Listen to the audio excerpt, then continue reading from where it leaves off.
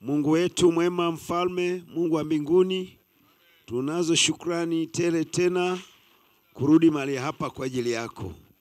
Naomba ututangulie kwa ibada hii katika jina la Yesu Kristo. Tunakabidhi neno naenda kusoma mbele zetu na mbele zako.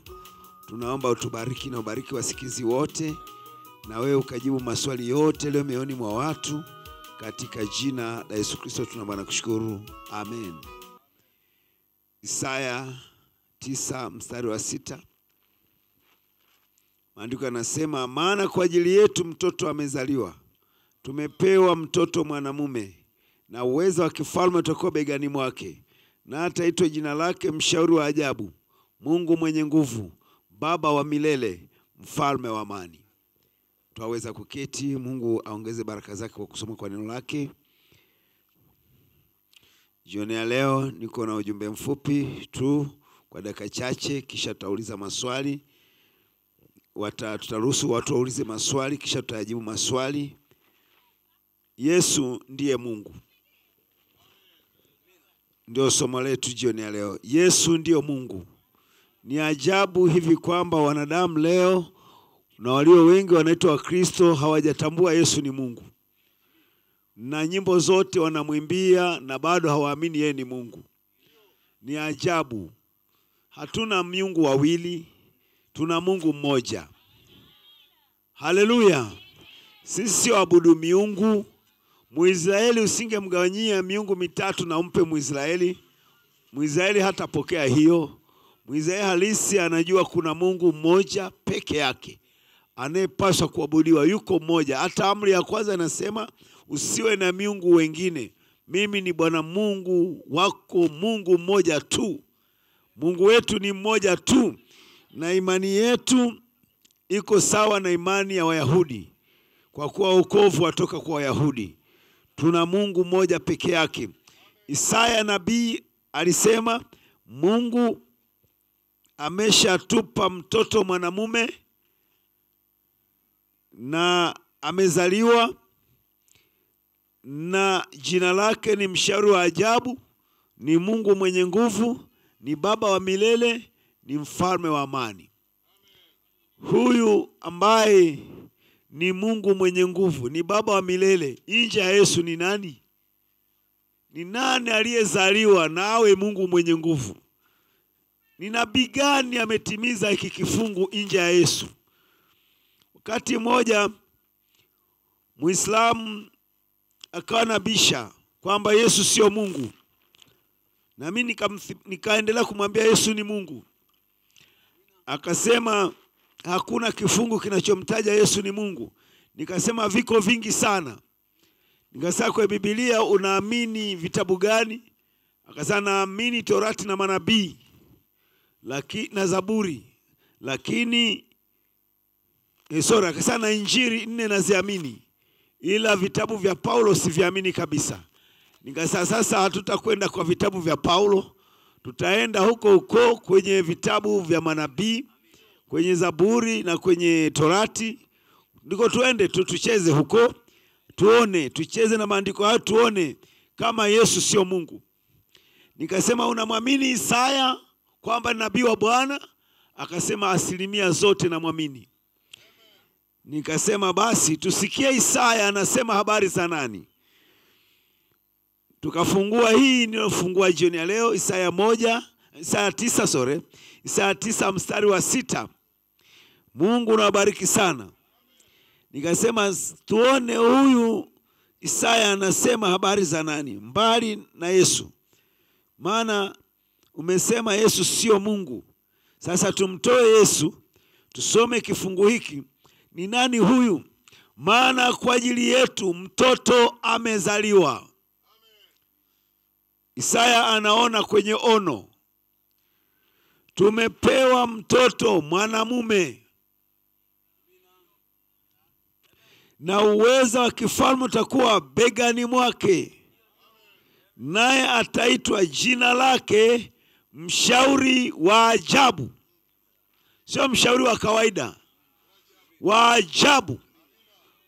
Na mshauri wa ajabu ni Roho Mtakatifu, Mungu mwenye nguvu, baba wa milele, sio baba wa muda kidogo, baba wa milele, mfalme wa amani. Nikasema mbali na Yesu, nani ametimiza haya? Akaanza kama hoja za kimwili zilivyo, amesema tumepewa, si walipewa huko? Nasema yeye huko huko, tuende huko huko. Walipewa, huyu mtu ni mtu mwanadamu, afu ni Mungu mwenye nguvu. Ni nani? Mtajie huko huko huko, kwa kipindi cha Isaya, huyu mtu alikuwa nani? Aliyezaliwa mtoto mwanaume, ni mtoto mwanaume lakini ni mshauri wa ajabu, ni Mungu mwenye nguvu, ni Baba wa milele, ni mfalme wa amani. Ni nani? Akataka rukie hoja nyingine, akasema "Ah, tumalizane hapa kwanza, tumalizane hapa kwanza, huyu mtu ni nani? Bwana natujalie sana. Na leo si tu Waislamu na madhehebu na dini nyingine, hata wanaojiita Wakristo walio wengi hawajaamini Yesu ni Mungu wana wengine wakijitahidi wanasema ni Mungu mwana. Kwa hiyo ni tatizo kubwa sana, lakini Biblia katika kitabu cha Zekaria kumi na nne mstari wa tisa amesema wakati huo Mungu atakuwa mmoja na jina lake moja. Haleluya! Na katika Malaki tatu kifungu cha kumi anasema, je, baba yetu si mmoja tu? Hatuna baba wawili, tuna baba huyu mmoja peke yake, ambaye alivaa mwili wa kibinadamu uliozaliwa na Bikira Mariamu. Huyo baba akavaa mwili wa kibinadamu akaitwa mwana ni, yu, ni huyo huyo mmoja, sio wawili. Ni yeye akibadilisha tu vinyago vyake, akibadilisha mavazi. Haleluya! Alivaa wingu na nguzo ya moto kwa wana wa Israeli. Haleluya! Akaitwa malaika wa Bwana, na Mungu anasema nimeweka jina lake kwake. Huyo ambaye na Mungu anaweka jina lake kwake ni Mungu huyo huyo akivaa mwili wa kibinadamu. Akaja akavaa mwili halisi alivaa mwili wa nguzo ya moto, akaja akavaa mwili wa kibinadamu akaitwa Yesu. Haleluya! Na amekuwa akivaa mili ya wanadamu vizazi vingi sana, na akijiita katika sifa mbalimbali, lakini mwili aliyotukombolewa aliyotukombolea ni mwili wa Bwana Yesu Kristo. Amen. Akiwa mbinguni na akishuka kama nguzo ya moto, aliitwa Baba. Akija duniani akivaa mwili wa kibinadamu, akazaliwa kama sisi, akaitwa Mwana. Hapo ni Mungu pamoja nasi, lakini akiwa Baba ni Mungu juu yetu. Akaja siku ya Pentekoste akavaa mwili kwa kutujaza Roho Mtakatifu, Mungu ndani yetu. Kwa Mungu juu yetu Baba, Mungu pamoja nasi Mwana, Mungu ndani yetu Roho Mtakatifu. Amen. Ni Mungu yule yule akibadilisha tu hali, akibadilisha tu ofisi, lakini ni yeye yule yule na anapobadilisha ofisi anajiita sifa fulani, utafikiri yuko mbali na ile sifa nyingine, kumbe ni yule yule. Rais, Mheshimiwa Rais wa Jamhuri ya Muungano wa Tanzania, jina la ukuu ni rais, ukuu wa nchi ni rais, lakini sio jina, ni sifa. Akienda jeshini anaitwa amri, am, am, amiri jeshi mkuu, amiri jeshi mkuu wa jeshi la Tanzania. Huyo huyo rais kule haitwi rais, anaitwa amiri jeshi mkuu wa jeshi wa majeshi yote ya Tanzania ya ulinzi na usalama. Amen. akienda kwenye vyama ni mwenyekiti wa Chama cha Mapinduzi taifa. Hey. Huyo huyo mmoja hey. Sio kwamba ni watatu, ni mmoja mwenye vyeo mbalimbali mbali. Kulingana na mazingira ya ofisi anabadilisha sifa na vyeo, lakini ni yeye yule yule. Amen. Mimi ukinikuta nyumbani nina mke wangu na watoto, mimi ni baba. Mimi ukinikuta nyumbani kwa baba yangu na mama yangu, mimi ni mwana. Ukinikuta niko katikati ya ng'ombe na wanyama, mimi ni mwanadamu. mimi sio ng'ombe, mimi ni mwanadamu. Kwa hiyo mimi ni baba, mimi ni mwana, mimi ni mwanadamu. Hayo yote sio majina yangu, hizo ni sifa zangu. Wakisema he, jina la huyo ambaye ni baba, ni mwana, ni mwanadamu na ni mchungaji, jina lake ni nani? Hutasema mwanadamu, hutasema mwana, wala hutasema baba, utanitaja jina langu na jina la Baba, Mwana na Roho Mtakatifu. Baba sio jina, Mwana sio jina, Roho Mtakatifu sio jina. Yeye sio roho mchafu, ni Roho Mtakatifu. Kuna roho nyingi nyingi, kwa hiyo yeye ni roho iliyo takatifu. Kwa hiyo bado sio jina, ni sifa. Sasa jina lake huyo ambaye ni Baba, ni Mwana, ni Roho Mtakatifu, jina lake ni nani? Ni Bwana Yesu Kristo.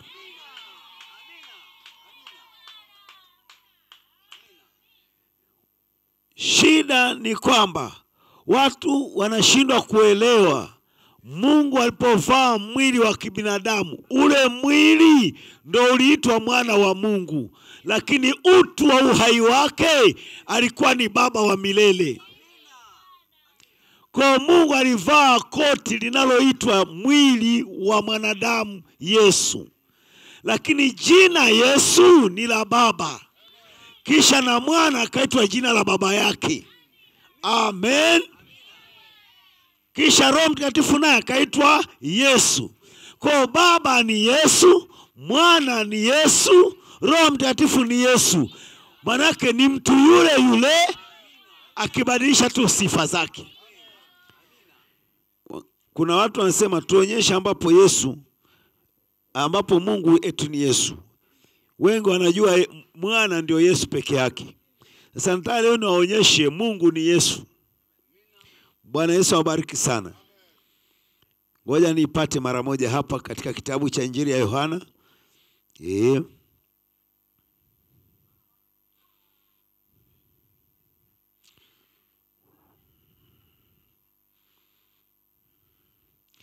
Injili ya Yohana tano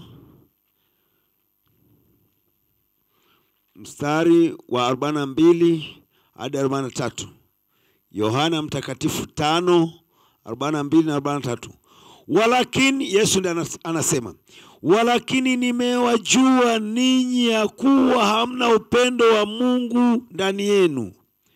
Mimi, yani Yesu, nimekuja kwa jina la Baba yangu, wala ninyi hamnipokei. Mwingine akija kwa jina lake mwenyewe mtampokea.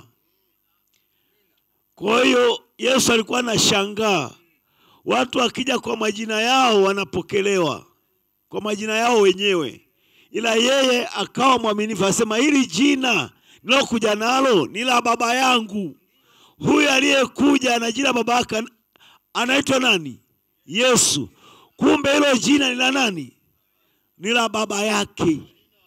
Kumbe baba ni Yesu na mwana akapewa hilo hilo jina la baba yake akaitwa Yesu. Amen.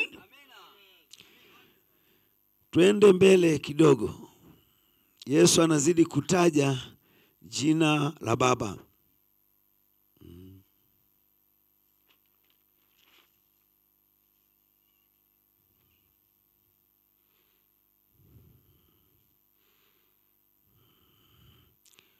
Sikilizeni tena jambo jingine, mwe pamoja nami wapenzi, muone jinsi hili jambo lilivyo zuri. kumi na saba Yohana. Kumi na saba Yohana. Mstari wa kumi na mbili kumi na saba Yohana mstari wa kumi na mbili Yesu alikuwa anaomba akasema, nilipokuwa pamoja nao mimi naliwalinda kwa jina lako ulilonipa. Yesu anataka aondoke, anaomba sababu, nilipokuwa pamoja nao hawa ni mimi naliwalinda kwa jina lako ulilonipa, nikawatunza, wala hapana mmoja wao aliyepotea, ila yule mwana wa upotevu, ili andiko litimie. Tunakuja kumi na saba hiyo hiyo ishirini na sita nami naliwajulisha jina lako, tena nitawajulisha hilo, ili pendo lile ulonipenda mimi liwe ndani yao nami niwe ndani yao.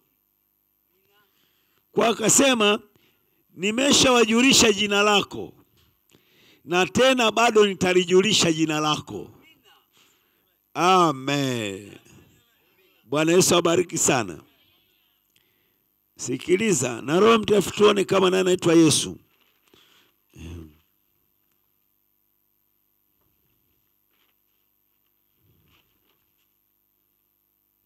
Sikilizeni wapendwa, Yohana hiyo hiyo, kama mko pamoja nami, Yohana amen, Yohana kumi na nne mstari wa ishirini na sita.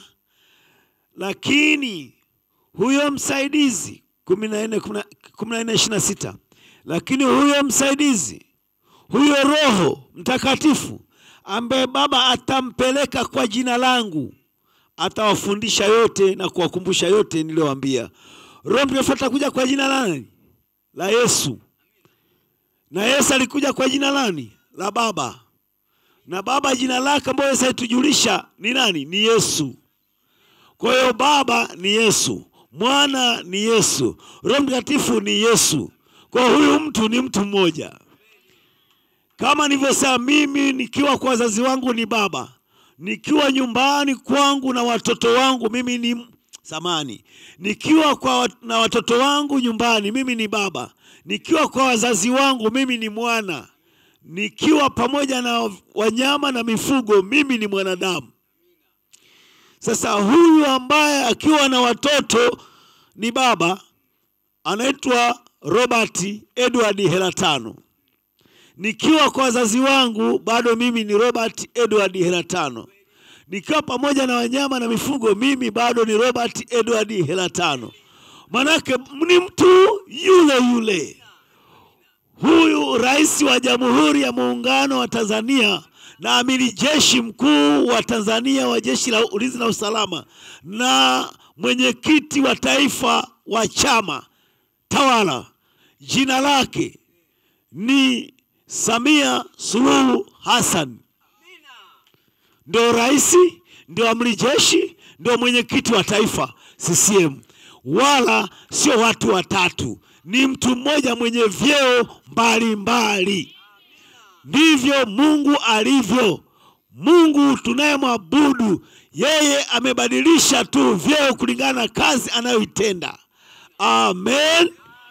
Yeye ni Baba muumba mbingu na nchi. Yeye ni Mwana mkombozi. Yeye ni Roho Mtakatifu mfariji. Haleluya! Ni mtu yule yule mmoja. Sasa Yesu wakati anaondoka akasema, basi enendeni, haleluya, kwa mataifa yote mkawafanye kuwa wanafunzi, mkiwabatiza kwa jina la Baba na Mwana hiyo na la na la na la wameongeza. Yesu hakusema na la mwana na la Roho Mtakatifu, alisema kwa jina la Baba na Mwana na Roho Mtakatifu. Tusome Mata, Matayo ishirini na nane some Matayo ishirini na nane tuanzie mstari wa ishirini kama sijakosea au kumi na tisa mstari wa kumi na tisa. Tuanzie kumi na nane. Yesu akaja kwao akasema akasema nao akawaambia, nimepewa mamlaka yote mbinguni na duniani. Mbinguni ndio mwenye mamlaka duniani ndio mwenye mamlaka. Alisema nimepewa kwa sababu yuko kwenye mwili na aliyempa ni utu wake mwenyewe roho wa mungu ambaye yuko ndani yake. Ameinua hata mwili wa kibinadamu akaupa mamlaka kwa kuwa yeye mwenyewe ndiye amefanya makao ndani ya ule mwili. Amen. Mwenye mamlaka mbinguni kama kuna mungu mwingine basi amenyang'anywa. Mwenye mamlaka mbinguni ni yesu. Mwenye mamlaka duniani ni yesu ulishajua maana ya mamlaka? Ndo ndo mkuu. Ndo mtawala. Hakuna mwingine. Mtawala mbinguni ni yesu. Mtawala duniani ni yesu. Ndio maana katika filipi nasema kila ulimi ha, kwanza kila goti litakunjwa na kila ulimi utakiri ya kwamba yesu ni bwana. Kwa utukufu wa mungu baba. Amen. Kila goti la vitu vya mbinguni na vya duniani na chini ya dunia vyote kwa lugha nyingine hata kukiwa na mungu mwingine mbinguni hata kuwa na chochote kinachojifanya kikubwa kila kiumbe duni, mbinguni na duniani kote vitakunja magoti vyote na kila kinywa kitakiri yesu ndiye bwana. Yeye ndiye anayetawala vyote mtawala mkuu. Akasema akaja kwao. Kumi na tisa. Basi kumi na nane. Yesu akaja kwao akasema nao akawambia nimepewa mamlaka yote yote. Sio baadhi. Nimepewa mamlaka yote mbinguni na duniani. Basi enendeni mkawafanye mataifa yote kuwa wanafunzi mkiwabatiza kwa jina la baba na mwana na roho mtakatifu. Kwao tunakataa wanaoongeza la la la la kwamba kwa jina la baba na la mwana na la roho mtakatifu hakuna maandiko hayo. Ni kwa jina la baba na mwana na roho mtakatifu. Sio kwa majina kwa jina jina moja.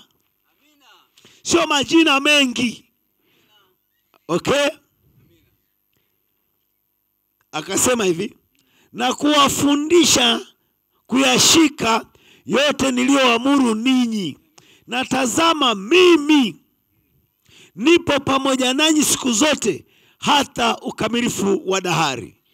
Aliahidi yeye mwenyewe atalisimamia hilo jambo. Amen. Na siku ya pentekoste ikafika na roho mtakatifu akaja. Amina. Na watu wakahubiriwa na wakataka kuamini waka, wakadadisi kuhusu ku, kuamini waweze kujiweka sawa na mungu. Ndipo petro akawajibu matendo mbili thelathini na sita. Sikilizeni na kuendelea. Petro alimalizia mahubiri yake ya upako akisema basi nyumba yote ya israeli na wajue yakini yani hakika na wajue yakini ya kwamba mungu amemfanya yesu huyo mliyemsulubisha. Mungu amemfanya kuwa bwana na kristo. Bwana manake yehova na kristo manake roho mtakatifu. Yesu ndiye yehova na ndiye roho mtakatifu. Waliposikia haya wakachomwa mioyo yao hili jambo lilimchoma myahudi kusikia kumbe yesu ndio bwana na ndiye kristo Wakachoma mioyo yao wakamwambia petro na mitume wengine tutendeje ndugu zetu? Tufanyeje? Tumefanya huu uharifu mkubwa, kumuua mkuu wa uzima. Tumefanya uharifu kutomjua na tukamfanyia ujeuri. Sasa tunafanyeje hili jambo? Petro akawambia, tubuni, geukeni. Kutubu ni kugeuka. Tubuni mkabatizwe kila mmoja kwa jina lake Yesu Kristo mpate ondoleo la dhambi zenu, nanyi mtapokea kipawa cha Roho Mtakatifu. Kule Yesu aliagiza ubatizo kwa jina la huyo Baba, Mwana na Roho Mtakatifu, jina lenye vyeo hivyo, jina la vyeo vya Baba na Mwana na Roho Mtakatifu. Hilo jina ndo kabatizie watu. Afu wewe unafikuna sana kubatiza kwa jina la Baba, mbona bado uko kwenye swali? Sulitaje jina. Yamesema jina la Baba na Mwana na Roho jina hilo ambalo huyo mtu ni Baba ni Mwana ni Roho jina lake batizia watu. Utarudije kusema tena Baba? Maanake jina hujalijua. Nikiuliza mtu mmoja akasema, ah, mi naona zote ni sawa. Nikamwambia sio zote sawa, moja ni vyeo, nyingine ni jina, kwa haiwezi kuwa sawa. Sasa mimi kama nimebatizwa kwa jina la Baba na Mwana, sinalenga vile vile. akasema alisema useme jina. Yesu aliagiza jina, hakuagiza vyeo. Alisema jina la Baba, Mwana na Roho Mtakatifu, jina. Kama ningesema hivi, nyinyi watoto wa Mungu muwe wanafunzi na mimi niwe mwalimu darasani kwa masomo ya kawaida ya kidunia, niseme hivi, jibu, niulize swali hivi, jibu la moja ongeza mbili ni ngapi? Ungesema moja ongeza mbili, ungepata tena. Useme mimi ni mwaminifu, nasema kama mwalimu alivyo na wanadai ni waaminifu, hata wanasema Yesu alivyo. Sasa mbona hujasema nilivyosema? Maana mimi nimesema jina la samani, jibu la moja ongeza mbili ni ngapi? Afu unaniambia ni moja ongeza mbili ni tatu. Maana nimesema jibu la, nataka jibu la moja ongeza mbili, jibu lake ni lipi? Tatu. Kwa aliyesema tatu na aliyesema moja ongeza mbili, nitampa vema aliyesema tatu, maana nimeuliza jibu. Jina la Baba, Mwana na Roho Mtakatifu. Mtu anasema ni Baba, Mwana na Roho Mtakatifu, hilo bado hujataja jina lake ni Bwana Yesu Kristo.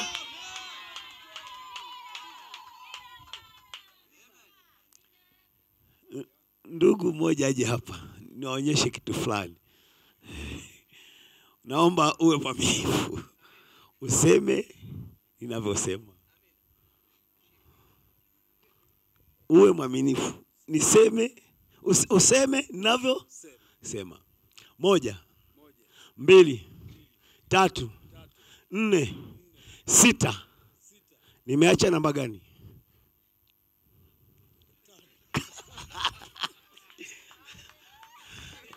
Nimeacha namba gani? Narudia kuuliza swali. Sema navyo. Sema Moja, moja, mbili, mbili, tatu, tatu, nne, nne, sita. sita, Nimeacha namba gani? tano. Amepata, amefeli, amefeli. Mwingine aje. Ah. Moja, Moja, mbili. mbili. Kwanza nikuulize, kwanza nikwambie, Amina. nataka useme ninavyo Sema. Moja, Moja, mbili, mbili, tatu, tatu, nne, nne, sita. sita. Nimeacha namba gani? Nimeacha namba gani? Umepata.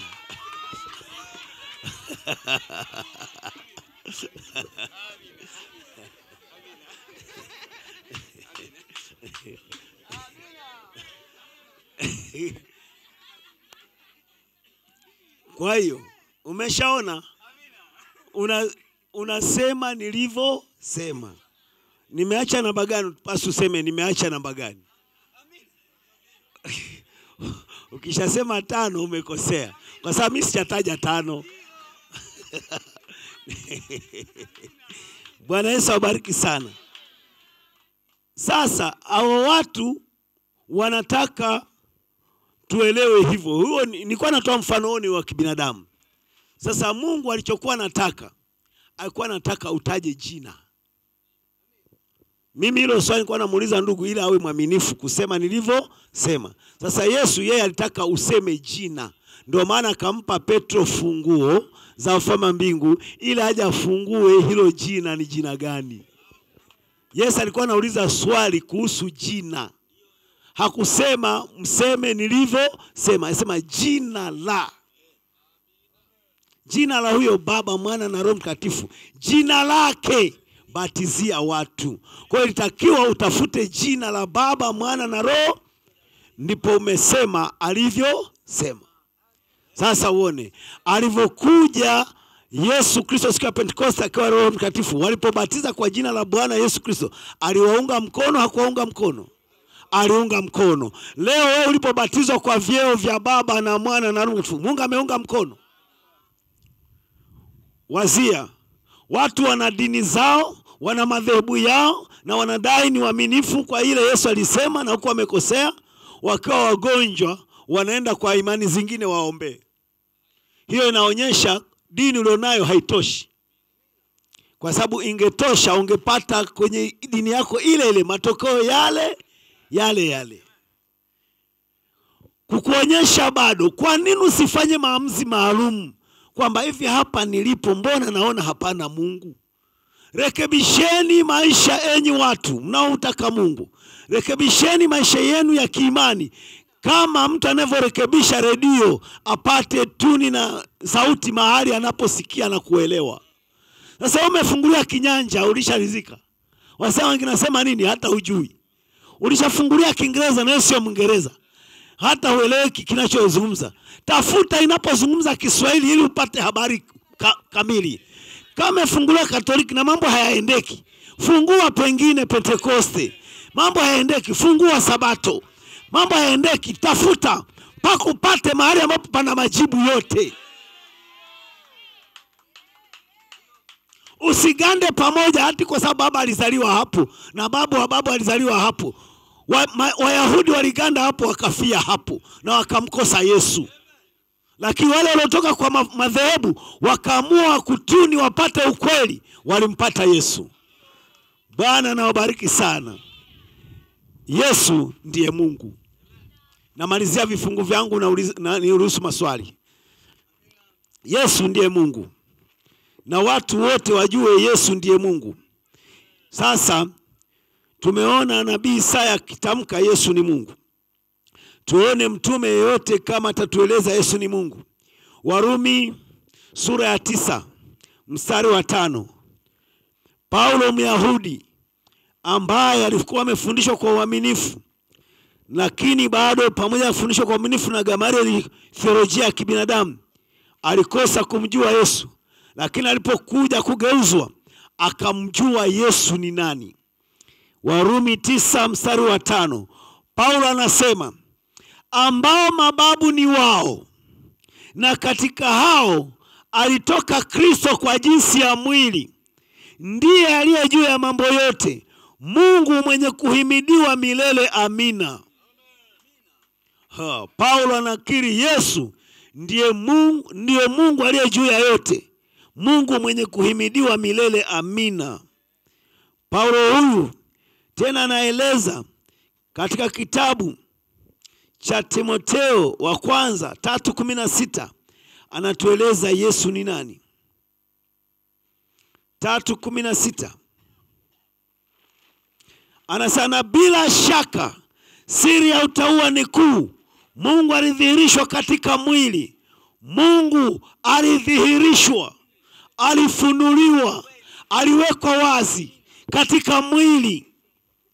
Akajulikana kuwa na akajulika kuwa na roho akajulika kuwa na haki katika roho, akaonekana na malaika, akahubiriwa katika mataifa, akaaminiwa katika ulimwengu, akachukuliwa juu katika utukufu. Ni nani huyu? Ambaye ni Mungu aliyedhihirishwa kwenye mwili, alafu ndiye akajulikana kuwa na haki katika roho. Katika roho hana dhambi, hata katika yani alipokuwa kwenye mwili akasanana aweze kunihukumu, na ikaonekana maisha yake yote ana haki, hana dhambi yoyote. Amina. Akaonekana na malaika, ndio malaika wakamwona alipovaa mwili. Huyu ni nani? Yesu. Amina. Akahubiriwa katika mataifa. Tunayemhubiri kote ni nani? Yesu. Akaaminiwa katika ulimwengu. Anayeaminiwa na mwamini nani? Yesu. Akachukuliwa juu katika utukufu. Aliyechukuliwaga nani? Yesu. Tuende mbele. Tito, Tito mbili. Amina, mstari wa kumi na tatu. Tukilitazamia tumaini lenye baraka na mafunuo ya utukufu wa Kristo Yesu, Mungu mkuu na Mwokozi wetu, ambaye alijitoa nafsi yake, sio nafsi zake, nafsi yake kwa ajili yetu ili atukomboe na maasi yote na kujisafishia watu. Haleluya! Sio kumsafishia mwingine, kujisafishia watu wawe miliki yake mwenyewe, wale walio na juhudi katika matendo mema. Yesu alijisafishia watu yeye mwenyewe, hakuwa anamsafishia mwingine, ni yeye mwenyewe. Mnampenda? Yesu ni Mungu. Tumsikie yeye mwenyewe, maana ngaa nasemaga mbona hajajisema yeye mwenyewe. Nataka nikuonyesha alipojisema yeye mwenyewe. Yohana kumi na nne. Baada ya hapa nitaruhusu maswali. Yohana kumi na nne mstari wa saba. Yesu anajisema mwenyewe sasa kwa kinywa chake mwenyewe, akawaambia wanafunzi, kama mngalinijua mimi, mngalimjua na Baba tangu sasa mnamjua tena mmemwona. Filipo, huyu ni mojawapo ya wanafunzi wake. Filipo akamwambia, Bwana, utuonyeshe Baba yatutosha. Kwa lugha nyingine, Filipa asa I see, kila wakati tumesema baba baba baba. Sasa leo maliza hili swali, tuonyeshe Baba, tutarizika kabisa. Mstari wa tisa, Yesu akamwambia, mimi sio mwingine, mimi nimekuwepo pamoja nanyi siku hizi zote, wewe usinijue Filipo? Sasa tuonyeshe Baba. Yesu akamshangaa, sasa we, siku zote hizi miaka mitatu na nusu nimekuwepo pamoja nanyi, we usinijue Filipo? Mungu natusaidie sana. Amina. He. Yesu akamwambia, mimi nimekuwepo pamoja nanyi siku hizi zote, wewe usinijue Filipo? Aliyeniona mimi amemwona Baba. Basi wewe wasemaje utuonyeshe Baba? Yupi tena? alikuwa anamrejesha kwenye Isaya tisa sita. Amina, hayo ni maneno ya Yesu mwenyewe. Twende Yohana hiyo hiyo nane ishirini na tatu. Yohana hiyo hiyo nane ishirini na tatu. Akawaambia, ninyi ni wa chini, mimi ni wa juu ninyi ni wa ulimwengu huu, mimi si wa ulimwengu huu. Kwa hiyo naliwaambia ya kwamba mtakufa katika dhambi zenu, kwa sababu msiposadiki ya kuwa mimi ndiye, mtakufa katika dhambi zenu. Oh, jina la Bwana barikiwe sana. Mnampenda ni sana. Ishia kumi na nne bado inakuja, yaonyesha bado kuna kitu hakija hakijarizika, kuna kitu kinataka bado. Yohana moja moja,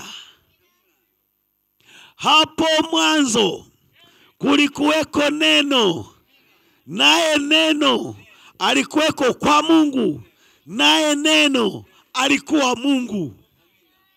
Huyo mwanzo alikuwako kwa Mungu. Vyote vilifanyika kwa huyo, wala pasipo yeye hakikufanyika chochote kilichofanyika. Ndani yake huyo neno ndimo ulimokuwa uzima, na ule uzima ulikuwa nuru ya watu. Huu uzima wa milele ulikuwa ndani ya neno. ha. na uzima ndio nuru ya watu, naye nuru yang'aa gizani, wala giza haikuiweza. Palitokea mtu ametumwa kutoka kwa Mungu, jina lake Yohana. Huyo alikuja kwa ushuhuda, ili aishuhudie ile nuru, wote wapate kuamini kwa yeye. Huyo hakuwa nuru, bali alikuja ili aishuhudie ile nuru. Kulikuwako na nuru halisi. Haleluya! amtiaye nuru kila mtu akija katika ulimwengu. Alikuwako ulimwenguni, hata kwa yeye ulimwengu ulipata kuwako, wala ulimwengu haukumtambua. Alikuja kwake, wala walio wake hawakumpokea, bali wote waliompokea aliwapa uwezo wa kufanyika watoto wa Mungu, ndio wale waliaminio wali jina lake, waliozaliwa si kwa damu, wala si kwa mapenzi ya mwili, wala si kwa mapenzi ya mtu, bali kwa Mungu. Naye neno alifanyika mwili akakaa kwetu, nasi tukauona utukufu wake, utukufu kama wa mwana pekee atokaye kwa Baba, amejaa neema na kweli. Oh, haleluya! Alipovaa mwili ndiye akawa mwana, akawa mwanadamu. Kwa Yesu ni mwanadamu asilimia mia moja. Yesu ni Mungu asilimia mia moja yote. Yeye ni Mungu kamili, yeye ni mwanadamu kamili. Karibuni maswali.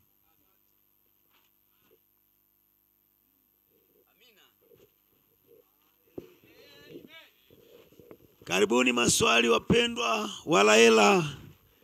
Nawakaribisha maswali, tuko hapa kuyajibu maswali kwa Biblia ya Mungu aliye hai, wala usiogope, uliza. Tuko hapa kusaidiana. Ni muda mrefu sana tumeambiwa na madhehebu Yesu ni mwana Mungu, basi wakaweka nukta, hawakugeuza upande wa pili waone kwamba ni zaidi ya mwana, pia ni Baba, afu ni Roho Mtakatifu, ni mtu yule yule. Nasubiri maswali. Karibu.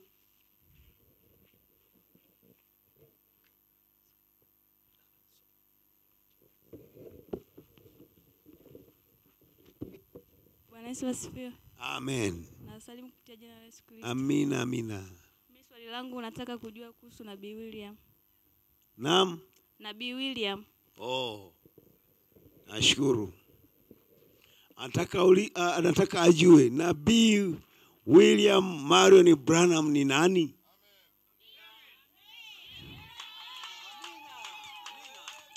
Ni swali zuri kweli kweli. Mungu nawabariki sana.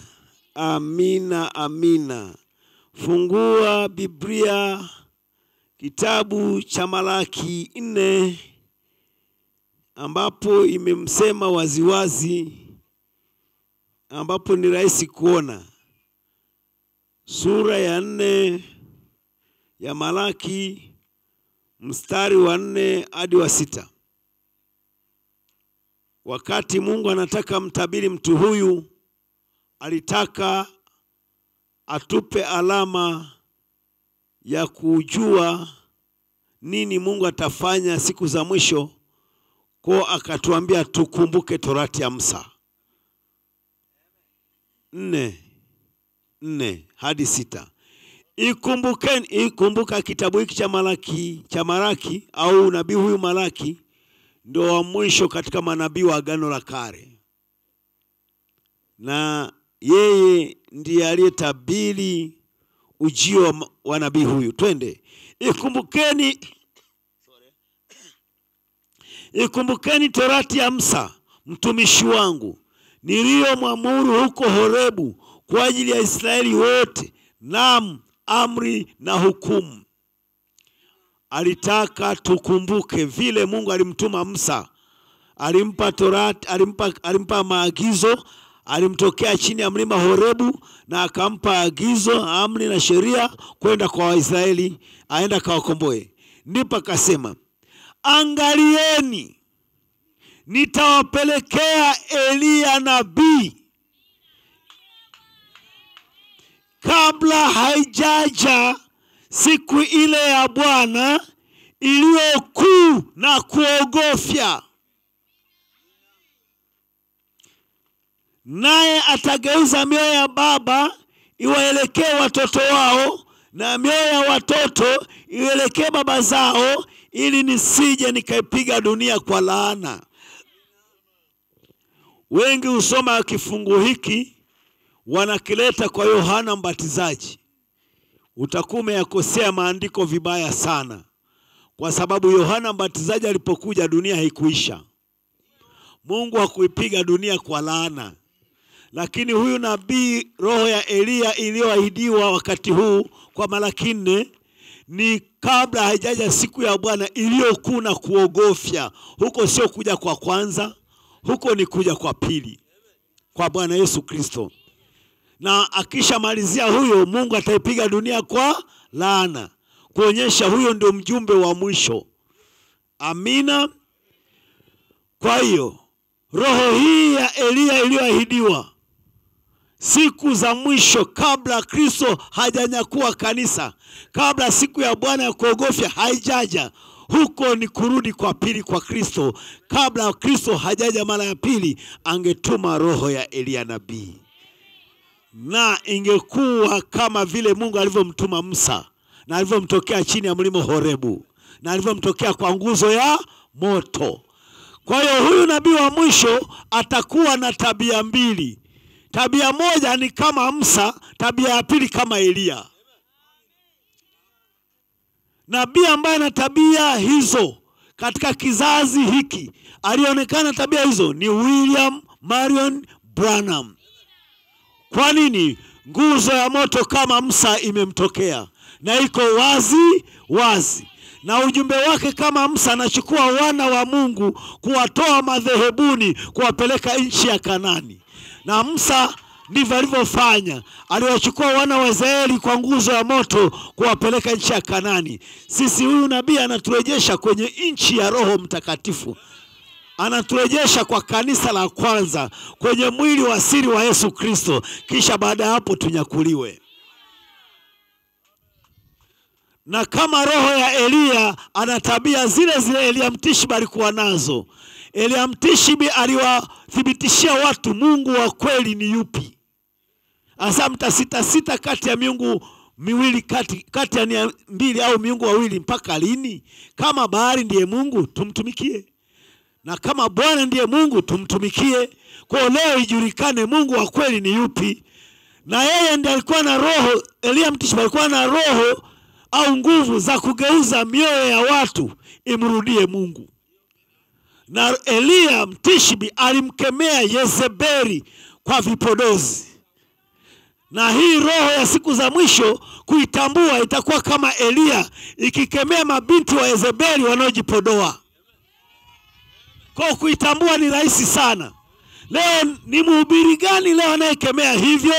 Soma historia za wahubiri wote waliokuja duniani, utapata Branham ndiye alikuwa dhidi ya vipodozi, na utapata roho ya Eliya ndio iliyomkemea Yezebeli, na utapata roho ya Eliya ndani ya Yohana Mbatizaji ilimkemea Herodia. Amen. Kwa hiyo iko vile vile kama ilivyokuwa inafanya kule kazi. Sasa roho ya Eliya itakuja duniani mara tano. Roho ya Eliya ilikuja kwa Eliya Mtishibi na ikathibitisha Mungu wa kweli ni yupi. Roho ya Eliya ikaja kwa Elisha ikaendeleza kazi zile zile za Eliya.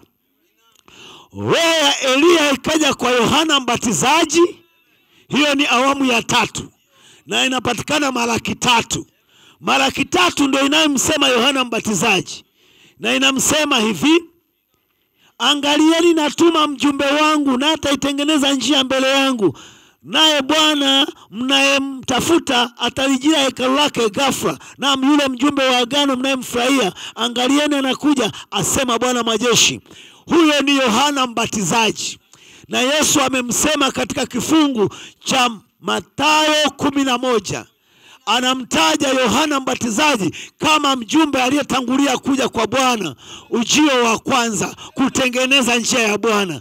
Lakini mara kinne ni mjumbe anakuja kabla hajaja Yesu mara ya pili, kabla dunia haijapigwa kwa laana. Roho ya Eliya ndani ya Yohana iligeuza mababa, iligeuza mababa wale Wayahudi, haleluya, wakapokea ujumbe, wakaandaliwa kumpokea Yesu, ujio wa kwanza, na wakapata injili itujie mataifa. Hiyo ni roho ya Eliya ndani ya Yohana, na Yohana akachinjwa, ikabaki watoto hawajageuzwa, na Yohana ameshachinjwa.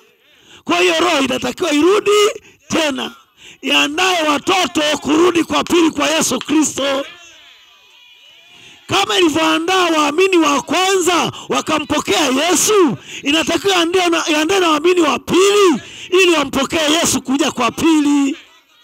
Kwa tabia ni zile zile, kabla ya Kristo kuja, roho ya Elia inatangulia kuja kwa kwanza, na kabla hajaja mara ya pili, roho ya Elia itakuja na kuitambua ni roho ya Elia, ina tabia zile zile kama Elia Mtishibi.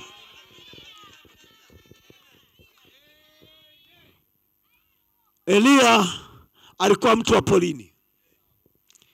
Eliya alikemea mienendo mibaya ya watu wazinzi na kadhalika, akapiga na pigo la wazinzi ili wasiendelee na uzinzi, pigo la njaa. Utafanya uzinzi hujala?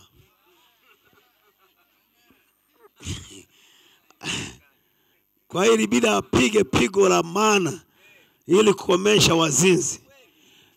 Eliya Mtishbi Amina, haleluya. Yeye alimtembelea mwanamke wa Selepta. Mwanamke wa Selepta alikuwa mjane, ili alikuwa amefiwa na mme wake, amebaki na kijana, ndo Eliya Mtishbi akaenda akapokelewa.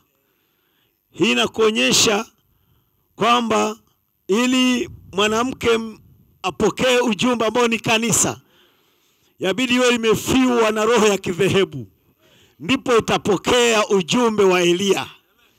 Na yule mwanamke alikuwa mataifa, na leo kanisa lina mataifa. Yabidi liwe limekufa kidhehebu, limebaki mjane, ndio litapokea ujumbe wa Eliya Mtishbi, ambao leo ni Eliya ndani ya William Marion Branham. Sasa akija huyo mjumbe, huwa haitwi Eliya. Kwa nini Mungu ameibatiza jina la Eliya? Kwa sababu roho iliyo ya Mungu ilikuwa ni roho wa Mungu, roho wa Kristo ndani ya Eliya. Na Eliya alipotwaliwa, roho wa Mungu, sio sio utu wa Eliya, sio moyo wa Eliya, bali Roho Mtakatifu alikuwa anatenda kazi ndani ya Eliya, ndio Mungu alimchukua, haleluya, akamweka ndani ya Elisha, lakini Eliya akapaa mbinguni, Roho Mtakatifu upako ule ukarudi ndani ya Elisha na Elisha alipoondoka, Mungu akaja kaweka roho yule ndani ya Yohana, na Yohana alivyochinjwa, Mungu amemweka yule roho siku za mwisho kwa mtu fulani. Majina yanabadilika, lakini roho ni ile ile. Kwa hiyo Branham, hutapata jina Branham, unapata tabia za roho ya Eliya ndani ya huyo mtu. Aweza kuitwa jina lolote, lakini tunaangalia huyu mtu tabia zake ni nini. Tunaona iliahidiwa roho ya Eliya itakuja kuja kwa kwanza kwa Yesu ambaye aliitwa Yohana Mbatizaji. Je, walipomuuliza wewe ni Eliya alikubali? Kwa kuwa na kweli hakuwa Eliya, ila roho wa Mungu aliyekuwa kwa Eliya alikuwa ndani yake, na huyu mtu alikuwa ni mtu mwingine, ila roho wa Eliya aliyekuwa kwa Eliya ndio alikuwa ndani yake. Na leo tutapata mtu ambaye jina ni mwingine, lakini roho ya Eliya itakuwa ndani yake. Huyu mtu alikuwa mpenda nyika, mpenda misitu, mpenda poli, na Branham ilikuwa ndio tabia yake. Yeye alikuwa anapenda kwenda polini, na yote hiyo ni roho ya Eliya ikitenda kazi. Mungu akubariki dada uliyeuliza swali hili. Kwa hiyo ukitaka upate Branham ni nani, tafuta tabia zake, soma vitabu vyake, soma historia yake, utapata. Na mwombe Mungu, na ni rahisi tu, mwombe Mungu kwamba Mungu, nimesikia hati tuna haja ya nabii fulani na wamemtaja Branham, hebu niambie huyu Branham ni nani? Mungu atakujibu, na ameshajibu wengi sana. Nina hakika Mungu anatetea ujumbe wake mwenyewe.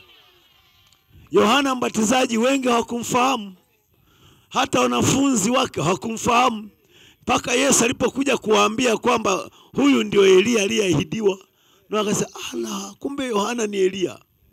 Mungu haandikagi majina ya manabii, huwa wakishaondoka ndio historia inabaki na waandika mbele. Waandishi wanawaandika wakati walishapita. Tuko pamoja? Nafikiri nimejibu swali lako. Hivyo ndivyo unaweza kumpata nabii. Humpati kwa jina, unampata kwa tabia. Hata Yesu walipomuuliza eti wewe ni nani, Yohana ametutuma, ulisikia anasema mimi Yesu ndio yule nabii? Yeye alisema vipofu wanaona, viwete wanatembea, maskini wanahubiriwa habari njema. Heli mtu asiyechukizwa nami. Anataka wewe ndio utafute, lakini ungesema utafute jina Yesu kwenye maandiko usingelipata, maana imeandikwa Yesu kwenye Agano Jipya. Agano la Kale alikotabiriwa haijaandikwa Yesu. Yohana imeandikwa wakati amekuja Agano Jipya, lakini kwenye unabii haijaandikwa atakuja mtu anaitwa Yohana. Musa hajaandikwa kwenye unabii, amekuja kuandikwa alipopita. Kule nyuma ilisema tu nitawaokoa na mkono wenye nguvu, wala hakusema nitawatumia mtu anaitwa Musa. Uh-uh. Mungu amekuja kumtambulisha kutambulisha mkono wenye nguvu uko ndani ya Musa, akisema kuwe vyura, vyura wanakuja, kuwe chawa, chawa wanatokea. Lakini ukisema kwenye unabii ni mkono wenye nguvu, akinyosha kwenye bahari inaachia, wanapita. Huo ni mkono wenye nguvu, lakini alikuja mtu anaitwa Musa, na ungesema nionyeshe alipotabiriwa Musa, jina Musa, usingelipata unapata tabia aliyoambiwa huyo mtu atakuja atende. Hivyo ndivyo Branham, kusema utafute jina la Branham kwa Biblia hulipati, lakini utapata roho ya Eliya imeahidiwa siku za mwisho, lazima ije kwa mtu fulani. Hajiungi na madhehebu kama ambavyo Eliya, Yohana hakujiunga na madhehebu, Mtishbi hakujiunga na madhehebu, Elisha hakujiunga na madhehebu, na Branham wetu hajajiunga na madhehebu na yabidi aingie popote kama kutafuta ukwe, kutafuta watoto wake. Kama Yesu alikuwa anaingia Mafarisayo, lakini Yesu hakuwa Mfarisayo. Yesu aliingia Masadukayo, lakini hakuwa Msadukayo, alikuwa anatafuta mbegu zake.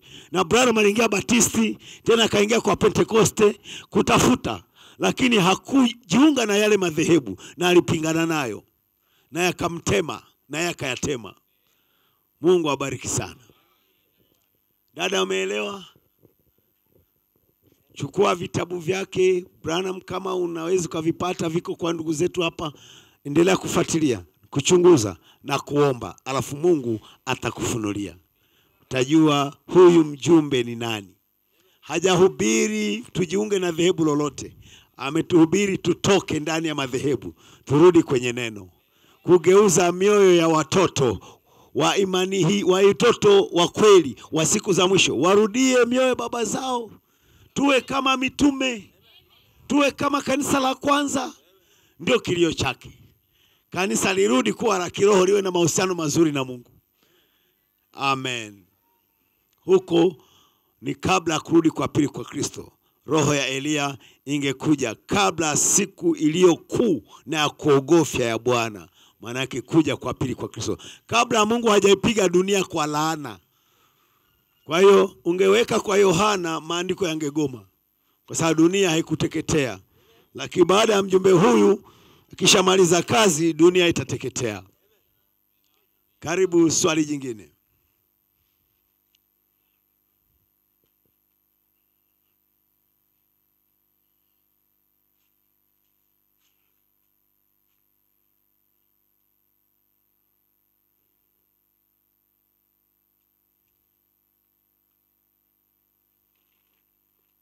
Karibu, karibu, karibu.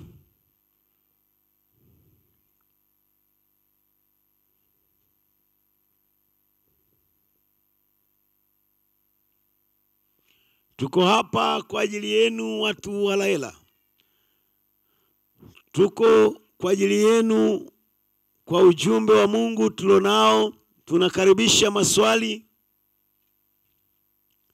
Aliye na swali kuhusu mambo ya ufalme wa Mungu tuliyoyahubiri na tusiyoyahubiri, chochote kinachohusiana na ufalme wa Mungu kwa Biblia ya Mungu, kwa neno la Mungu aliye hai, tuna ruhusu swali lolote lile, na tuko tayari kuwajibu kwa furaha. Karibuni.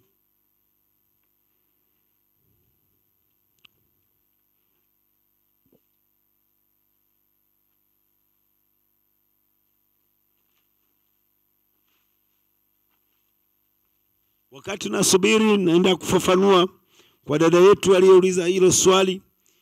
Dada, utafuatilia utaona hakuna kizazi ambacho kimemjua nabii wao kirahisi. Manabii walioahidiwa kwa kila kizazi hawakujulikana na kizazi hicho, ni wachache tu waliojaliwa kuwajua. Nilianza na Nuhu, kizazi akimkumjua Nuhu ni nani. Alipopita kizazi cha mbele ndio kaanza kusema ala, kumbe Nuhu alikuwa mtumishi wa Bwana.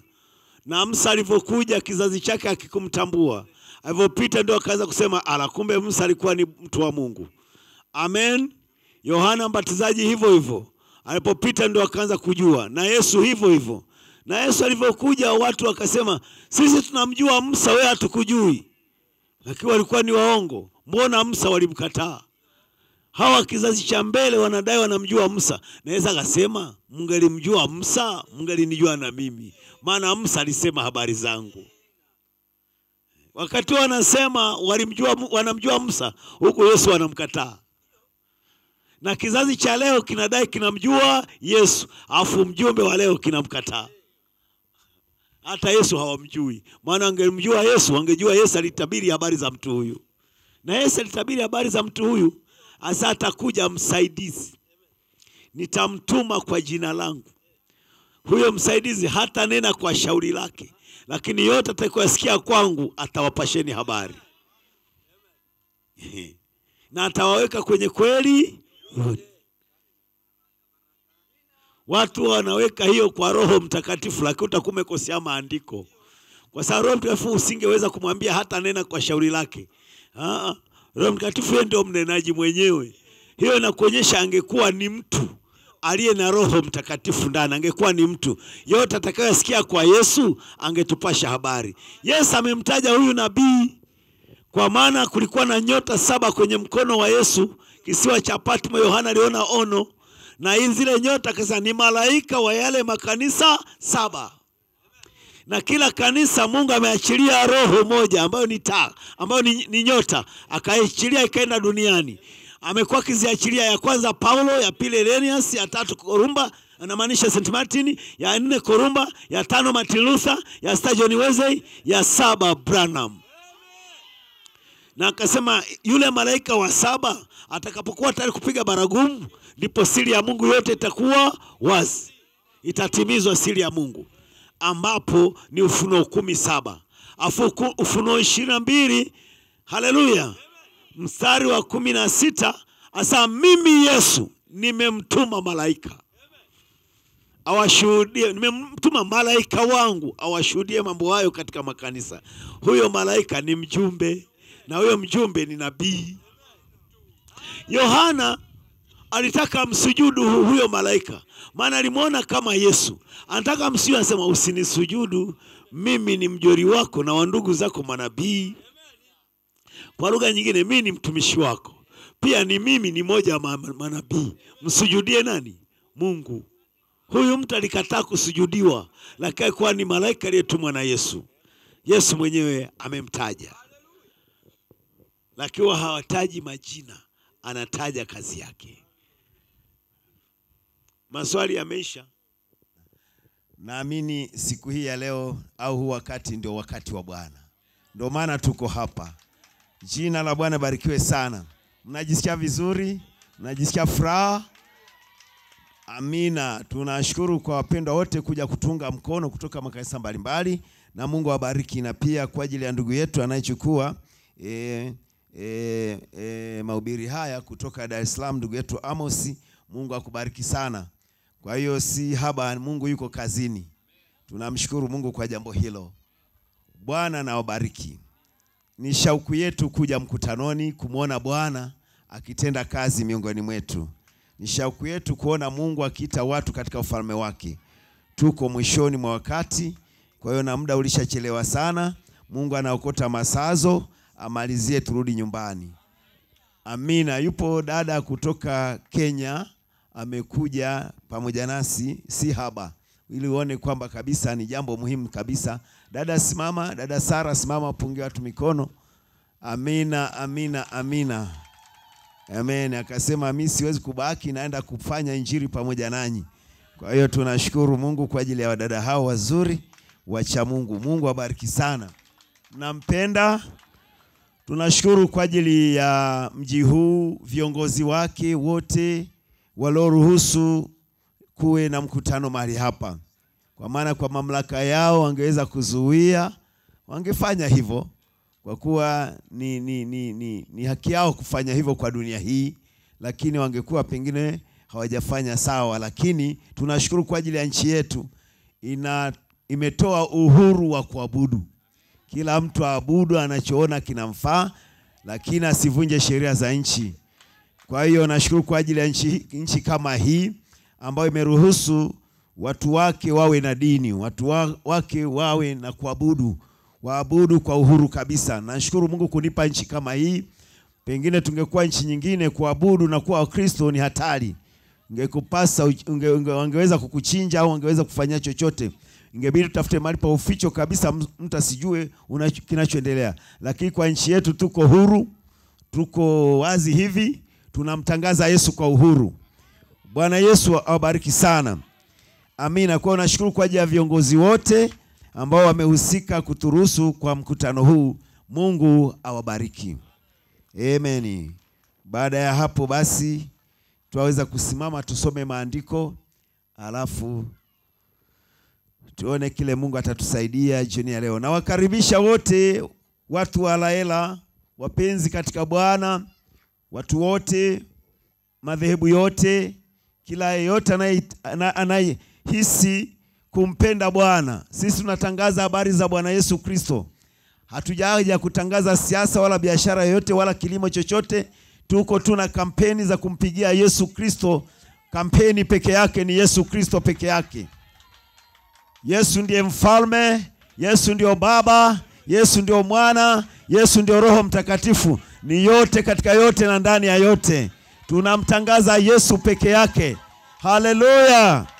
Amina. Naamini kila anayempenda Yesu atatupenda kwa sababu tuko kumsema Yesu Kristo. Huenda tusikubaliane katika itikadi na mapokeo, lakini hata hivyo tunamtaja mtu mmoja, ni Yesu Kristo. Kwa tunawalikeni mje tushikiane pamoja, tunasoma Biblia ya Mungu iliyo takatifu. Hatuna sheria ila upendo, hatuna kitabu ila Biblia ya Mungu iliyofunuliwa na nabii wa kizazi hiki. Kwa hiyo tunamshukuru Mungu kwamba ametufanya Wakristo, nasi tuko huru kweli kweli kumjibu swali kila mtu aulizaye habari za Bwana. Tuko huru na furaha kumjibu yeyote. Hatuko kuchallenge imani ya mtu, hatuko kushambulia mtu, tuko kusaidiana moja kwa mwingine. Kwa hiyo tunaalikeni marafiki wote mje. Tuko na biashara ya Mungu. Biashara yenyewe tunatafuta nafsi za watoto wa Mungu, sio biashara ya fedha. Hatuhitaji fedha ya mtu yeyote. Tutaombea wagonjwa bure, hatuhitaji chochote ulete. Wewe njoo na imani. Imani ndio fedha kununulia bidhaa za Mungu, ni imani yako tu, na Yesu akasema imani yako imekuponya. Vitu vyote vya Mungu ni bure. Ukiona mtu anauza mambo ya Mungu, huyo ni tapeli. Mambo yote ya Mungu ni bure. Yesu hajawahi kufanya kazi alipo chochote, na kama Yesu angekuja leo angefanya alivyowahi kufanya. Hajawahi kumtoza mtu yeyote chochote, lakini leo matapeli ni wengi, wamekuja kwa njia ya jina la Bwana wakitapeli, wakijinufaisha kwa, kwa kujitajirisha kwa kutumia Biblia ya Mungu. Hao tunasema ni matapeli. Kama tungenunua wokovu wa Bwana au uponyaji, tununue wokovu huo, tununue na uponyaji, maskini angefanya nini? Lakini Yesu akasema, viwete wanatembea, viziwi wanasikia, maskini wanahubiriwa habari njema. Haleluya! Kwa tuko na injili ya bure. Yesu alishalipa gharama zote, hakuna bei itatosha kufikia damu ya Yesu. Damu ya Yesu ni uhai wa Mungu, ndio gharama tosha kuliko gharama zote. Amekulipia uponyaji, amekulipia baraka zote, amekulipia wokovu. Njoo upokee bure, njoo bila fedha, njoo bila thamani, njoo upokee bure.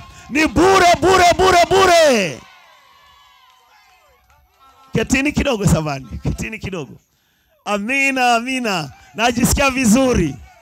Unaona huu mwanga wa jua, hakuna anayelipa hata senti moja. Huduma zote za Mungu wa ni bure, hakuna anayelipia mwanga wa jua hata senti moja, na ni huduma ya Mungu bure, anaangaza dunia nzima. Hakuna anayelipia hata senti moja.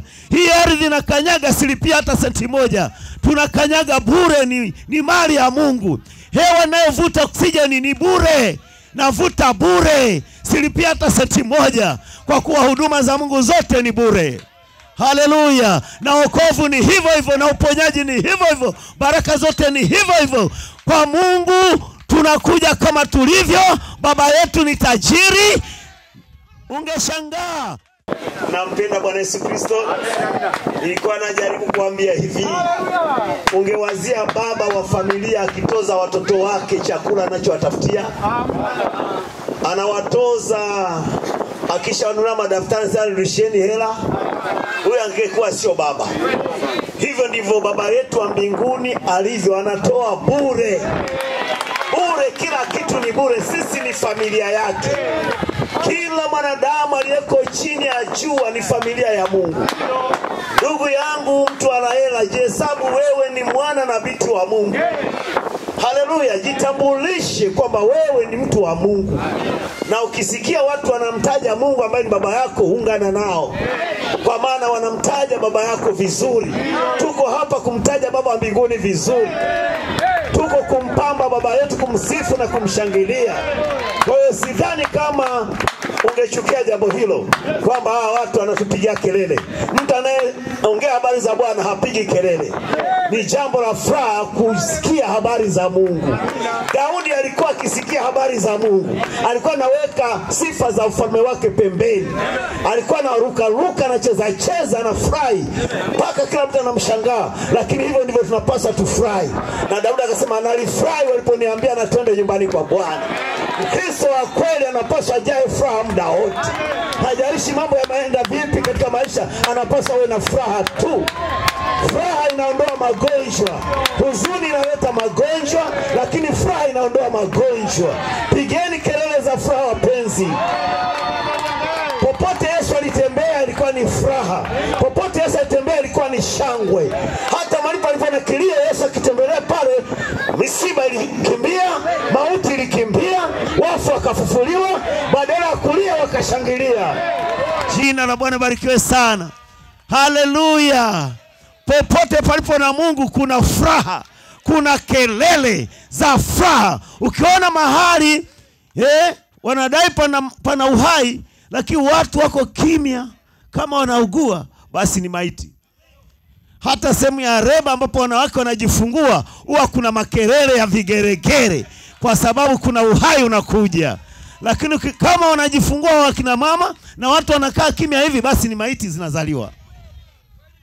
Sasa sisi tuko kwenye reba ya Mungu na hapa watoto wa Mungu wanazaliwa katika ufalme wa Mungu. Yabidi kuwe na makelele ya furaha. Jina la Bwana barikiwe sana. Amina, amina, amen Mungu akuba- akubariki sana. Nimemwona mchungaji wetu wa Ilemba, simama tupunge mikono ndugu. Amina. Mungu akubariki sana. Na mhudumu wetu wa, wa Malapwa, ni Malapwa ndugu Masanko, simama tupungie mkono. Amina. Amina. Na mhudumu mwingine yote ambaye sijajua sijamuona labda moja kwa moja kama upo tupungie mkono. Mhudumu yote mwingine? Okay, nafikiri nime nimewataja wote. Mungu abariki sana. Mnaonaje sasa? Baada ya hapa tusimame tusome sasa maandiko. Nataka kila mtu ajisikie vizuri. Amina. Chakula chetu ni neno la Mungu. Fungua pamoja nami kitabu cha Mathayo. Mathayo sura 24 mstari wa kwanza hadi wa tatu. Alafu tutakwenda Mathayo 24 hiyo hiyo tutaanzia 32. Mathayo sura 24 mstari wa kwanza hadi wa tatu.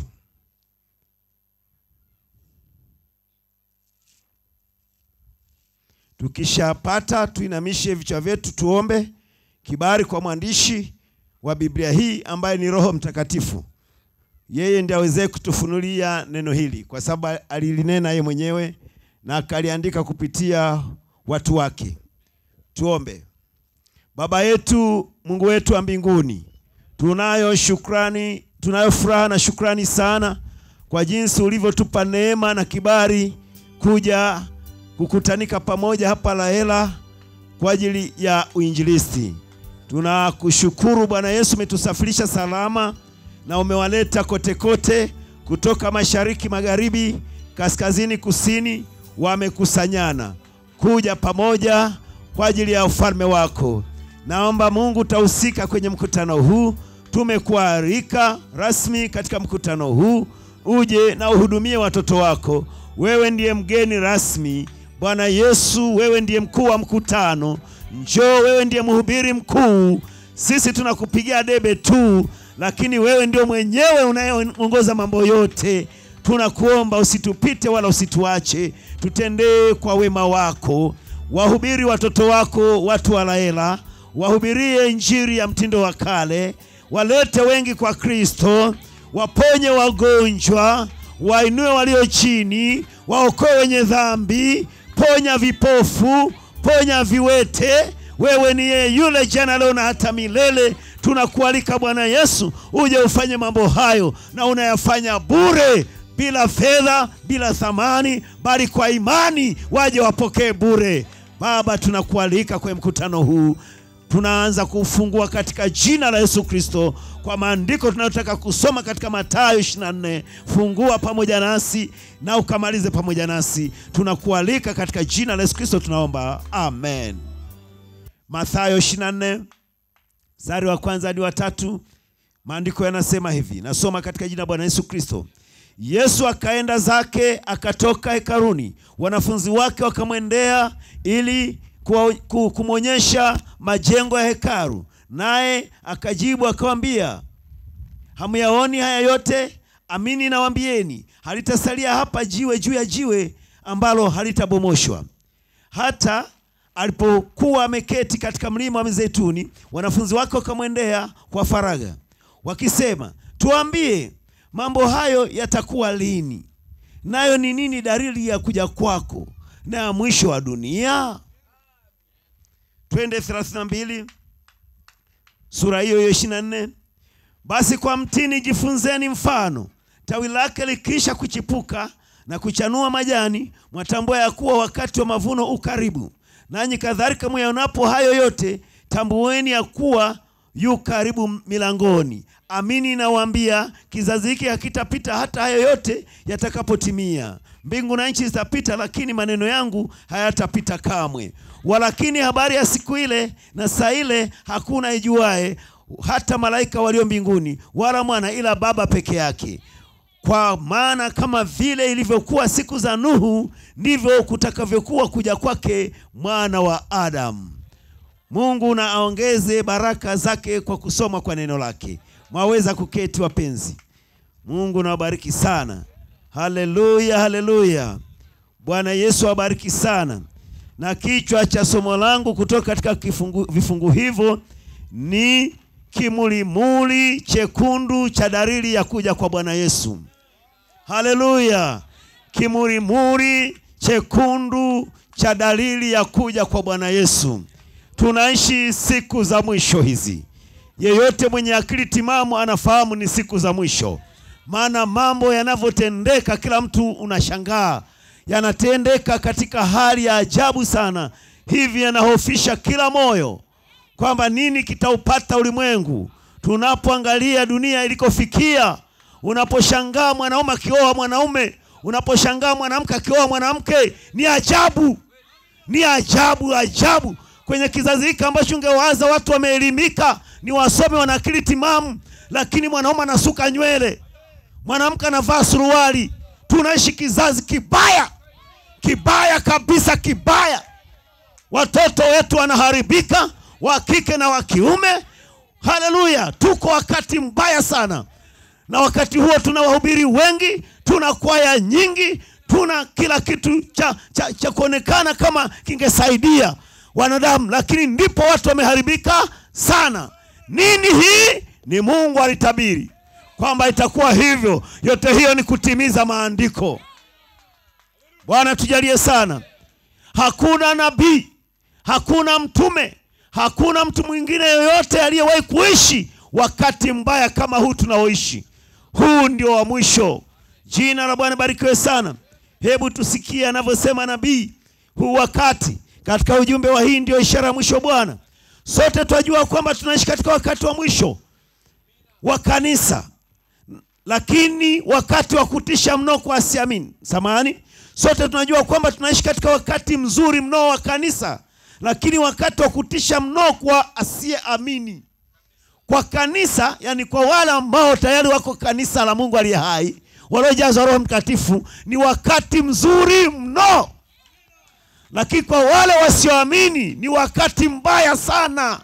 Kwa tunaishi wakati ambapo kuna tabia zote mbili. Ni wakati mzuri sana kwa anayeamini na ni wakati mbaya sana kwa asiyeamini.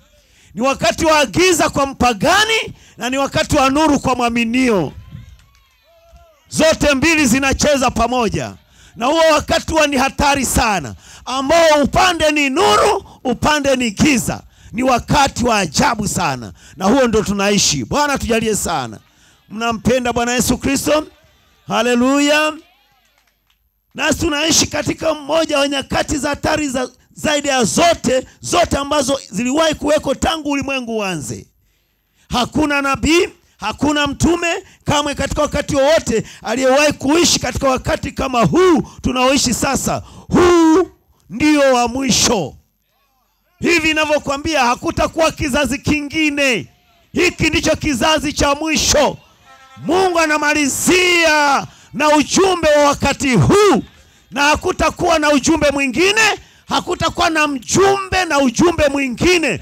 Huu tutakao kuletea leo hapa Lahela, ujue ndio ujumbe wa mwisho kwa kizazi hiki, na sio sisi tu hapa, uko dunia nzima. Huu ndio wakati ambapo Mungu anaita watu watoke, watoke kwenye madhehebu, watoke kwenye vyama, watoke kwenye itikadi, watoke kwenye ukoo, watoke kwenye mataifa, wamkubali Kristo kuwa ni Bwana na Mwokozi wa maisha yao, wawe wa Kristo. Hatupasi kuweka viambaza vya madhehebu, hatupasi kuweka viambaza vya ukoo wala vya kabila wala vya taifa. Tunapaswa tuwe huru mmoja kwa mwingine. Sisi ni ndugu, tusigombane njiani. Ni wakati Mungu anakusanya watoto wake warudi, warudi walikotoka. Tulitoka kwenye neno, tunarudi kwenye neno, na neno ni Yesu. Neno likafanyika mwili. Hapo mwanzo kwako neno, naye neno alikuwa kwa Mungu, naye neno likuwa Mungu, naye neno ni Mungu. Vyote vilifanyika kwa huyo, pasipo yeye hakikufanyika chochote kilichofanyika. Ndani yake mlikuwa uzima. Haleluya! mlikuwa mka uzima, na uzima ng'a gizani, wala giza haiwezi. Naye neno akafanyika mwili. Amina. Tumetoka kwenye neno, tunarudi kwenye neno. Amina. Mnampenda? Kwa hiyo tutoke kwenye madhehebu yote, tusijenge viambaza, tusijenge uadui.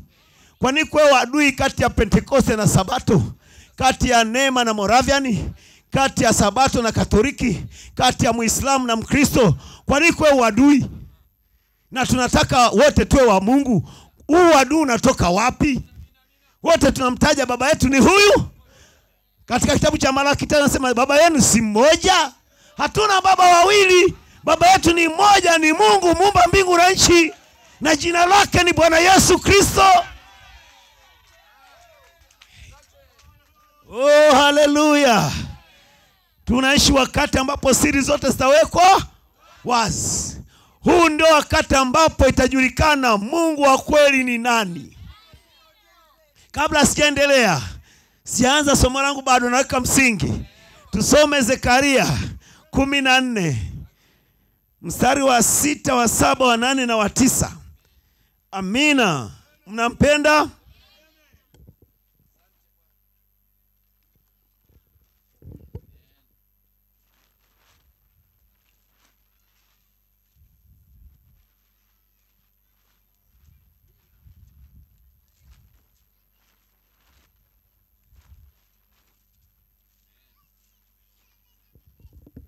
Zekaria kumi na nne mstari wa sita hadi wa tisa. Tena itakuwa siku hiyo ya kwamba nuru yake haitakuwa na mwangaza na kiwi, lakini itakuwa siku moja iliyojulikana na Bwana, si mchana wala si usiku, lakini itakuwa ya kwamba wakati wa jioni kutakuwako nuru. Tena itakuwa siku hiyo ya kwamba maji yaliyo hai yatatoka katika Yerusalemu, nusu yake itakwenda upande wa bahari ya mashariki na nusu yake upande wa bahari ya magharibi. Wakati wa hari na wakati wa baridi itakuwa hivi. Naye Bwana atakuwa mfalme juu ya nchi yote. Siku hiyo Bwana atakuwa mmoja na jina lake moja. Huu ndio wakati ambapo inatajulikana Mungu kumbe ni mmoja na jina lake ni moja, sababu hapo katikati, katika nyakati mbalimbali watu wameelewa Mungu katika namna mbalimbali. Wengine wanasema Mungu nafsi tatu, wengine wanasema kuna hii na hii na hiki, lakini wakati wa jioni Mungu atajulikana ya kwamba yeye ni mmoja na jina lake ni moja. Haleluya! Leo waulize watu Yesu ni Mungu, wengi watakukatalia, na huku wanasema Yesu ni Bwana, lakini nataka nikuthibitishie leo Yesu ni Mungu, ndio Baba ndio Mwana, ndiye Roho Mtakatifu. Yesu, haleluya, alikuja katika umbo la binadamu, lakini alikuwa ni Mungu asilimia mia moja. Yeye alivaa mwili wa kibinadamu, mwili uliozaliwa na Bikira Mariamu, mwili aliyouumba yeye mwenyewe. Haleluya, mwili ambao baba alikuwa ni Mungu, mama Mariamu mwanadamu, lakini alikuwa ni Mungu asilimia mia ule mwili ndio ulikufa msalabani, ule mwili ndio uliteseka, lakini Mungu alikuwa amevaa ule mwili ili awafie watoto wake. Haleluya! Mwampenda Bwana Yesu Kristo? Watu wengi wanabisha Yesu sio Mungu, lakini maandiko yote yanasema Yesu ni Mungu, na hatuna Mungu wawili, tuna Mungu mmoja. Isaya alitabiri hivyo akasema Isaya tisa sita maana kwa ajili yetu mtoto amezaliwa, tumepewa mtoto mwanaume, na uweza kifaa mtakuwa begani mwake, na ataitwa jina lake Mshauri wa Ajabu, Mungu mwenye nguvu, Baba wa milele, Mfalme wa amani. Ni huyu huyu ni nani ambaye ni mtoto mwanaume amezaliwa, lakini mshauri wa ajabu ni Mungu mwenye nguvu, sio Mungu mdhaifu, Mungu mwenye nguvu, Baba wa milele. Hatuna baba wawili, tuna baba mmoja. Isaya tisa sita inasema hivyo. Haleluya! Ni mfalme wa amani. Yesu mwenyewe alivyokuja akasema, Baba mnamjua, tena mmemwona. Filipo akasema, tuonyeshe Baba, yatutosha. Sasa nimekuwa nanyi siku zote, wewe usinijue Filipo? Siku zote hizi nimekaa nanyi, hunijui? Haleluya! Aliyeniona mimi amemwona Baba. Basi wao wasemaje? Tuonyeshe Baba. Yesu ni Baba, Yesu ni Mwana, Yesu ni Roho Mtakatifu. Yeye ni yote katika yote na ndani ya yote. Wote twajua Mungu ni roho, na roho huwezi ukaiona kwa macho wala ukaishika, lakini anapotaka aje asaidie watoto wake, anapotaka aje awafie watoto wake, hana budi kuvaa mwili wa kufa, ila yeye hafi lakini alipata mwili unaweza kufa. Haleluya! Kwa hiyo yeye akashuka akajiumbia mwili wake mwenyewe, afu akaingia ndani ya ule mwili, alafu ndipo akawa pamoja nasi, akaitwa Imanueli, Mungu pamoja nasi. Yesu si kingine ila tu ni Mungu. Alikuwa nabii na zaidi ya nabii, alikuwa mwanadamu na zaidi ya mwanadamu. Alikuwa mwanadamu alipolala kwenye mashua na amechoka. Haleluya! Na mtumbu unapepesuka kwa kama kizibo cha soda kwenye bahari, lakini alipokanyaga ile mashua juu, akashika ile kamba, akaweka mkono, akasema, bahari tulia. Hiyo ilikuwa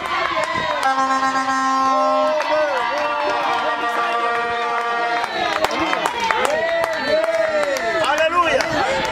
Alikuwa mwanadamu, alipoumbwa na njaa. Haleluya! Akaenda na kwenye mti mtini, aka, hakuna matunda, njaa imemuuma. Alikuwa mwanadamu. Haleluya! Lakini apochukua vibiskuti vichache, haleluya, vipande vitano vya mkate na samaki wawili, akabariki, wakala zaidi ya elfu tano.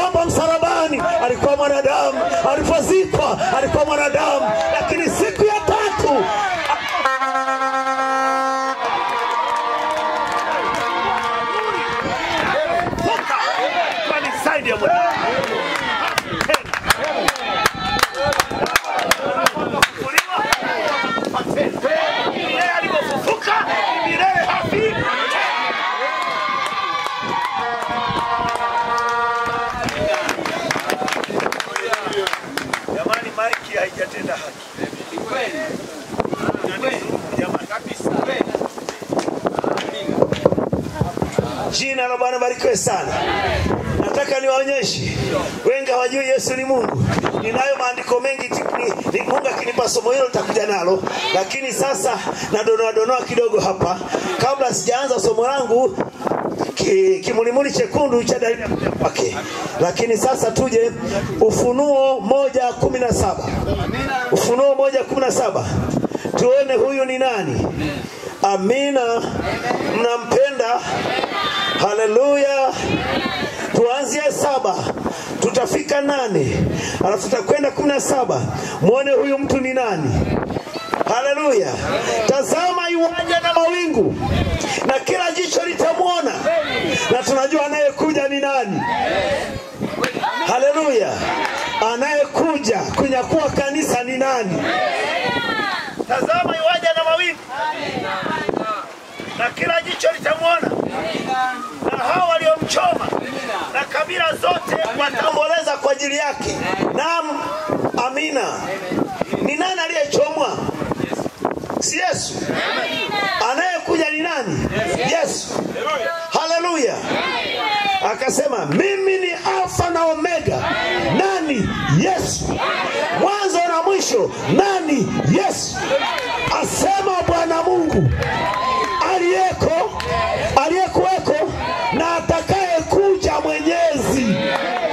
Sikiliza, Yohana anasema, nami nilipomwona nalianguka miguuni pake kama mtu aliyekufa, akaweka mkono wake wa kuume juu yangu akisema, usiogope, mimi ni wa kwanza na wa mwisho na aliye hai, nami nalikuwa nimekufa, na tazama ni hai milele hata milele.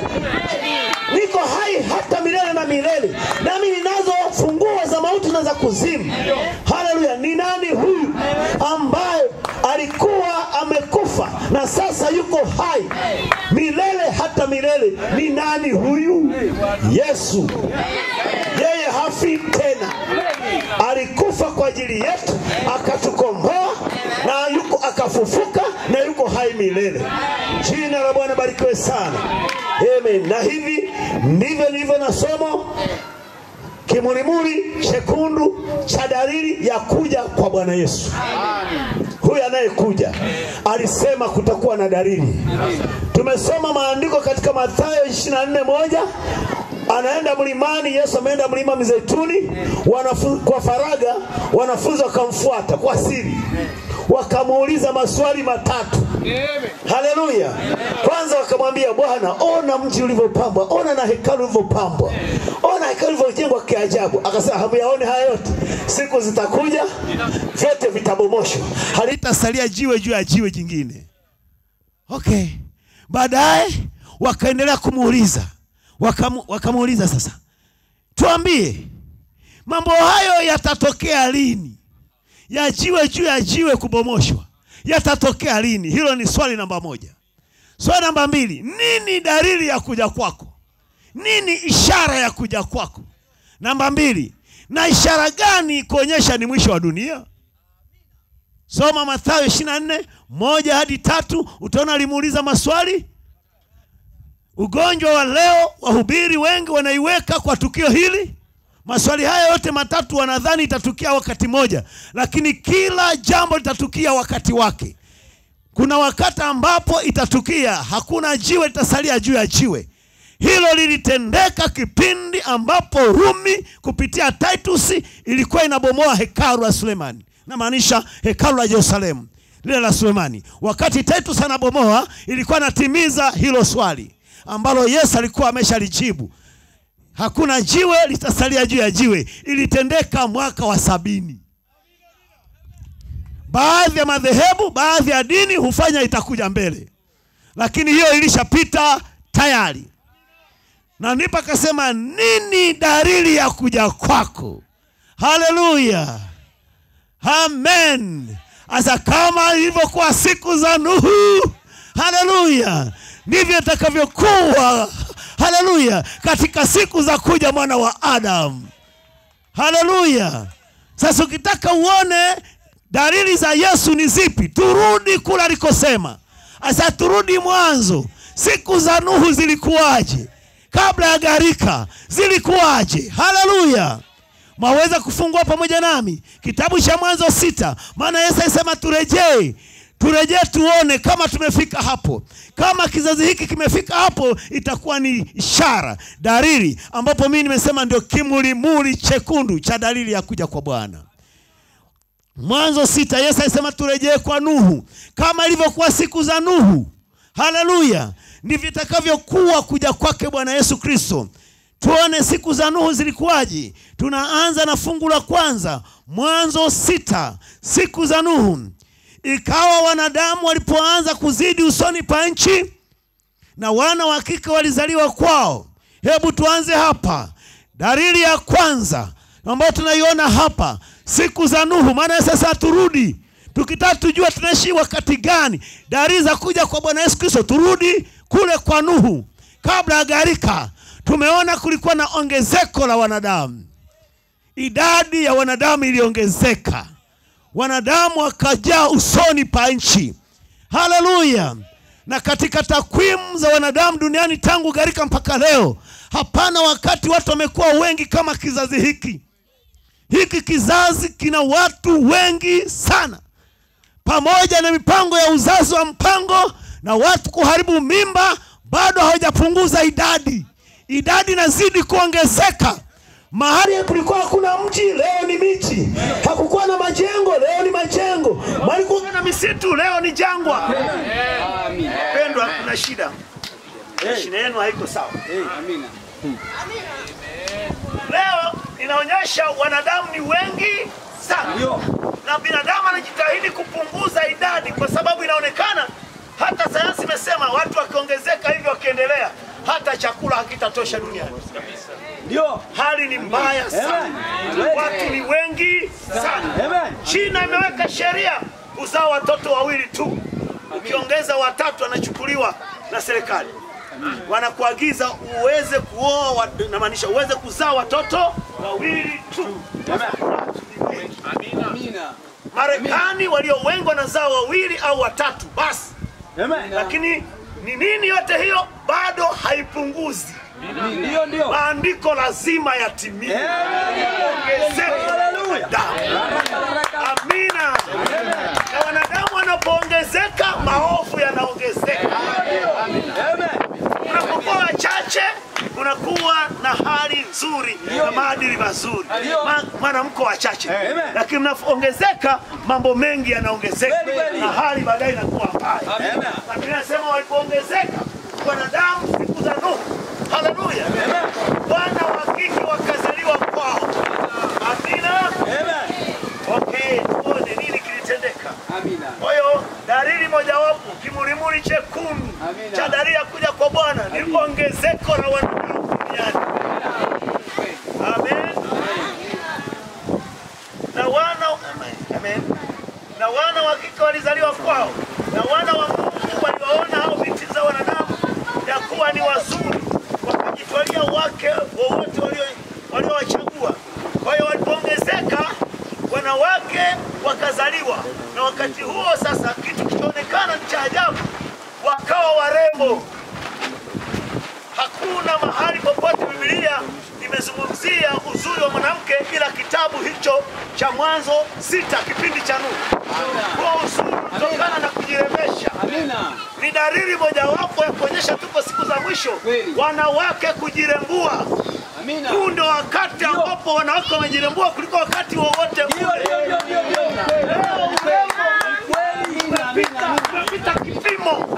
Hata aliye wa kawaida akiingia saruni akitoka unampotea. Tunaishi kipindi ambacho maandiko yanatimia.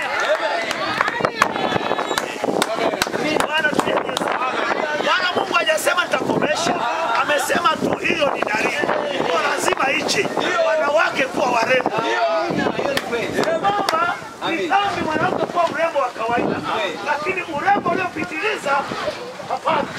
Huo ndio ulisababisha wana wa Mungu wakavutwa na hao wanawake.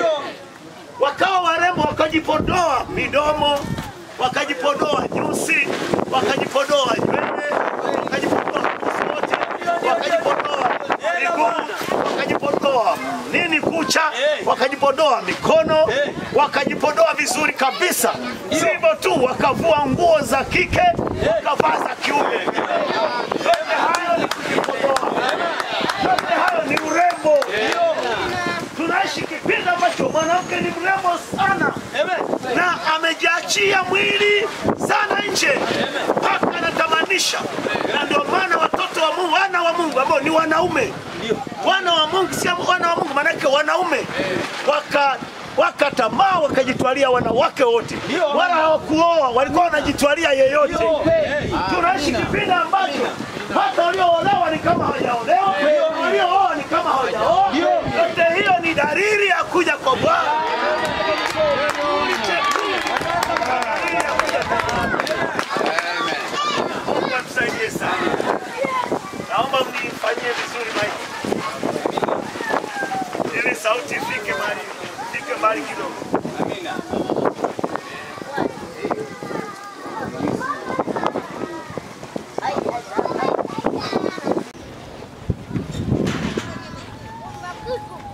Jina la Bwana barikiwe sana. Tunaishi wakati huo ambao ni wa hatari kabisa. Tunaishi wakati ambapo wazo wanaume leo duniani mwao ni wanawake. Wazo kuu ni uzinzi. Tunaishi kizazi hicho kibaya sana. Tunaishi kizazi ambacho mabinti wa watu wameharibika. Hutapata bikira leo. Mwanamke aliye bikira ni haba kumpata, lakini ni haki ya mwanaume wa kweli kuoa aliye bikira. Lakini tulio wengi tunaoa walisio bikira, na hiyo yote ni dalili ya kuja kwa Bwana.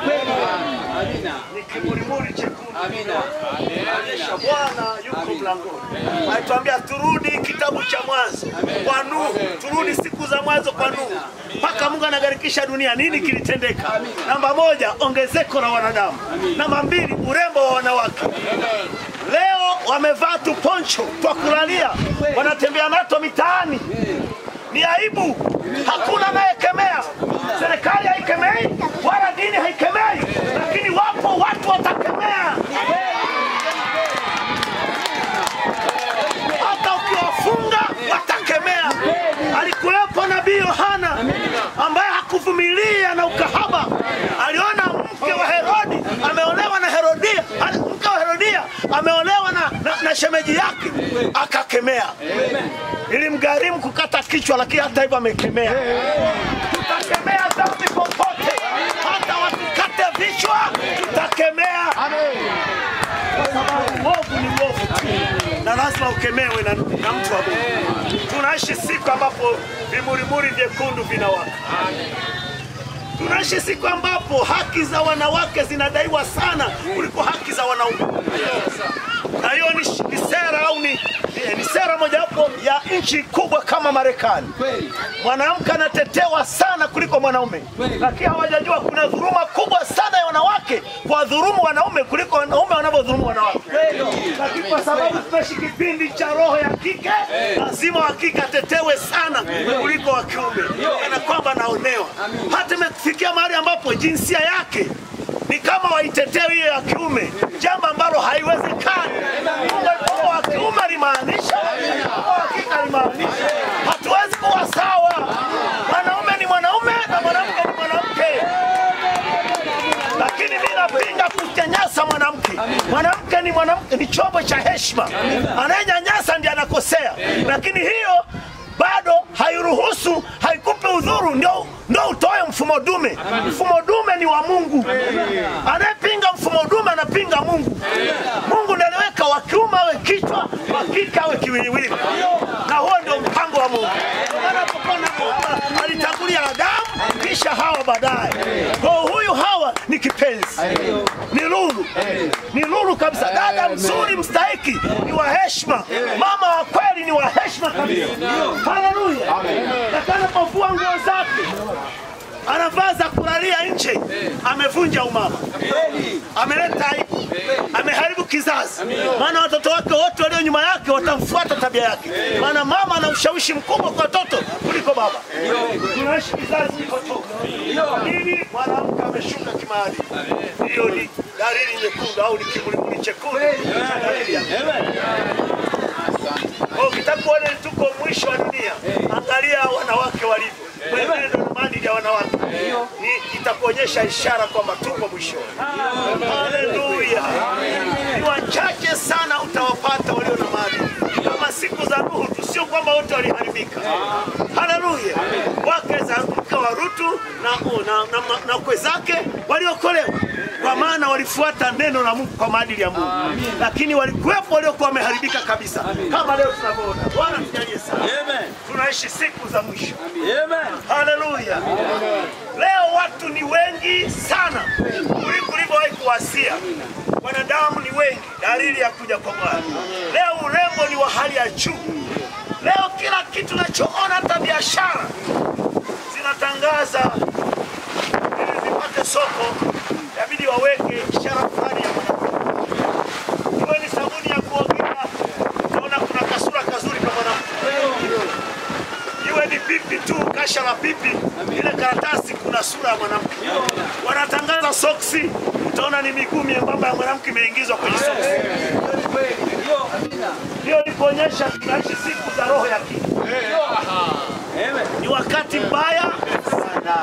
Leo hata wanasiasa wakitaka kupata kura nyingi, unasifia wanawake, utapata kura nyingi. Kwa tunaishi roho ya wakati wa kike. Huu ni wakati wa Rodekia, roho ya kike ndio iliyotawala.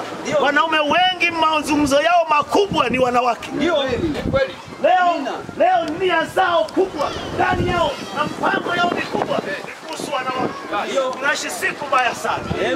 Tunaishi siku ambapo unabii unatimia, wanawake saba watakamata mwanaume mmoja, wanamwambia Bwana wetu ondolea aibu. Maana wanawake ni wengi kwa idadi kuliko wanaume. Tuondolee. Sisi tuwe Wakristo wake zako kwa jina lako, ila tutakula chakula chetu wenyewe.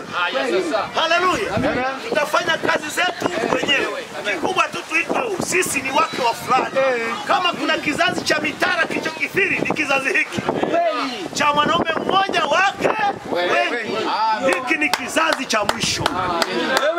Zote hizo ni ishara au ni kimulimuli chekundu cha dalili ya kuja kwa Bwana.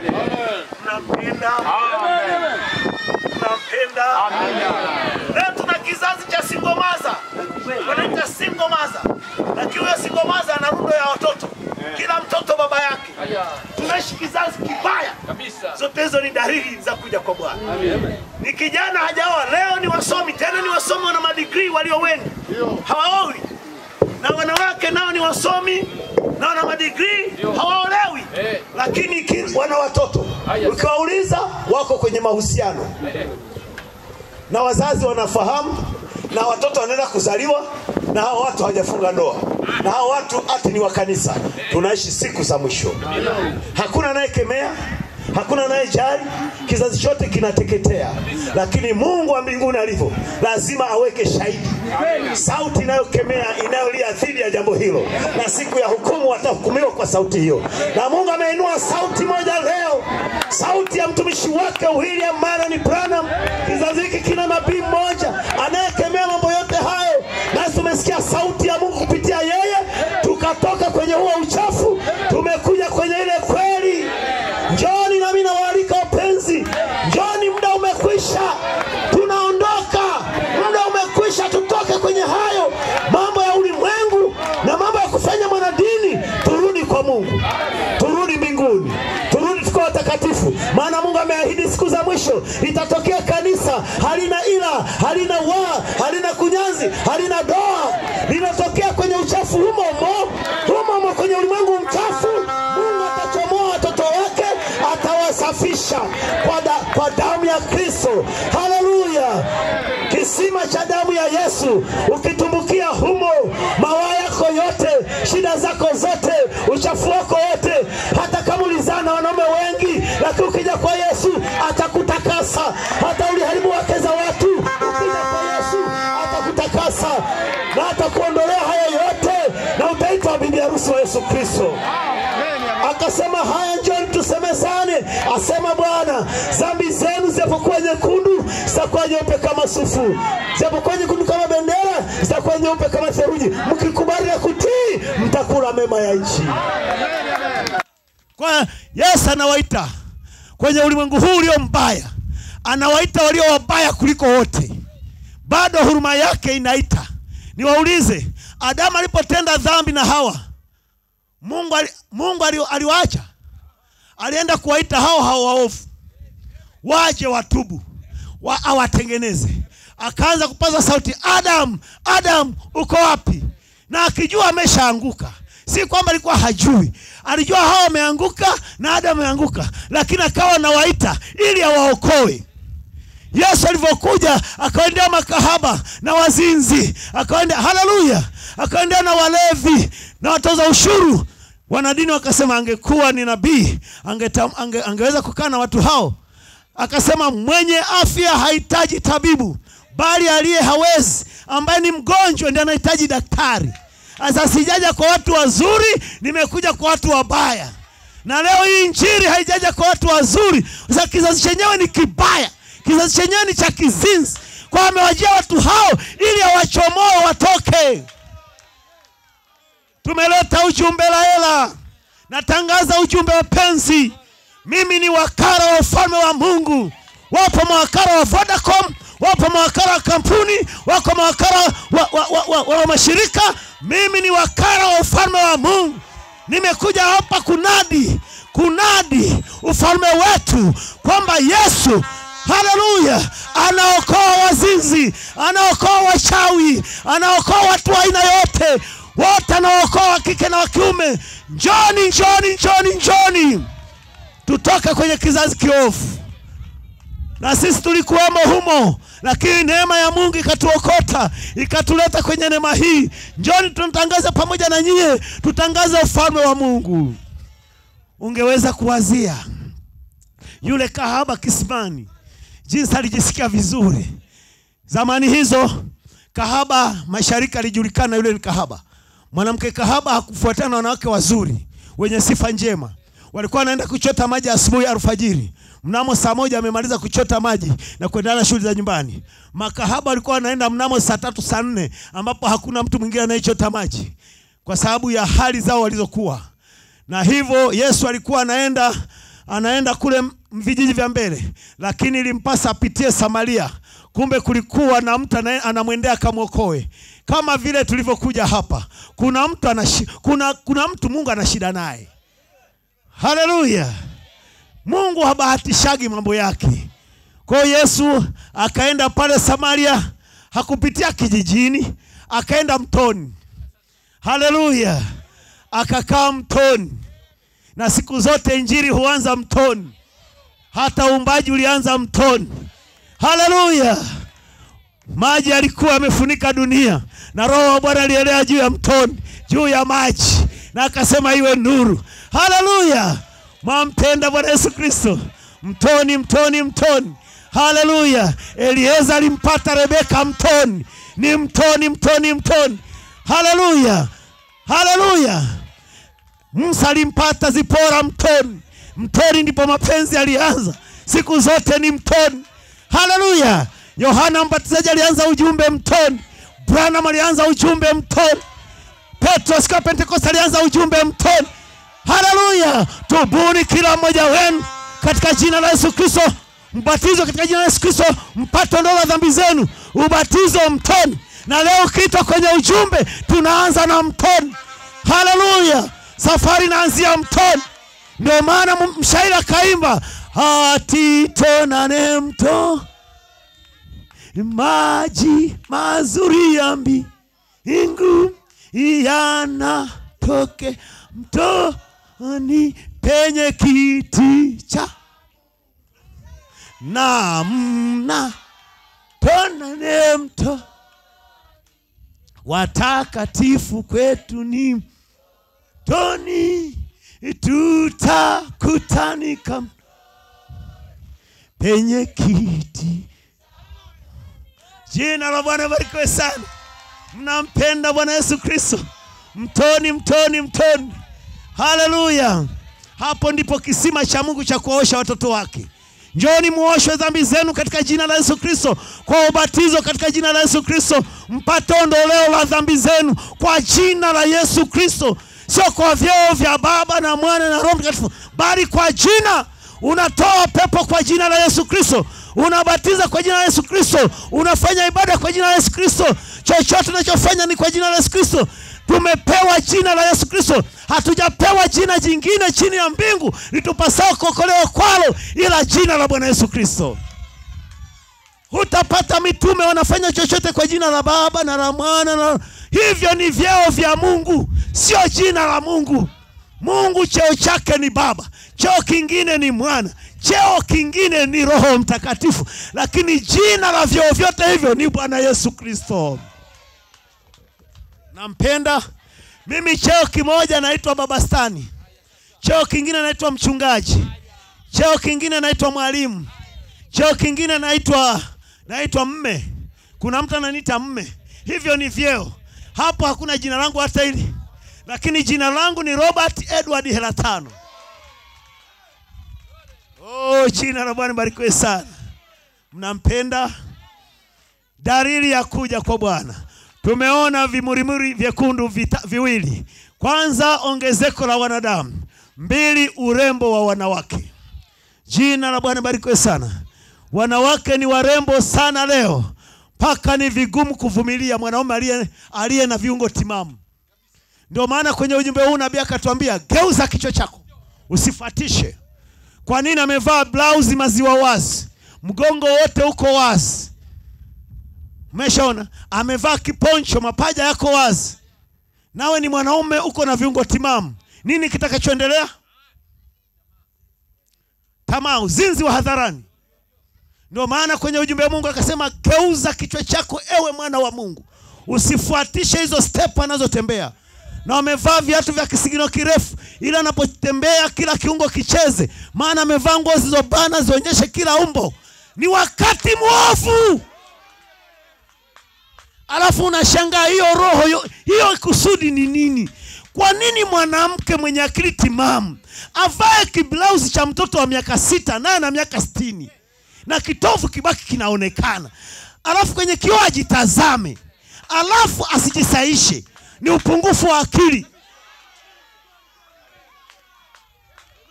Alafu atoke hadharani barabarani, kila mwanaume anamuona maumbo yake, ambayo ilikuwa mume wake ndiye amuone chumbani, afu ya chumbani anapeleka hadharani. Basi toa mlango wa chumbani na pazia ya chumbani. Tunaishi kizazi kiovu, wapendwa.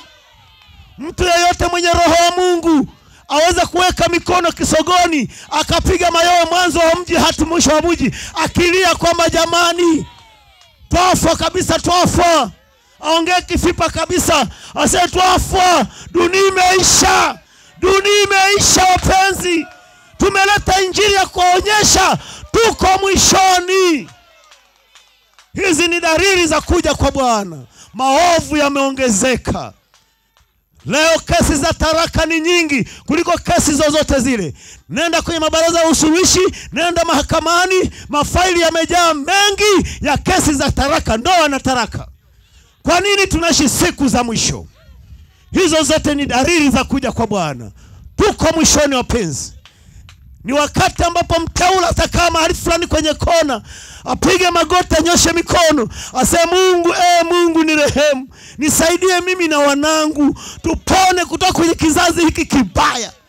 Kizazi kiovu. Kizazi ambacho wanaume wanawaka tamaa kwa wanaume. Kizazi ambacho wanawake wanawaka tamaa kwa wanawake. Mashoga na wasagaji. Kizazi maneno yenyewe ya kutamka ni ya aibu lakini hapo hapo nchi kama marekani zinapigia debe.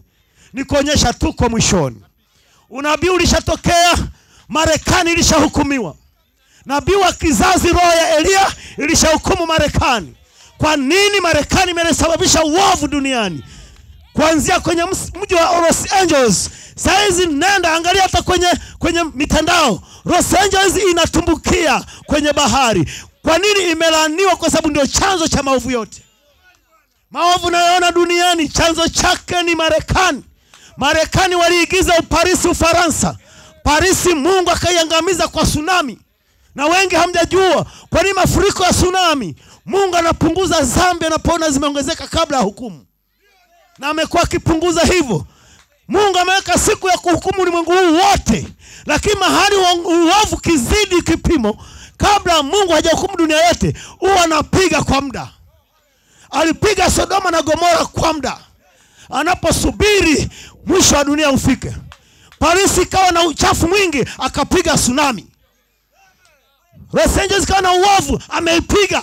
Na mwaka jana tetemeko lilipita likaangamiza miji mji wa los angeles sehemu kubwa imetumbukia majini. Ni laana. Mji wowote unaoruhusu wanawake kutembea uchi ni laana. Nchi yoyote inayoruhusu wanawake watembea uchi ni laana ungewazia. Mwalimu wa shule amevaa kipensi amevaa ki- ki- kifupi anashindwa kuinama kuokota chake na watoto wetu wa kiume wako hapo darasani. Ni aibu. Serikali ikemea jambo hilo. Kama haikemei tutakemea. If serikali iweke utaratibu mfanyakazi awe wa kike awe na, awe na mavazi ya kujistiri ya adabu ili wafundishe kizazi chetu kiwe na adabu kizazi chetu kiwe kizuri lakini tukaachia walimu wawe na maadili ya ovyo watoto wanaofundishwa watakuwa hivyo watakuwa ovyo hivyo hivyo. Kwa hiyo mungu amekuja kupitia ujumbe na kupitia mjumbe kuleta ukweli ili wale walio tayari kukimbilia ukweli wakimbilie ukweli.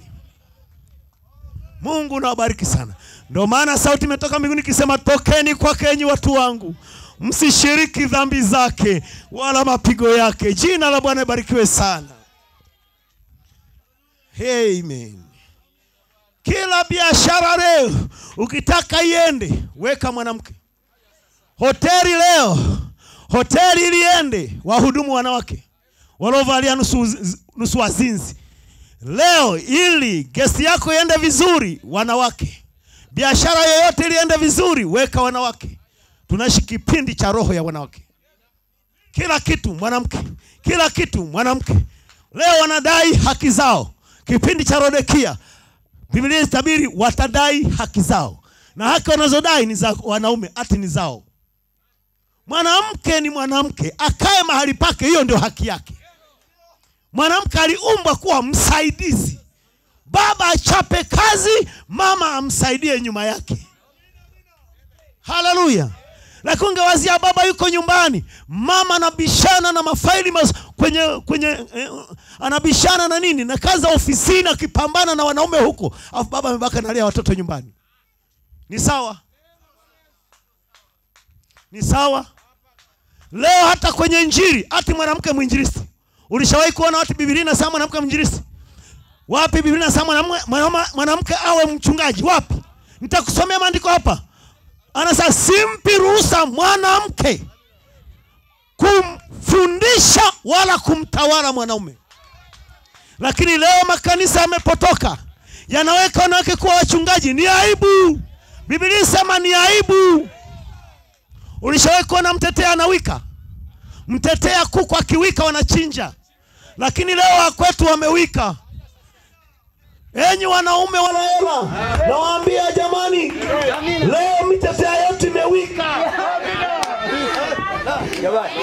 wanawake wanaongea kuliko wanaume. Hawakuumbwa hivyo. Mwanamke aliumbwa awe na sote, awe na aibu. Leo aibu hawana. Tunaishi kizazi kibaya.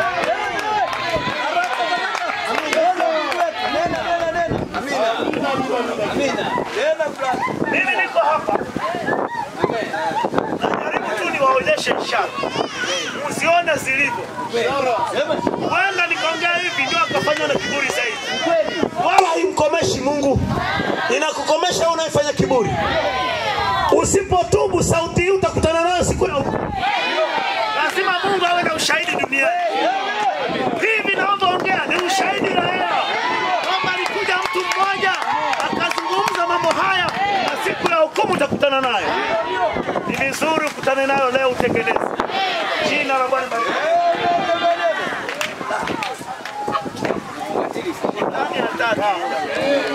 Unaona anavyopigana hataki, lakini nimesha kanyaga la hela kwa jina la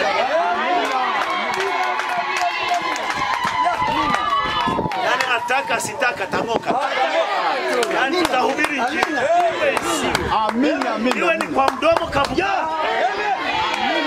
Lazima tuseme. Mungu nawabariki sana. Oh, dari- narudia tena. Unaona narudia rudia. Dalili ya kwanza ongezeko la wanadamu. Hiyo ni kimurimuri chekundu cha dalili ya kuja kwa ni mshale umeonyesha mwisho wa dunia. Mshale mwingine urembo wa wanawake na kushuka kwa maadili kwa wanawake duniani. Ni, ni mshale mwingine. Ni kimurimuri. Ni taa nyingine imemulika kwamba mwisho wa dunia. Haleluya. Tunampenda bwana yesu. Twende mbele twende mbele. Bwana tujalie sana tunaishi ma- tunaishi kizazi ambacho hata mili tulionayo inaoza mili tulionayo inaoza. Ndio kizazi chenye magonjwa kuliko kizazi chochote. Pamoja na stari nyingi na madaktari wengi ndio ndipo watu ni wagonjwa kuliko muda wowote. Watu wanatembea na vidonge mfukoni kama chakula cha kutwa. Watu wana vichupa na madawa majumbani kama kama madaktari. Ni kuonyesha tuko siku za mwisho. Kwa nini mili imeoza vyakula vya kisasa. Mayai ya kisasa. Chainizi ya kisasa. Kuku wa kisasa. Kila kitu cha kisasa. Haleluya. Pata spinachi hapo ya kisasa ina wadudu wametokea kwa Chinese, wana rangi ya Chinese. Na hujawahi kuwaona popote ila kwa Chinese inapotokea au kwa spinach. Vikiwa bado ni vichanga tu vimemea, unapiga dawa. Kwa mmea, unakuwa kwa dawa. Dawa dawa, na unabugia mmea na dawa, unategemea mwili utakuwaje? dawa. Dawa. Dawa. Mwanamke anabeba mimba kwa kuwa mume umekuwa yavuyavu, anaanza kudungwa dawa mtoto akiwa tumboni. Chinese imekuwa kama Chinese, ni dawa kuanzia mtoto mchanga tumboni, ni dawa anazaliwa, ni dawa anakuwa. Huyu mtoto nadhani atakuwa na akili timamu. Ndio maana tumezaa kizazi cha zezeta, mazezeta. Watoto hawana heshima kwa wazazi, watoto hawajali, wanatukana wazazi wao. Saizi nyumba zimeharibika. Wazia, umezaa mtoto katika mazingira hayo ya vyakula vya kisasa, mtoto hata akili yenyewe haitakuwa nzuri, kwa sababu hajala vyakula vya kujenga akili timamu. Mtoto hana adabu. mbaya sana ukamruhusu kuangalia TV nyumbani. Inayoonyesha michezo michafu, akili zinaharibika, hawezi kuwa na akili darasani. Utafiti umefanyika Marekani, asilimia karibuni tisini ya watoto wameharibika akili kwa kuangalia TV. Mmeweka visu majumbani mwenu wenyewe kuchinja familia yako. Zote hizo ni dalili za kuja kwa Bwana. Sisemi TV ni dhambi, ila inategemea unachoweka mle ndani, picha unazofungulia. Unafungulia picha huko na mama, mama nyumbani, mke wako na watoto wa kike na wa kiume, umeshikilia remote, maana inaenda kuonyesha vitu vingine havifai. Umeshika kazi ya kuzima na kufungua, kuzima na vya nini? Suiondoe kwa sababu unazima na kufungua, kwa sababu upo. Siku ambazo haupo, muda ambapo haupo. Huyo Adelina na Paulo wanaziweka. Roho zote wanazoangalia hapo zinawaingia, na michezo mingi ni ya kizinzi, wanaigiza maigizo, wanawake wako nusu uchi, ndio watoto wanaangalia. Nini kinachoendelea? Tulikuwa sisi vizazi hivyo vya miaka sabini sitini kurudi nyuma, usingejua chumba cha baba na cha mama. Amina. usingejua. Usingejua mtoto anatokaga wapi. Ndio. alikuwa anatuambia mtoto amemwokota mtoni. Mtoto ndege imeleta. Leo muulize mtoto wa miaka miwili useme nimeokota mtoto mtoni. Atakwambia mama hapana alikuwa tumboni. Tunaishi kizazi kibaya. Kibaya tunaishi kizazi ambacho mama anaweza kanika nguo ya ndani kwenye kamba. Na kuna watoto wa kiume hapo. Akanika nguo ya ndani kwenye kamba. Alafu tunasema maadili mazuri sisi ni wakristo. Tunaharibu kizazi. Kwa mtoto anaelewa nguo anayovaa mama ya ndani iko rangi gani. Sisi hatukuona za mama zetu. Hatukuona. Tumeishi kwenye maadili mazuri tunashangaa kizazi kinavyoharibika. Kizazi kimeharibika. Mwenye mwenyekiti mamu yeyote anajua kizazi kimeharibika. Naonyesha hakuna wezee kukomesha jambo hili. Naonyesha kinazidi kuwa kibaya na kibaya zaidi na zaidi. Na kadi neno inavyohubiri dhidi yake ndivyo kinavyozidi kuwa kibaya. Kibaya. Hiyo ni kuonyesha inatimiza maandiko. Na wala haimkomeshi mungu inamkomesha mwenye dhambi. Tunaishi kizazi kibaya. Zimekuja smartphone. Zimechinja watu wanaume na wanawake. Zamani ilikuwa mkristo kwenda kuona sinema ya picha chafu ni dhambi. Leo wamekuletea sinema kwenye simu yako inaitwa smartphone. Unaangalia uchafu wote kwenye simu. Na ibada zako zote zinakaa hapo. Na inaondoa na kukamua nguvu za roho mtakatifu ndani yako nabaki mkame mwenye jina la ukristo. Tunaishi kizazi kibaya. Leo ulimwengu umefunguliwa kwenye simu na wala hawajaficha wamesema ili ujiue mwenyewe. Kama kampuni ya sigara ilivyosema. Serikali ikasema andika maneno hayo. Useme sigara ni hatari uvutaji wa sigara ni hatari kwa afya yako. Ili mtu akivuta jiue yeye. Sisi tukamue kodi hatuwezi kukomesha kuvuta kwa sababu hata tusema wasitengeneze sigara watavuta kaponda. Watavuta kwa, kwa uficho.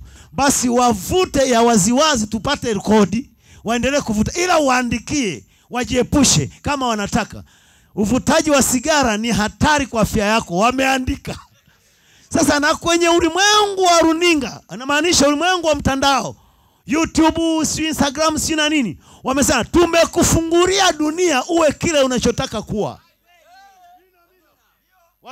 wametamka tumekufungulia dunia uwe kile unachotaka uwe. Kwa hiyo wewe ndi unachagua uwe nini.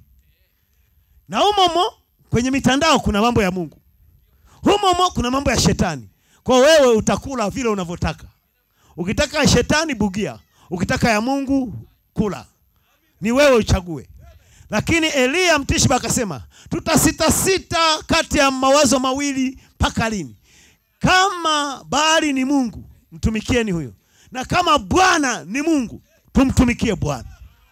Asa leo ijulikane mungu ni nani? Na leo ijulikane haki iko wapi? Ukweli ni nini? Chagua mema upate kuishi wapendwa. Achana na maovu. Dunia yenyewe ina muda mfupi maisha yenyewe ni mafupi. Kwa nini uishi kwa nini uishi milele kwa mateso? Kwa nini usimtumikie bwana hata kama duniani kwa mateso kwa muda lakini baadaye una uzima wa milele. Ni afadhali nidharauliwe kwa dunia hii lakini heshimike mbinguni. Bwana wabariki sana.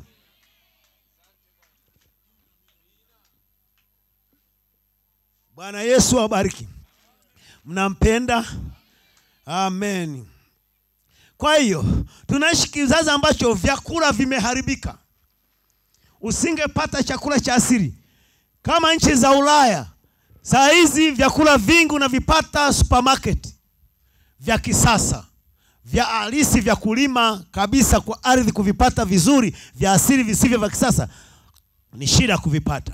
Afrika bado tungali tuna neema kupata vyakula vya asili. Lakini ukisafiri nchi za mbali utaenda kula vyakula ambavyo vimetengenezwa kimaabara.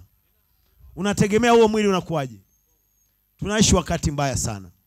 Mungu atujalie sana tunaishi wakati mbaya ambao si wa kawaida.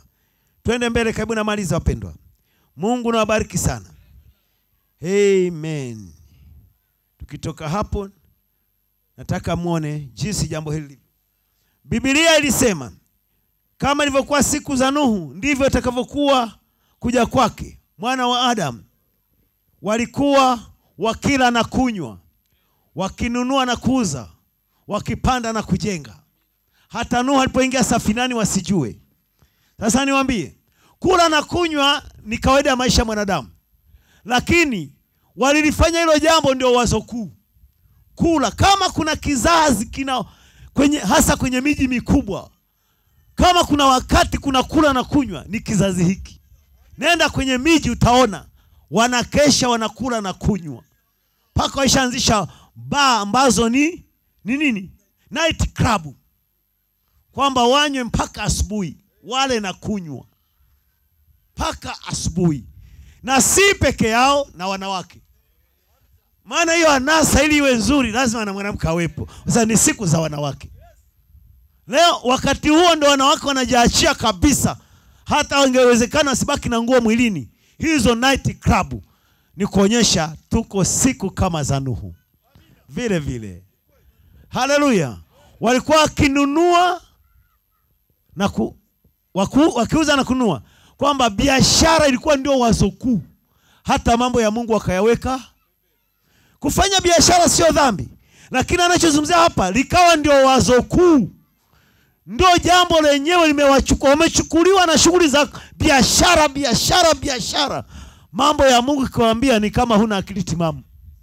Hata nuhu anaingia safinani wasijue kupanda na kujenga. Kama kuna wakati wamefumua mashamba na kulima sana ni kizazi hiki. Ndio kizazi ambacho kinataka kilimo kwa nguvu kuliko nyuma. Leo mtu anaweza kalima ekari ekari hamsini za nyanya. Zamani kwa anaweza kalima kaploti kadogo tu hako sisemi kwamba kulima hivyo ni, ni kosa lakini kwamba limekuwa ndio wazo mungu wamemweka pembeni hiyo ndio ilisababisha mungu aseme kama ilivyokuwa kule wakila na kunywa wakipanda na kujenga. Kama kuna kizazi kuna mijengo ya nguvu na watu wana wazo la kujenga sana kuliko hata mungu ni kizazi hiki. Hiyo ni dalili ishara kimurimuri chekundu cha dalili ya kuja kwa bwana. Tuko na wakati huo. Sisemi mkristo ukijenga vizuri ni dhambi lakini ujenge huku wazo kuu ikiwa ni mungu ulime wazo kuu likiwa ni mungu. Uko shambani ibada zinaendelea moyoni. Na huku napanga ratiba ya kwenda ibadani. Huku nafanya biashara nyimbo zinaendelea moyoni. Na maombi yanaendelea moyoni. Na huku kilinda siku za ibada. Hivyo ukiwa na mungu na huku unafanya shughuli zako. Kwa sababu unafanya shughuli ili uendelee kuishi hapa duniani unapomsubiri bwana lakini inapokuwa kwamba shughuli zimechukua mahali pa bwana hiyo ndio umetimiza maandiko ya kwamba walikuwa wakijenga na kupanda wakinunua na kuuza. Mungu natusaidie sana. Dalili za kuja kwa bwana. Nabii akasema watoto wangu wakina rebeka watakulia wapi? Maana kizazi ni kibaya. Hata pa kupeleka watoto ni shida. Iwe shule, iwe vyuo, iwe wapi, ni hatari, uovu kila mahali. Lakini kuna neema tu ili ambayo Mungu ameileta wakati huu, ni ujumbe wakati huu kwamba watu wajazwe na roho wa Mungu, wauamini ujumbe, wajazwe na roho wa Mungu, ili roho awalinde dhidi ya hatari zote, hata wakiziona wagundue tunaishi siku gani na tunapaswa tukae wapi. Mungu nawabariki kwa wingi. Mimi nilikuwa nawasalimia tu wana Laela pamoja na ndugu zangu hapa. Huu ni ujumbe tu wa kufungua mkutano wetu, tutaendelea na mikutano mingine. Nimemaliza kwa muda wakati huu. Mungu awabariki sana. Shalom, shalom. Nawasalimu katika jina la Yesu Kristo. Na Mungu awabariki sana. Mjisikie vizuri wapenzi, wakati tukiwa tumesimama kwa kuokoa wakati wetu.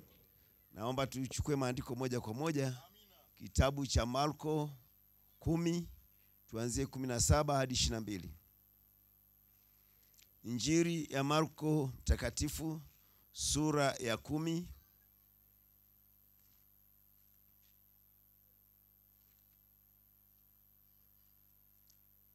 tuanzie mstari wa kumi na saba mpaka ishirini na mbili.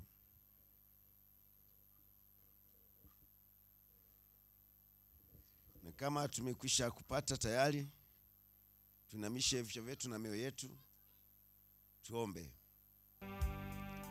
Baba yetu, Mungu wetu wa mbinguni, Mungu mpenzi,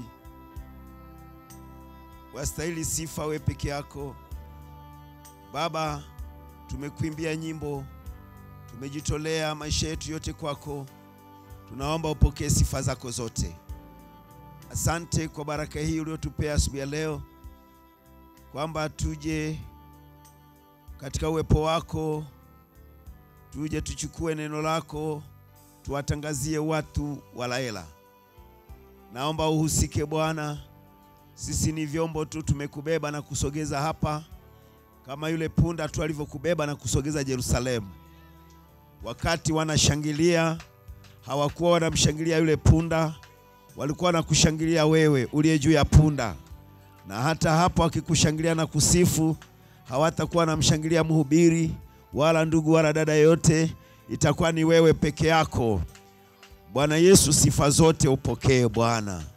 Naomba usike Bwana na mkutano huu, ukaokoe wenye dhambi, ukamtafute yule mmoja ambaye amesalia hapa Laela, kisha ataunganika katika kundi moja kuu la mwili wa Kristo ulioko duniani kote, kisha tutaweza kufanywa wana wenye mamlaka na kurudi nyumbani. Tusaidie Baba, tusaidie Mfalme, tusaidie Mfalme, waponye wagonjwa, wasaidie wanaoteseka, wainue, tatua shida za maisha haya ya watu na maisha ya ndoa. Mungu tusaidie Baba, si tu huko nje, bali na sisi wenyewe waaminio, bado tungali tunakutazamia kutusongesha zaidi kuwa karibu na wewe, hatua kwa hatua, ufunuo kwenda ufunuo, imani kwenda imani, na nguvu kwenda nguvu, na utukufu kwenda utukufu. Tusaidie Mwokozi, tuna haja na wewe. Washa moto mioyoni mwetu, moto wa Injili. Washa kabisa, tusipumzike usiku na mchana, tukiwa moto kabisa, kwa kuwa tumerudia zile zamani za mitume, ishara na maajabu zikifuatana na maisha yetu. Kwa kuwa hiyo ndio lengo la ujumbe, ndio lengo la mjumbe na ujumbe ni kuturejesha kwa kanisa la kwanza, kwa imani ile ile, misingi ile ile, kila kitu kile kile, na Mungu yule yule, na matukio ya Mungu yale yale. Tusaidie Baba, uliahidi utakuwa Omega kama ulivyokuwa Alfa. Tunakutaraji tena katika mkutano huu asubuhi ya leo, utatembea kiajabu katikati yetu na katika mji huu wote. Wewe unamjua yuko wapi anayetafutwa, wewe unamjua yuko wapi Baba. Si tumejitolea tu, yaliyosalia yamebaki kwako. Tubariki tunapojikabidhi kwako, pamoja na neno linaloenda kusomwa na somo linaloenda kuhubiriwa. Tunaomba utubariki katika jina la Yesu Kristo, tunaomba amen. Marko kumi kumi na saba hadi ishirini na mbili maandiko yanasema hata alipokuwa akitoka kwenda njiani, mtu mmoja akaja mbio, akampigia magoti, akamuuliza, Mwalimu mwema, nifanye nini nipate kuurithi uzima milele?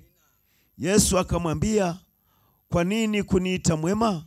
Hakuna aliye mwema ila mmoja, ndiye Mungu. Wazijua amri: usiue, usizini, usiibe, usishuhudie uongo, usidanganye, waheshimu baba yako na mama yako. Akamwambia, Mwalimu, haya yote nimeyashika tangu utoto wangu. Yesu akamkazia macho, akampenda, akamwambia, umepungukiwa na neno moja. Enenda ukauze ulivyo navyo vyote, wape maskini, nawe utakuwa na hazina mbinguni. Kisha njoo unifuate. Walakini yeye akakunja uso wake sore, walakini yeye akakunja uso kwa neno hilo, akaenda zake kwa huzuni, kwa sababu alikuwa na mali nyingi. Tuombe. Baba, tumesoma neno lako kama tu mtu yeyote alienda darasani awezavyo kusoma.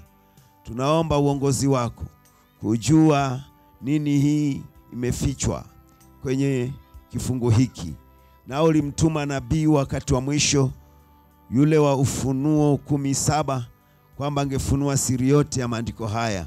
Naomba kwamba wewe utahusika katika jina la Yesu Kristo, tubariki, amen. Mwaweza kuketi wapendwa. Bwana Mungu aongeze baraka zake kwa kusoma kwa neno lake. Na asubuhi ya leo kutoka kwenye kifungu hicho tunapata kichwa cha somo kwa, kwa ajili ya asubuhi hii kinachosema bima ya maisha. Jina la Bwana ibarikiwe sana. Nampenda. Amen. Bima ya maisha. Amen. Amen. Bwana Yesu atujalie sana. Amen. Oh, nitaomba mnielewe kabisa napotaka kujenga msingi wa somo hili e, kumtazama huyu kijana aliyekuwa anataka uzima wa milele, lakini sasa tukianza na msingi wa somo langu lenyewe ambapo ni bima ya maisha, kwa maana tunapaswa kukata bima ya maisha napaswa tuwe na bima ya maisha. Mungu awabariki sana. Kwa hiyo wakati mmoja nilivyokuwa na somo hili nikaona niulize mambo ya kawaida kujua bima ni nini. Kwa hiyo nikamtafuta mtu wa bima anaitwa Robert, kama nami ninavyoitwa Robert, anieleze, afisa wa bima anieleze bima ni kitu gani. Jina la Bwana barikiwe sana. Na tangu nimeongea naye amekuwa rafiki yangu mpaka leo, hata amehamishwa kituo pale Sumbawanga kwenda Mbeya na kwingineko, na baadaye akaenda Kigoma. Bado amekuwa akinipigia simu kwa sababu alinifurahia nilivyokuwa nauliza maswali, lakini kumbe mimi nilikuwa nina lengo langu nyuma, kwamba nilikuwa nimepata somo hili na nimevuviwa sana sasa nataka nione kikawaida bima ni nini, ili mimi niilete ya kiroho. Bwana Yesu atujalie sana. Na nabii anatuambia mambo ya kawaida ni mfano wa mambo ya rohoni. Kuna, eh, kuna kitu kinaitwa bima, umeshaona, au shirika la bima, lakini hiyo ni ya kawaida ambayo tuko nayo duniani, lakini kuna sasa bima ya maisha ya kiroho, kuna bima ya uzima wa milele. Jina la Bwana barikiwe sana. Lakini tujifunze bima ni nini. Kwanza, kwa nini walianzisha bima kabla ya? Kwa nini bima? Shida ni nini? Amina. Walianzisha bima baada ya mwanadamu kuwaza, kuona kwamba sio kuwaza, kupata majanga mbalimbali ambayo alipambana nayo au alikabiliana nayo maishani kuunguliwa na moto kwa nyumba, kupata ajali kwa gari, duka lake kuungua kwa moto, na mali mbalimbali kupotea, na mtu alikuwa tajiri jana na kesha anakuwa maskini jumla. Kwa hiyo wanadamu wakapata wazo hili, kwa nini wasianzishe mfuko wao wanawekeza kidogo kidogo, ili kwamba hasara ikitokea kwa mshirika wa hilo shirika au wa hilo kundi E, mwanamemba wa hilo kundi akipata shida afidiwe ile, ile, ile hasara alio aliyopata. Kwa ndipo tunapata bima ni mfuko wa kulipia kiasi fulani cha pesa katika shirika la bima ili kujiinua au kujilinda na madhara ya tukio lolote baya liwezalo kutokea, kukuingiza hasara. Bima ni dhamana, bima ni fidia, bima ni akiba, bima ni kinga. Jina la Bwana barikiwe sana. Haleluya, amina. Mnampenda? Ameni. Kwa hivyo e, kama watu wanadamu wa kawaida waliwaza hayo ya kwamba kuna vitu havidumu hapa duniani, nyumba haiwezi kudumu tu salama siku zote. Wakati mwingine kimbuka kitapita, kitaezua, kitaondoa bahati, kitabomoa na kadhalika. Nyumba ita, inaweza ikapata ajari ya umeme, mshtuko wa umeme na nyumba ikaungua yote, na hasara mbalimbali. Gari laweza kupata ajari, gari laweza kuteketea kwa moto, laweza kupata ajari na ukawa maskini. Duka lako laweza kuibiwa lote au likaungua na ukawa maskini. Walipowaza hivi, walikuwa na busara sana. Kama mwanadamu angewaza kujiwekea kinga, kujiwekea akiba, vipi Mungu kuhusu watoto wake duniani ambao watapatikana na magonjwa, watapatikana na shida ya kifo? Maisha hayo si yatakuwa yamepotea bila kama hakuna bima? Kwa naye Mungu akawa na bima ya maisha ya milele. Jina la Bwana barikiwe sana. Na ndio hii nataka nitueleze asubuhi ya leo, bima ya maisha ya milele. Jina la Bwana barikiwe sana. Kwa hiyo bima ni njia ya ulinzi kiuchumi dhidi ya hasara awezayo mtu au watu kupata, ndipo hulipwa fidia ya mali husika au kiasi fulani toka shirika la bima kadri ya mkataba maalum ulivyo. Shirika la bima lilianzishwa ili kuchukua jukumu la kufidia mali au hasara iwezayo kutokea kwa mshirika wao ili maisha ya uchumi yaweze kuendelea vyema. Yaani, kwa maneno mengine ni kwamba bima ni mfuko wa kutunza fedha za wakata bima au za mamemba wa shirika ili pindi watakapopatwa na majanga au maafa, ajali e, au hasara za mali zao, basi waweze kufidiwa au kurudishiwa mali zao na, na, na, na maisha yaendelee. Bwana Yesu atubariki sana. Basi tunaona mvulana huyu tuliyemsoma Marko 10:17 hadi 22. Mvulana huyu alikuwa ni kijana mzuri. Kisoma andiko, alikuwa kijana mtawala, tajiri, kijana tajiri, mtawala, ni tajiri. Haleluya! na pia ni kiongozi.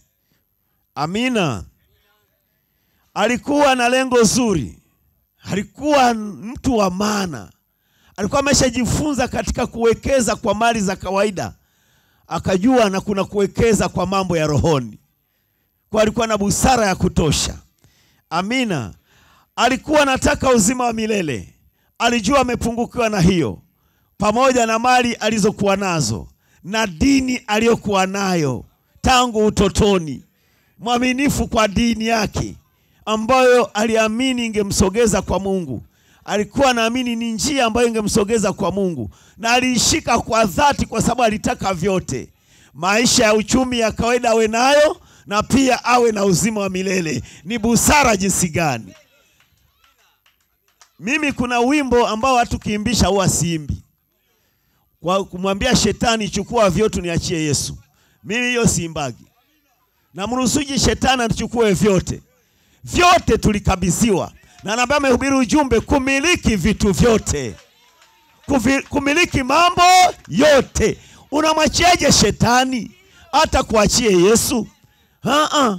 Hata wanafunzi walimuuliza Yesu, tumeacha vyote, mashamba, baba na mama, ndugu zetu, tumekufuata wewe. Tumeacha na dini zetu, tumeacha na heshima zetu, tumekufuata wewe, tutapata nini?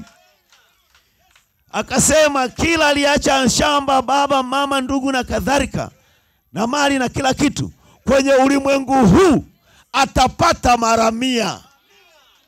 Alianzia hiyo kwa anayekwambia kwamba kwa Mkristo wewe ukanyage na ebo zimeandika yu nyuma, mwambie wewe ni mwongo. Kuwa Mkristo ni kuwa na baraka, baraka za kimwili na baraka za kiroho. Jina la Bwana barikiwe sana. Kwanza hata hivyo niwaambie, tunaishi kizazi ambacho Mungu hataki watoto wake watembee kimaskini. Kama tunasoma jumbe na Biblia, mtapata kujua huu ni ustaarabu mwingine. Hapo kale hawakuvaa nguo hizi, walivaa ngozi, walivaa kamba, walichuna kamba kwenye miti, magome ya miti wakatengeneza, wakalainisha, wakavaa hapa mbele na hapa nyuma. Lakini leo ustaarabu umeenda mbele, huwezi ukavaa magome ya miti tena, huwezi ukavaa ngozi tena, la Mungu amevuvia wanasayansi, wameboresha maisha na huna budi kuendana na maisha ya wakati wako, lakini moyoni ukimtumikia Bwana. Usingejifungia leo ndani usema situmii simu kwa sababu simu imetengenezwa na sayansi, mimi nataka niishi kizamani, mazingira yatakukatalia. Hata Mungu ametembea sawasawa na mazingira ya maendeleo ya wanadamu duniani. Zamani hizo Mungu alitembea na wanadamu zamani zile kuwahubiria neno kwa njia ya maumbile. Hilo jua na nyota na kila kitu ndio Biblia ya kwanza, na maumbile unayoyaona duniani ndio Biblia waliosoma wakina Ibrahimu. Haleluya! Hali zao zilikuwa hivyo na mazingira yalikuwa hivyo. Hakukuwa na ufahamu wa kujua a, e, i, o, u, herufi a, a, b, c, d, hawakuwa nazo, na Mungu akasafiri nao hivyo. Bwana tujalie sana. Mnampenda Bwana Yesu Kristo? Tuko pamoja. Haleluya, tuko pamoja penzi. Amen. Mungu amekuwa kisafiri na watoto wake namna hiyo. Alileta neno lake kwa njia ya mawe, piramidi. Haleluya! Akatoka hapo akaja akaandika herufi zake. Neno sasa aliandike kwenye mbao za mawe kupitia Musa aliyekuwa amesoma abeche kule Misri. Misri ndio chanzo cha elimu za dunia. Kwa hiyo Musa akawa na elimu ya Misri, akawa mwanasayansi mkuu mwenye maarifa sana ya Misri, na Mungu akaona atumie maarifa wanaoishi nayo wakati huo, Mungu ajifunue kupitia maarifa yao.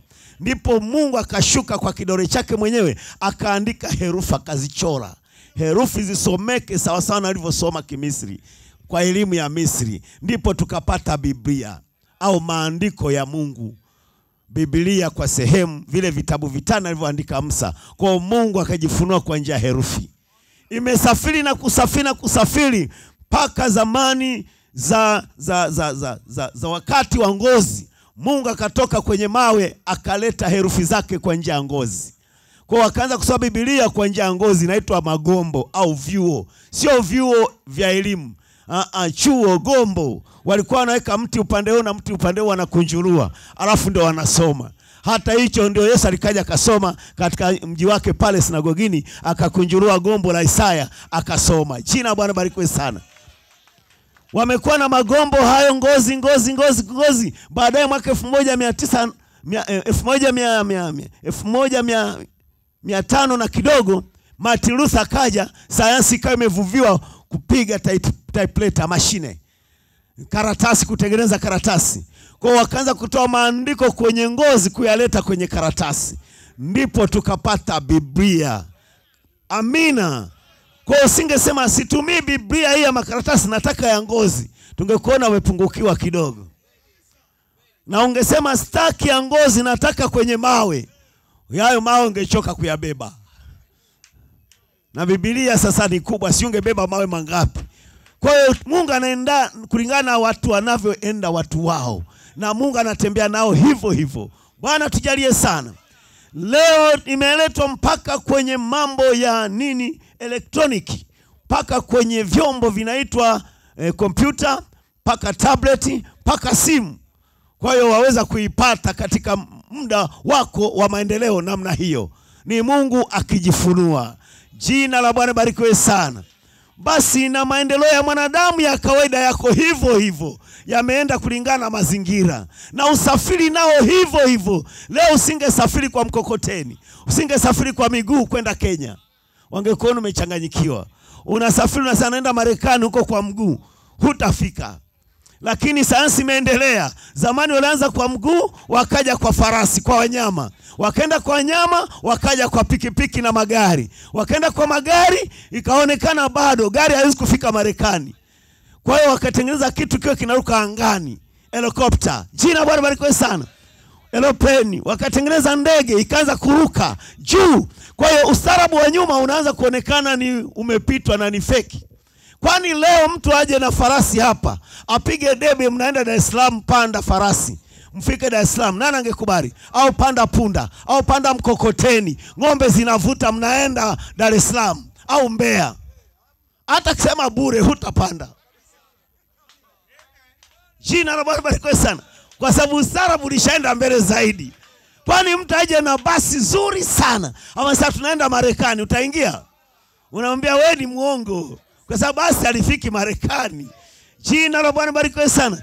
Ndege inafika Marekani, amen. Lakini ndege haiwezi kufika mwezini, haiwezi kufika sayari nyingine. Ndipo akatengeneza chombo kingine zaidi ya ndege. Haleluya, kinaitwa jet Apollo, ambao walipanda kwa mara ya kwanza kutoka duniani kwenda mwezini. Jina la Bwana barikiwe sana. Huo ni usafiri ulio bora sana, ukaitwa usafiri wa mwanaanga. Wenyewe usafiri huo, anayekaa ndani haendeshi, bali anaendesha ni mwingine. Kwa hiyo kichombo kinafyatuliwa kwa namba, kinaanzia namba kumi kurudi nyuma mpaka namba sifuri, ndipo nabaka ubiri ujumbe kuhesabu kinyume nyume. Haleluya, amen. Mnampenda? Akasema wanadamu wameanzia kumi, tisa, nane mpaka wakafikia moja sifuri, lakini wakati huu tunaanzia saba, namba ya Mungu ya ukamilifu. Saba, sita, tano, nne, tatu, mbili, moja, afu kinafyatuka. Amina. Kwa leo tuna ujumbe wa mwanaanga. Usafiri wa mkokoteni ni ujumbe wa Martin Luther. Jina la Bwana barikiwe sana. Haleluya. Usafiri wa motokaa, haleluya, ni pikipiki na kadhalika. Amen. Amen. Ni pikipiki, magari na kadhalika. Haleluya. Huo ni ni ni ni, ni, ni John Wesley. John Wesley, pikipiki, magari. Sasa ungekuwa na pikipiki na gari na mwenzako na mkokoteni, unaona bado yuko nyuma kweli kweli. Ndio maana John Wesley alipiga hatua zaidi ya Luther. Ndipo Pentekoste wakaja, eropleni, helikopta, ndege inaruka juu angani kunena kwa lugha na ishara maajabu. Madhehebu ya Luther yakaonekana yalivyo ya kishamba na madhehebu ya John Wesley yakaonekana yalivyo ya kishamba. Wapentekoste wakapata nguvu zaidi ya kuruka kutoka ardhini kwenda angani kwa ishara za, na maajabu na karama za Mungu. Wafu wakafufuliwa, vipofu wakaona, matukio yakatendeka, viwete wakatembea. Ni elopleni iko juu angani. Haleluya! Gari kule imepata down wanatengeneza imepata pancha, mara si injini imefanyeje, mara kanatoa moshi, ndege iko juu kwenye mawingu, juu ya mawingu. Oh, nyuma ya mawingu, nyuma ya mashaka yote. Pentekosti ilikuwa na uamsho kweli kweli, elopreni hizo. Lakini ujumbe wa Branham, haleluya, ni zaidi ya Martin Luther mwenye mkokoteni, ni zaidi ya Jeriweze mwenye motokaa, ni zaidi ya Pentekoste mwenye, mwenye ndege. Sasa ni jet, mwana anga, ni kutoka duniani, kutoka ulimwenguni kwenda mbinguni. Jina la Bwana barikiwe sana, amen. Hayo ni maendeleo ya usafiri. Sasa na maendeleo ya uchumi ya kawaida, haleluya, nayo yameenda hivyo hivyo. Kwa hiyo huwezi ukasema mimi leo sitaki kuwa katika hali nzuri, nistaarabike leo kwa sababu mimi ni mwaminio. Tutakwambia huendani na ujumbe wa saa.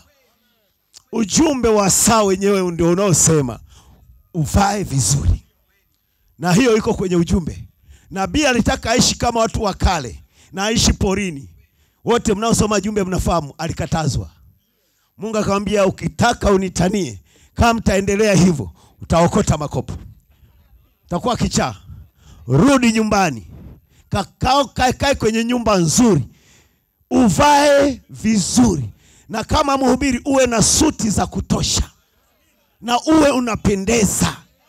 Mbele amekuja kumwambia waambie watu wako. Haleluya. Wasiombe tu vitu tudogo tudogo waambie waombe vitu vikubwa vikubwa. Huu ni wakati tunarejeshewa ufalme wetu. Tunarejeshea urithi wetu. Sisi ni wamiliki wa dunia hii. Sisi ni wamiliki wa mali zote. Sisi ni wamiliki wa dhahabu zote. Sisi ndo matajiri kuliko matajiri wote. Kwanza tuna uzima wa milele. Haleluya. Na hayo mengine tutazidishiwa. Mtu mmoja kwenye ujumbe huu kama mfano nabii amemtolea john sharity Jo- john b Sharti ni ndugu aliyekuwa maskini akaamini ujumbe huu. Ujumbe huu umemtajirisha kupita kiasi. Alitajirika mpaka mali akashindwa kuzikontrol. Mpaka akarudi kwa nabii kwamba muombe mungu apunguze ili niwe na balance ya kukontrol vizuri. Na nabii akasema hakuna haja ya kuomba. Acha kutoa fungu la kumi na sadaka uone zinaenda wapi. Kumbe uchawi waweza kuwa mchawi wewe mwenyewe ukajiroga uchumi wewe mwenyewe kwa kuwa ukawa mwizi unamwibia mungu na utakosa. Na mungu anataka kuwa mwaminifu hata kama huna chochote na vitu vichache tu. Kuwa mwaminifu. Ukiwa mwaminifu kwa vichache utakuwa mwaminifu kwa vikubwa. Bwana tubariki sana. Kwa hiyo huyu kijana alikuwa ni kijana mzuri. Kwanza alikuwa na elimu na nabii anataka tupate elimu. Anasema somesha watoto wako wawe na elimu. Ni agizo la ujumbe. Amina. Kijana alikuwa na elimu. Kijana aliishi vizuri na jamii. Alikuwa ni msaada wa watu. Kani, pia alikuwa na kanisa. Alikuwa na dhehebu.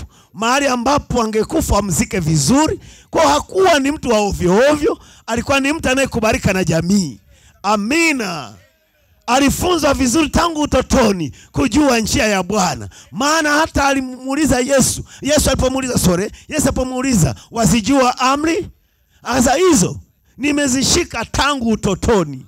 Biblia inasema yesu akamgeukia akamkazia macho maanake akamwona akiwa mungu alimjua.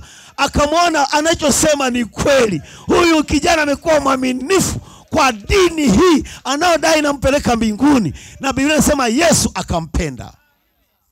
We mtu ameshika dini mpaka yesu anampenda unafikiri alikuwa na maisha gani? Na bana sema na kijana huyo alikuwa hata hajaoa. Lakini alikuwa hajawahi kuchafua mtoto wa watu. Alikuwa hajawahi kuishi maisha ya ovyo. Na alikuwa mzuri kabisa na ana sifa zote za kanisa. Lakini yeye kama yeye moyoni mwake kuna kitu kilimwambia umepungukiwa huna uzima wa milele katika kuchunguza maisha ya yesu alikuta yesu ana kitu kile ambacho yeye hana. Na hicho kitu ndani kinadai yeye awe nacho. Na ndio maana ikamsumbua kumtafuta yesu. Haleluya!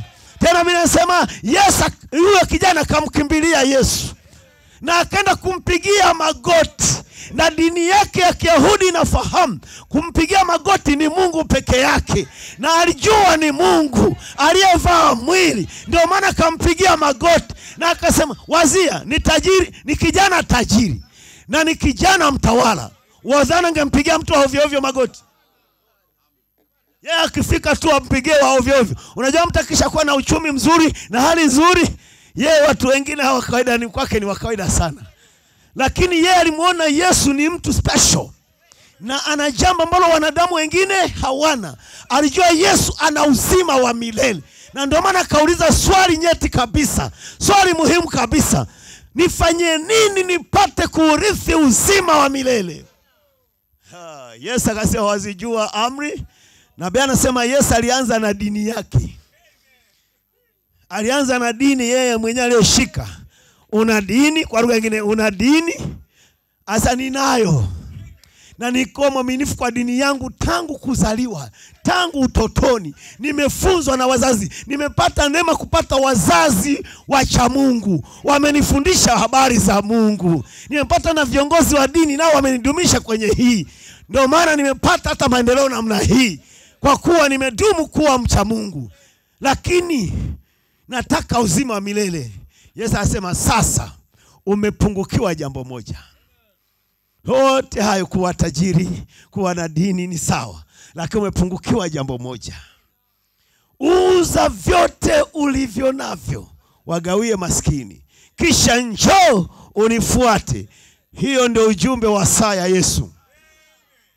Ujumbe wa saa ya Yesu ulikuwa unaacha vyote, kisha unaanza kumfuata, na ndio ujumbe uliokuwa mgumu kuliko vizazi vyote. Ilikuwa hata ukiwa na mifugo yako na kila kitu, unauza vyote, unagawia maskini, kisha unaanza kumfuata nyuma nyuma. Leo mko la hela, kesho Mwazi, kesho kutwa Rukwa bondeni, kesho kutwa ile Mpanda, mara yuko hapa na kanisa pa kuhudhuria hamna, jengo halipo, ni kwa mikutano kama hii. Haleluya! Mara mko e, ufuoni mwa bahari huko e, ziwa ziwa Tanganyika, ziwa Tanganyika, kesho Rukwa, kesho wapi? Alikuwa anatembea hivyo na umekubali kumfuata, umeacha. Ndio maana kina Petro sasa, tumeshaacha vyote, tumekufuata, tutapata nini? Unapofuata kitu, maana yake kuna kitu unataka ufaidike. Ilibidi Petro aulize faida ya hii ni nini? Ndipo akamwambia faida ya hii kwenye ulimwengu huu mtapata mara mia moja ya vitu mlivyoacha duniani. Kwa kuambia maisha ya chini ndio Ukristo, mwambie aa, hujaisoma vizuri. Shetani leo anapotosha kupitia maandiko na anatumia maandiko kupotosha. Sasa unajua wewe, anakandamiza anamkandamiza Mkristo mwaminio. Unajua wewe, Biblia ilisema kupenda fedha ni chanzo cha maovu. Kwa usipende fedha, kwa anakufanya wewe uishi maskini, na unaishi maskini mpaka ujubu unashindwa unashindwa kuutumikia. Wakisema michango kanisani, unaona huyo jamaa ni mbaya anayeitisha michango, na mtu akijitole, akijitolea unamchukia. Saa ni wenye, wenye uwezo kanisani ndio wanaopendelea. Kumbe ni roho ya umaskini. Roho ya umaskini pia ni mbaya. Umeshaona, uwa, uwa hairizikagi na mambo, hata ni kwenye chakula au ni harusi wakiwagawa. Sasa mimi waliniwekea kidogo, ni roho ya umaskini. Wakimchagua mtu kiongozi, sasa kwa kuwa mimi sina uwezo, ndio maana hawajanichagua, ni roho ya umaskini. Sasa kwenye ujumbe huu sisi hatuiruhusu roho ya umaskini. Umaskini pia ni pepo. Ndio maana unaomba Mungu akutoe kwenye hali hiyo, akuweke kwenye hali nzuri. Ungewazia mtoto wa mfalme akiokota makombo barabarani kwenye mitaro.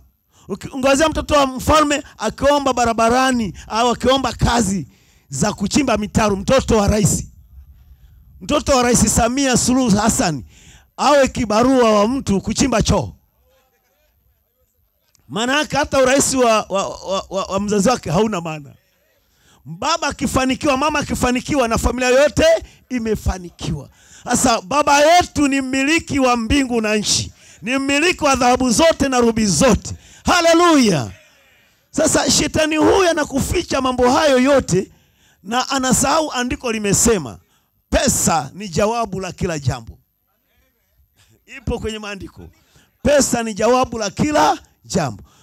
Pesa kwa mpagani anavyoitumia kipagani ndio kwake pesa ni chanzo cha maovu, lakini pesa kwa Mkristo ni baraka kwa Mungu, kwa sababu atamtolea Mungu, atafanya kazi ya Bwana, atasaidia huduma ya Mungu, ataiunga mkono, atasaidia wahitaji, atawapa maskini, atawapa wajane na, na, na yatima. Ndivyo Mungu anataka tutoe. Kwa hiyo pesa kwa Mkristo inatumika kwa baraka za Mungu lakini kwa mpagani kwake ni maovu. Ndio yabidi utofautishe hivyo. Jina la Bwana barikiwe sana.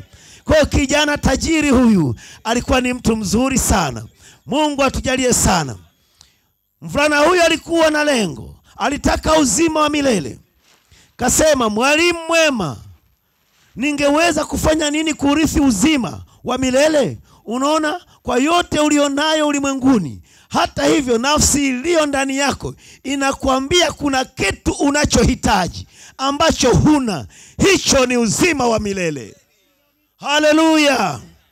Hakuna mtu hapa katika wasikizi hawa waliopo hapa asubuhi ya leo, ama katika wasikizi wa kanda za sumaku ambako zitasambazwa duniani, ambako hii tubu sasa mimi hapa, ambapo hii YouTube ambao wanarekodi hapa clip hii watakaoiona huko kwenye YouTube kote duniani.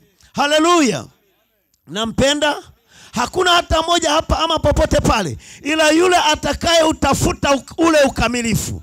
Unapolipa madeni yako unafikiri hilo linatosha. Unapolipa madeni yako, ndipo kuna mtu mgonjwa katika familia yako, katika jamaa yako.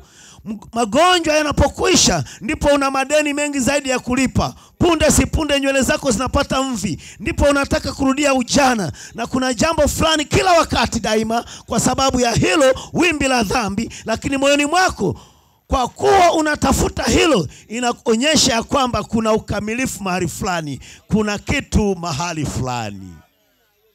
Bwana ubariki Si hiyo ni kweli, wapendwa? Yaonesha hujarizika na hali uliomo, na huwezi ukajifanya. Kuna kitu kinakwambia bado. Wakati mwingine kama mkulima wa kijijini unalima kwa mkono, unaona ndio maana unafeli. Kuna kitu hakijakaa vizuri, unapambana upate maksai za kulimia, ndipo unapata maksai za kulimia, ndipo shida zinakuwa mara mbili kuliko unalimia mkono ndipo inabidi upanue mashamba makubwa na kazi inakuwa nyingi na unakuwa na shughuli nyingi na unakuwa na tabu kuliko mwanzo. Amina. Na unaposema ngoja labda ah, nipate mtaji mkubwa nipate na kagari na haisi niwe napiga ruti Tunduma Laela, ndipo unapata shida zaidi, na unaweza kaugua na ugonjwa wa moyo na mawazo, kwa kuwa tayari eh, umepata kuongeza kitu kingine. Yote hiyo ni kuonyesha ndani yako ulipoteza kitu kikubwa kuliko magari, kitu kikubwa kuliko ng'ombe, kuliko chochote. Kuna ukamilifu ulipoteza. Niwaulize jambo fulani, mtaniunga mkono. Ni nani alishawahi kununua kitu fulani akaridhika kabisa kabisa? Wakisema hiki kitu tunauza laki moja, unasema nipunguzie. Hujawahi kujua shida ni nini? Kwa nini kila wakati unalalamika nipunguzie? Unapotoa hela zinauma. Hata wangesema mia tano unasema nipunguzie. Unajua lengo ni nini? Kama ingewezekana wakupe bure. Kwa nini? Kilikuwa cha kwako tangu mwanzo, dhambi ilipoingia ikakudhulumu. Kwa hiyo ulisharudi unanunua vitu vyako mwenyewe. Hiyo ndio maana hujawahi kurizika kununua, kwa sababu ni vitu vyako mwenyewe, alafu dhuruma ya dhambi kakuletea ka kuuza na kununua. Kwa unalazimika ununue vitu vyako mwenyewe. Hiyo ni kuonyesha kuna ukamilifu mahali fulani. Na huyu kijana alikuwa na mali, wazi alikuwa na mali na mali nyingi mpaka Makomba anampa Lazaro mali nyingi za kumwaga, na alikuwa na dini na viongozi wazuri wa dini waliomfundisha dini kwa usahihi, sawasawa na fasiri ya maandiko ya wakati wao, mpaka Yesu alimpenda. We, we wazia, mpaka Yesu akampenda. Unafikiri alikuwa anaishi maisha gani? Hakuwa na kiulizo kwenye maisha yake, hakupatikana kashfa za uzinzi, kuharibu ndoa ya mtu, wala kufanya chochote kibaya, wala kuiba la alikuwa mwaminifu kwa dini na mwaminifu kwa matoleo na mwaminifu kwa jamii na alitoa misaada, lakini huyo huyo ndani yake mlikuwa kuna upungufu. Alijua hana uzima wa milele. Jina la Bwana barikiwe sana. Ndo somo langu asubuhi ya leo. Amina. Bima ya maisha ya milele tunapaswa tukate bima ya maisha. Haleluya! Bima ya maisha ya milele, kama tu hawa matajiri wafanyabiashara wanavyokuwa na mawazo ya busara kwamba wakinge mali zao kwa kukatia bima. Ananunua gari anaikatia bima, ananunua pikipiki anakatia bima, anaanzisha duka anapata duka anakatia bima, nyumba yake anakatia bima, kwamba nyumba inaweza kupata shida. Ikaezuliwa na upepo na kimbunga ikachoma ika moto na umeme, lakini Wakenya wanasema stima. Umeme ni stima kwa Wakenya. Sasa nikisema umeme, pengine wase, sisi ndo tumezoea kusema umeme. Bwana tujalie sana, amen. Mnampenda. Ikapata ajali, huyu mfanyabiashara, huyu mtu wa uchumi anajua kukinga vitu vyake ili vilindwe, kwamba hata ikiungua nishakatia bima, nyumba yangu imewekezwa kwenye bima. Kwa kwa lugha nyingine E, thamani ya nyumba yangu iko ndani ya bima. kwa hata ikiungua nitaenda kuikuta kwenye bima, nitairudisha nyumba tena. Kwa hiyo kwa njia hiyo ameifanya nyumba yake idumu muda oh, wote wa maisha hapa duniani. Haleluya! Duka langu likiungua, duka langu liko kwenye bima kwa sababu ikiungua lote nitachukua fedha bima, nitapata duka jingine. Kwa hiyo hili duka nina hakika litanidumisha maisha yangu ya hapa pote duniani. Sasa kama wana mawazo haya ya busara, vipi basi kuwaza kuhusu maisha ya milele?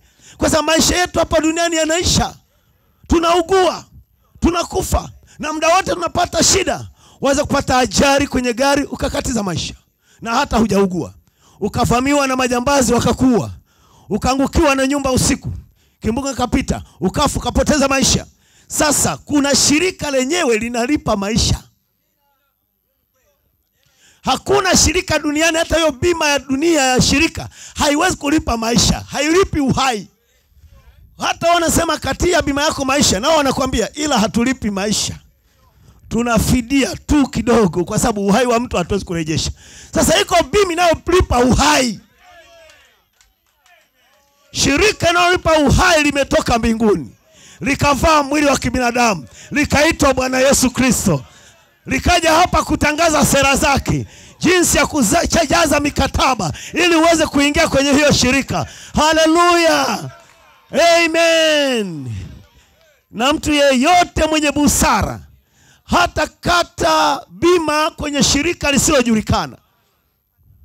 Wewe ungewazia mtu fulani kwenye kajumba tu fulani anasema hapa ni shirika la bima, afu huna historia nayo, hata huna ushahidi nayo, na alishawahi kuwekeza hapa kalipwa, ukawekeze hela zako za nyumba, utakuwa kidogo na ni mgonjwa akili. Utatafuta kampuni ambayo ina ushuhuda na watu wengi walishalipwa na ina uhakika na ina matawi ya kutosha, hata ikiungua ya Sumbawanga Elea la hela iko inapatikana Dar es Salaam, hata Dar es Salaam ikiungua iko inapatikana Marekani, ipo popote pale. Ndipo utawekeza kwamba hata kama tawi moja litaharibika, bado pesa zangu hazijapotea, kwa sababu nishajiunga na shirika hili la bima kidunia. Amina. Na anayekuunganisha kidunia ni wakala mmoja tu, yuko kwenye kibanda, alafu unajaza mikataba, huyo wakala na kuunganisha na unapata bima yako kwa ajili ya mali zako. Ukimdharau huyo wakala, hutapata kujiunganisha. Na leo hao mawakara wadogo wadogo ni huduma tano, ni wahubiri, ni wainjilisti, watakuunganisha na bima ya maisha ya milele. Jina la Bwana barikiwe sana. Leo kuna shirika la Vodacom, tunasajili simu zetu, tunapata kuunganishwa mawasiliano. Sijui wangapi wana simu au laini za Voda, wainue mikono. Okay, tunazo za Voda. Nitauliza swali moja zuri sana. Ulishawahi kumwona bwana Vodacom na ndipo akakuunganisha? Nani alishamwona bwana Vodacom alafu akamuunganisha? Anyoshe mkono. Hakuna. Ulimwona nani? Wakala anayewakilisha hiyo shirika ya Vodacom na ameajiriwa rasmi na ana vibali rasmi, na wakati mwingine yuko kwenye kakibanda hata akamtoshi vizuri. Lakini nenda tu pale, atakufanyia miamara fulani, atakuunganisha kiajabu ajabu, mara umeunganishwa duniani, mara unapiga hivi na unga, lakini anayekuwakilisha ni mdogo. Huenda hata hena ni mkubwa, lakini anafahamu tu wa kujua kuunganisha kwenye hiyo shirika. Haleluya, mnampenda? Hemeni. Yesu akasema ninazo funguo za mauti na za kuzimu. Sio kama ungependa kuwa na hizo. Nani anapenda awe na funguo za mauti na za kuzimu? Nani sio anapenda hiyo? Akasema mimi kanisa naliachia funguo za uzima wa milele, funguo za ufalme wa mbinguni aliacha kwa kanisa, na akamwachia Petro funguo za uzima wa milele. Oh, haleluya! Mnampenda? Wakala wa kwanza kwa Yesu ni Petro. Alisajiliwa na Yesu, aliajiriwa na Yesu. Sasa Petro anipenda, Petro wa Yohana wanipenda. Lisha wana kondoo zangu, chunga kondoo zangu, lisha kondoo zangu. Alimwambia mara ngapi? Mara tatu, na akasema utakapoongoka imarisha ndugu zako. Alipopata ufunuo wa Yesu ni nani, Yesu akamwambia mwili na damu hajakufunulia hivi, bali Baba yangu wa mbinguni amefunulia. Na juu ya ufunuo, juu ya mwamba huu, ufunuo wa Mungu, juu ya kuambia Yesu ni nani, neno la saa yako ni nini, basi nitalijenga kanisa. Nami nakuambia ndio Petro. Haleluya! Akasema nakupa funguo za ufalme wa mbinguni. Utakaolifunga hapa limefungwa mbinguni, utakaolifungua hapa limefunguliwa mbinguni. Haleluya! Na siku ya Pentekoste watu wakauliza swala la kuingia kupata uzima milele, tunafanyeje tujiunge na hiyo bima ya milele? Petro akasema tubuni, mkabatizwe kila mmoja wenu, haleluya, mpate ondoleo la dhambi zenu, nanyi mtapokea faida ya bima ya maisha. Amina. Mnampenda? Amen. Sikilizeni wapendwa, tuko hapa, hatuwezi kujifanya. Kuna kitu kinatuambia moyoni, eza tuna uzima milele au hatuna. Ni jambo ambalo wewe mwenyewe una majibu kuhusu. Huyu kijana ni yeye mwenyewe, hakuna mtu aliyekuwa na mswali. Jamii yenyewe ilielewa huyu mtu ni wa mbinguni. Kwanza ni tajiri, alafu anampenda Mungu, ila yeye binafsi alikuwa anajua undani wake kwamba hapa, pamoja na sifa za watu wananisifu, bado nina shida. Hiyo ilikuwa inapita niani mwake peke, na katika wasikizi hawa na watakaosikia klipu hii waaminio wa ujumbe, unajua moyoni mwako, unajibu wewe mwenyewe kuhusu ujumbe wa saa.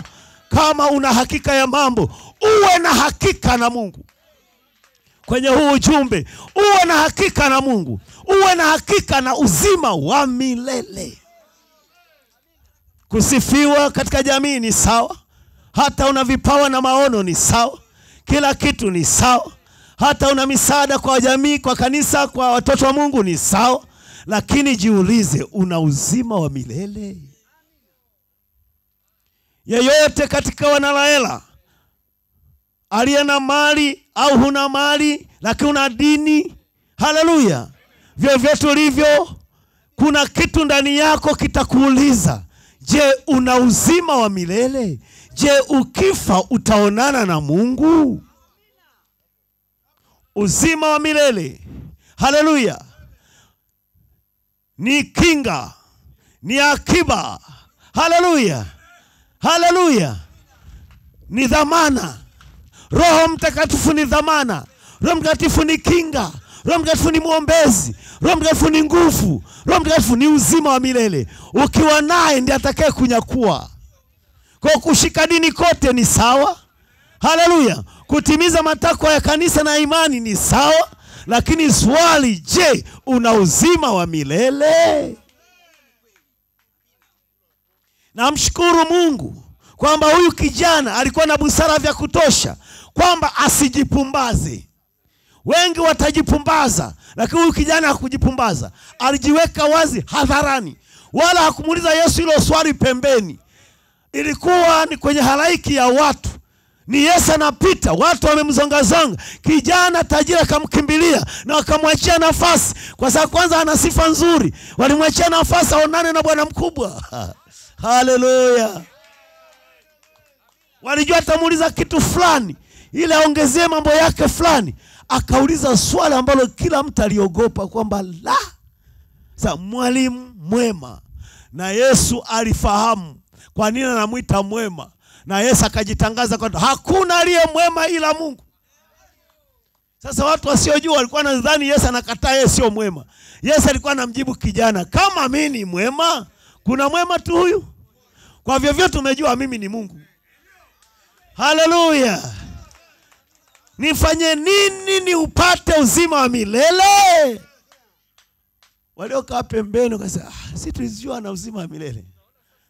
Anajua huyu ndugu, ah, huyu yeye hana shida mambo ya maisha ya kiroho na ya dini.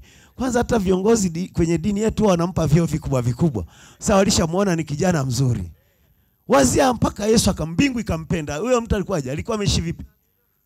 Mbingu imegeuka ikamtazama ikampenda. Huyu alikuwa na maisha gani? Mazuri.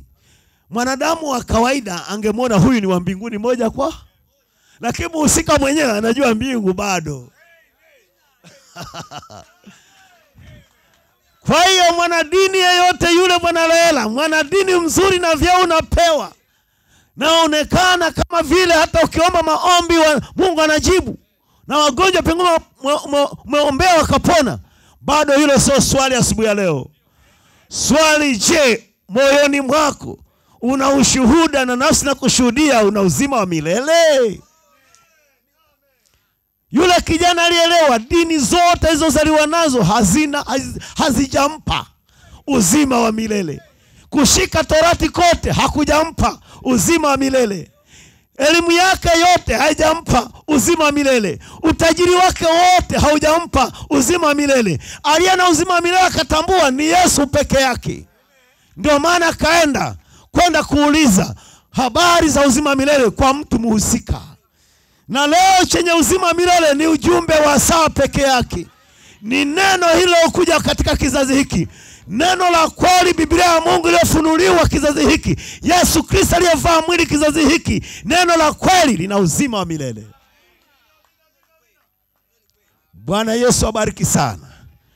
Kwa hiyo mimi sijaja kuwahubiri tu wanywa pombe nimekuja kuwahubiri wanadini wa katoliki wa pentekoste wa sabato wa moraviani wa tag wa batisti wa wote wote wanalaela nauliza wewe mshirika mmoja mmoja ni swali la kibinafsi.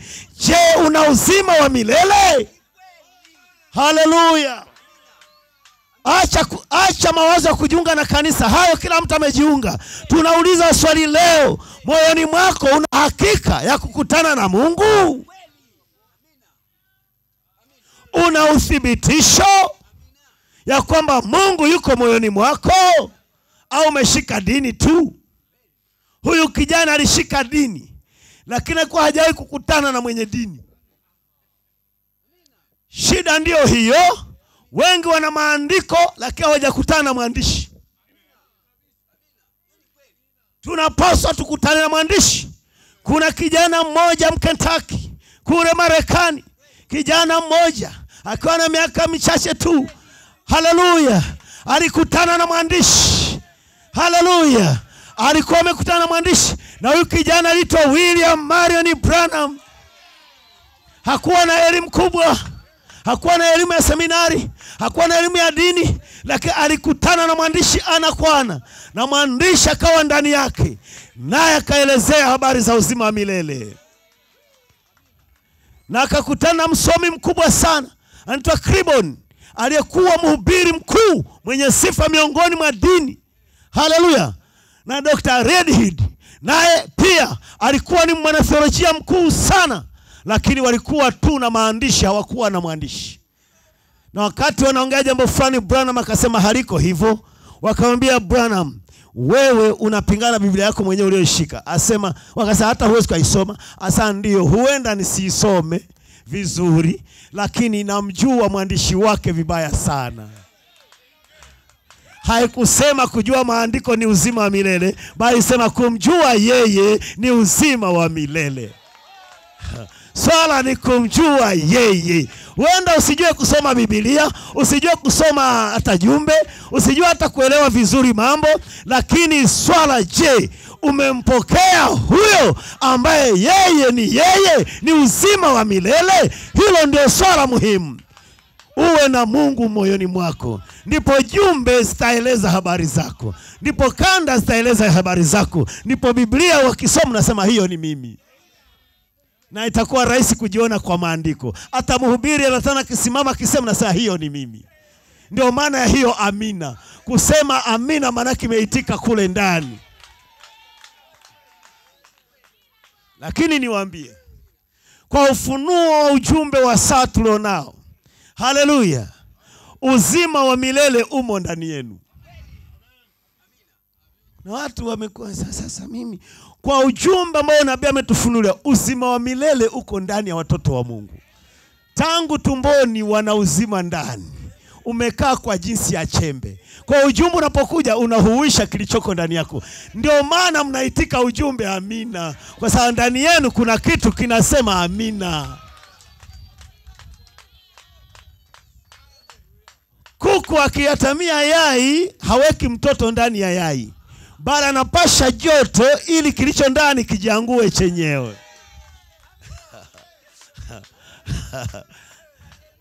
Kwa ujumbe hauweki mtoto ndani, bali ujumbe unaleta joto ili kichoko ndani yako kiweze kuinuka, kiweze kutokea, kizaliwe mara ya pili. Ndani yako mna uzima wa milele. Ujumbe unatia joto, ujumbe unadhihirisha kichoko ndani yako. Haleluya! Yule kijana alikosa kupata hicho kitu kwa sababu ndani yake hakukuwa uzima wa milele.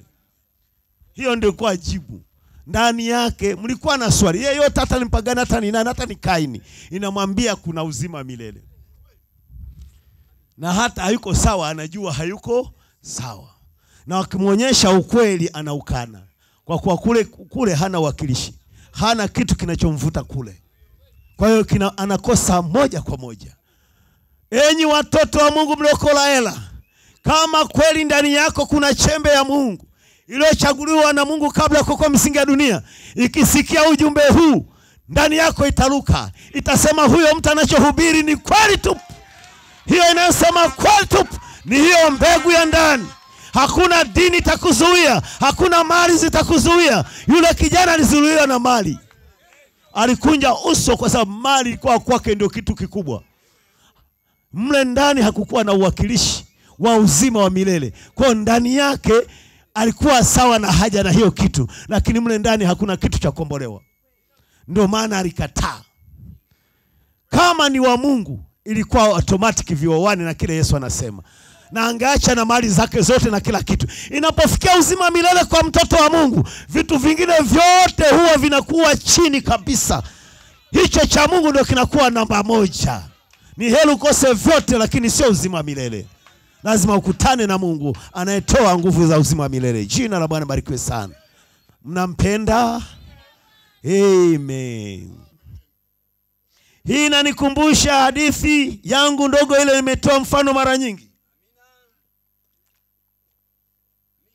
Yule bata wa kuchekesha ambaye rai yake iliwekwa chini ya kibanda cha kuku na kuku akatamia mayai yake pamoja na rai ya bata. Miezi mnamo miezi ya sita hiyo Haleluya! Ndipo kuku angeweza kutotoa vifaranga vyake mda ulipofika, na kifaranga maskini cha bata, mnyonge na mlegevu, mwenye kuzubaa kidogo katika kuongea, lakini yeye alizaliwa ni bata kwa kuanzia, kwa sababu tangu akiwa yai yeye ni bata. Kuku alichofanya ni kutoa joto tu la kutosha kufanya kuku, e, kifaranga aanguliwe yule wa bata, na alipoanguliwa akakuta kuna washirika wenzake wanaongea chapuchapu ye chuchu. Hakuelewa na mlio wanaolia chapchap, nyimbo za chapchap, kwaya za chapchap, sara za chapchap, kila kitu cha chapchap.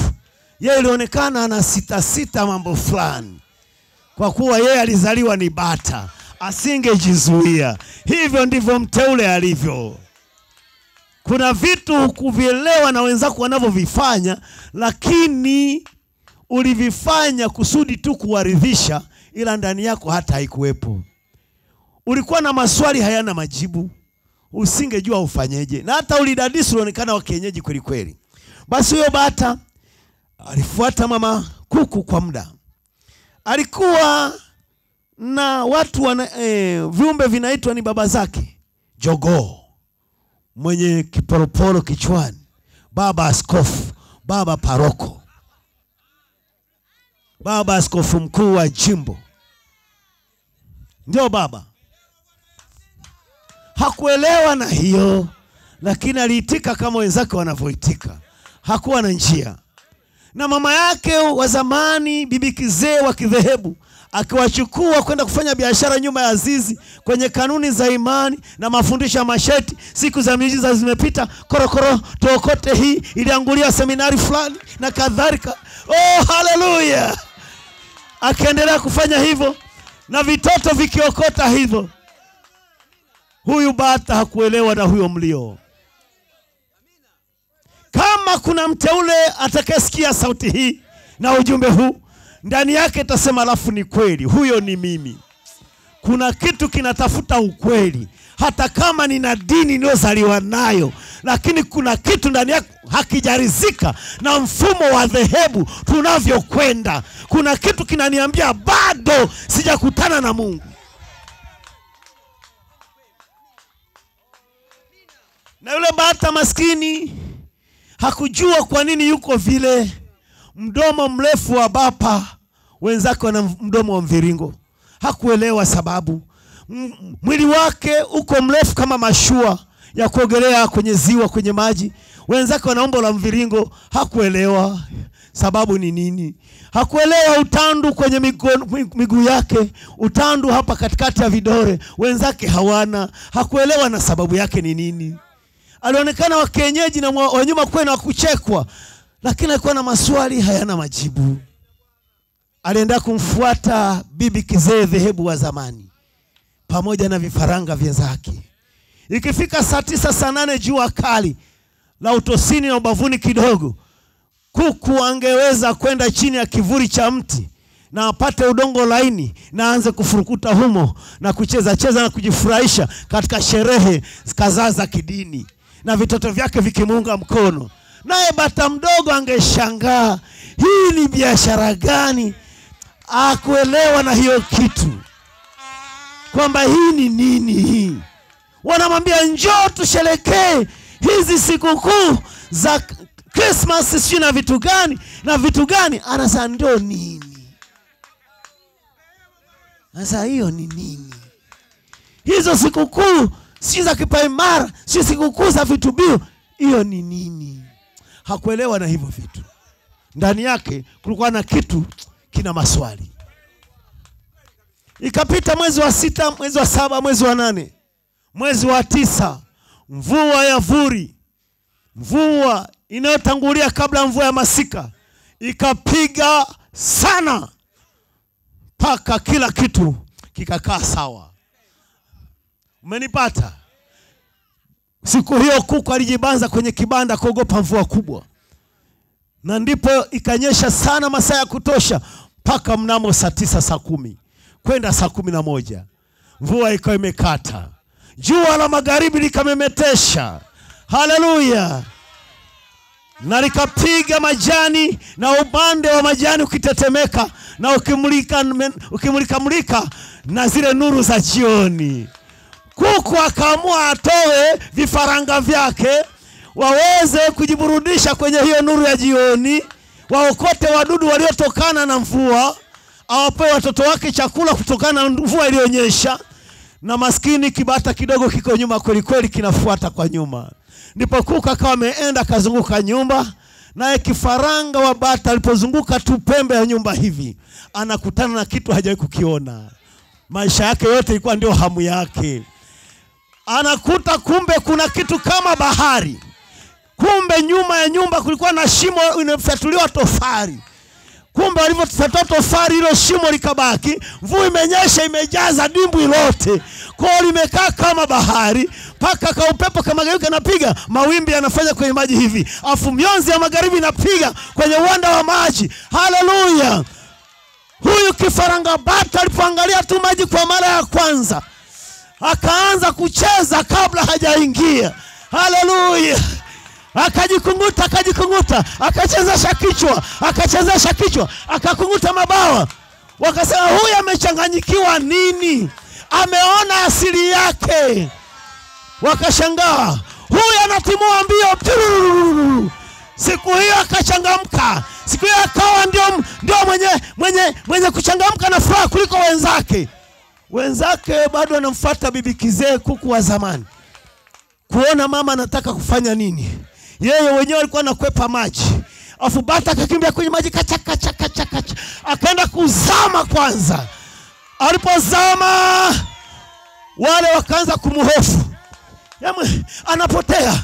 Hawa ndio manabii wa uongo, hizi ndio dini za kisasa. Amepotea, ameenda wapi? Amezama kabisa. Baadaye waliona tutu tu maji tunakwenda churururu churururu, baadaye akainuka akajikung'uta. Haleluya! Akaanza, njoni njoni njoni njoni njoni njoni njoni tuogelee. Haleluya! Hivi ndivyo ujumbe ulivyo. Ujumbe ni maji kwa bata, bata ni mteule.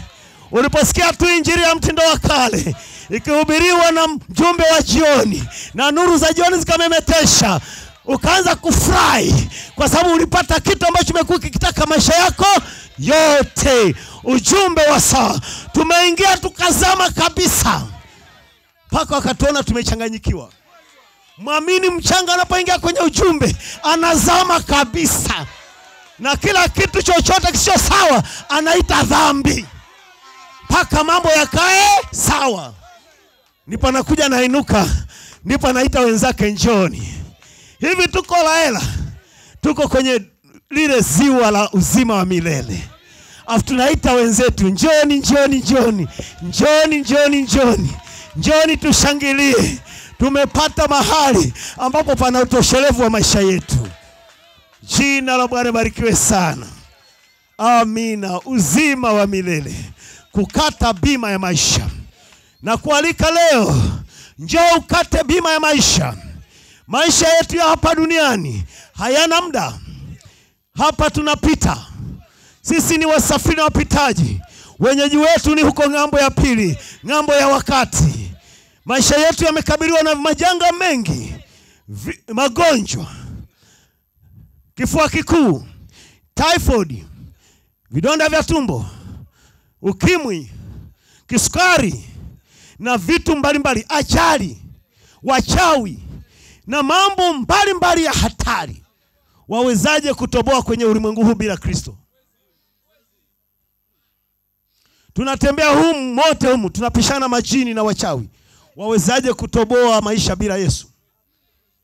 Kuna tumaini moja tu la kwako utakuwa nalo, ni ukimpata Yesu maishani.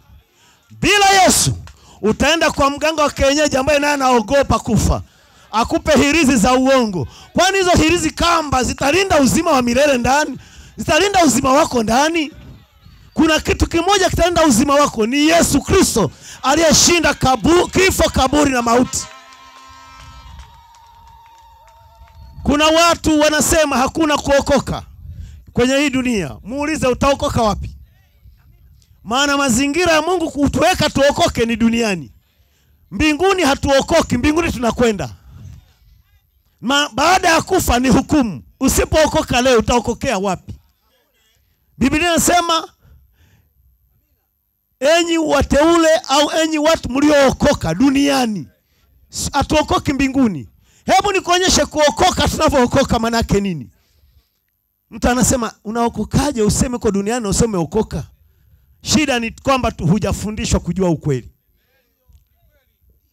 Tunaokoka kwa imani. Ni imani yako inayokuokoa, ni imani yako inayokuponya, ni imani. Huna budi kuwa na hakika na mtu anayeshughulikia maisha yako, na anayeshughulikia maisha yetu ni Yesu Kristo. Ukisema uamini kuokoka, maanake humwamini yeye kama atakuokoa. Hata una mashaka naye kama ni mtu wa Mungu, kama ni Mungu au ni, ni mdanganyifu au ni mlagai, huna hakika naye, ndio maana unasema sijaokoka. Sasa nikwambie kuokoka tunavyookoka. Hii dunia mnavyoiona tunapozaliwa duniani leo ni kama tu mtu ambaye ametokea kuogelea katikati ya ziwa na hajui kuogelea. Yuko kwenye kamtumbwi kale kam, kamti mmoja nikajanja sana, kanaweza kapiliguka hapo akazama na kuogelea hajui. Ndipo maisha yetu hapa duniani yako jinsi hiyo. Tunajitahidi tu kupalasa huo mtumbwi wa maisha, lakini mambo hayaendeki. Ndipo unakazana ujiokoe, huna njia ya kujiokoa, hali ni mbaya. Ndipo bahari imevuma mawimbi na dhoruba, na muda wote utaangamia. Kama ambavyo tunaishi duniani, maangamizi yako dakika yoyote ile. Sasa kwa bahati nzuri, uone merikebu kubwa hiyo inakuja na nahodha, yeye ni baharia, aweza kuzama hapo majini hata masaa ishirini na nne hata zaidi ya masaa ishirini na nne aweza kuzama zaidi ya masaa sabini na mbili wala maji hayamuui, na yakileta shida na yakausha. Yeye ndiye anayeendesha hiyo merikebu. Haleluya! na yuko na mahodha manahodha wadogo wadogo mabaharia wadogo wadogo yuko nao, lakini yeye ndiye anaendesha kile chombo, hakiwezi kuzama hata siku moja, na hakijawahi kuzama hata siku moja, na ameendesha mara nyingi sana kwa hiyo bahari, na alishaokoa watu wengi sana. Alishawahi kumwokoa Henoko asonje mauti, akampeleka mbinguni. Alishawahi kumwokoa Nuhu asizame maji. Alishawahi kuokoa wengi vizazi na vizazi. Yeye ni, ni nahodha mzoefu. Sasa anakuja na baha, anakuja na merikebu yake, alafu wewe uko kwenye kizibo cha soda. Kimshwa chako ni kama kizibo cha soda, kina yumba yumba, muda wote utakufa. Alafu unaopolewa, unaingizwa kwenye merikebu, unakutana na abiria wengine walioopolewa nao, waliookolewa ukiwa mle kwenye ile kwenye ile nini ile baraza la nje la merikebu, mnapongezana.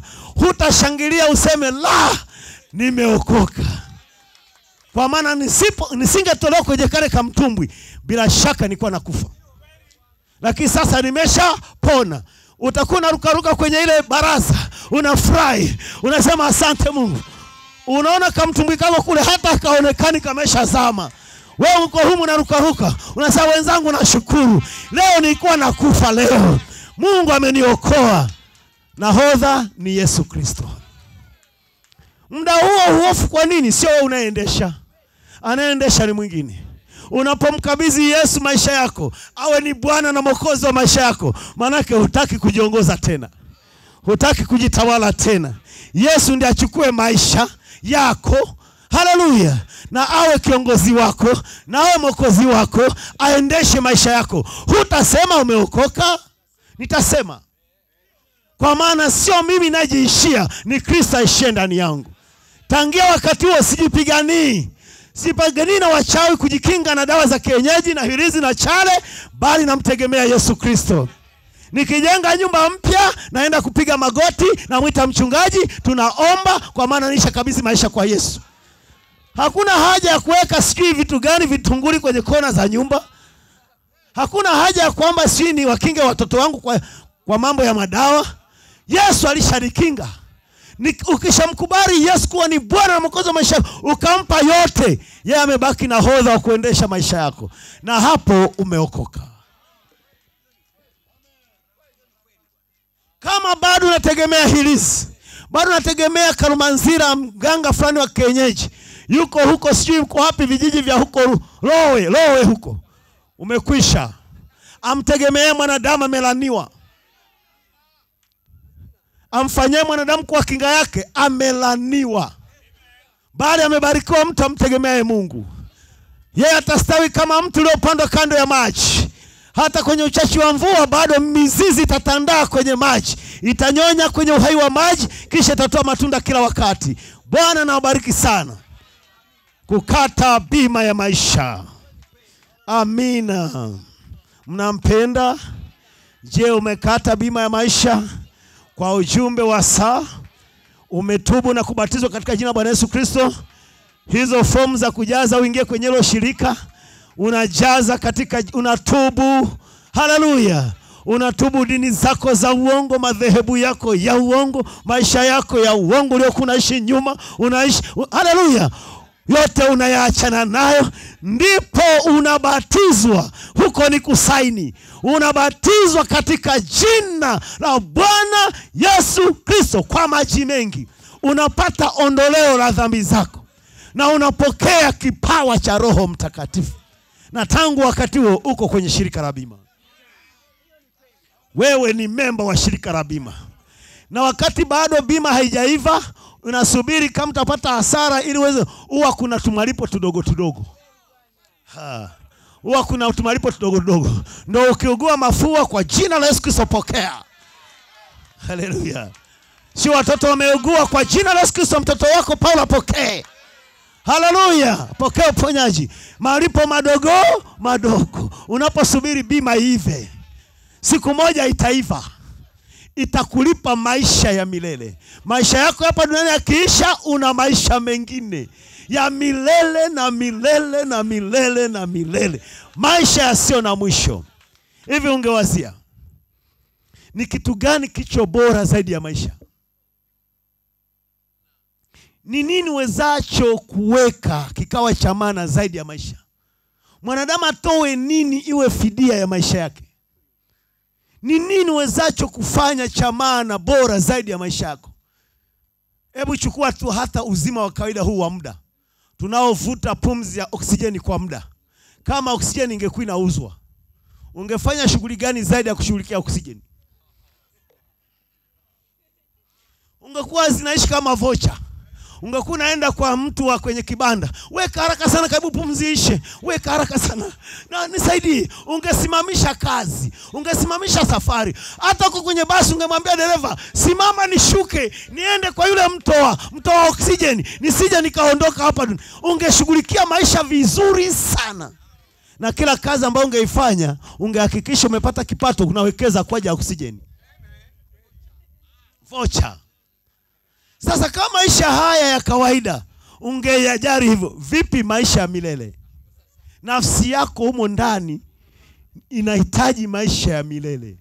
Unafikiri ungewekeza tu kwenye kidhehebu fulani ambacho hata hakina historia? Mtu fulani tu ameanzisha kikampuni hapo, kwamba unaenda kuwekeza hela zako hapo benki, usitakuwa mjinga. Unatafuta kampuni ambayo inalipa na ina ushahidi mwingi.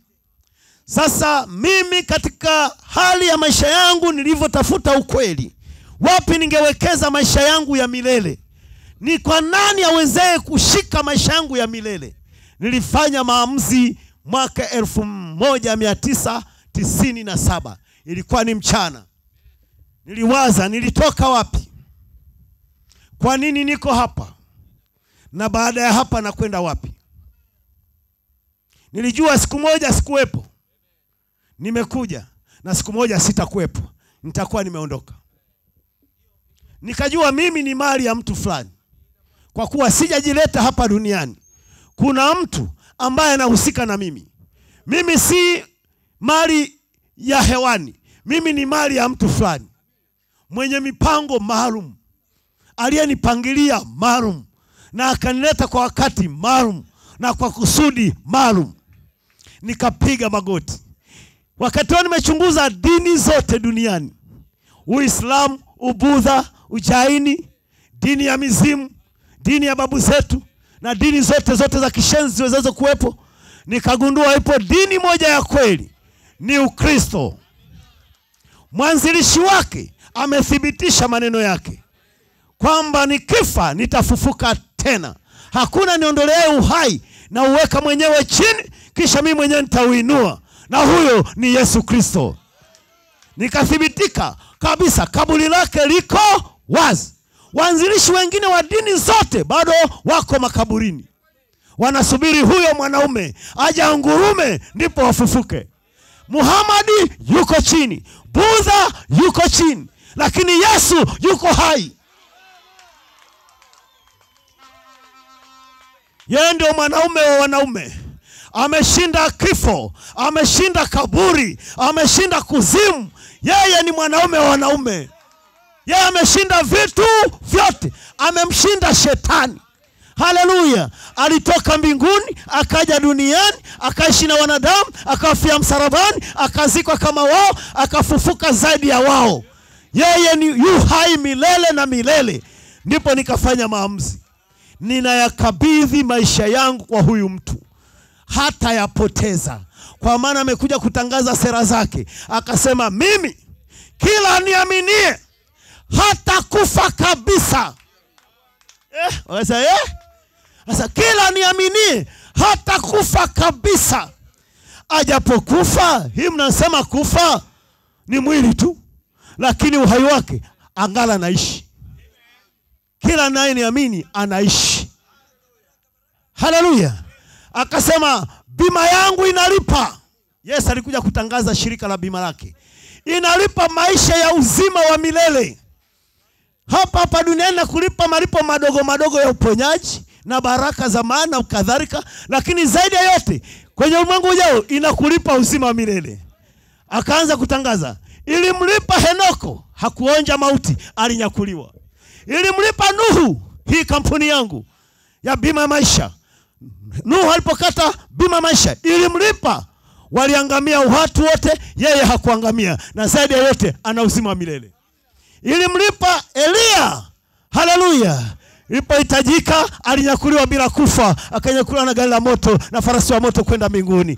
Jina bwana barikiwe sana. Ilimlipa msa alipokufa wazishi ni malaika. Kaburi yake haiko duniani. Haleluya! Na baadaye alifufuliwa maana alikuja kuonekana akiwa na yesu kwenye mlima wa kugeuzwa. Sasa bima yangu inalipa.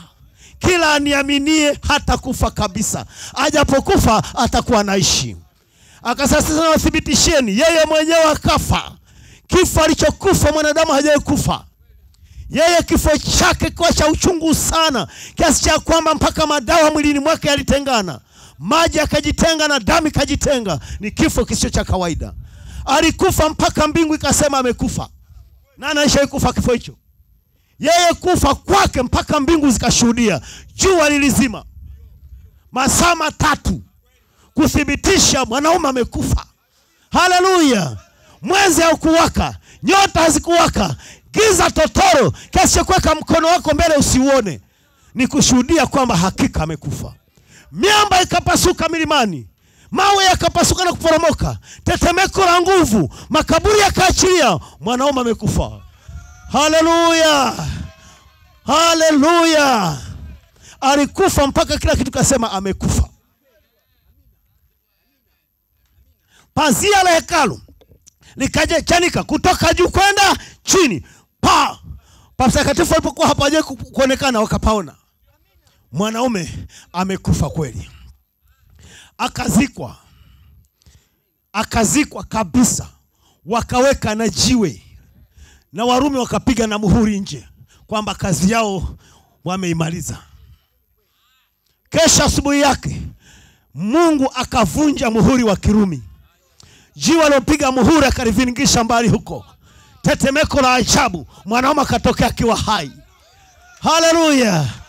Asana alikuwa nimekufa sasa ni hai milele na milele. Akawatokea wengi bado wanabishana amani iwe nanyi. Milango imefungwa madirisha yamefungwa mwanaume anatokea.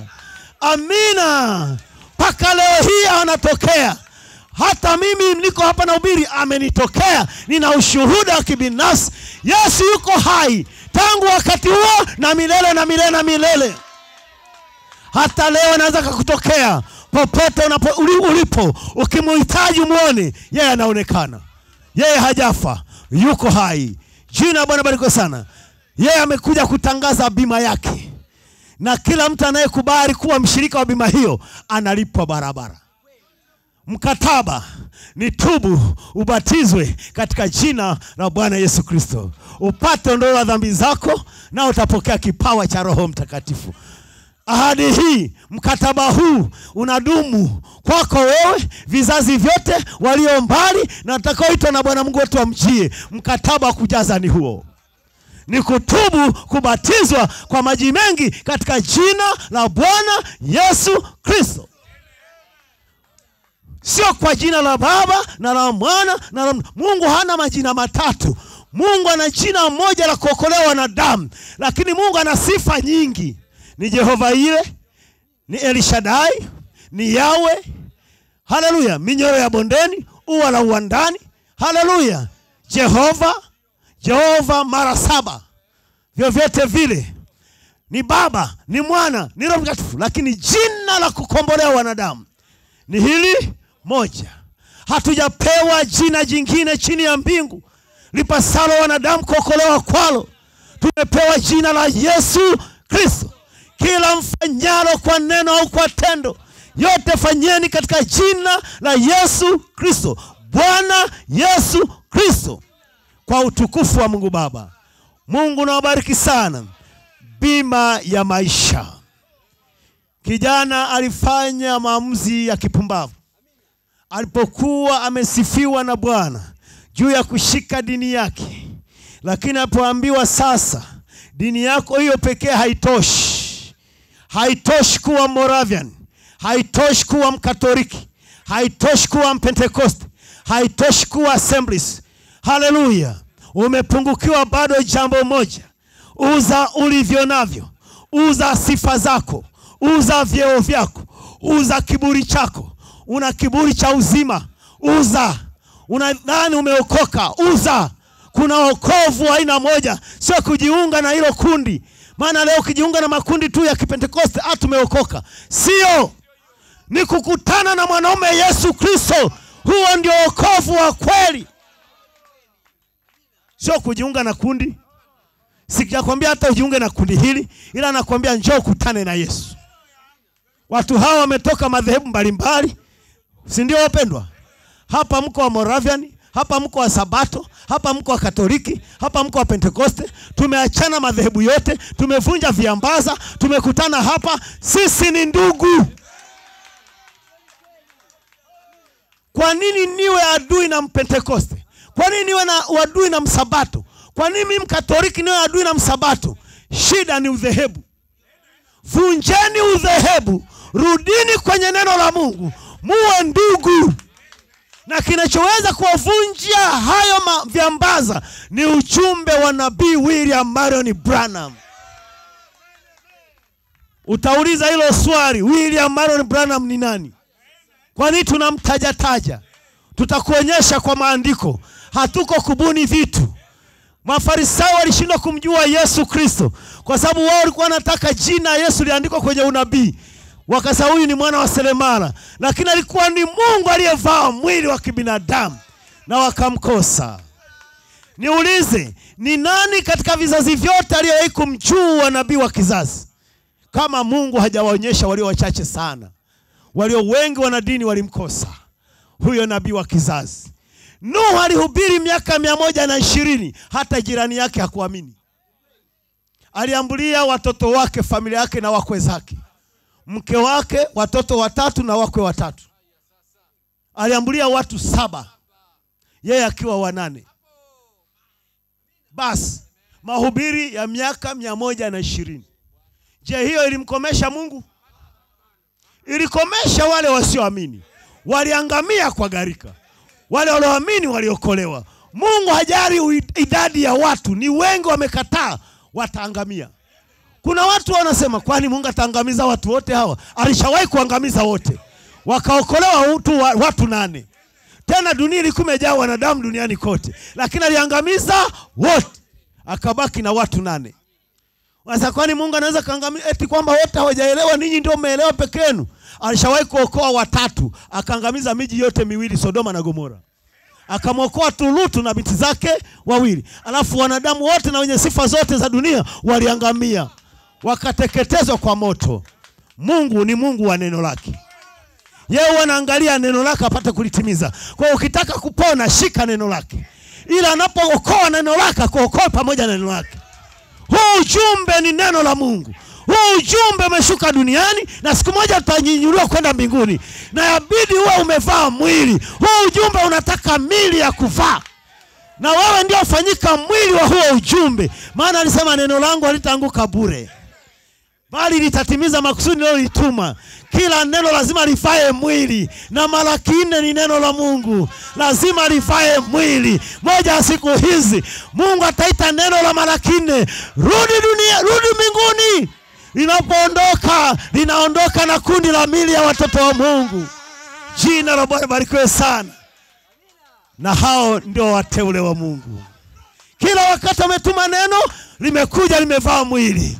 Alisema kuwa nuru, neno likaenda likavaa mwili, likawa jua, nuru ikaonekana duniani. Mungu alituma neno lake, likaja limevaa mwili. Kuwa na mwezi, likavaa mwili, mwezi ukaonekana. Neno lote la Mungu linavaga mwili. Kama mara kinne ni neno la Mungu, litavaa mwili. Mnaamini? Hebu na Mungu ajalie kwenye ibada hizi tunapowaita wachache wa Bwana waliobaki huko, na sisi tulioingia tuendelee kuimarika, tufanyike neno la Mungu. Hatujaitwa tuwe wana wa dhehebu, hatujaitwa tuwe wana wa shirika fulani, tumeitwa tuwe wana wa Mungu. Musa alikataa kuitwa mwana wa binti Farao baada ya kujua yeye ni nani, na leo tukishajua sisi ni nani, hatuitwi wana wa dhehebu. Sisi si dhehebu lolote, sisi ni watoto wa Mungu. Neno la Mungu lovaa mwili. yule kijana tajiri mtawala alifanya jambo la kijinga baada ya kujua hana uzima milele na amemuuliza mtu sahihi bwana yesu amemuuliza nifanye nini mwalimu mwema alijua kwanza yeye ni mwema na mungu ni mwema mungu hayuko kuangamiza watoto wake. Huwa anajaribu kuwaokoa ila wao ndio huwa wanakataa mpaka wanaangamia. Alimwambia hata kaini mungu anaokoaga chochote anataka kiokoe mungu hataka hata mmoja apotee. Huruma zake ni za ajabu sana hivi kwamba anataka tatamani kila kiumbe kingeokolewa. Akamwambia kaini dhambi iko mbele inakuotea. Jitahidi uishinde kwa mungu alimpa nafasi. Aweke mambo vizuri. Haku, hakufanya hivyo. Akachukua nafasi yake. Na leo kaini ni mwana wa jehanamu. Kwa nini? Alikataa kufuata njia ya mungu. Baada ya mungu kumwambia afuate. Mungu ni wa ajabu. Kila kizazi amekuja akikionya hicho kizazi chote kiokolewe chote. Kama ingewezekana chote kiokolewe. Lakini kimekataa. Kilipokataa kiliwekwa rafuni kwa ajili ya hukumu. Waliokubali waliwekwa kwenye uzima kwa ajili ya kuokolewa. Jina bwana barikiwe sana. Kwa hiyo huyu kijana alifanya jambo la kipumbavu. Kukubali kuendelea kuwa mwanadini na kushikilia mali zake huku hana uzima milele. Na alijua hana uzima milele. Na ameambiwa masheti madogo tu. Uza ulivyo navyo. Vyote. Gawa maskini. Kisha njoo unifuate maana ameshagundua huyu ana uzima wa milele. Kuna thamani gani kuendelea kuishi vizuri na huna uzima wa milele? Ulishaona mmea unaitwa maboga? Wangapi wanafahamu maboga? Boga likitanda, likitandaa kwenye kichuguu chote na mvua inanyesha kila kwenye fundo limeweka mizizi. Kila kwenye fundo limeweka mizizi. Sasa likatwe shina na ile mizizi ya kule mbele ina nguvu kule shina limeshakatwa. Hii mizizi ya mbele itakudanganya. Mbona tuna mizizi? Haikai. Baada ya siku mbili ukaenda pale inanyauka. Kwa nini kwenye shina kulikatika? Sasa unajua huna uzima milele. Dini yako na tumizizi itakusaidia nini? Kitanyauka kimeshanyauka chote. Huku huna uzima milele. Hakuna dhehebu lina uzima milele pentekoste haina uzima wa milele. Tag haina uzima wa milele. Katoliki haina uzima wa milele. Assemblies haina uzima wa milele. Mwenye uzima wa milele ni mtu mmoja tu. Uzima wa milele ni yesu kristo. Kwa nini usiyakabidhi maisha kwake? Alafu achane na vidhehebu vyote. Ubaki mtu wa yesu. Unasema nakutanika wapi? Kuna wachache wa bwana ambao wamekataa madhehebu wamerudi kwenye neno. Nauliza swali fulani. Hivi petro ni dhehebu gani? Hivi yesu mwenyewe ni dhehebu gani? Sasa nakupa swali. Tafuta dhehebu la petro au la yesu au la matayo ukilipata ndipo ingie yesu sio mkatoliki. Yesu akija hata katoliki haikuwepo ilikuwa ni dola ya kirumi serikali. Anayekwambia kanisa la kwanza katoliki ni nani? Mwambie rudi soma maandiko uone. Dhehebu la kwanza ni katoliki lakini sio kanisa la kwanza. Kwa masuala la dhehebu dhehebu la kwanza ni katoliki. Ni kweli kabisa. Ndio kilichofanyika dhehebu kwenye ukristo cha kwanza kufanyika dhehebu kikatoka kwenye neno kafanyika dhehebu ni ukatoliki lakini kanisa la mungu aliye hai lilizinduliwa siku ya pentekoste. Haikuitwa pentekoste pentekoste ni siku ya hamsini. Liliitwa wakristo hapo kwanza antiokia. Matendo kumi na moja ishiri na sita. Kwa kanisa la kwanza la bwana yesu kristo lilokuwa linaitwa wanafunzi. Achana wale tena shara kumi na mbili. Lakini waamini wote walikuwa wanaitwa wanafunzi. Kwa kuwa ndio agizo la yesu hasa enendeni ulimwenguni kote. Haleluya. Mkawafanya mataifa yote kuwa wanafunzi. Sio mkawafanya wakatoliki sio mkawafanya wamoraviani sio mkawafanya TAG, mkawafanya wanafunzi, na watu wote wa Mungu watakuwa wanafundishwa na Mungu. Siku zote watoto wa Mungu ni wanafunzi, siku zote neno ni jipya kwao, hata wajioni ni walimu, kila siku wanajifunza. Ndipo hawa wanafunzi wafuasi wa Yesu wakawaita jina lao wa Kristo, yaani watu wa Kristo, na walisema vizuri kulingana na maandiko, watu wangu wanaoitwa kwa jina langu. Neno linasema hivyo, watu wa Mungu wanaoitwa kwa jina la Mungu, wakiomba lolote toka mbinguni, Mungu atawa, atasikia. Kwao ni watu wanaoitwa kwa jina la Mungu. Vipi ukiwa mwanamke na wewe jina ni Paulo. Na huyo mke aitwe yeye ni misezi cha kubanga hiyo inakuja. Wewe mke wako umemwoa. Na wewe ni Paulo, na mke anachukua jina la mume, lakini unaangalia kwenye vitambulisho vyake, baada ya kumwoa akaja kasaini majina yake ni misezi cha Chaku, Chakubanga. Itabidi mdadisi, we mama, nimekuoa kwenye ndoa takatifu madhabahuni pa Bwana na jina lako ikawa uchukue jina langu misezi Paulo, mbona leo unaandikisha misezi cha kubanga Huyu cha kubanga ni nani? Ni nani kwako? Kanisa liliitwa Wakristo hapo kwanza Antiokia. Katoliki imetoka wapi? Moravian imetoka wapi? Assemblies imetoka wapi? tunavipata wapi kwenye maandiko? Wapi kanisa la Mungu ni TAG? Wapi kanisa la Mungu ni Sabato? Haya majina tumeyaokota wapi? Kwa tusitwe jina la mwokozi wetu? Mume wetu ni Yesu Kristo na mke wake ataitwa Mrs. Yesu Kristo. tulipaswa tuitwe Wakristo, si tu kwa jina, bali kwa maisha, kwa sababu mtu yeyote anaweza akajiita Mkristo na sio Mkristo.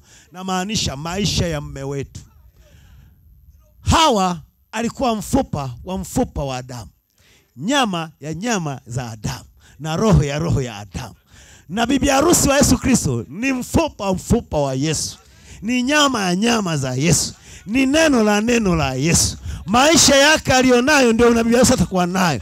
Asema kazi nizifanyazo nanyi mtazitenda, na kubwa kuliko hizi mtazifanya. Haleluya!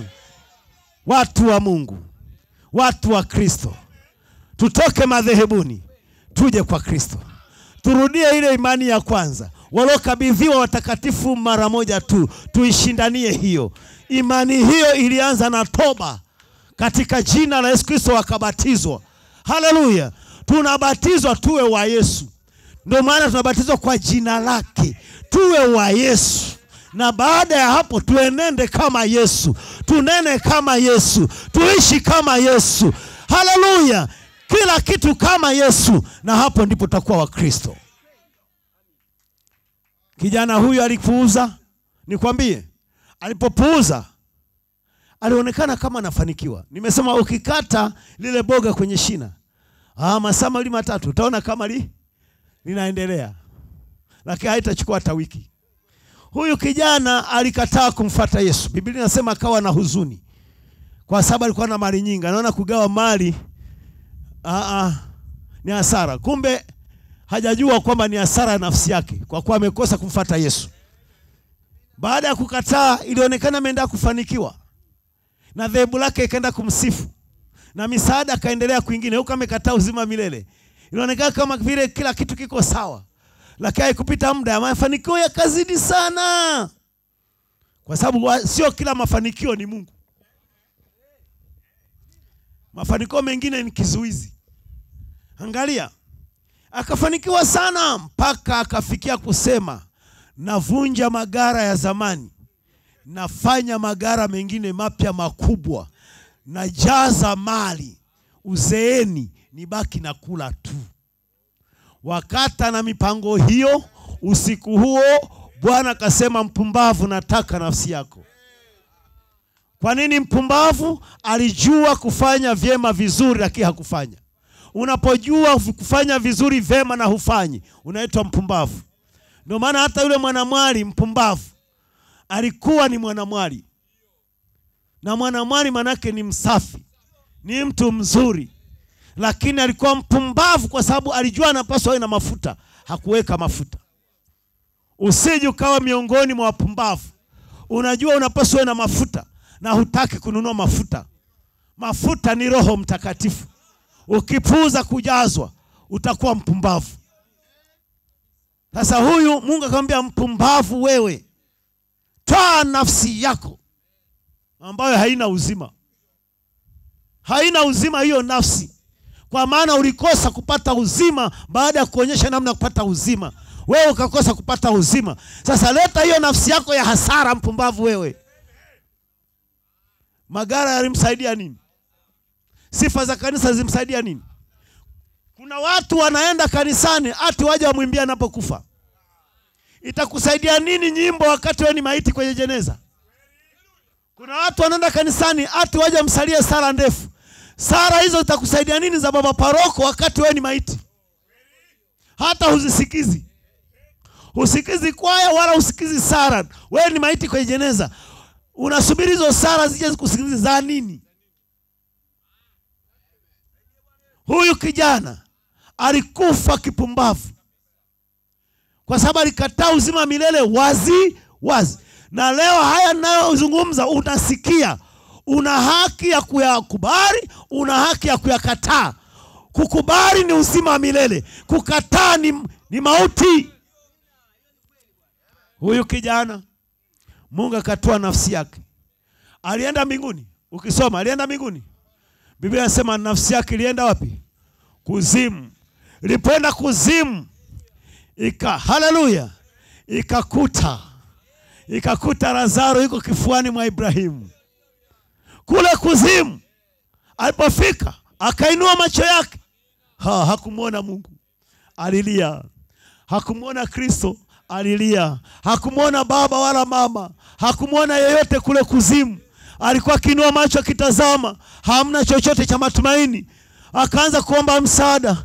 Ibrahimu we mtume lazaro achovye kidore kwenye maji. Tone kwangu. Ni, ni burudani kuliko mali nilizokuwa nazo duniani. Kuzimu kule tone la maji. Ni dhahabu. Ni kukame sana kiasi cha kwamba ni mateso yasiyoelezeka. Nabii alikwambia usijaribu kwenda kule. Sasa nabii wetu ni waajabu sana. Mungu ameruhusa aende kuzima tusimulie kulivyo. Na ameruhusa aende mbinguni tusimulie kulivyo. Na akasema usiende huko. Kuzimu ni kubaya sana wazia mtu mwenye mali duniani aliyestarehe kwa nasa zote. Kuzima akawa naomba tone la maji.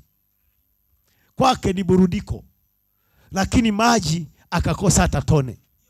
Sasa basi niombe hivi. Kwa ibrahimu akamwambia hakuna mtu aweze kuvuka huku tuliko akavuka bonde liloko kati yako na, na sisi. Hakuna njia. Sasa basi huko huko mliko tumeni watu waende duniani wakahubiri ndugu zangu wasije wakafika huku sasa huko kuna mitume na manabii watawahubiri. Wasipowasikia hao watakuja huko uliko. Kwa leo usiposikiza wahudumu waliotumwa na mungu utaenda kule yule tajiri alienda. Matajiri wengi leo wamekataa uzima milele wakashikilia mali zao wameenda kuzimu. Lakini jibu ni kwanza pata uzima wa milele na hayo mengine utazidishiwa. Nasoma katika jina la Bwana Yesu Kristo. Na walipofika mahali palipo walipofika mahali paitwapo fungu la kichwa au kwa Kiebrania Golgota, ndipo walipomsulubisha yeye na wale wahalifu, mmoja upande wa kuume na mmoja upande wa kushoto. Yesu akasema, Baba, wasamehe kwa kuwa hawajui watendalo. Wakagawa mavazi yake, wakapiga kura, Watu wakasimama wakitazama, wale wakuu nao walikuwa wakimfanyia mizaa wakisema, aliokoa wengine na ajiokoe mwenyewe, kama ndiye Kristo wa Mungu mteule wake. Wale askari nao wakamfanyia dhihaka, wakimwendea na, na, kumle, na kumletea siki, huku akisema, kama we ndiwe mfalme wa Wayahudi, ujiokoe mwenyewe. Na juu yake palikuwa na anwani, huyu ndiye mfalme wa Wayahudi. Na mmoja wa wale waharifu waliotungikwa alimtukana akisema, Je, wewe si Kristo? Jiokoe nafsi yako na sisi. Lakini yule wa pili akamjibu akamkemea akisema, wewe umwogopi hata Mungu, nawe u katika hukumu hiyo hiyo. Nayo ni haki kwetu sisi, kwa kuwa tunapokea malipo tuliostahili kwa matendo yetu, bali huyu hakutenda lolote lisilofaa. Kisha akasema, e Yesu, nikumbuke utakapoingia katika ufalme wako. Yesu akamwambia, amin na kuambia leo hivi utakuwa pamoja nami peponi. Tuombe. Asante kwa neno lako losomwa, tunaomba utusaidie Baba. Hatuna mawazo yetu wenyewe, ni kile nabii wako amesema. Tunachukua kile nabii ulichomwambia aseme, na ndio tuko nacho hicho hicho. Hatuna mawazo yetu wenyewe, hatujaenda shule yoyote ya Biblia. Kama kuna shule ya Biblia ni ujumbe wa saa, ni kanda za nabii. Hiyo ndo tunaweza kujua umbali huo. Kama tu wanafunzi hawakwenda shule za kibinadamu, walifundishwa na wewe miaka mitatu na nusu. Kama kuna haja ya chuo, hicho ndio chuo. Nasi Baba, tunashukuru umetutumia nabii, na si tu nabii, bali wewe ndani ya nabii, na ukamwambia nabii aseme yeye ni sauti ya Mungu kwetu, na tunaamini sauti ya Branham ni sauti ya Mungu kwetu. Tumeipokea, tumeikubali, tumeiamini na tutazidi kuiamini mpaka mnyakuo. Tunakushukuru kwamba umetupea mahali pa kutia nanga, kwa kuwa mkataa wetu ni ujumbe wa Branham. Ndio neno letu la mwisho ya mabishano yote. Tukibishana, neno letu la mwisho ni kile Branham amesema. Tunashukuru kwamba tunaamini hivyo, na tunajaribu kumleta kila mtu, tumwonyeshe mahali Mungu anazungumza. Baba, tunakushukuru, tusaidie jioni ya leo, katika jina la Yesu Kristo tunaomba, amen. maweza kuketi. Bwana Mungu naongeze baraka zake kwa kusoma kwa neno lake. Mungu nawabariki sana. E, kichwa cha somo langu jioni ya leo ni si cha kawaida, kwa kuwa Mungu sio wa kawaida. Kichwa kinasema wewe uko upande gani wa Yesu, mkono wa kulia au wa kushoto? Wewe uko upande gani wa Yesu, mkono wa kuume au wa kulia ama wa kushoto? Bwana Yesu nawabariki sana, na hebu tugeuze mwelekeo wetu jioni ya leo, macho yetu ya rohoni yatazame moja kwa moja Kalvari. Au pale Gorigota, fuvu la kichwa. Mandhari yetu jioni ya leo hii ni juu pale mlimani palipoitwa kwa lugha ya Kiebrania Golgota, mahali alipotungikwa msalabani Yesu mwana wa Mungu pamoja na wahalifu wawili, mhalifu mmoja mkono wa kushoto na mwarifu mmoja mkono wa kulia. Na somo letu jioni ya leo ninalileta kwa mtindo wa swali, wewe uko upande gani?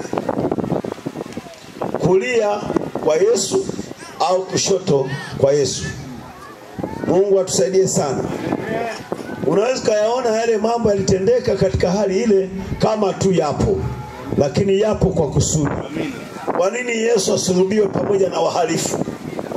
Kwa nini Yesu atundikwe katikati na mhalifu mmoja kulia na mwingine kushoto? Kile Mungu amekusudia lazima kitendeke, na mambo hutukia na watu huyaona na mengine ya ajabu, hata hajui ni nini, lakini ni Mungu akiwa kazini Amen. na jambo fulani lazima litendeke. Bwana Yesu atujalie sana. Hivi ndivyo ambavyo imekuwa kila kizazi. Mungu atusaidie sana. Kwa hiyo kama kuna chochote Mungu anataka kitendeke, huwa kinatendeka. Anasema katika ujumbe wa tumtendeje huyu Yesu aitwe Kristo 42 na kuendelea, hakuna chochote kinachoweza kutendeka bila ya kuwa na kitu fulani nyuma yake kinachosababisha. Sorry, mpate leso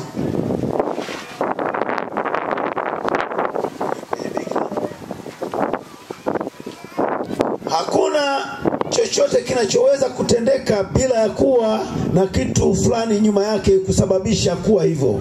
Hapana budi kuwe na sababu fulani kwa kila kitu kinachotendeka, kwa kuwa kinasababishwa bila shaka na roho roho aliye ndani ya viumbe na katika wanadamu na kadhalika. Kuna kusudi laki na shabaha, na hapana budi kuwe na sababu. Amina.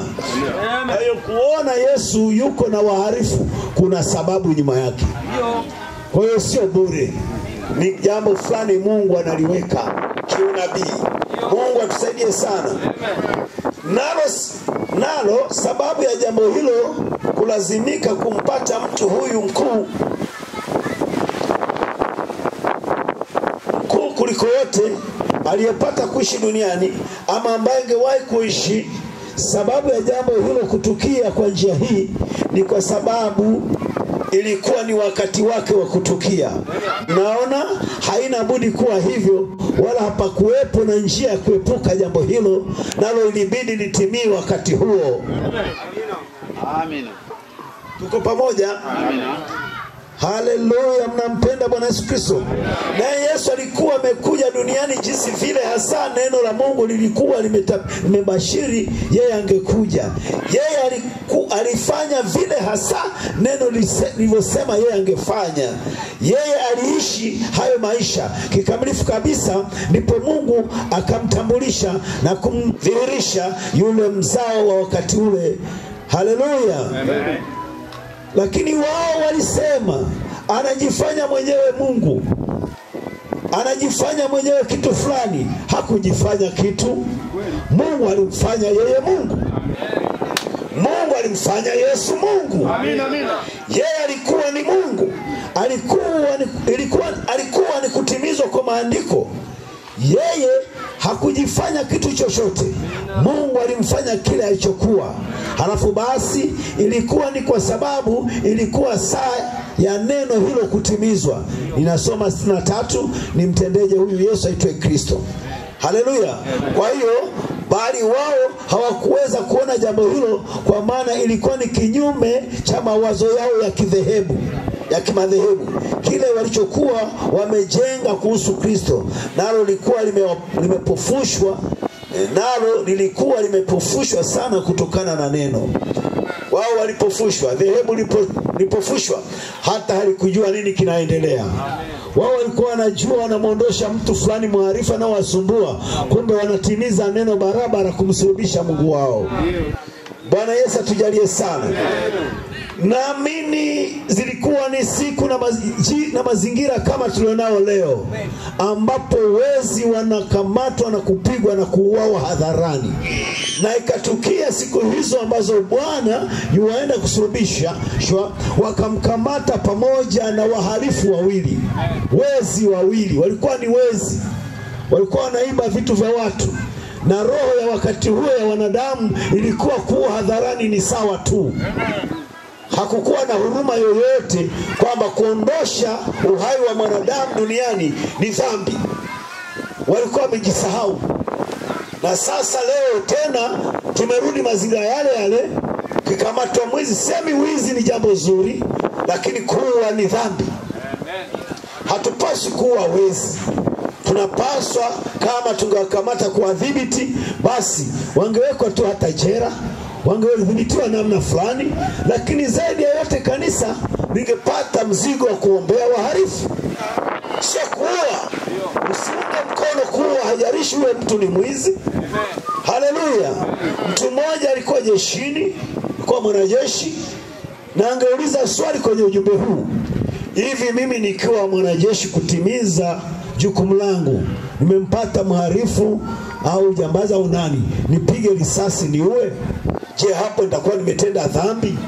Maana nimesha hapa kutetea taifa langu kwamba nitalinda, na nimempata mtu huyu ana hatia, na pengine nataka kutoroka, ni nipige risasi niue au nikaua bahati mbaya? Je, nimekosea wapi? Nabii alijibu hilo swali. Mwizi atahukumiwa kama mwizi, mharifu atahukumiwa kama mharifu, na muuaji atahukumiwa kama muuaji. Jina la Bwana barikiwe sana. Haitupi udhuru kuondoa uhai wa mtu mwanadamu wenzako Kile ungefanya ungemwombea, alafu mwache Mungu washughulikie kwa njia yake. Lakini hawa watu waliishi kipindi ambacho roho ya kuua ilikuwa ndani yao, na roho ya kuua ni ya Kaini siku zote, roho ya kuwa ni ya Shetani. Sasa hao watu bila huruma waliwakamata wale wahalifu wawili wakawaweka pamoja na mwokozi wetu asiye na hatia. Mungu natusaidie sana. Bwana wetu Yesu Kristo alisulubiwa, alishtakiwa kwa uongo na akasulubiwa na bila hatia yoyote, na akahesabiwa pamoja na wahalifu, na zaidi yote yeye akaonekana ndio mkuu wa wahalifu wote, huku hana kosa hata moja.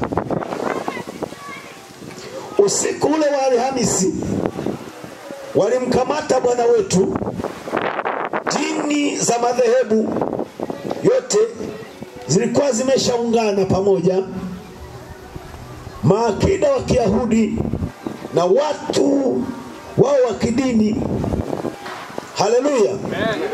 Walimkamata na kumpeleka kwa makuhani, viongozi wao wa kidini. Kwa mjibu wa imani ya dini yao, walimshtaki kwa mashtaka matatu. Kwa mjibu wa imani yao ya kimafarisayo na dini zao, walimshtaki Yesu kwa mashtaka matatu ambayo kwa mjibu wa imani yao ilikuwa aondoshwe kabisa.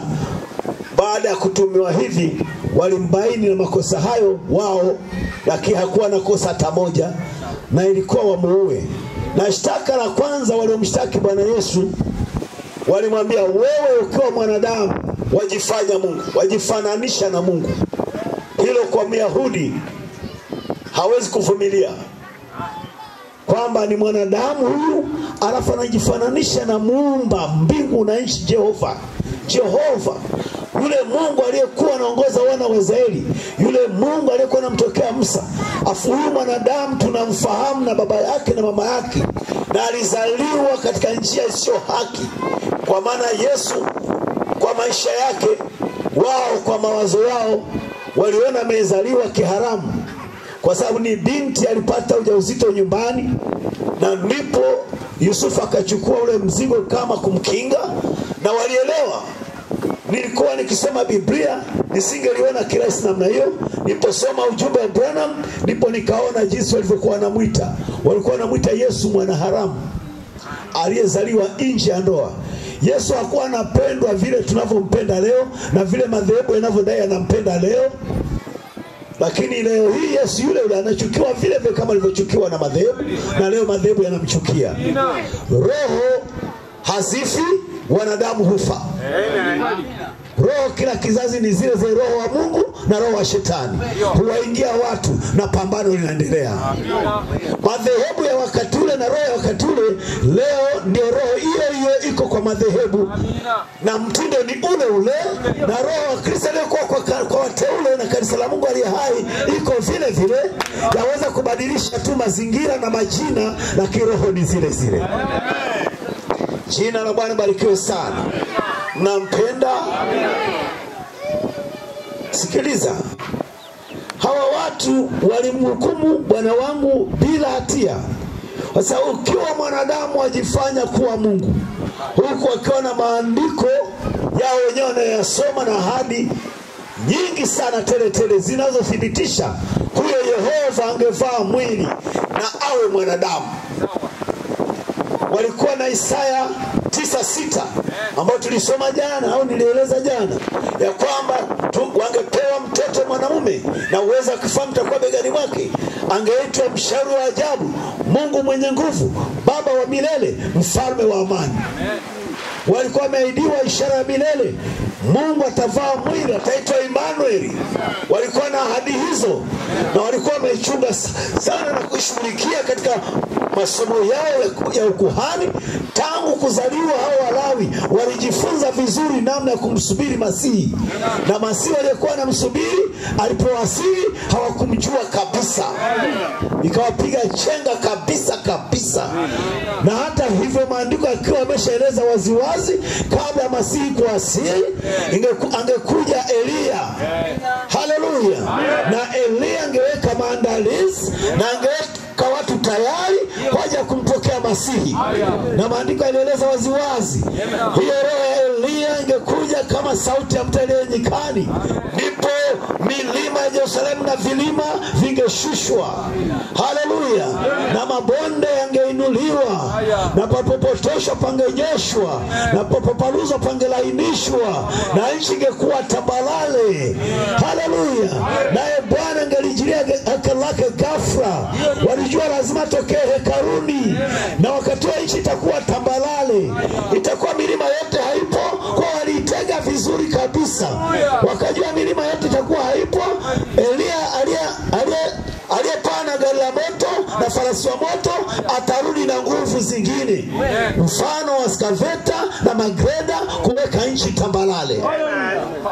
Wakajua haitawapita kabisa. Lakini eliya alipowasili dini na mfumo wa madhehebu haukumjua. Haleluya. Na eliya aliyekuja aliitwa yohana.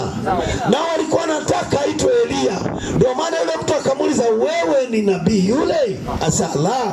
Wewe ni eliya akasema la. Wewe ni nani? Wewe ni kristo? Asema la. Wanenaje juu ya nafsi yako tuwape majibu waliotupeleka? Asa mimi ni sauti ya mtu aliye nyikani tengenezeni njia ya bwana nyesheni mapito yake. Hawakuelewa na Biblia wanazo zinaeleza hivyo. Ni kama leo tunavyoeleza maandiko yanavyotimia nao hawawezi kuelewa na hawatakuelewa. Kwa sababu nini madhehebu yamewapofisha sana yamewafundisha vingine tofauti na neno lililoahidiwa kiasi cha kwamba inavyokuja katika ukweli wake ina, inapingana na mtazamo wao na mategemeo yao ndipo wanaiona si ya mungu. Wanaitupa pembeni wakiendelea kusubiri ya mungu. Nayo wanaikosa moja kwa moja kama walivyokosa kule nyuma. Haleluya. Roho ilikuja kupitia yohana mbatizaji ni wakati baba yake zakaria amepata eh, kibali mbele za bwana kule amemwangukia kufukiza uvumba mchana. Ndipo malaika akamtokea upande wa kumi wa- wa madhabahu na akamwambia zakaria mkeo elizabeth atapata mimba atazaa mwana katika uzee wake na jina umwite yohana.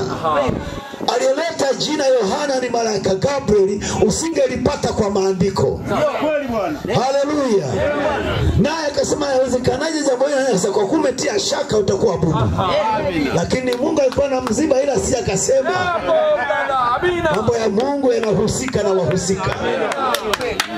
Na alivyotoka pale kutoka kufanya ibada ya Bwana, eh, huduma ya bwana wakamuuliza makuhani wengine eh, mambo yalimeendaje? Mm. Sasa mzee kuna nini? Mm. siri itatoka. Na aliingia anaongea akatoka haongei hayo mambo yote kiroho yalikuwa yanaendelea na watu hawajui kinachoendelea.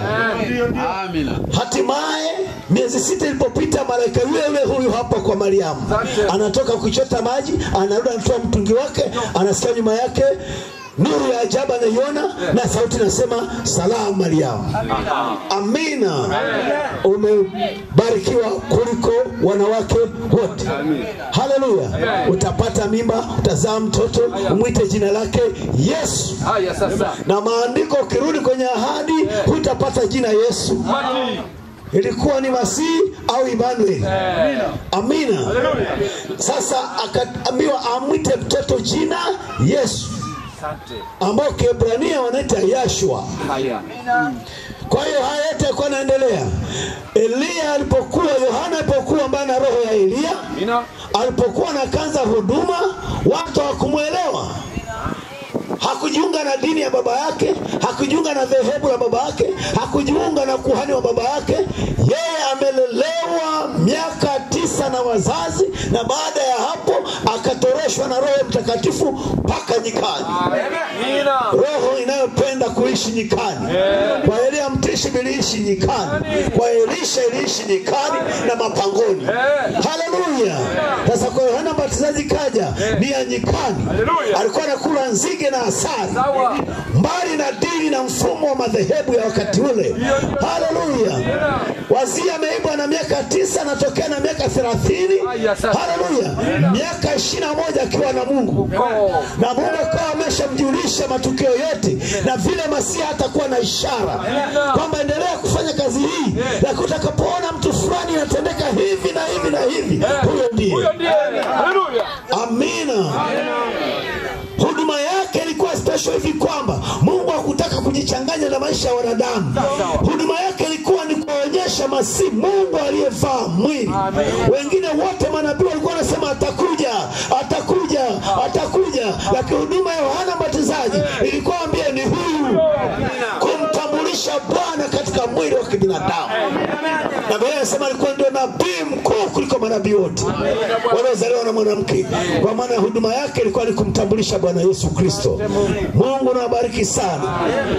Ilikuwa ni huduma kuu sana sana sana, neno ambalo manabii wote limewajia. Sasa yeye litakuja, neno lilikuwa limevaa mwili likimjia, na Mungu akampa ishara ya kumtambua Masihi. Madhehebu hayakujua kama ilivyo leo. Mungu anapotimiza unabii ambao uko waziwazi kwenye maandiko, madhehebu hayajui, lakini wachache wa Bwana waliokuchaguliwa kwa neema, huwa Mungu anawajulisha mambo haya. Kuna watu wakashawishika na ujumbe wa Yohana Mbatizaji, hata wakafanyika wanafunzi wa Yohana Mbatizaji. Haleluya! hawakuwa na kanisa pa kuhudhuria, ila tu pale Yordani mtoni, na jioni kiisha, Yohana anaingia polini, wao wanarudi nyumbani. Huyo mtu alikuwa wa ajabu sana, hata vaa yake ilikuwa ya ajabu sana.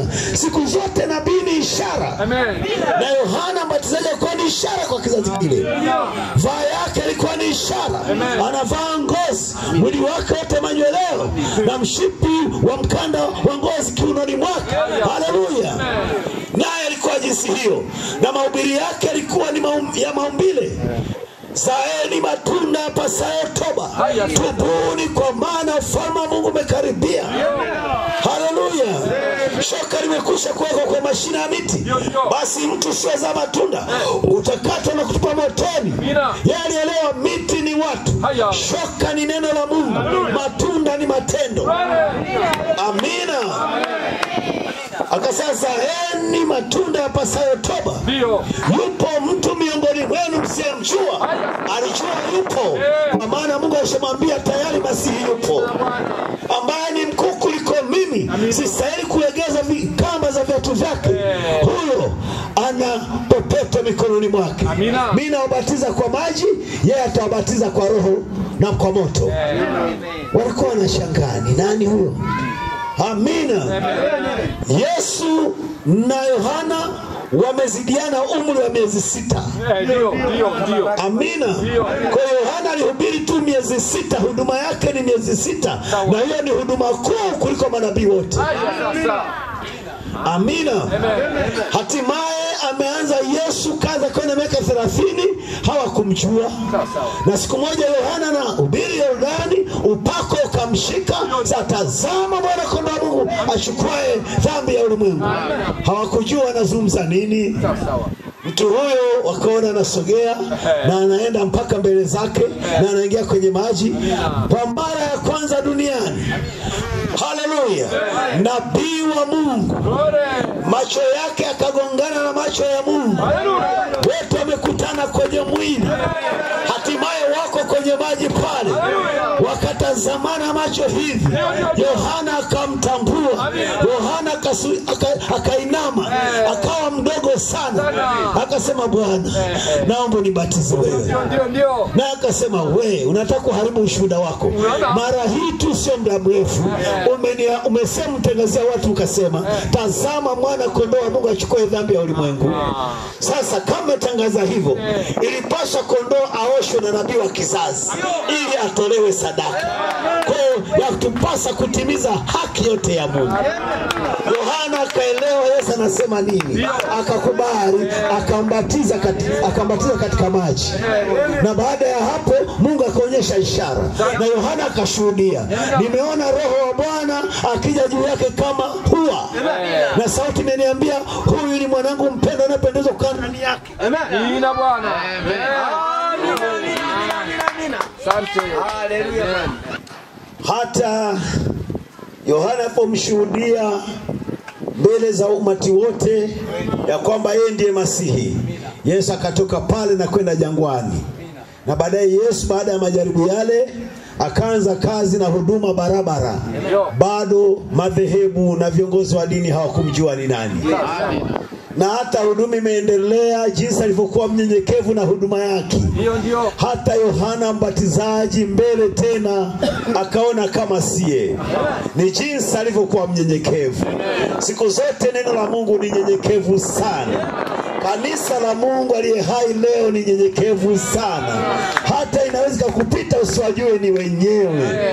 Hawana majigambo, hawana vya kujivuna, hawana vya kujifanya, wako vile Mungu amewafanya wawe, na kwa hali hiyo unaweza ukawapita ukawavuka usiwatambue, kwa sababu ni wanyenyekevu sana kama Bwana wao. Yohana Mbatizaji akaona mtu mwenyewe aliyemshuhudia hapo nyuma nyuma kidogo, mbona hachalazi ulimwengu? Mbona hafanyi vile nimeona kwenye maandiko vile angefanya? Lakini kumbe alikuwa anafanya katika njia nyenyekevu sana, kama tu watu wa nje walivyokuwa wamemkosa Yohana, wamemkosa na Bwana Yesu, kwa kuwa walikuwa wanatazamia vitu vikubwa vitendeke. Kwa kuwa unabii wa Mungu anapotaja huwa anataja vitu vikubwa vikubwa, lakini vinapotendeka ni kwa unyenyekevu sana. Milima na vilima vishuke, hilo jambo si kubwa, litakukosaje? Palipoparuzwa panyoshwe, papopotoshwa panyoshwe, papoparuzwa parainishwe, vibonde vyote viinuliwe na nchi iwe tambalale. Kumbe Yohana amekuja akafanya kazi hizo. Akija mwanadini, tubu. Akija kiongozi wa dini, askofu mkuu, tubu. Akija kahaba, tubu. Wote anaweka revo moja. Akija mtu wa mamlaka, tubu. Akija yeyote, tubu. Wote kuwatubisha, kuwaweka kwenye levo moja. Nchi itawekwa tambalale milima wenye vyeo wenye watu wakubwa watashushwa na walio chini watakwezwa, wote kwenye levo moja. Tubu, na hiyo nchi ndio Bwana ataichia, sio nchi ya ardhi, nchi mioyo.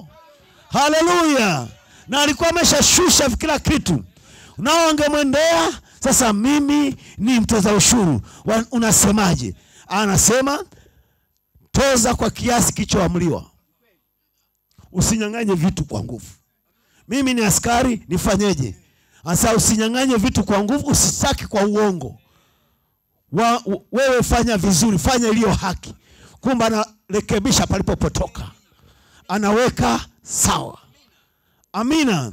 Na mtu akaja angesema na mimi sasa, wewe ukiwa na majoho mawili mpe mwenzako moja, wote muwe sawa.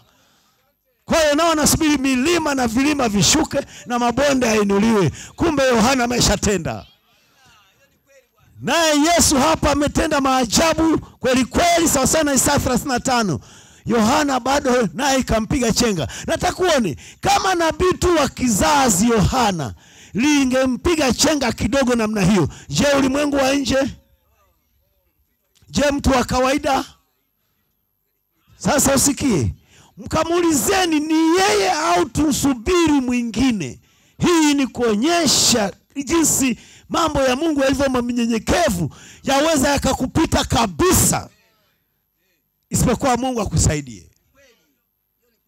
Walipoenda wale waliotumwa na Yohana, wasa Yohana ametutuma yuko gerezani, eti ni wewe au tusubiri ni mwingine?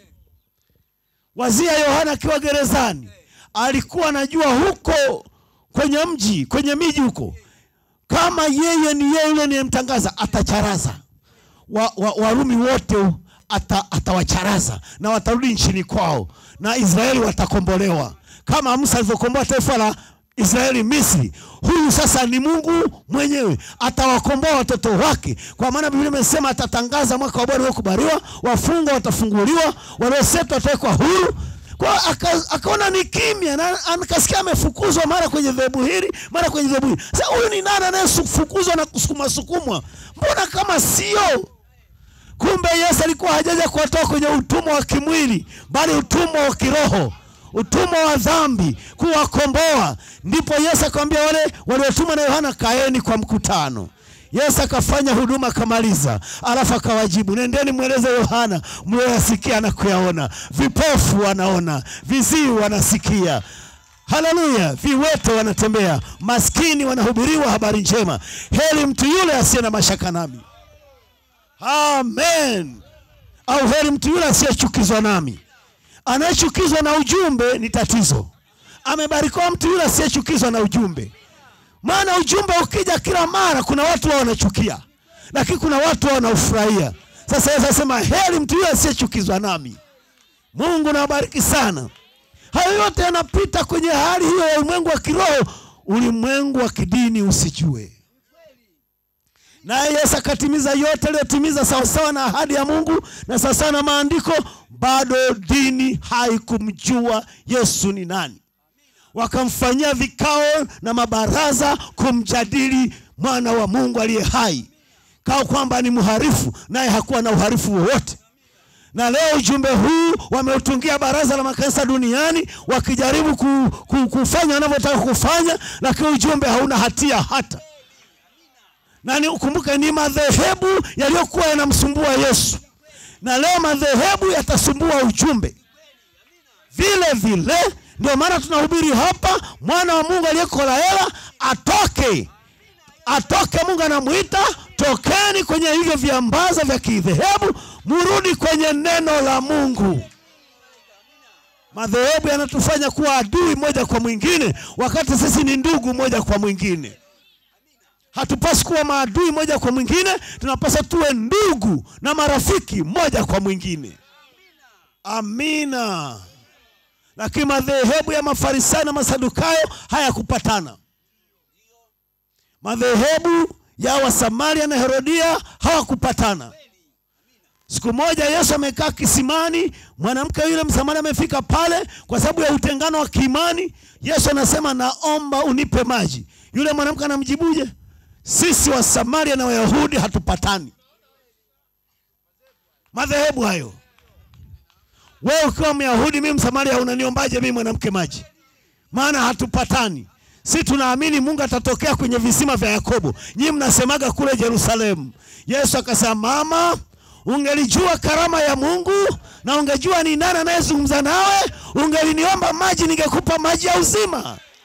Sasa siku zitakuja na muda ni sasa, waabuduo harisi hawataabudu kule Yerusalemu wala kwenye hii milima ya Yakobo wala kwenye visima hivi, bali wataabudu katika roho na kweli, kwa maana Baba watafuta waabudu wa jinsi hiyo. Madhehebu yanatutenga, yanatutenganisha undugu na kuleta uadui, lakini sisi tunahubiri ujumbe wa amani, ujumbe wa ukombozi, ujumbe wa upendo, ujumbe wa, wa, wa neema ya ajabu kumtoa Moraviani Moraviani, kumtoa Mkatoliki Ukatolikini, kumtoa Mpentekoste Pentekostini, warudi kwenye neno. Turudi kwa Baba yetu Mungu ambaye ni neno la Mungu, na tuwe Wakristo wasio na madhehebu. Kimadhehebu yamejenga yame- ukuta na himaya zao, huwezi ukavuka ukaenda kuwahubiria, wamefunga milango hutachukua Biblia na kwenda kuhubiria, wamefunga milango. Watakwambia kadi ya ushirika iko wapi? Cheti chako cha theolojia kiko wapi? Wazia, Yesu akamuuliza swali hilo, unatenda mambo haya kwa mamlaka ya nani? Una kadi gani ya ushirika? Ni nani, viongozi gani wakubwa wamekutuma kwamba una mamlaka ya kuhubiri? Sasa na mimi niwaulize swali, Yohana wakati anahubiri mamlaka yake alitoa wapi? Wakawaza, tukisema kwa wanadamu watatupiga mawe, kwa maana wanadamu wote walijua Yohana nabii. Tukisema kwa Mungu atasema kwa nini hamkuamini? Basi tuseme hatujui. Sasa hatujui, alipata akasema, mimi sijui, nafanya haya kwa mamlaka ya nani? Bwana tujalie sana. Leo roho ni zile zile zile zile. Mungu natusaidie sana. Tunamshukuru Mungu kwamba ametujalia kuona Mungu anavyotimiza neno kwa wakati huu. Wale wanafunzi wa Yohana Mbatizaji hata hakujua Yohana ni nani, lakini walikuwa wamevutwa na nguvu ya Mungu, ndipo wakawa wanafunzi wa Yesu. Ndipo mbele wanamuuliza swali Yesu, mbona tumeona Mungu anakuthibitisha wewe ni Masihi hapa mlimani? Mbona ndio tunakusubiri hata tukiwa ma madhebuni? Waandishi walituambia atakuja Masihi, amevaa mwili, atakuwa hivi na hivi. Mbona tumegundua ni wewe? Sasa mbona Elia hajaja? Nao walishawahi kuwa wanafunzi wa Yohana, hawajajua Elia amekuja. Najaribu kuwaonyesha mwone ilivyo nyenyekevu sana. Wanafunzi wenyewe hawakujua Yohana ni nani, ndipo Yesu akaja akawaambia, kweli Elia yuwaja kwanza na atatengeneza mambo yote, lakini awaambia Elia amekwisha kuja, wala wasimtambue. Biblia inasema ndipo walipofahamu kwamba ananena nao habari za Yohana Mbatizaji. Ni nyenyekevu sana. Ona leo waaminio wa ujumbe walivyo wanyenyekevu, usingedhania ndio wale Biblia imewataja katika hali kubwa kubwa. Siku za mwisho kanisa la Mungu aliye hai litakuwa halina ila wala wao wala kunyanzi. Haleluya! Watakuwa na mamlaka juu ya maumbile, watakuwa na mamlaka juu ya magonjwa, watakuwa na mamlaka juu ya mauti, watakuwa hivi na hivi na hivi na hivi, na kuangalia ni wanyenyekevu sana. Unaweza ukawakosa ukadhani sio wenyewe, lakini wenyewe. Bwana nawabariki sana, mnampenda Bwana Yesu Kristo. Tunakualika ndugu yetu yeyote uliyeko Laela, tunakualika usikie ujumbe wa Mungu ambao Mungu ameuleta kizazi hiki kupitia mtumishi wake Nabii William Marion Branham, ya kwamba siku za mwisho Mungu atatutoa madhehebuni na kuturejesha kwenye neno la kweli, kama Mungu alivyofanya kwa Nuhu, kuita wanyama wote waliogawanyika gawanyika waje pamoja na waingie safinani pamoja. Naweza kumwangalia mchunga ng'ombe alikuwa anachunga ng'ombe mahali fulani, mchunga mbuzi anachunga mbuzi, mchunga kondoo na kadhalika, na wanyama mbalimbali, lakini wanyama waliasi kuchungwa. Haleluya! Ng'ombe wakatazamana, jike na dume wakarusha mikia. Hao mchungaji subiri, subiri, subiri, milima mabonde, hao nini? Wameitwa na ujumbe wa Mungu. Haleluya! Hao mbuzi nao wakarusha mikia yao mifupi, hao wanakimbia kwenda sehemu moja, wanaasi mipaka yao. Hao kenge wawili wako mahali fulani na kundi la makenge, lakini wawili wakatazamana, dume na jike, kuna kitu kimewaingia ndani yao. Kuna mjumba anaita mahali fulani, hao wakatimua mbio.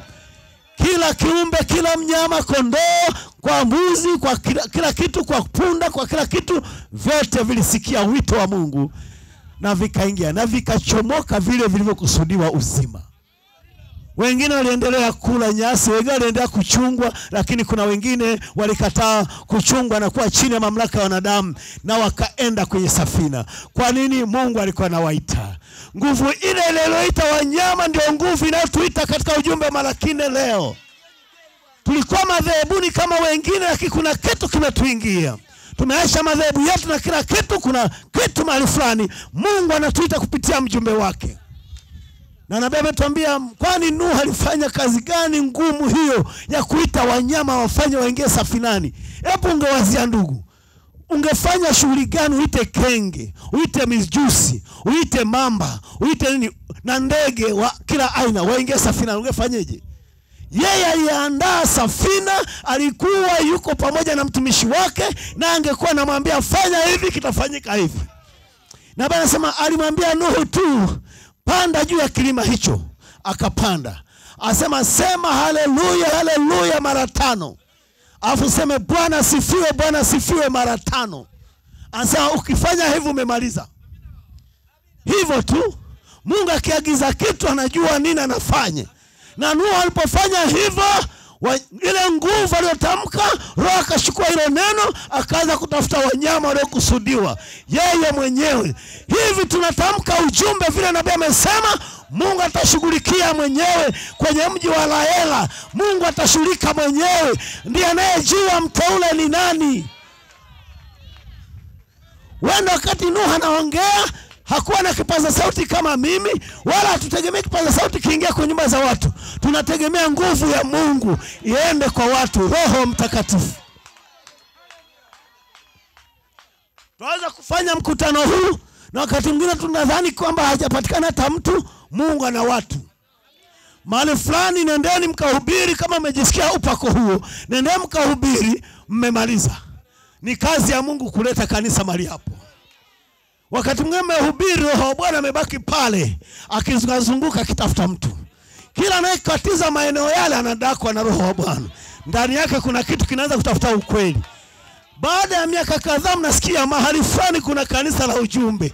Ni nyinyi mlienda pale mkahubiri na roho wa bwana akabaki pale akitafuta mmoja mmoja mungu ndivyo anavyofanya kazi. Hategemei kazi za kibinadamu na juhudi ya binadamu. Si tumepata tu upako wa kuja hapa na shauku ndani yetu lakini anayeokoa ni mungu. Anayeleta watu kwa kristo ni mungu. Ni kama tunavyoombea mgonjwa. Ombea mgonjwa chapa mwendo. Ishara zitakufuata.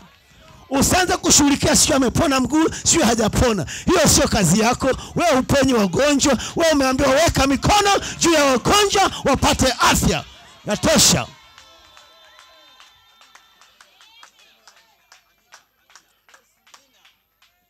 shida ni kwamba watu wana wasiwasi na ujumbe wao wenyewe. Usiwe na wasiwasi na ujumbe uliopewa. Mungu amekwambia fanya hivi wewe fanya. Yanayoendelea mungu atatimiza yeye mwenyewe. Aliwambia wanaisraeli kuhusu kubomoa kuta za jeriko msihangaike nyinyi zungukeni tu mkiwa kimya kimya mkiamka asubuhi zungukeni kimya cha nusu saa zungukeni kimya cha nusu saa haleluya ungewaona sema mnafanya nini Mwambie tunaangusha ukuta. Ungesema nyinyi mna kasoro, mna shida kichwani. Wangesema ni Jehova ametuambia. Ogopa Mungu akishasema ni kitu kingine. Mungu akishasema ni jambo jingine. Ibada zetu hizi ni Mungu amesema. Weka ara ni Mungu amesema. Fanya hivi ni Mungu amesema. Si tunatenda kile Mungu amesema. Atajitetea mwenyewe kwenye neno lake.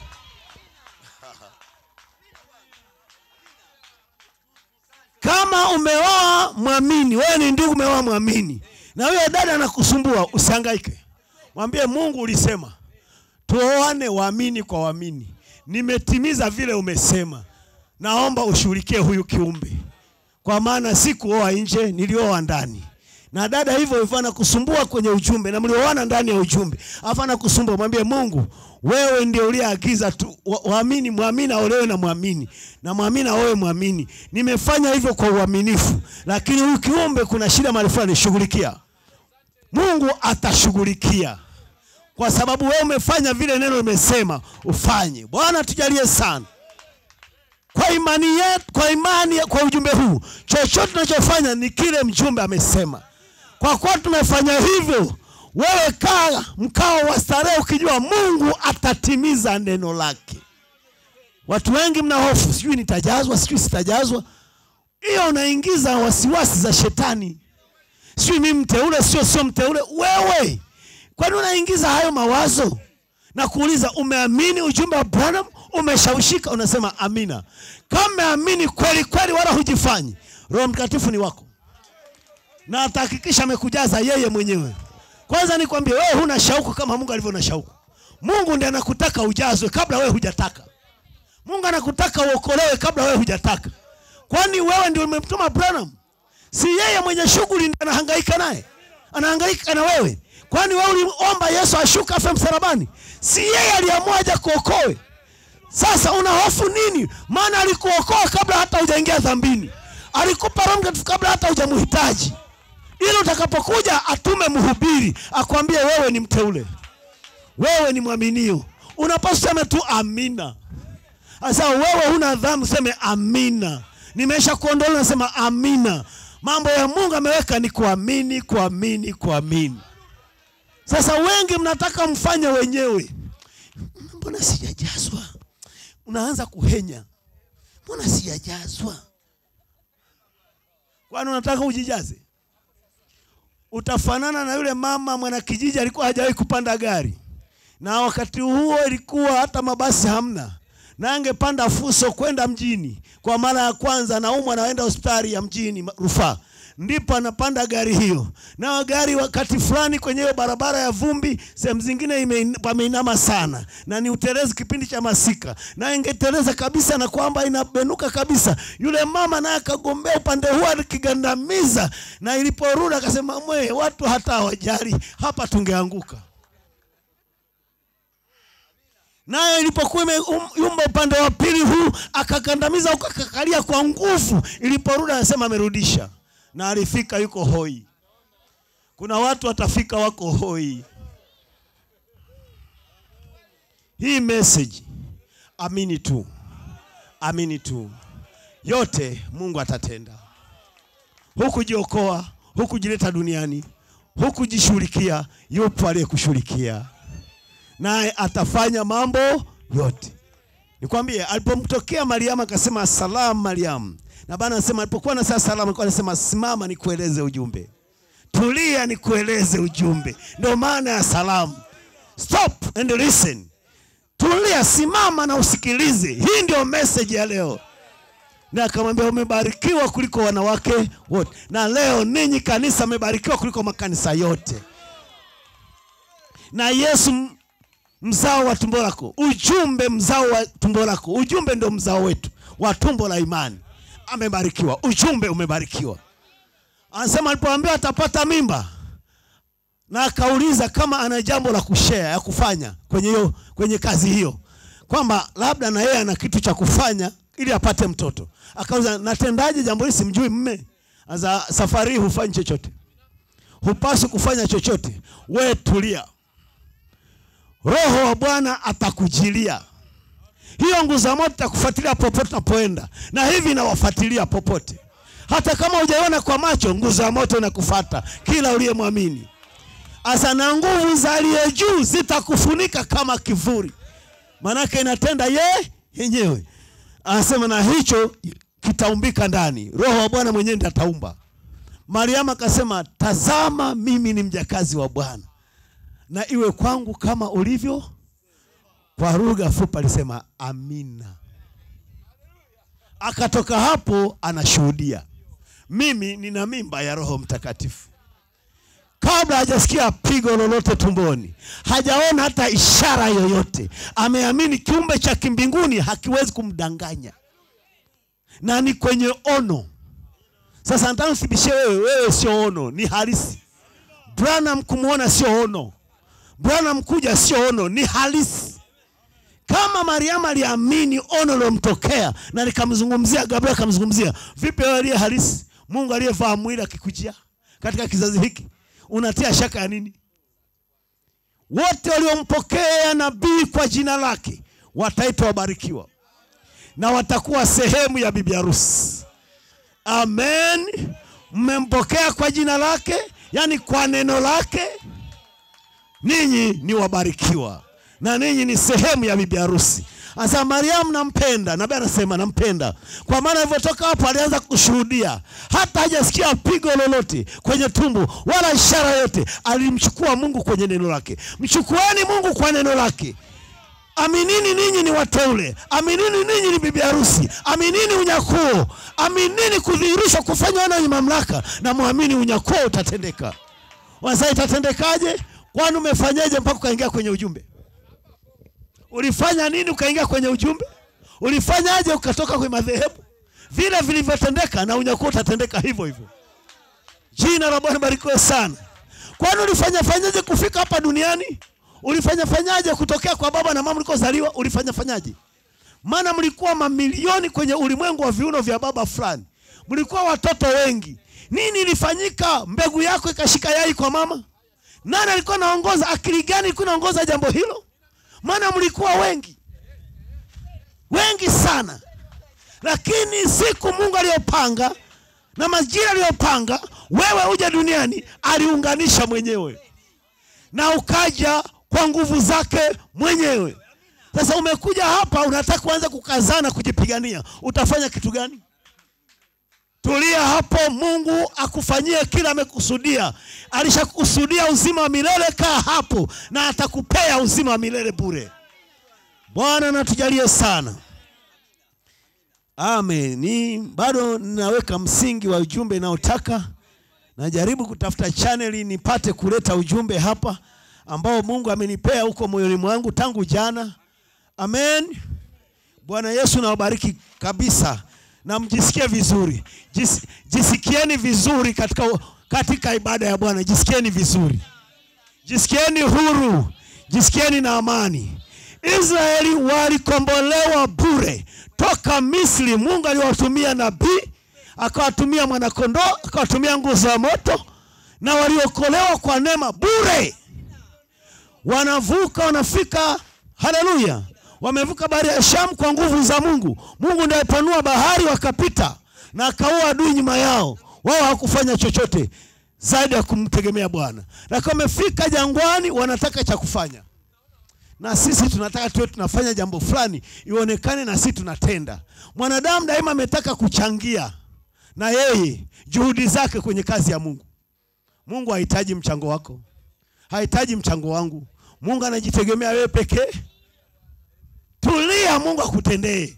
Unataka kuanza kuanzisha, unasikia ndugu au dada au mtu fulani wa kirokore, unataka unene alafu Yaani hicho unachotaka unene ni nini? Alafu iweje? Unajikaza maombi, alafu ni kama unataka unene nene. Unataka unene nini? Kwani unalazimisha kunena? Kwani wamesema ukinena ndio unakuwa Mkristo? Acha Mungu afanye. Kama yeye atakutaka nene kwa lugha ataileta mwenyewe chini ya uvuvio. Haleluya! Usijaribu kujichochea chochote, uwe kile ulicho alivyokufanya Mungu atahakikisha uko vile amekufanya. Usijaribu kuingiza mawazo yako. Mungu natusaidie sana. Wengi mmejikatisha tamaa kwenye ujumbe, ninyi wenyewe, wala ujumbe haujawakatia tamaa. Ni nini? Unaangalia makosa yako na mapungufu yako. Sasa nikwambie, kwani lini utakuwa huna makosa wakati wewe ni mwanadamu? Lini utakosa kuwa na makosa? Alishakukomboa bure, lakini haimaanishi kwamba unaenda kutenda dhambi makusudi. Aa, Mkristo wa kweli daima anachukia dhambi na akikosea anaumia kabla hata mtu yeyote hajamwambia, yeye mwenyewe anaumia. Na maadamu uko hivyo, vimakosa hivyo vidogo vidogo, huna njia ya kuvizuia, na ndio inabaki kukufanya uwe mwanadamu, ili usijivune. Shamba lina manyasi na mashika nguo, alafu katembea kwenye shamba ukakuta vimeshika nguo, utashangaa. Si uko shamba lenye takataka, si vingu vishika nguo vitakushika tu, lakini hutaviacha, utavitoa. Wewe, vitoe na utaendelea na safari. Kwa vishika nguo kwenye hili shamba inayoitwa dunia viko vingi, kikikushika ukakiona, kitoe, alafu safari itaendelea. Unajitesa, unajiumiza, unaanza kusema mimi au nimekataliwa. Ama wazo wewe unaruhusu shetani kuingizie nini? Lini Mungu amekwambia amekukataa? Angekukataa angekuleta kwenye ujumbe. Mungu natusaidie sana. Jitambulishe. Paulo alimwambia Timotheo, jitambulishe, jitambulishe kwamba umekubaliwa mbele za Mungu, sio umekataliwa. Sisi hatujaitwa kwa kukataliwa, tumeitwa kukubaliwa na Mungu. Bwana Yesu nabariki sana. Sasa mambo yote haya yalipita, Yesu akija na akifanya vile ambavyo maandiko yalisema angefanya, na madhehebu hayakumjua na kila kitu kikawa kinyume naye. Amen. na, na, na wanadamu walikumbatia madhehebu sana kuliko neno, na hata walipoliona neno madhehebu yao yaliyopiga marufuku wasimfuate mtu huyo. Lakini hata hivyo mwana wa Mungu alikuwa ameliishi neno na kutimiza yote. Nao wakamshtaki, wakamkamata siku ya Alhamisi na kumweka kwenye mahakama ya kidini. Viongozi wa kidini wakamkusanyia Yesu, wakakusanyika wakakusanyika dhidi yake na wakaanza kumchallenge na kumdhihaki. Na mashtaka waliomshtaki katika mahakama ya kidini ni haya: moja, ukiwa mwanadamu unajifanya Mungu. Hiyo ilikuwa inampasa auawe, kwa sababu mwanadamu kujingasha na Mungu ni kufuru, na kwa mujibu wa mawazo yao wakaona Yesu amepitiliza hata kufuru. Yeye akiwa mwanadamu, mwanadamu anajifanya Mungu. Hiyo ni shtaka namba moja. Shtaka namba mbili, wakasema wewe unadai utalivunja hekaru na kulijenga kwa siku tatu, mahali patakatifu ambapo Sulemani alipoweka wakfu, afu wewe unakufuru, imejengwa miaka arobaini, wewe kwamba uta, utalijenga, utali, utalivunja alafu utalijenga kwa siku tatu. Hiyo ni kufuru, unatukana mahali patakatifu ambapo mwizi akipata shida huwa anaelekeza macho yake, afu wewe unasema utapavunja. Huko ni kutusi mahali patakatifu Mungu anaposhuka. Shtaka namba tatu, unavunja amri za Mungu, umevunja Sabato. Soma maandiko uone. Moja ya sababu Yesu kuuawa ni kwa sababu walidai anavunja nini? Sabato, na anajifanya ni Mungu na anavunja hekalu la Bwana alafu aijenge kwa siku tatu.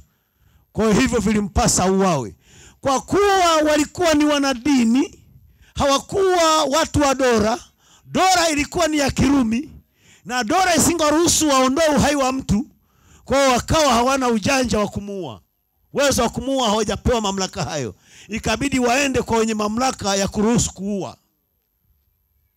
Walipofika kule, wakajadili njiani, tukisema tushtaki kwa imani ya kidini, wale watu wa Rumi sio wanadini, serikali sio ya kidini, inahukumu kulingana na sheria za Warumi.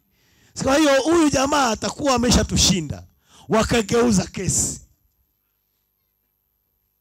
wasa tumshtaki kwa mashtaka ya kisiasa. Wakafika serikalini chini ya Pilato, wasema huyu mtu tumempata na makosa, anajifanya mfalme kinyume cha Kaisari. Kesi ya uhaini, kupindua nchi. Tunaye mfalme ni Kaisari, lakini yeye ni, ni naye ni mfalme kinyume cha Kaisari. Na wakasema hatuna mfalme ila Kaisari. Siku hiyo wakajionyesha eti Wayahudi hawana mfalme, eti mfalme wao ni nani? Kaisari. Ungeshangaa taifa la Mungu likimkataa Mungu na likijipamanisha au likijiegemesha kwa mtu mwanadamu anayewatawala ambaye amewafanya wao ni koloni lao, Kaisari. Shtaka namba moja, Yesu akashtakiwa kwa kosa la uhaini kwamba ni mf- anajifanya mfalme kinyume cha Kaisari.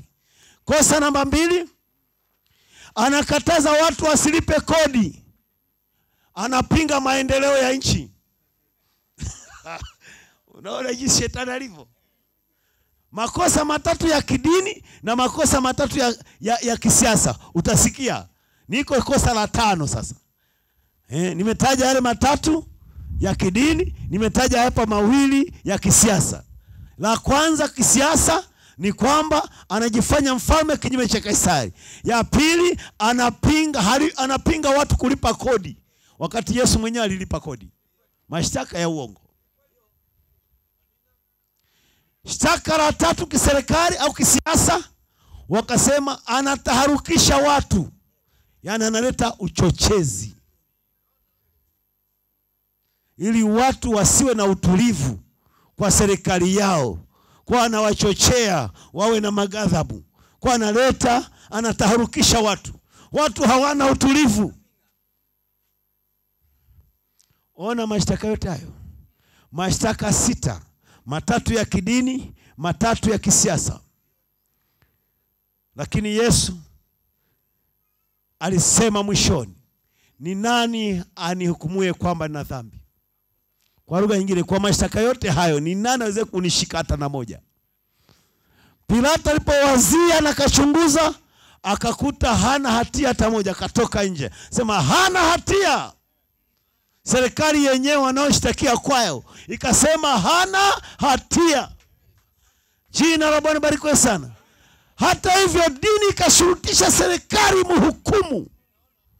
Mwenye mamlaka Pilato akaona hana sababu ya kumhukumu, akajaribu naye kuikwepa kwa kusema, mlisema ametoka Galilaya, basi mrudisheni kwa Herode. Akadhana ameimaliza, wakampeleka kwa Herode. Herode hakwenda kufanya chochote, akamrudisha tena kwa Pilato. Pilato alijaribu kukwepa kesi hiyo kwa kusema hana hatia. Wengi hujaribu kukwepa. Yesu yuko mikononi mwao, damu ya mwana wa Mungu iko mikononi. Utamtendaje huyu Yesu aitwaye Kristo? Wanajaribu kufanya kwamba hawahusiki, kwamba ah, hiyo inahusu wanadini, na wewe inakuhusu yeyote yule. Uwe mlevi, uwe kahaba, mwana wa Mungu alishakufa kwa ajili yako. Damu yake iko mikononi mwako. Unaamuaje kuhusu damu ya mwana wa Mungu? Huna udhuru wa kukwepa, maadamu ni mwanadamu chini ya jua, unakabiliwa na kesi ya mwana wa Mungu kuuawa Kalvari. Kila kiumbe kinachoitwa mwanadamu kinakabiliwa na kesi ya mwana wa Mungu kufa msalabani. Utatendaje? Damu ya Yesu iko kwenye ma maisha yako, iko juu ya uhai wako. Wewe amua, unaitendaje? Ukisema haikuhusu utapata hukumu. Inakuhusu, ndio maana alikufa. Amina.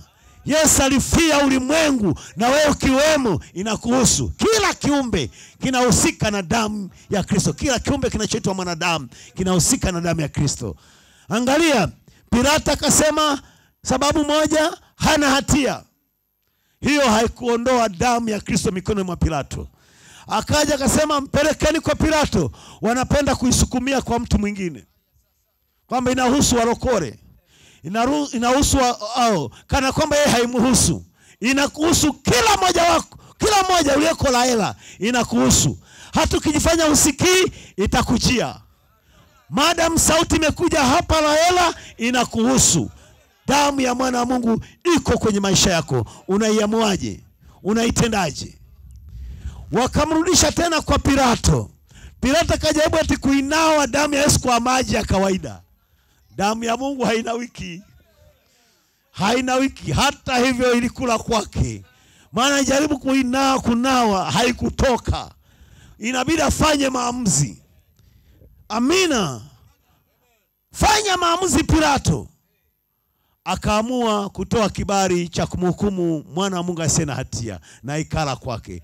Pilato haikupita muda alichanganyikiwa, na Bwana anasema kila alipokuwa amekaa anasikia msurubishe, msurubishe kichwani, msurubishe, msurubishe kichwani, mpaka akachanganyikiwa, mpaka akawa kichaa, akaenda kujinyonga kwenye mto wa Uswisi, akajitumbukiza nchui,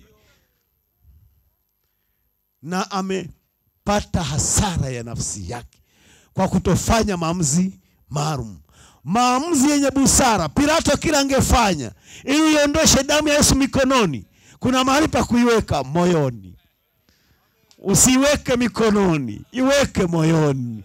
Ilikuwa mkubali kuwa ni Bwana na Mwokozi wa maisha yake, angekuwa tayari ameshamaliza kesi ya yeye kuwa na hatia na hatia zake zingesamehewa zote. Bwana tujalie sana, amen. Mnampenda, mnampenda. Ndipo Yesu msalabani, wakati ameshahukumiwa na Pilato. Yesu msalabani, upande wake wa kushoto kulikuwa na mwizi naye anakufa, na upande wake wa kulia kuna mwizi mwingine naye anakufa. Hivi ndivyo mwana wa Mungu alivyo mpaka leo hii yuko kwenye ulimwengu uliomhukumu mwana wa Mungu akiwa msalabani kwenye maisha haya.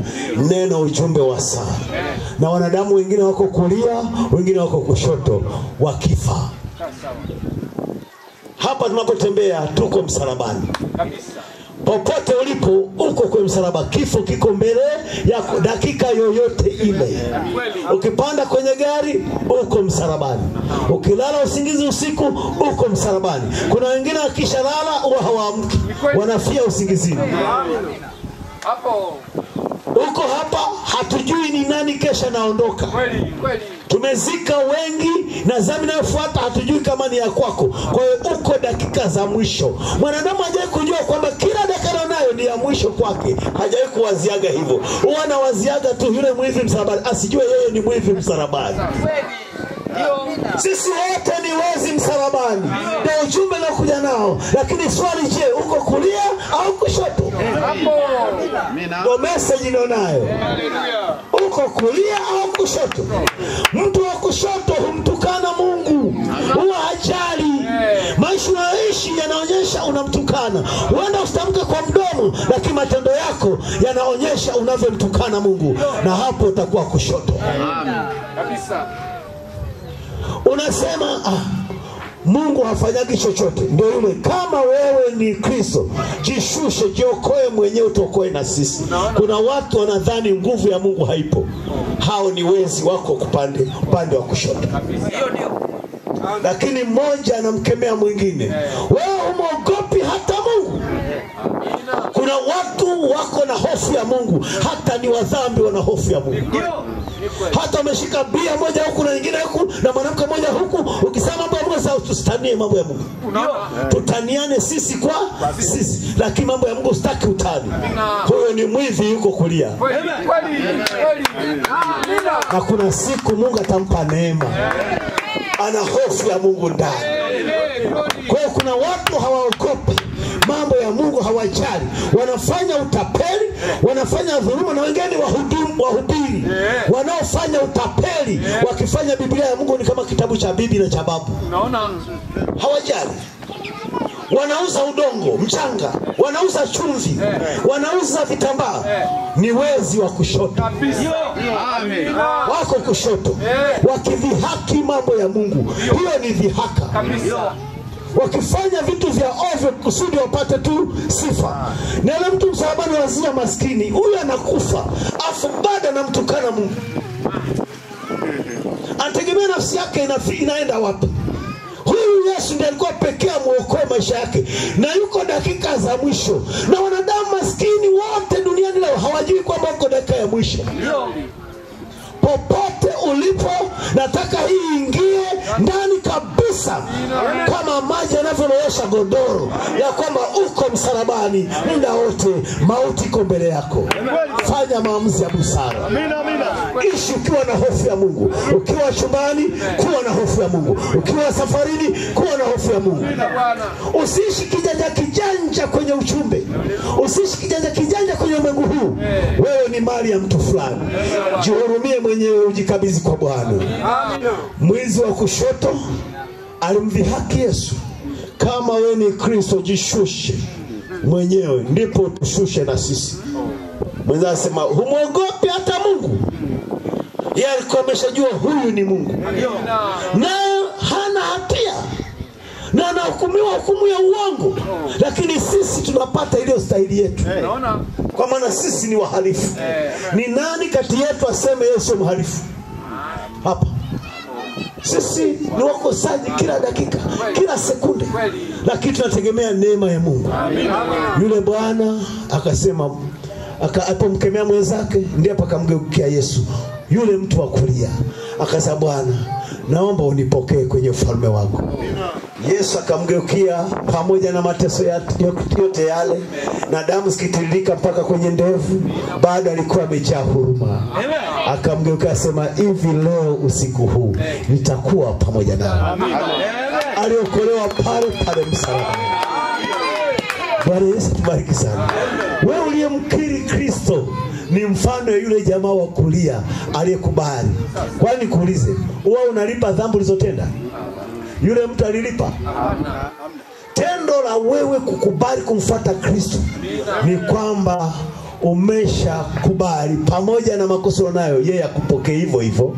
Ndio maana tunaimbaga wimbo sinacha mkononi nacha msaraba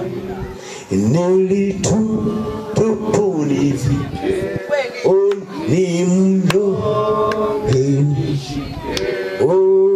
oh, nilifunaja nioshe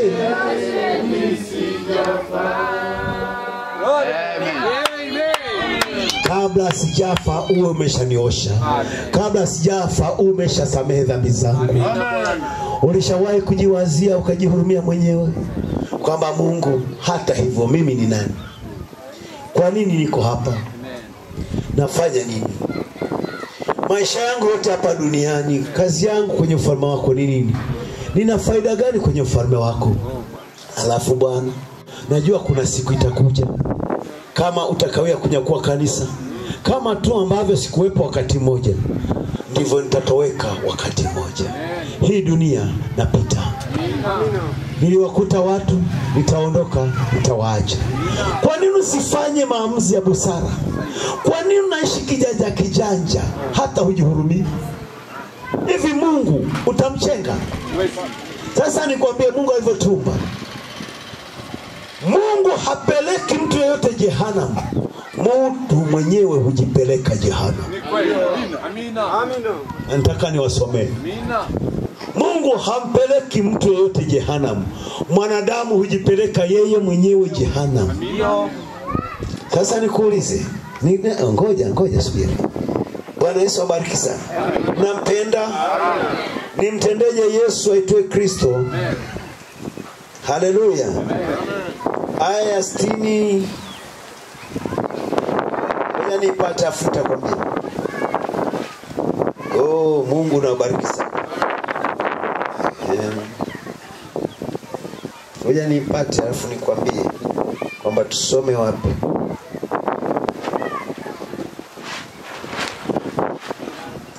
Jina la bwana ibarikiwe sana. Watu hawajijali kabisa. Nimtendeje yesu aitwe kristo? Aya stini si rahisi kwa mtu kwenda jehanamu. Sio rahisi. Ulishawahi kuwazia hivyo sio rahisi kwa mtu kwenda jehanamu. Mtu hupigana na njia ya kwenda jehanamu. Unapiga manyasi na msitu wa miti kupambana kutengeneza njia ya kwenda jehanamu. Kwa sababu kwani lazima uzini? Mbona kuzini unapambana yaani unapambana mpaka utende hiyo dhambi umepiga msitu wa manyasi na makasanza na, na, na, na miti kupigana njia ya kwenda kufanya uzinzi. Hiyo utasema mungu mungu ameiweka rahisi ni wewe mwenyewe unapigana na njia ya kwenda jehanamu. Na ni ngumu kwenda jehanamu lakini unalazimisha uende jehanamu sigara ya kwanza uliyovuta moyoni ilikwambia ni kosa. Hata kama huna dini yoyote lakini sigara ya kwanza uliyovuta ilikwambia ni kosa. Na ukitaka kujua ni kosa ukikuta mtoto anajaribu kusokota. Hata maganda ya mahindi atengeneze kama sigara ameweka tumbaku mle unampiga. Acha hivi. Kwa nini unajua ni kosa? Pombe ya kwanza uliyokunywa ulijua ni kosa.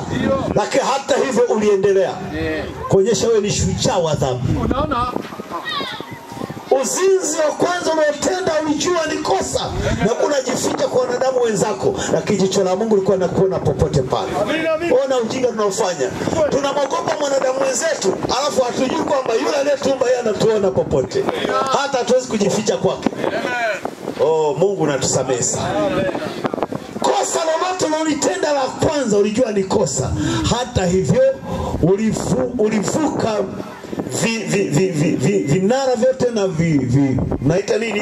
Hodi zote na makelele yote na ilani zote na ishara zote zinazokwambia hatari hatari hatari. Ukazipuza hata hivyo ukatimiza kutenda dhambi kuonyesha wewe ni shujaa. Ajali inayotokea kwa dereva ni baada ya kupuuza ilani za barabarani.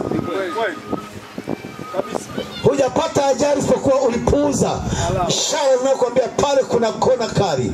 Wewe bado una spidi ya mia moja sitini kwa saa. Na wamekwambia kuna kona mbele na wamekuwekea vibao vya ilani njiani na kwamba ni hatari kuna daraja mbele. Wewe ulivuka hizo ilani zote. Kuonyesha wewe ni shujaa wa kuendesha. Ndio maana ukapata ajali. Kama tungezingatia ilani tungekuwa salama. Lakini watu hawazingatii ilani barabarani. Na barabara ya maisha haya dunia ni vivyo hivyo. Jali ilani. Mungu ameweka ilani barabarani. Ilani za kiroho. Usizivuke. Kwa sababu unachotaka kufanya kicho kibaya inakuambia hiyo ni mbaya mungu natusaidie sana. Lakini hata hivyo mtu hajali anataka afanye kwa vyovyote. Na hata ukiitwa na mchungaji au na shemasi ajaribu unachenga, unachenga. Unajionyesha wewe ni mjanja na kumbe wewe ni mpumbavu. Kabisa si rahisi mtu kwenda jehanam mtu upi- hupigana na njia ya kwenda jehanam uongo wa kwanza uliowahi kusema ulijua ulikuwa ni kosa. Sigara ya kwanza uliopata kuvuta ulijua ilikuwa ni kosa. Uofu wa kwanza uliofanya ulijua ilikuwa ni kosa. Lakini katika dhamiri yako ilikwambia ilikuwa ni kosa bali uliendelea kukimbia ukavuka ile taa nyekundu ukavuka vizuizi. Wewe huchali unataka kufanya jambo hilo hata hivyo kuonyesha kwamba wewe ni jamaa mashuhuri.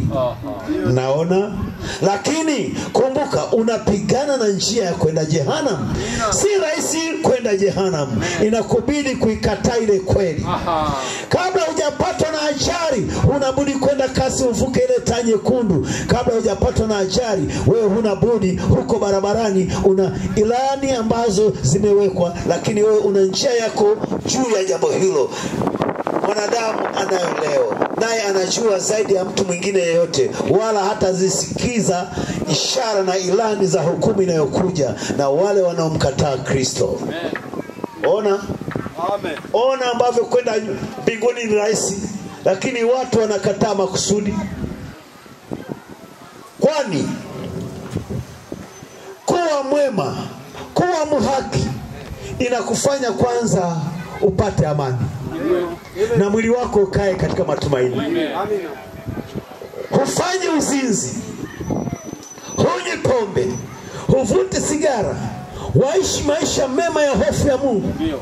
Inakufanya uwe na amani. Shalomu ya bwana itatulia moyoni mwako. Na hatari yoyote ikija unaweza kumwambia bwana waujua moyo wangu. Kuna nabii mmoja aliishi neno anaitwa hezekia isaya 38 magonjwa alimwandama jipu la mauti ambayo ni kansa. Hakukuwa na stori za kumponya kama leo ambavyo hazipo. Wamejaribu tu kuleta kuchoma mionzi kuipunguza tu nguvu isiendelee kwa kasi. Lakini kansa hakuna anayeitibu ni mungu anayeiponya peke yake kwa sababu ikikushika mkononi wakate mkono. Huko ni kutibu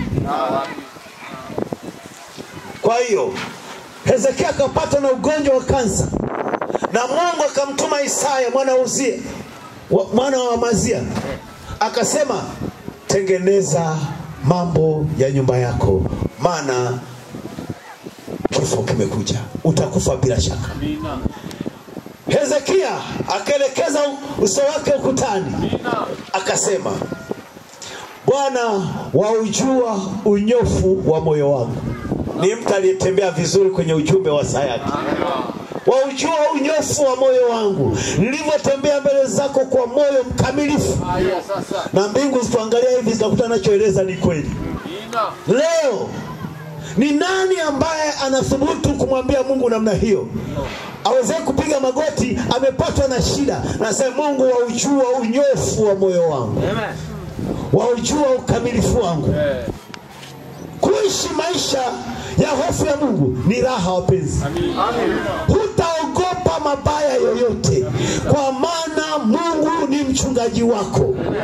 Daudi akasema bwana ni mchungaji wangu sitaogopa mabaya. Nijapopita kwenye bonde la uvuli wa mauti sitaogopa kwa maana wewe uko pamoja nami.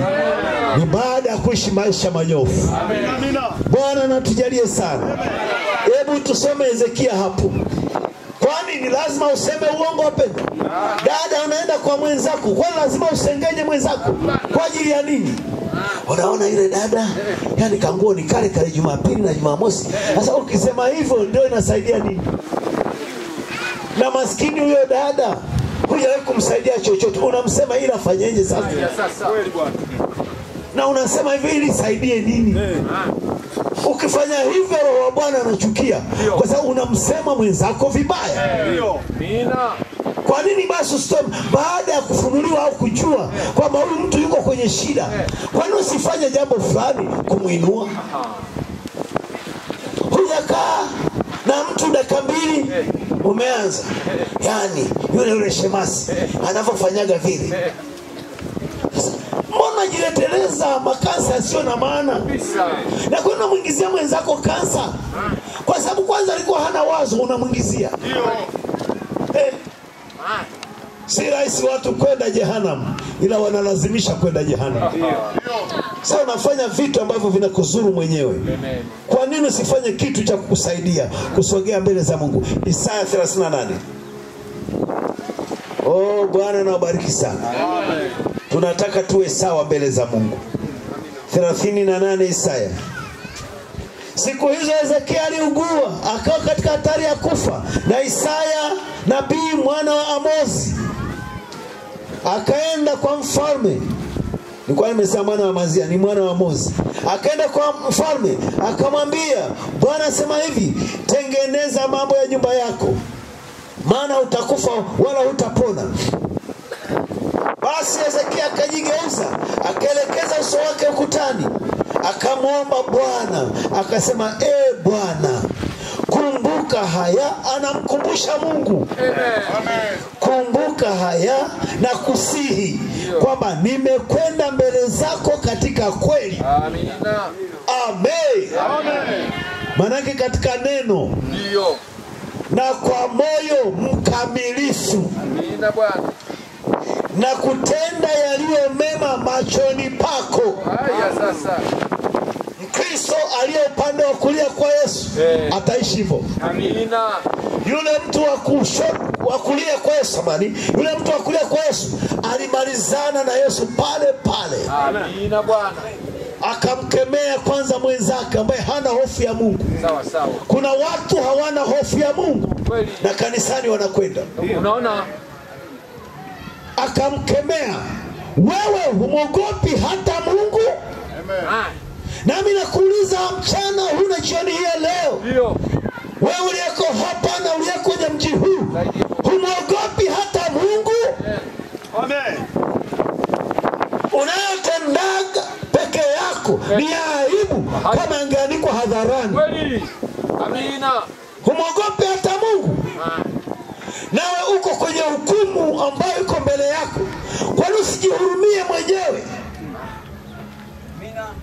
Asante Bwana. Alafu akamgeukia Bwana Yesu, asa Bwana, naomba nikumbuke, maana mimi napata mateso haya, ni stahili yangu.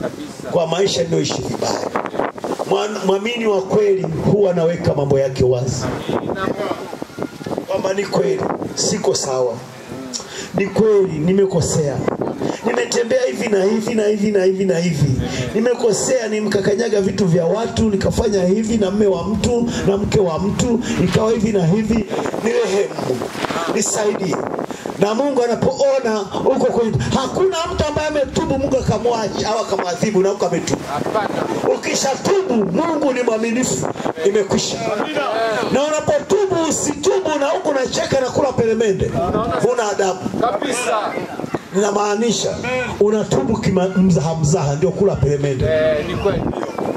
Tubu, toba ya kweli ina masikitiko, ina huzuni, inayouma, na unaona ulivyo mjinga na nabii anasema ukitaka ujue umesamehewa na damu ya Yesu imepita kusafisha dhambi zako, ni pale upohuzunika kuhusu makosa yako ukayachutia.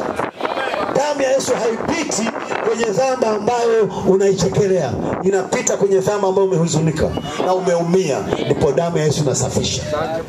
Huwezi katubu na macho makavu, ni pale ambapo umeumia ndani wako unajiona hufai. Na pale pale ulipopata huzuni ndio mungu alikusamehe. Na huna budi kuamini umesamehewa.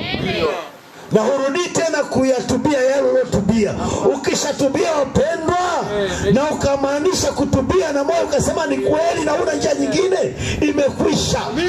Usirudie kuyawazia tena. Sasa ukiyawazia maanake wewe mwenyewe unaondoa kiboko cha kujipiga wewe mwenyewe ya unajipigaga na kiboko kile kile. Sasa unataka kwa hiyo mungu amekusamehe wewe hujajisamehe. Kuna watu hawajisamehi wenyewe. Mungu amewasamehe lakini wanajikandamiza wenyewe. Usifanye hivyo. Na basi sema kosa kubwa unaweza kufanya ni kuangalia dhambi za nyuma ulizotubia hapo kalvari itakuwa haina maana kwako. Ukishatubu na ukasikitika huwa mungu amesamehe. Aidha ukosee kosa jingine mbele unitubie, lakini kama la nyuma ulitubia huwa imekwisha. Hata hapa ningehubiri jambo fulani ulishalifanya na ulishalitubia, usiliwazie tena. Ilishakwisha, ilishakwisha. Songa mbele. Ni ajabu mtu fulani kwenye ujumbe wa Bwana, nabii akiita mwito wanaotaka kumpokea Yesu Kristo, huyu hapa anamwombea. Kesho Branham ana mkutano, anaita wanaotaka kumpokea Bwana Yesu Kristo, huyu hapa inapita miezi na miezi, labda anakuwa na mkutano, anaita wanaotaka kumkubali Bwana Yesu kuwa na mkozi, huyu huyu hapa, mpaka Branham akamkariri. Sasa una shida gani? Shida yako ni kwani unataka kumpokea Kristo? Sasa Branham, wewe uniombee tu, niombee tu. Sasa sio hivyo, sio kuombea. Una shida. Wewe, una ugonjwa rohoni, naonyesha kuna roho fulani haikuachii, na wengi mna makosa mliotenda na mkatubia. Kesho akita uto madhabahu, huyu hapa. Unatumia bado lile lile ni kutochua, na ukifanya hivyo unaharibu kavari ya Bwana.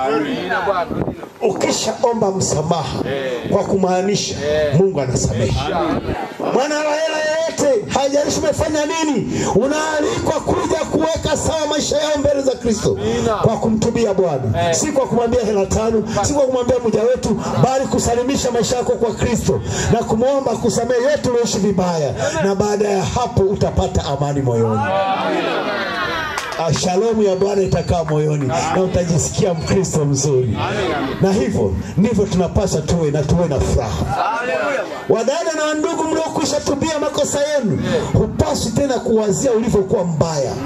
Aa, wazia vile Yesu alivyochukua mabaya yako na vile ambavyo amekupa uhuru. Yalikuja kuja akasema, nimekuja kuwaweka wafungwa wawe huru. Wewe ungewazia rais amekupa msamaha. Ni kweli ulituhumiwa kuua, ni kweli ulituhumiwa kufanya uharifu na uhaini wa ajabu, afu kesho rais anatoa msamaha. Wote wenye kesi ya namna hii wako huru, afu naganda kwenye gereza, nasema "Ah, mimi siishahukumiwa. Sasa rais amekupa uhuru sasa ah, ah, mimi, mimi nishahukumiwa, nilitendaga kweli. Ndio ulitenda, lakini rais amesema uko huru, na hilo halinaga maswali. Mkuu mwenye nguvu akitoa rehema ni rehema, yeye yuko juu ya sheria zote, na mkuu mwenye uzima Yesu Kristo alishatondolea hatia. Nani aweze kuwashtaki wateule wa Mungu? Biblia imeuliza. Nani aweze kuwashtaki tena kwamba amekosea, ikiwa mkubwa ameshawasamehe. Mungu ameshakusamehe, nani anakushtaki tena? Unapaswa ujisikie vizuri. Mfungwa mwenye akili timamu na anayepokea msamaha. Akishaambiwa yuko huru ndani ya gereza tu anaanza kurukaruka, na huko hajatoka ndani ya gereza, nasema wewe, niko huru, anafurahi mpaka machozi anashuka mashavuni, furaha alionayo. Tunapaswa tuwe na furaha katikati ya ulimwengu huu, hata kama bado tuko duniani, kwa sababu ameshatusamehe. Pasi uishi kwa huzuni. Na kama umesamehewa na bado uko ndani ya gereza, uko ndani ya hali fulani ya mazingira fulani, alafu ukakosea jambo fulani, hiyo ni bahati mbaya. Utaijutia tu kwamba Mungu, sipaswi kufanya jambo hili, lakini natembea kwenye dunia iliyojichanganya. Wakati mwingine nimekanyaga kitu cha mtu bila kujua, hiyo sikumaanisha. Ndio maana akawa na- namsema kusema, omba useme sikumaanisha, wajua moyo wangu, licha ya kwamba nimeitenda, lakini sikumaanisha, ndio maana nimeumia. Tuna lugha hiyo kwenye ujumbe. Ukikuta umekosea jambo fulani jingine, jua kabisa hukumaanisha. Sa hapana mtu awezaye kuendelea kumkosea Mungu huku akikusudia, hakuna. Kama kuna makosa yatatokea katika binadamu wako, hukumaanisha, na Mungu an- anakuwa amesamehe automatic. Yesu alisamehe za nyuma zetu zotenda na za mbele utakazotenda. Asante. ashakusamehe zote za nyuma zote na za mbele ambazo utatenda kwa bahati mbaya. Zote ashakusamehe unapaswa uwe na furaha. Unapaswa uwe na amani.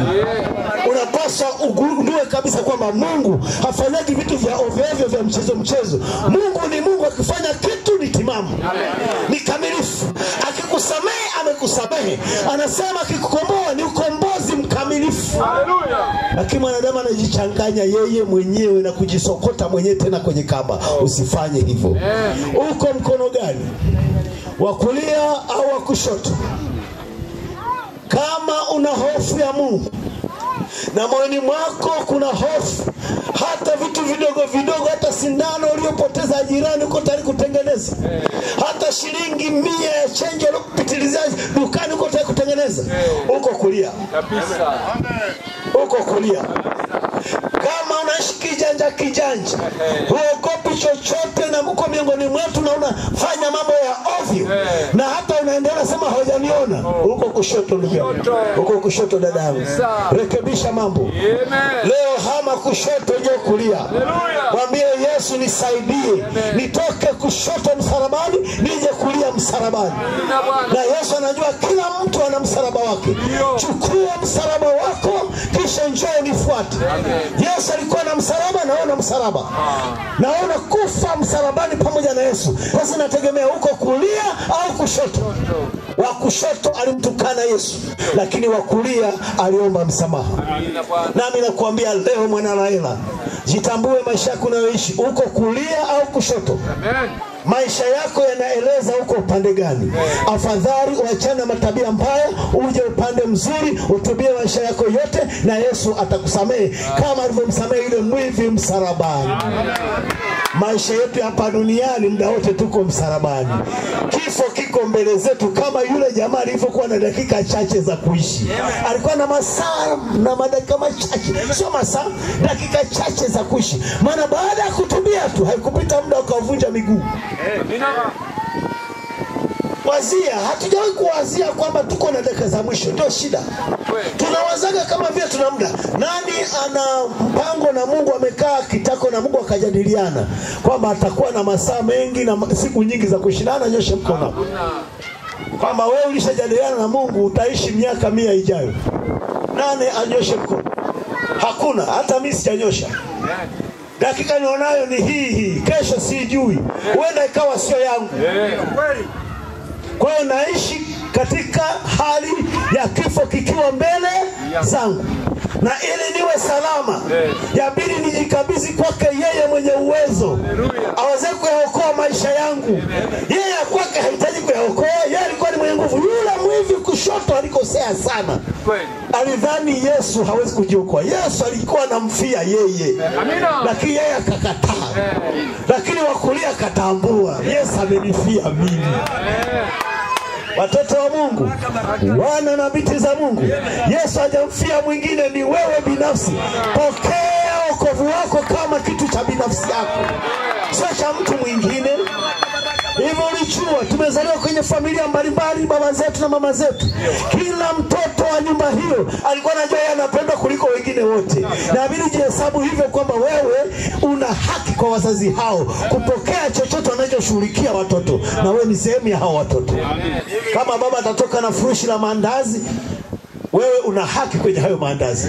Umejumulishwa kwenye mawazo yako wakati anapanga bajeti ya maandazi, na wewe ukiwemo. Amina Bwana.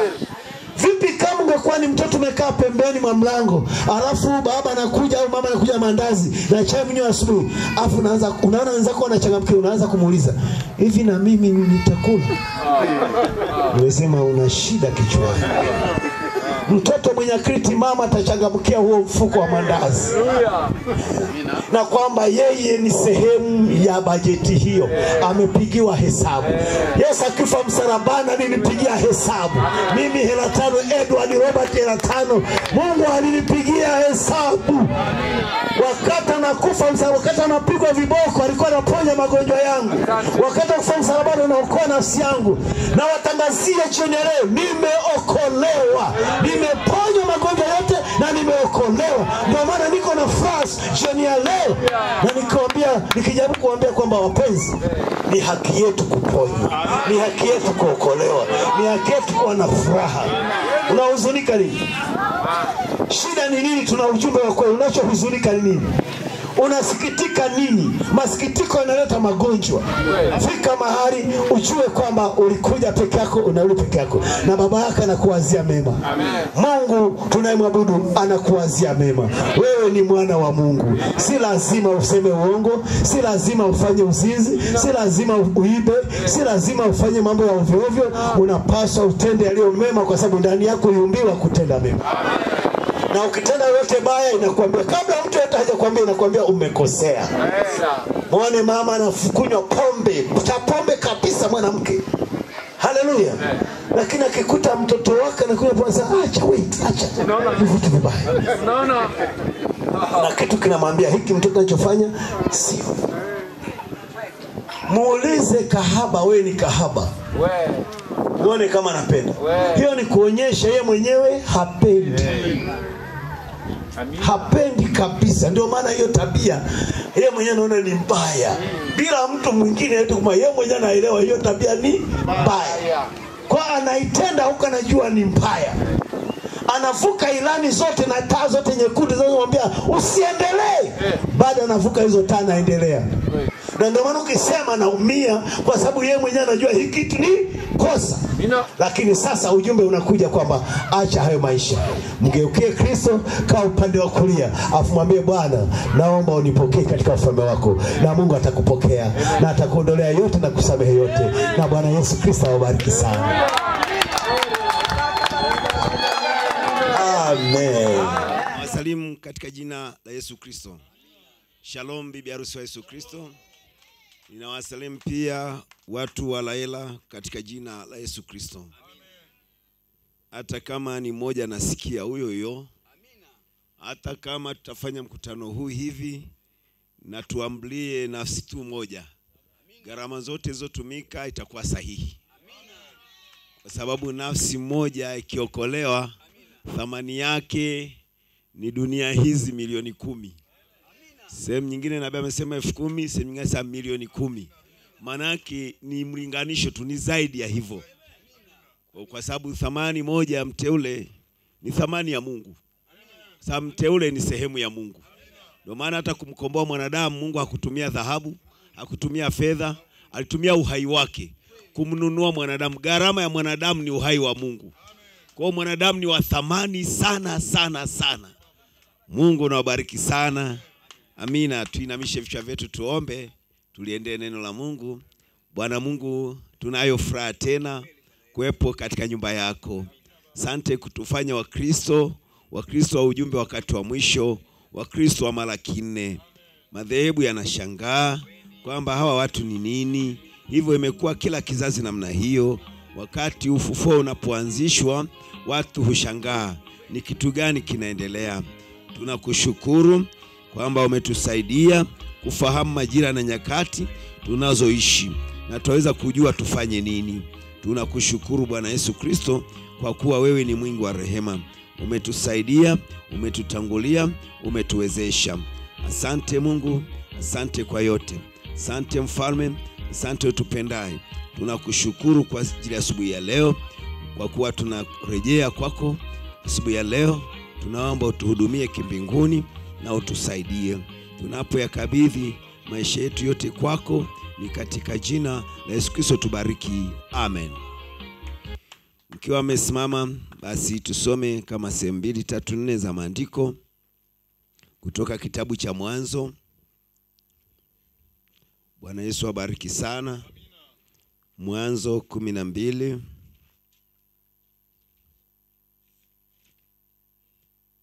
mstari wa kwanza hadi wa tatu.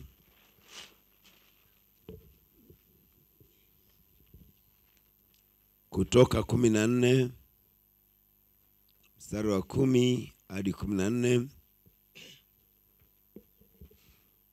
Wakorinto wa pili sura ya sita kumi na nne hadi kumi na nane na Ufunuo kumi na nane mstari wa nne mmoja tu.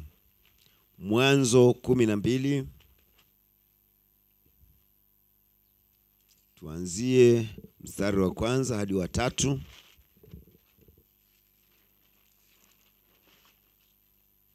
Nasoma katika jina la Bwana wetu Yesu Kristo.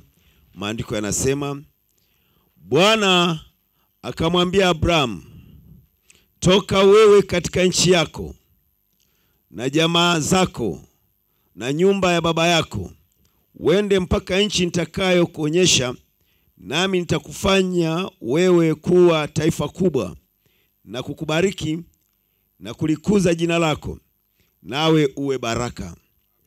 Nami nitawabariki wakubarikio, naye akulaanie nitamlaani, na katika wewe jamaa zote za dunia watabarikiwa. Tuende Kutoka kumi na nne.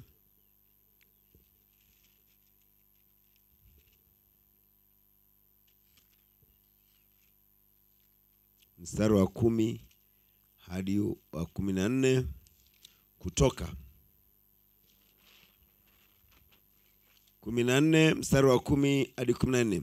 Hata Farao alipokaribia, wana wa Israeli wakainua macho yao, na tazama, Wamisri wanakuja nyuma yao, wakaogopa sana. Wana wa Israeli wakamlilia Bwana, wakamwambia Musa, Je, kwa sababu hapakuwa na makaburi katika Misri umetutoa huko ili tufe jangwani? Mbona umetutendea haya kututoa katika nchi ya Misri? Neno hili, neno hili silo tuliokuambia huko Misri tukisema, tuache tuwatumikie wa Misri? Maana ni afadhali kuwatumikia Wamisri kuliko kufa jangwani. Musa akawaambia watu, msiogope, simameni tu mkauone wokovu wa Bwana atakuwa wafanyia leo, kwa maana hao Wamisri mnawaona leo, hamtawaona tena milele. Bwana atawapigania ninyi, nanyi mtanyamaza kimya. Amen. Wakorinto wa pili sura ya sita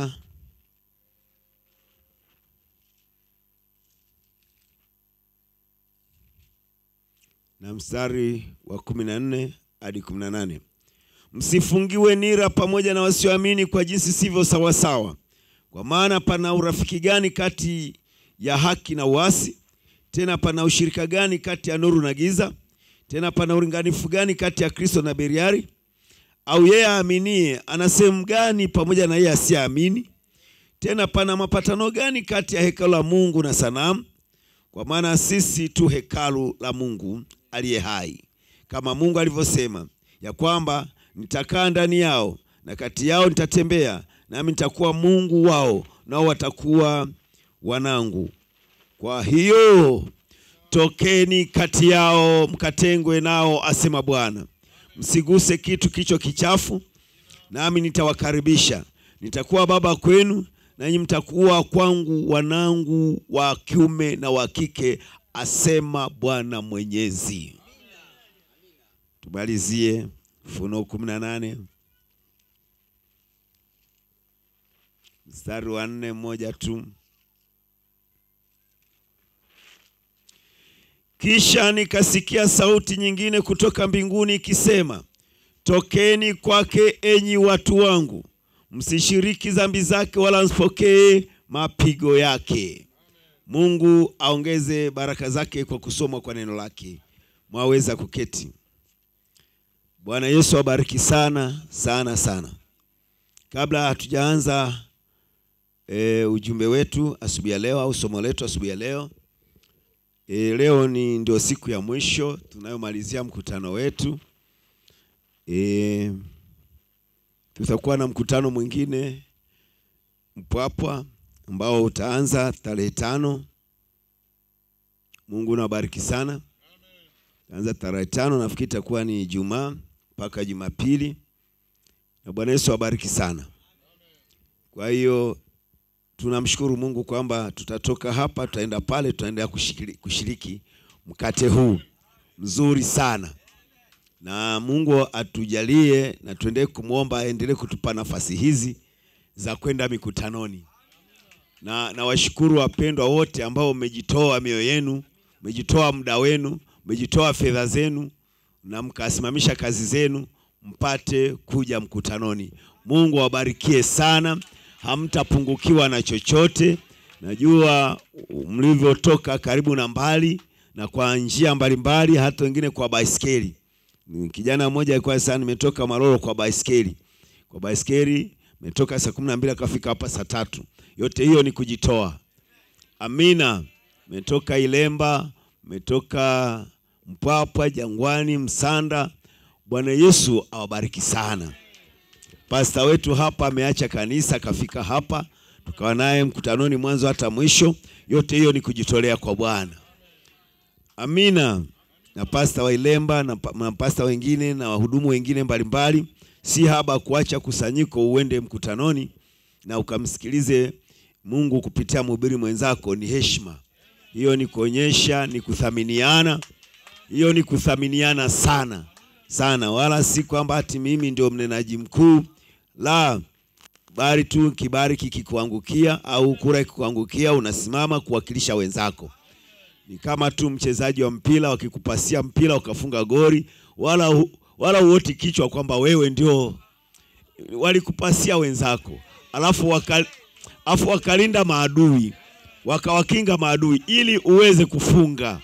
Kwa hiyo kisha funga, wao wasemi fulani amefunga, wao wanahitaja timu yote wanataja timu yote kwamba timu fulani imeshinda timu fulani, hivyo imewashinda magori kadhaa. Huenda hata aliyekuwa anafunga magori ni mtu huyu moja, lakini walishamwona huyu anafaa kufunga magori, Afu kuna beki anayejua kubana huku, afu kuna mwingine namba tisa yuko pembeni na namba kumi na moja yuko pembeni. Hawa ndio wanampasia huyu wa katikati. Jina la Bwana barikiwe sana. Kwa haya mambo yote ya kawaida ni mfano wa mambo ya kiroho. Kwa hiyo tuko hapa kufunga gori kwa shetani. Kuna mahali pamoja tu tunalenga ni kwa shetani. E, ni ajabu sana tukirudi tuki, tukirudi tukaanza kupigana wenyewe kwa wenyewe au kuchengana wenyewe kwa wenyewe. Huwa wa timu moja hawachengani wenyewe, ila wanapeana nafasi kupasiana, na mwingine anatoka kidogo, akiwa karibu na adui anatoka kidogo ili apasiwe. Amen. Alafu mtu akipata chansi hasa wanampasia yule anayefungaga magori, wanampasia anafunga gori na wote wanashangilia. Jina la Bwana barikiwe sana. Amen. Hicho ndicho tunachofanya katika ujumbe wa saa. Amina, amina. Hata mitume walikuwa kumi na mbili, sio wote walikuwa wanahubiri. Ah, ah. Na hii kitu watu wengi hawajaijuaga. Mungu ndivyo anafanyaga. Unaona, waliokuwa wanahubiri ni wachache, waliokuwa hawahubiri ni wengi. Na Bwana anasema wale wengine walikuwa wanafunga na kuomba ili Petro akatoe pepo ili Petro akahubiri chini ya upako. Kumbe kuna wahudumu wenzake wanaomba na nguvu za Mungu zinamfuata. Kwa asingeweza peke yake, hakuna mhubiri ataweza peke yake, lazima kuwe na watu fulani wanaomuunga mkono. Unajua, walikuwa wanainua mikono ili Musa ashinde. Amina. Na hata mikono yao ilikuwa ikichoka, wengine wanaenda kushikilia mikono ili kuweko na nguvu za Mungu. Jina la Bwana barikiwe sana. Kwa hiyo hivi ndivyo tunavyofanya kwa ushirika, tukishirikiana moja kwa mwingine ili tuweze kumshinda adui, na kwa umoja huu tutashinda. Bwana Yesu awabariki kwa wingi. E, wakati tunapokea ujumbe huku sa, hasa kwa maeneo ya Sumbawanga na si Sumbawanga tu, nafikiri kuwa ni kipindi hicho miaka tisini kurudi nyuma, uamsho ulikuwa si wa kawaida. Mungu alikuwa anajidhihirisha wazi wazi sana sana sana, matukio ya yasiyo ya, kawaida ya malaika, ya sauti za Mungu na ishara mbalimbali, wagonjwa kupona, na tulikuwa tunadhani hata haipiti miaka miwili tutakuwa tumenyakuliwa kabisa. Hata kuendelea kupiga mipango ya dunia, tulikuwa tunaona ni kupoteza muda. Amen. Na nikawa na wakati fulani mzuri wa ajabu na mtu fulani aliyekuwa anaonekana kama ameamini ujumbe, lakini baadaye saizi aishaacha karudi madhehebuni. Alivyonikuta kijiji cha Maroa nyumbani na akaona matukio yanayonifanikia, aliogopa sana, na anafika mjini Sumbawanga nakuta alishaamini ujumbe, lakini alivyoniona na hudumu akasema hela tano amekwisha, kwa sababu matukio yale akawa hayaoni tena. Umeshaona? Lakini kumbe Mungu huwa anafanya njia zake, huwa anabadilisha mitindo. Amina. Hata nilikuwa nasema, namtolea mfano mchungaji mmoja naye mwamini sana, ndugu yetu Urio. Watu wengine wakadhani namwelezea vibaya, hata mimi wanajielezea najielezea hivyo hivyo kwamba kuna wakati ambapo nilikuwa si wa kawaida lakini nashangaa hali hii sasa hivi jinsi ilivyo, lakini wakati ule nilizama. Ninaposema hivyo haimaanishi nimebadilika, haimaanishi nimeanguka, lakini ni Mungu akiwa kazini. Kwa hata nilivyokuwa namsema huyo mtumishi Urio, sikuwa nasema ameanguka, nikawa nasema Urio alikuwa ni Urio, hakuwa hivi alivyo, kwa maana sote tuko hivyo. Kuna hali fulani ilishapita. Elisha alipokea nguvu kwa Eliya zisizo za kawaida, zikamfanya aone hakuna cha maana tena. Hata mradi wake wa ng'ombe alilalua zote na akamtolea Bwana. Na Elisha akasema, kwani nimekufanyia nini? Anajua, akasema unajua ulichonifanyia si cha kawaida, na akamfuata. Alivyomfuata zile nguvu zikaisha na akasota miaka kumi kuzitafuta. Amen. Ndio maana akawa anasema baki hapa Elisha, mi naenda mpaka Gilgali. Kama Bwana aishivyo na roho yako ishivyo, sitakuacha, sitabaki hapa na kufuata. Kwa hiyo Mungu amekuwa akifanya hivyo, analeta nguvu za uwepo wake kwa kiwango cha hali ya juu kukutambulisha ni yeye amekuita, afu hapo katikati anakuacha upambane, si kukuacha kabisa, lakini yuko pamoja nawe, lakini upambane na hali fulani, upitie majaribu fulani, alafu uyashinde hayo majaribu, hatimaye usimame, na mwishoni huwa anakuja tena anakuunga mkono. Jina la Bwana barikiwe sana. Anajiweka wazi wazi. Kwa hili jambo si la hela tano tu si la ulio tu, si la mhudumu mwingine yote, si Kaswa tu. Hata angesema Kaswa akiwa kijana, jinsi alivyokuwa anakuwa na, alikuwa si kawaida, na nguzo ya moto inashuka na kadhalika, lakini leo akiwa mzee, kuna namna ambavyo Mungu anatembea na huduma. Wote tuko hivyo hivyo. Nikisema hivyo, simaanishi mhudumu huyo ameanguka, simaanishi mhudumu huyo amekuwa ovyo, la. Mungu alishanijibu mwishoni, nguvu itarudi maradufu kuliko ile ya kwanza iliyotujia, na hapo tutakuwa tunaondoka, tutakuwa tunaondoka. Kulikuwa na matukio yasiyo ya kawaida.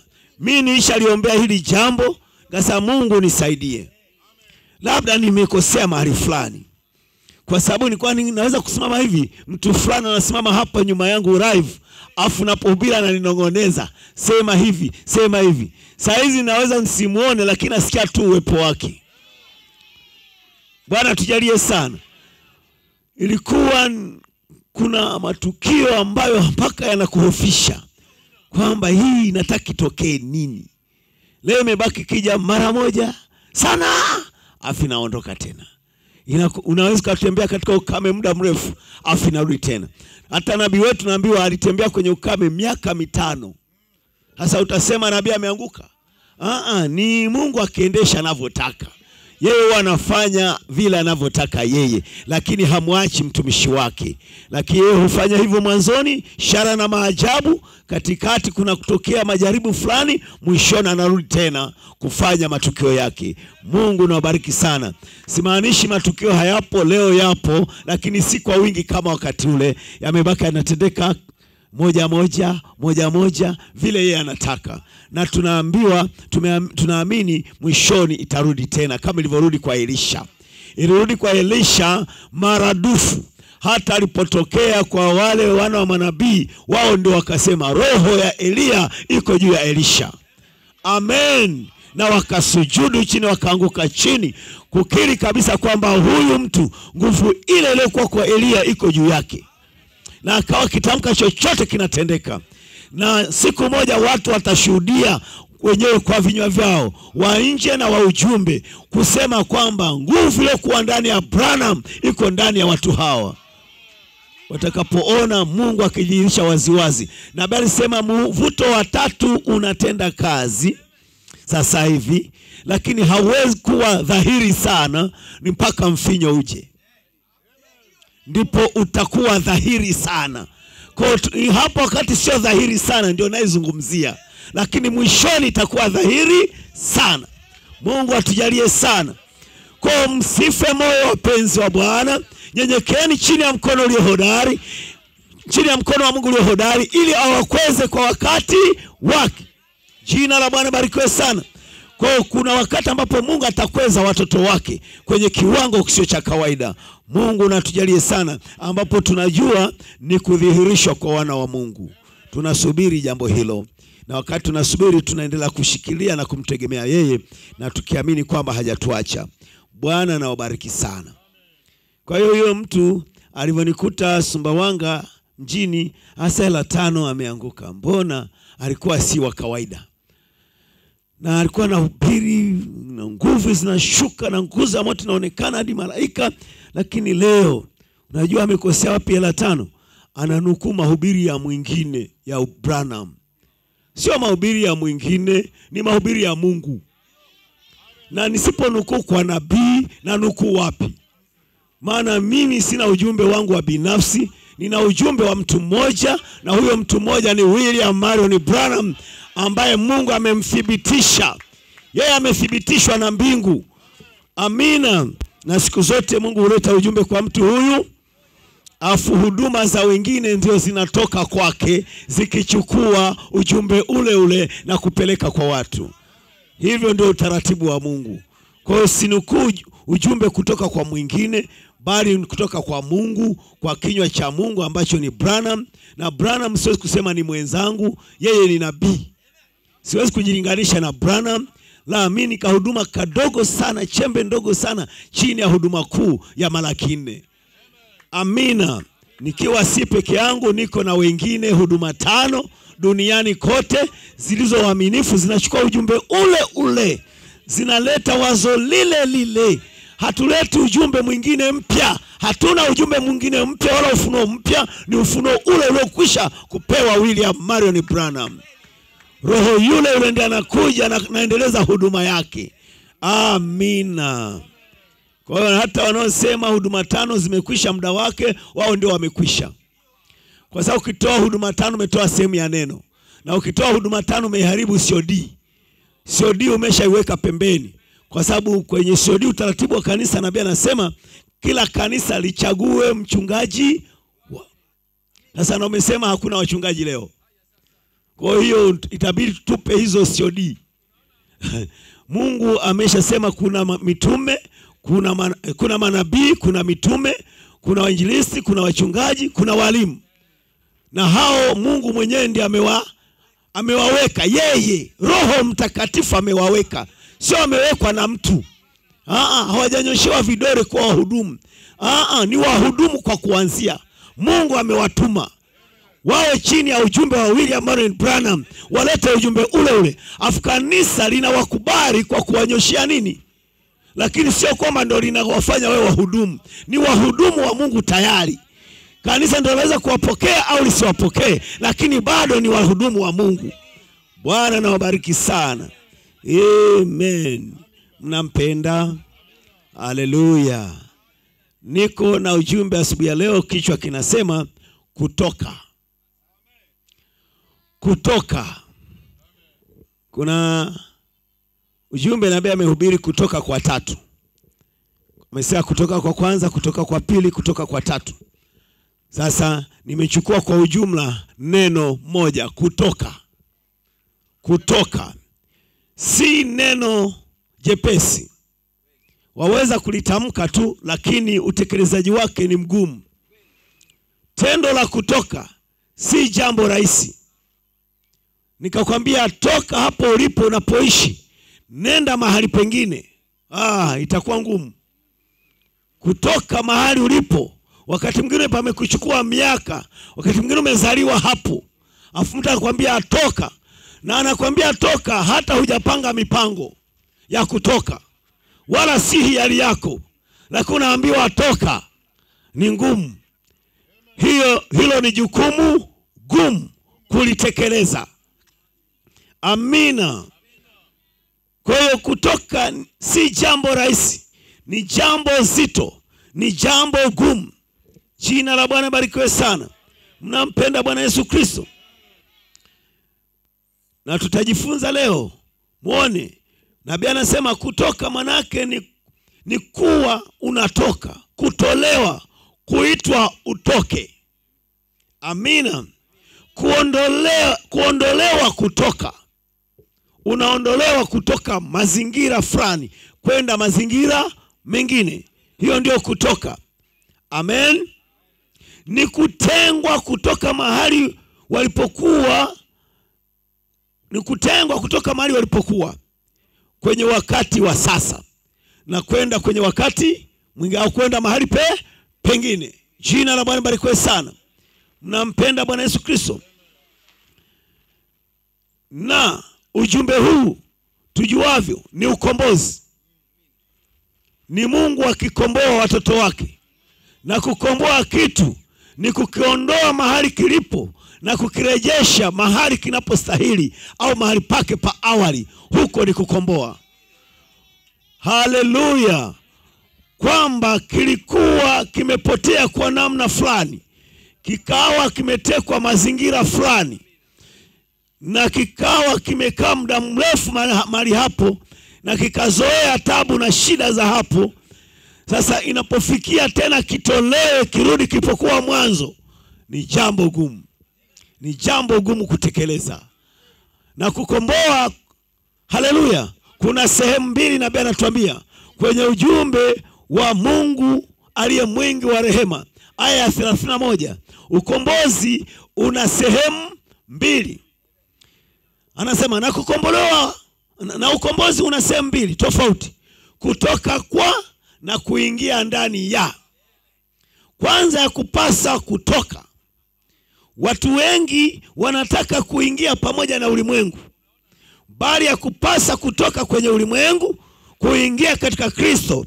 Inakupasa utoke kwenye kutokuamini uingie kwenye imani. Hapawezi kuwa kitu chochote njiani mwako inakupasa kuacha kabisa nyuma mambo yote yanayopingana pingana na neno la Mungu ili kuingia katika imani. Haleluya! Kutoka si jambo la kawaida, kutoka sio jambo la kawaida. Haleluya! Ni jambo lisilo la kawaida. Wakati mwingine inamuia vigumu mwanadamu kulitenda jambo hilo kirahisi. Haleluya! Kutoka imekuwa ni jukumu zito gumu kulifanya, hata umlazimu Mungu kufanya jambo la dharura ili kumlazimisha mwanadamu atoke. Amen, haleluya. Mungu anapokuwa ametoa ahadi kwa watu wake ya kutoka, na wakati ule ukishafika, watu huonekana hawako tayari kutoka, na hata hivyo Mungu ameshawaahidi watatoka lakini muda ukishafika bado wao inaonekana hawaja, hawajawa tayari kutoka. Amen, huwa wako tayari kutoka mahali walipo, ndipo Mungu huingilia kati na kuwatoa kwa nguvu inapobidi. Haleluya, mnampenda? Hiyo ndio sababu yeye anaruhusu shida zije. Hiyo ndio sababu anaruhusu huzuni zije, anaruhusu misiba anaruhusu hali mbaya zitokee zitakazowalazimisha watu watoke mahali pale walipozoea kwa muda fulani, japo huenda palikuwa ni pazuri au hapakufaa sana, lakini walipokuwa walikuwa wamepazoea. Hata hivyo, ndipo inawabidi kutoka, uzito huwashika na wanasumbuka sana na kujizungusha zungusha katika kutoka. Hii ni hii iko kwenye jumbe mbalimbali, nimedonoa donoa nikaiweka pamoja. Amina. Inaonekana kwa namna fulani kuna uzito au ugumu katika kutekeleza swala la kutoka. Musa na mani samani, Ibrahim ame, amezaliwa huko katika mji wa Ur Kadayo. Amezaliwa huko, amekuwa huko, ameoa huko, ameishi na mwenzake miaka ya kutosha, hawajapata mtoto. Aliishi maisha ya kawaida kama ya mimi na wewe. Haleluya! Labda mkulima, labda mwindaji, vyovyote alivyokuwa, na akafika miaka sabini na tano na Sara sitini na tano alafu kitu kisicho cha kawaida kamtokea na kikamamuru atoke, na kikamwambia toka kwenye nchi yako, toka kwa baba yako, toka kwa ndugu zako, jamaa zako, uende mahali nitakapokuonyesha upate kupata urithi huko. Ikawa ni zito, ndugu yangu, mahali umezoea na hata sio ratiba yako, hujapanga mipango hiyo, hujawa tayari kuhama, afu anakwambia hama, na anayekwambia ni Mwenyezi Mungu, na wewe ni binadamu na mazingira yako, inakuwa ngumu kutekeleza. Akamchukua na Mungu alikuwa amwambia toka wewe peke yako, yaani ni yeye na mke wake hapo ndio peke yake. Mungu akimwita mtu amemwita pamoja na, na mwenzi wake. Ilikuwa tu amchukue Sara waanzishe, lakini akamchukua na baba yake, akamchukua na mtoto wa ndugu yake, wakaanza safari. Haikufanikiwa sana, wakafika Harani na Mungu hakumsemesha tena. Wakakaa hapo vya kutosha mpaka Mungu akahakikisha baba yake amekufa. Baba yake alipokufa ndio Mungu akaanzisha safari tena. Bado Musa anamch- bado Ibrahim anamchukua Lutu tena, mtoto wa ndugu yake, jambo ambalo Mungu hajamwambia. Wakafika mpaka nchi ya ahadi, mambo hayakwenda sawa, na baba sema hakupata baraka zozote. Ilikuwa ni shida na ugomvi, maisha hayakuwa rahisi, yalikuwa ni mabaya na Mungu amemwahidi kumbariki, lakini sasa wamefika pale, ugomvi, kesi za wachungaji mara kwa mara. Ibrahim akasema, Bwana, hatutaenda hivi, wewe ni ndugu yangu, hebu tufanye hivi, wewe chagua, unataka ukae wapi? Tutengane, tuwekeane kabisa mpaka. Wewe ukienda mashariki, mtaenda magharibi, ukienda kaskazini, mimi nitaenda kusini. Chagua. Jina Bwana barikiwe sana. Na Bwana anasema mpe mtu wako, mpe mwenzako, au mpe adui yako, chagua, ajichagulie mwenyewe. Na huku ukijua hiyo sehemu ni mali yako. Ibrahimu alijua aliyeahidiwa ni yeye na yote ni yake, lakini akamruhusu yeye achague, na kwa kuwa ni ya Ibrahimu, Mungu asingeruhusu Lutu achague sehemu ambayo Mungu amemwandaa Ibrahimu. Ilibidi Lutu achukue sehemu fulani, na akashauriana na mke wake, wakashauriana, wakaona Sodoma ndio kuna mafanikio na wakatoka. Na wa, Biblia ukisema nasema alipojitenga Lutu alipotoka tu kwa Ibrahimu, Ibrahimu akabaki peke yake, na ndipo hapo siku hiyo Mungu aliona Ibrahimu ametekeleza kile alichomwambia, jitenge kabisa na ndugu zako na nchi yako na baba yako. Siku ile ndiye ajitenga kabisa, ndio Biblia inasema Mungu akamtokea. Ndipo akasema, angalia mashariki, angalia magharibi, kaskazini, kusini, hiyo yote nimekupa wewe, wewe na uzao wako baada yako. Hii itakuwa ndio urithi wako, wewe na kizazi chako. Jina la Bwana barikiwe sana.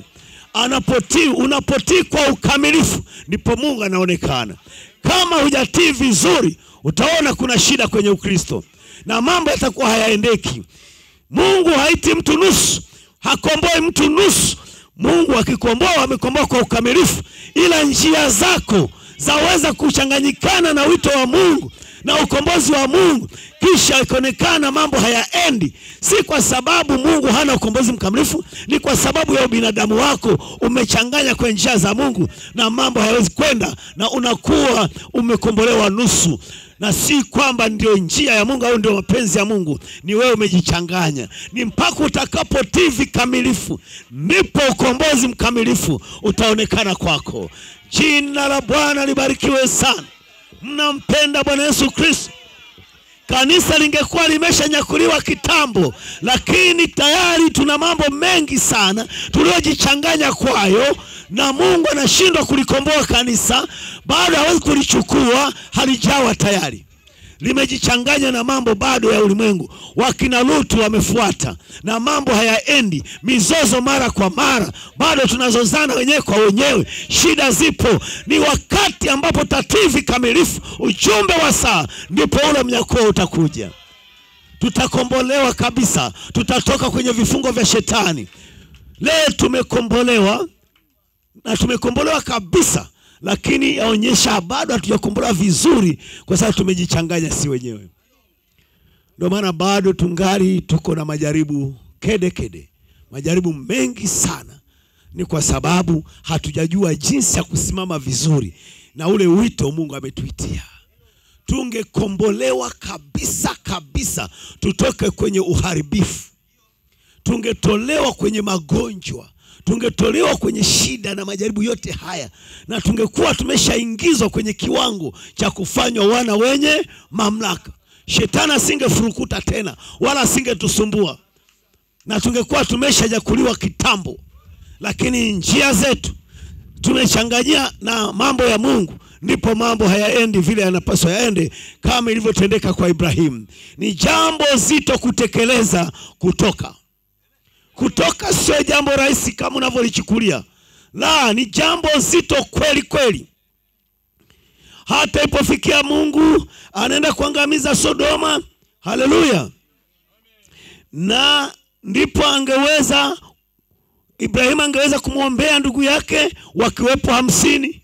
Unajua alikuwa anamwombea nani? Lutu. Hizo namba namba ni Lutu akiwemo. Ibrahimu alikuja, alikuwa ameshamwona Mungu na ameshamjua na Mungu ameshamwambia anaenda kuteketeza, na anajua mle mna mtoto wake, mtoto wa ndugu yake yuko mle. Ibrahimu akaanza kumwombea Lutu, Bwana, hivi wenye haki utawaangamiza na waovu? Asa, hapana, siwezi kuangamiza mwenye haki na mwovu. Wakiwepo wenye haki hamsini utaangamiza? Sema aa, nitauacha mji huo kama wenye haki wako hamsini. Lakini ah, Ibrahimu yote hiyo ni kumwazia Lutu na familia yake wakiwepo arobaini na tano wakiwepo thelathini ah, siangamizi. Wakiwepo ishirini na tano wakiwepo kumi ah, siangamizi. Bwana tuya sana, mpaka ikafika kwenye watano. Sasa sitaangamiza kama, lakini hata watano hakufika. Kwa hiyo wakati malaika wameenda sasa, wanamwagiza Lutu atoke. Lutu alitoka kirahisi? Kutoka ni ngumu. Sasa toka toka, tunataka tuangamize, ondoka haraka sana, harakisha. Biblia inasema alikuwa na kawia kawia, ana kawia kawia, mpaka malaika wakaingilia kati. Shika mkono wa Ruth, shika mkono wa mke wake, shika mkono wa mabinti zake, kisha wakawatoa kwa nguvu, kwa maana mwanadamu kutoka mwenyewe huwa ni ngumu, ni ngumu, ni ngumu sana kutoka hasa inapokuwa ni jambo la kiungu, kulitekeleza ni ngumu. Ndipo wakatolewa kutoka Sodoma waende sehemu ya karibu ambayo Mungu alikuwa amewaonyesha. Jina Bwana barikiwe sana. Lakini mke wa Rutu akageuka, kwa sababu kutoka ni shida. Wakati anawaza tu kugeuka, wakati ameshamliwa kwamba msigeuke, alivyowaza tu kugeuka, akageuka kuwa nguzo ya chumvi mpaka leo na wanafika kule wanageukiana, wanakuta mama hayupo. Mungu na tusaidie sana. Kutoka sio jambo rahisi, ni jambo zito. Mungu alikuwa amewaahidi wana wa Israeli kuwatoa utumwani.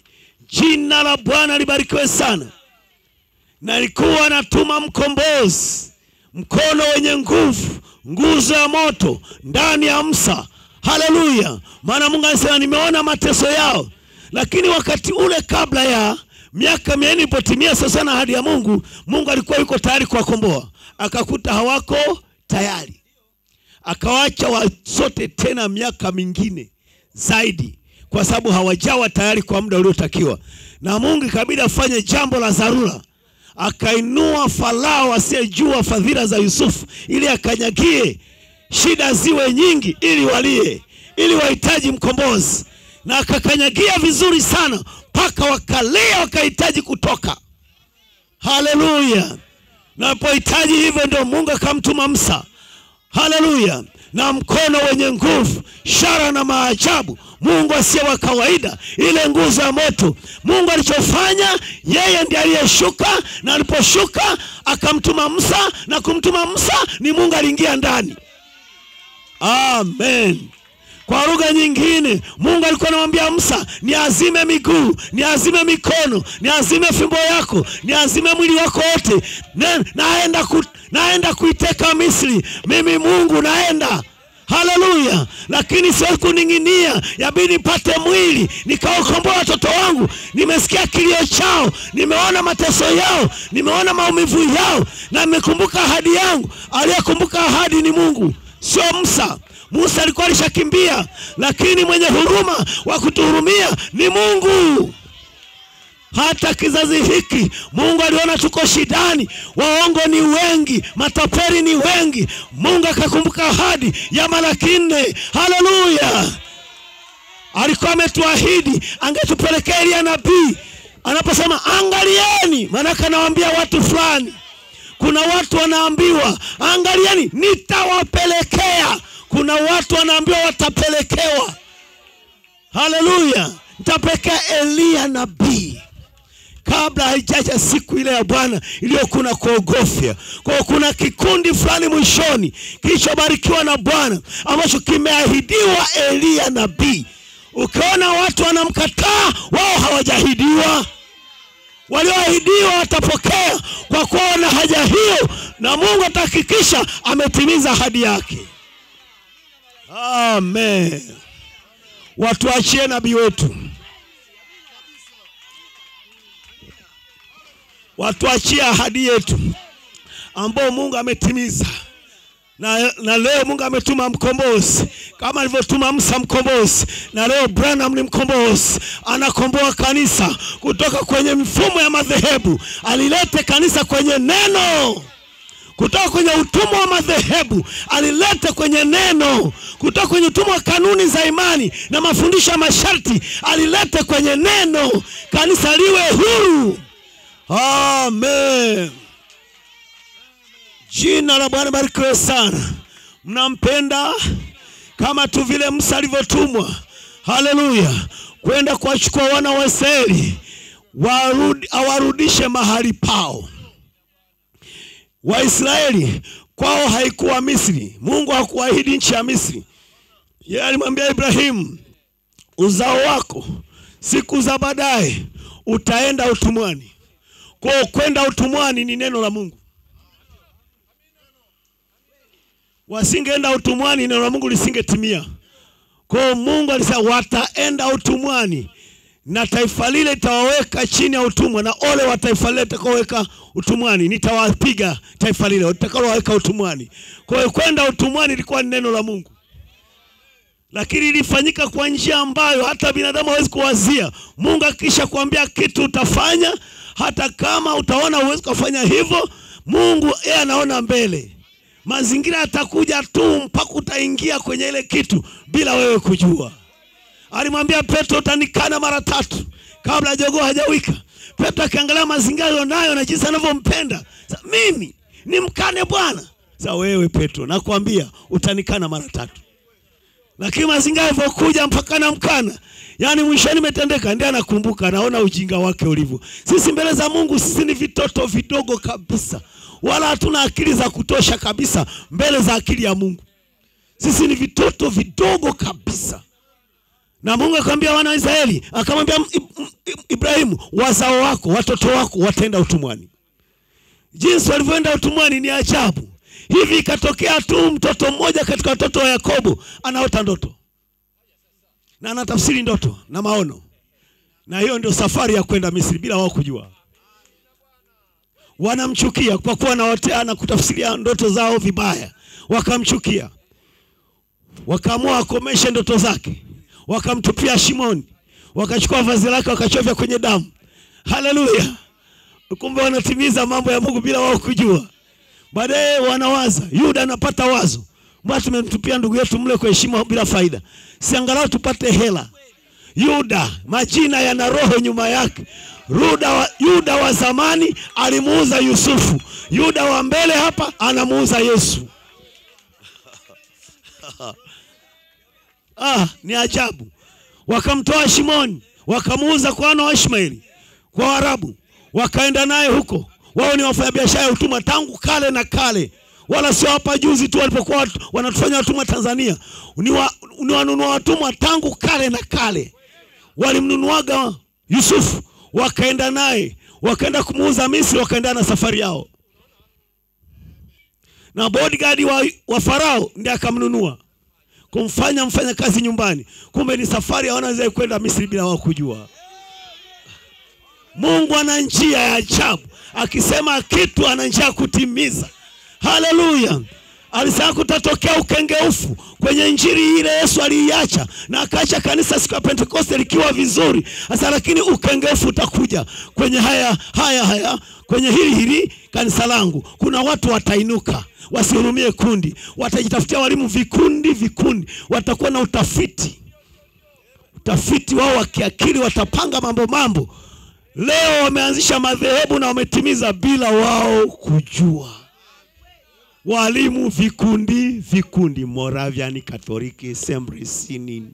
Na Yesu alitabiri kupitia Paulo na akasema watafanya hivyo, na leo wame, lakini akaahidi atatuma sauti kutoka mbinguni itasema, tokeni kwake enyi watu wangu. Wangapi wanaamini William Marion Branham ni sauti ya Mungu iliyotoka mbinguni? Sio imetoka Marekani, sio imetoka Jeffersonville, sio imetoka Kentucky, ni sauti iliyotoka mbinguni. Nikasikia sauti kutoka mbinguni, haleluya, ikisema tokani kwake enyi watu wangu. Watu wake Mungu wanaambiwa watoke kwenye ukengeufu wa madhehebu, warudi kwenye neno. Amen. Leo nitawasomeeni jinsi ambavyo hawa wajumbe huwa wanatuma kutoka mbinguni, huwa hawatokei duniani, wanatokaga mbinguni, wanakuja duniani, wanavaa mwili, lakini wametoka mbinguni.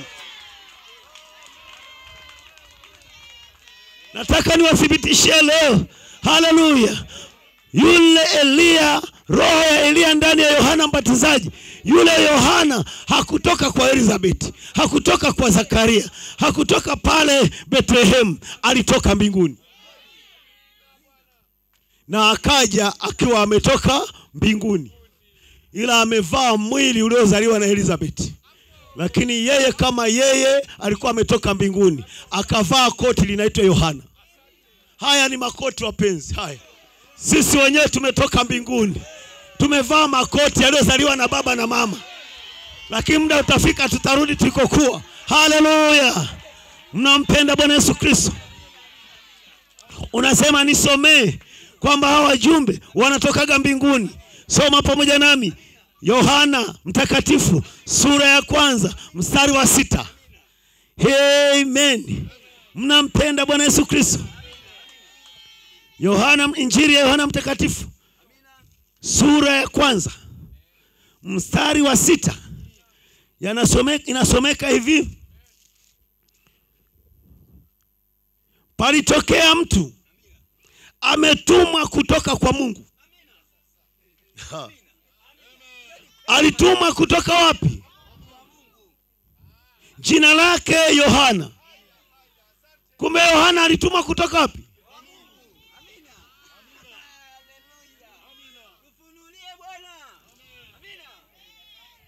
Huyo alikuja kwa ushuhuda, ili ashuhudie ile nuru, wote wapate kuamini kwa yeye. Sasa weka Branham pale, palitokea mtu, pametokea mtu ametumwa kutoka kwa Mungu, jina lake William Marion Branham. Huyo amekuja kwa ushuhuda, ili aishuhudie ile nuru, wote wapate kuamini kwa yeye. Huyo hakuwa ile nuru, bali alikuja ili aishuhudie ile nuru. Kulikuwako na nuru halisi, amtiaye nuru kila mtu akija katika ulimwengu. Haleluya! William Marion Branham, mtu aliyetumwa kutoka kwa Mungu. na ameleta ujumbe. Kwa hiyo ujumbe ni sauti. Kwa hiyo sauti imetoka mbinguni. Ufunuo kumi na nane nne nikasikia sauti kutoka mbinguni ikisema, tokeni kwake enyi watu wangu. Haleluya! Mungu anawatoa watu wake watoke kwenye madhehebu watoke kwenye itikadi za imani mbalimbali, warudi kwenye imani moja, Bwana mmoja, kanisa moja, ubatizo mmoja, roho mmoja, tumaini moja. Wanarudi mahali pao. Wakati Musa anawatoa wana wa Israeli Misri, alikuwa anawatoa mahali ambapo sio kwao, awapeleke kwao. Kulikuwa na nchi ambayo Mungu alikuwa ameshawaidia, na ile nchi Mungu alikuwa alishaigawanya vipande kumi na mbili sawasawa na kabila kumi na mbili na ilikuwa wanatolewa huku, kila mtu akaerithi nchi yake. Wakati wanazaliwa hao watu, haleluya, wakina Ruben, wakina Yuda, haleluya, wakina Sakari na kadhalika, walikuwa wanazaliwa chini ya uvuvio, na utungu wa kuzaliwa kwao ulikuwa unaonyesha mahali pao ni wapi na wao kina mama wanne walipopata utungu wakizaa watoto, angeweza kumzaa kulingana na utungu alivyo. Sasa huyu Rubeni, kumba anataja mahali atakapoenda kurithi, na akaitwa jina Ruben bila wao kujua. Kumbe Mungu yuko kazini. Haleluya! Akaanza mwingine uh, Zabloni, kumbe kuna mahali ambapo ataenda kurithi Zabloni na hayo majina yalingana na kazi walizonazo. Wengine wakawa wafugaji, wengine wakulima, wengine wawindaji. Kila mtu alikuwa na kazi yake kulingana na Mungu alivyomzaa kwa utungu. Walikuwa na sehemu yao kwenye nchi ya Kanani. Haleluya! Kwa hiyo Musa alipowaondoa pale, alikuwa anawapeleka kwenye nchi yao wenyewe, warudi mahali pao, akichukua watoto warudishe kwa baba zao. Amina. Baba zao walikoishi Ibrahimu, Isaka na Yakobo walikokuwa wanaishi, ndio hao watoto wanarudishwa. Atageuza mioyo ya watoto awarejeshe kwa baba zao, na leo ndio Mungu anachokifanya. Amina.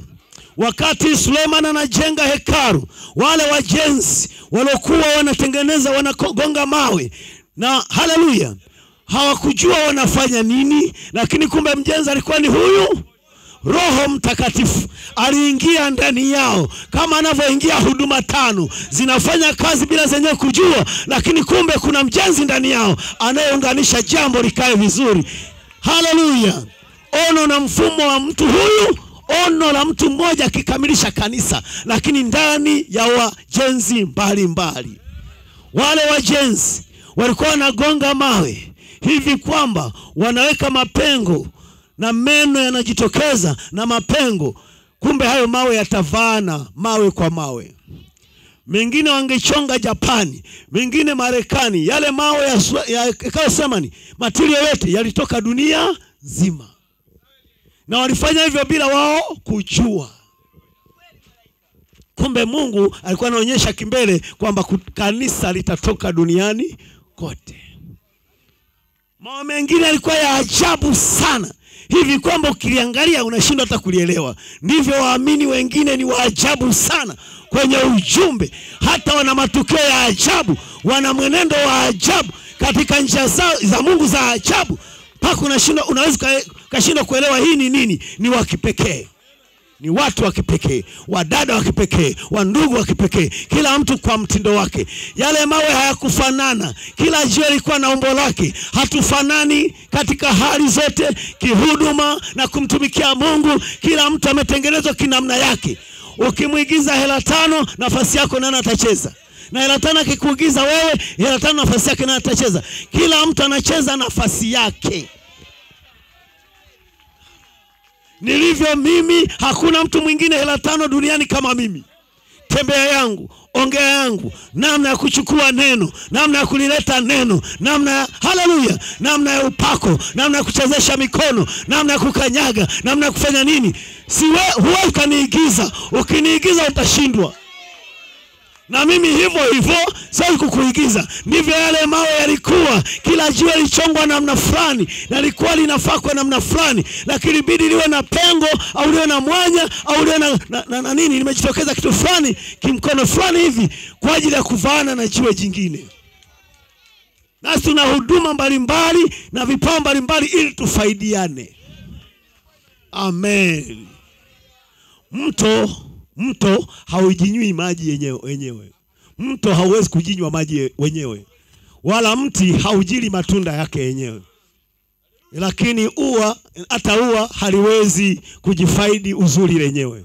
Lenyewe linapambana kutoka kwenye matope lije lilete uzuri, alafu lijifunue moyo wake eh, mbele ya jua. Afunyuke akija achukue sehemu yake, kipepeo akija achukue sehemu yake, mwanadamu akija achukue sehemu yake. Lenyewe limejitolea tu bure. Amina. Ndivyo huduma na vipawa vilivyo vinajitokeza tu. eh. Anayetaka aje achukue bure. Branham alikuwa na vipawa wanachukua bure, lakini akiumwa anapelekwa hospitali, na akaambia watoto wake, kipawa changu hiki si kwa ajili yangu, ni kwa ajili ya wengine. Yeye alikuwa anashikilia tumbo hivi huku anaombea wagonjwa wanapona, lakini yeye anaenda kulaza hospitali atibiwe kikawaida au la sivyo aombewe na mtumishi mwingine. Biblia inasema Yesu angejiokoa mwenyewe asingetuokoa. Ilibidi ajitoe yeye kwa ajili ya wengine, yeye yeye ajitoe tu bure kwa ajili ya wengine. Angejikomboa, angejitoa, tusingeweza kukombolewa. Kwa uzima milele ni kuishi kwa ajili ya wengine. Haya mawe yakiwa yanachukuliwa kwenye usafiri mbalimbali, kwenye mikokoteni, haleluya, na kwa merikebu na kadhalika, yalikuwa yanaenda kurundikwa mahali pamoja, ndio mahali pake.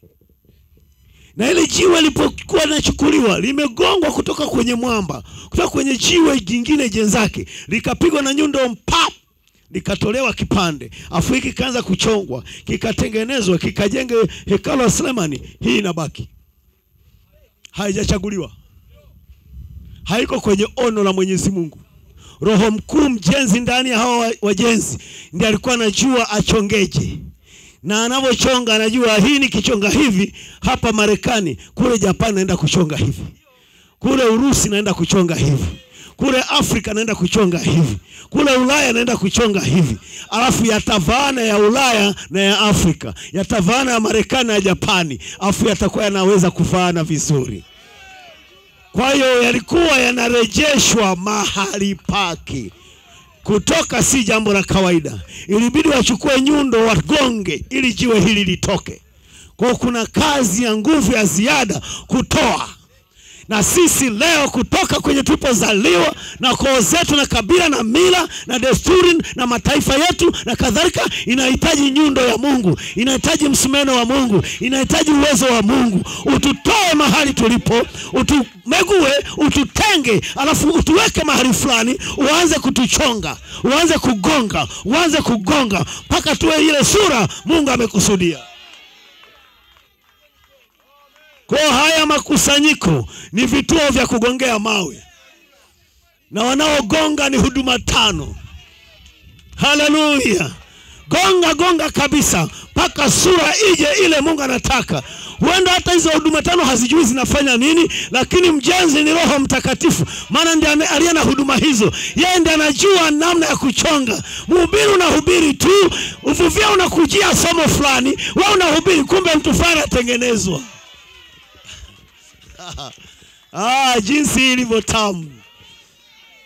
Kwa yale mawe, kila jiwe aliloichukua lilikuwa na mahali pake kwenye hekalu la Sulemani. Kwa hiyo yalikuwa yanarejeshwa mahali pao. Ilikuwa ni ono la Mungu la milele na milele, alikuwa alishaliwazia hilo milele.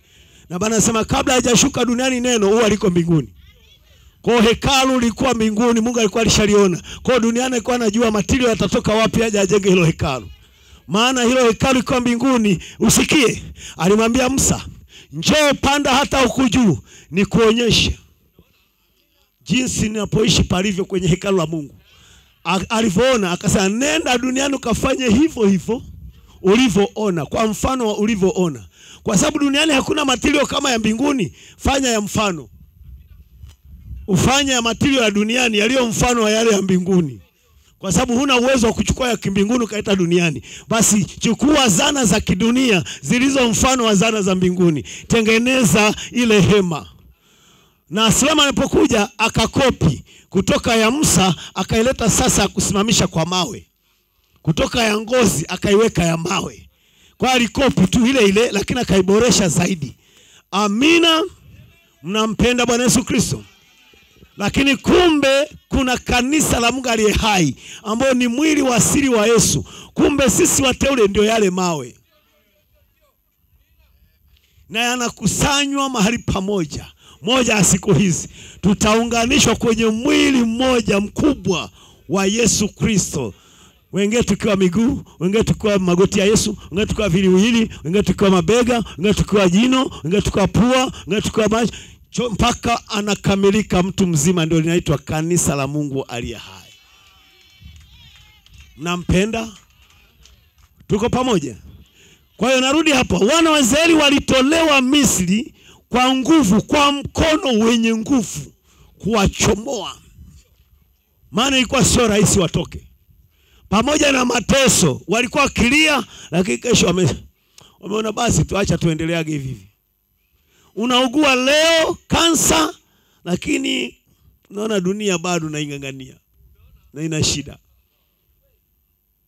na mateso na magonjwa na kila kitu, lakini bado unatamani uendelee kuwepo duniani kwenye shida.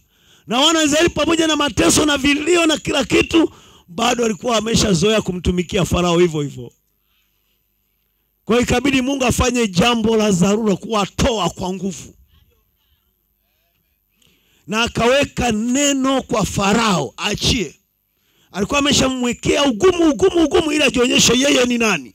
Yale mapigo apate nafasi ya kujionyesha Mungu alivyo na uwezo. Kuwe nzi, kuwe vyura, kuwe viroboto, kuwe nini, mapigo yote yale ni Mungu akijigamba mbele za adui kwamba mimi ni boss, mimi ni simba, mimi natawala kila kitu. Alafu mwishoni akasema achilia wewe, akaweka moyo ndani yake mwingine wa kuachilia. Yeye mwenyewe akasema sasa, chukueni watu wenu, we Musa na Haruni, mwondoke, ondokeni, ondokeni. Aliua kila mzaliwa wa kwanza. Kulikuwa ni misiba, hata kwa Farao msiba, kila nyumba msiba, pigo la mwisho hilo. Kila mzaliwa wa kwanza, hata iwe ni panya, hata iwe ni kuku, hata iwe ni ng'ombe, kila mzaliwa wa kwanza, kuanzia wanyama mpaka wanadamu. Kulikuwa na maiti nyingi sana kwenye nchi hiyo, mpaka Farao akainua nini, mikono, haya ondokeni. Wakaondoka, wakaimba wimbo wa furaha, wakifuata nguzo ya moto. Musa anaiona nguzo ya moto na watu wanamfuata Musa. Wao wana, sa, wakati huo safari si ya kujitungia, njia sio ya kujitungia, wanafuata mle nguzo ya moto inapita. Wangepita kwa akili zao, kulikuwa na njia ya mkato kabisa. Ni siku ngapi? Tatu, maandiko yanasema hivyo, lakini ilikuwa ni safari ya nguzo ya moto, yenyewe ndio inajua njia. Wakati huu hatutafsiri Biblia kwa akili zetu, wakati huu nguzo ya moto ndio inayofasiri Biblia ndani ya William Marion Branham vile imesema. Hata kama huioni hivyo, sema hivyo hivyo. Hata kama na njia ya mkato ya uelewa, achana nayo, chukua ya mzunguko aliyosema Mungu, maana nguzo ya moto ndio imeongoza fasili ya Biblia.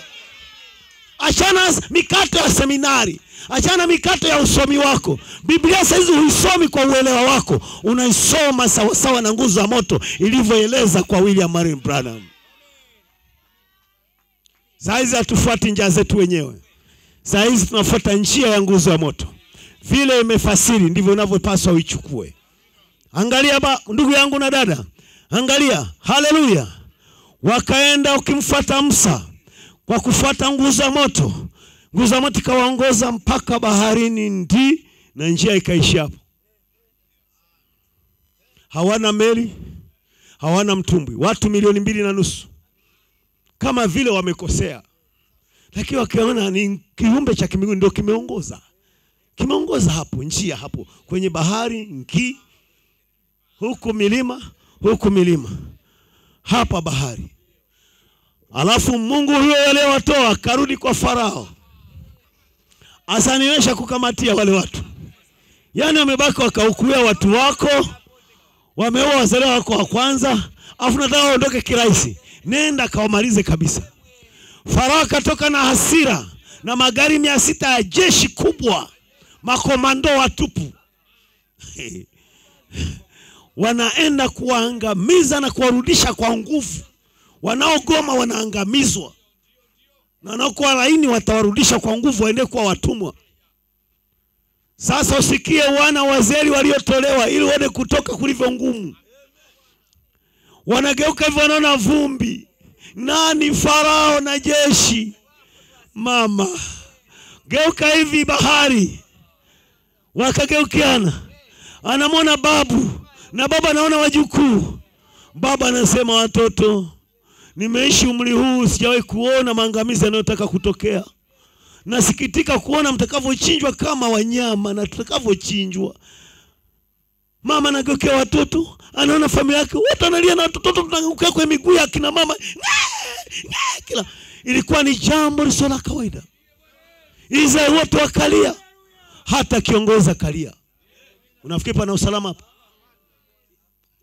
Mpaka Musa anayeongoza mwenyewe akalia, wakaanza kumlalamikia, we Musa, tulikwambieje wakati tunatoa? Kumbe walikuwa ameshamwambia, tulikwambia usitutoe, tulikwambia usitutoe, acha tu tuendeleage kumtumikia Farao kuliko tunafia hapa. We Musa, umetuleteleza. Misri ilikuwa haijawatoka walitoka tu wao kama wao, lakini Misri ikiwa ndani. Walipopata shida wakadhihirisha, kumbe Misri bado iko ndani. Kabla hujamtolea mtu mto tumboni aliyezama kwa maji, huna budi umtoe yeye kwanza. Kwanza unamtoa mtu anayekufa maji, unamtoa kwenye mto. Baada ya hapo, unatakiwa mkamue tumboni, mto utoke ndani. Mnanielewa? Mnanielewa? Kwa hiyo ilibidi watoe Misri kwanza, lakini Misri iko ndani yao. Kwa ikabidi wakamuliwe pale, Misri itoke. Tumetolewa duniani, tukaja hapa kidunia, bado tuko nayo. Ndipo leo tunakamuliwa na huduma tano ujumbe wa saa, mpaka ulimwengu tuache. Hapo ndio tutakuwa tumetoka. Bado tuna kaulimwengu ndani. Kichukua dada zetu tena hawa unakuta wanasemana kaulimwengu. Kwani kusemana hiyo ni neno? Si ulimwengu ndio huko duniani tu walikuwa wanafanya. Sasa wako kwenye ujumbe tu, bado kutu ulimwengu tumo. Wandugu bado wanafanya tu vitu fulani tu ulimwengu, mabishano, kubishana neno. Tulikuwa tunabishana madhehebuni na huku ah, huku atubishanage huku tunaamini. Kama nimeelewa hivi na ndugu ameelewa hivi, tunaombeana na tunaliacha, tunaombeana, tunapendana, lakini bado ulimwengu tumo, bado unaishi kimabavu, ukimtawala dada kimabavu, unadhani ndio utawala nabii anayosema. Unasikia, mimi si kwamba nitakushikisha kila kitu, wewe si kama mtoto tu. Unamwambia mke wako hivyo wewe akili yako ni kama watoto tu hawa, naishi nawe tu kwa kuvumilia. Hata wakina Pastor hata waishahubiri kwamba mwanamke hana akili ndogo, kwa hiyo unatumia kigezo hicho. We we, huyo ni msaidizi wako. Mungu amekupa kitu cha thamani. Wazia, Mungu anasema kutoka, ukiweka wokovu pembeni, ukimweka Kristo pembeni zawadi kubwa kuliko zote ni mke kwa mwanaume, kwa mtoto wa Mungu. Zawadi kubwa kuliko zote kando ya wokovu ni mke. Mke ni kitu cha thamani, ni mtu ambaye ni wa pili baada ya Mungu. Wazia anasema una jukumu moja tu duniani, ni kumtumikia Mungu. Kipato chako kipata, anasema jambo la kwanza, fungu la kumi kwa Mungu, jukumu lako la kwanza. Sasa jukumu lako la pili ni kwa mke wako na familia yako, ndio la pili kutoka Mungu, mke wako na familia. Kutoka hapo sasa wewe jiweke wa mwisho. lakini wengi hamjafanya hivyo, bado ulimwengu uko ndani. Unaweza ukajitahidi ukatoa fungu la kumi, afu namba mbili ukajiweka wewe, afu namba tatu ndio ukaweka mke wako. Hela unatolea nyuma, hela unatolea, unachambulia huku, unasema shilingi elfu kumi?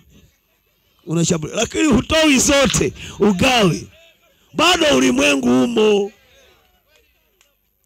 Mke wako anapaswa awe ndio benki yako.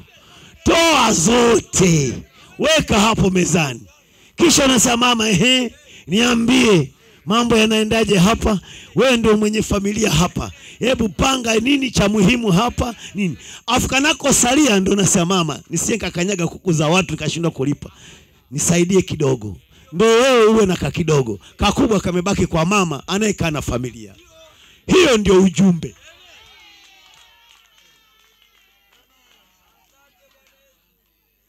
na wengi hamjajua baraka yako, waya wa baraka umekanyagwa na mke wako. Kama mke wako anasikitika, hufanikiwi ng'o, utateseka maisha yako yote. Nabii amekutana na watu wamevunja mikono na miguu kwenye ajari, sababu walinyanyasa familia.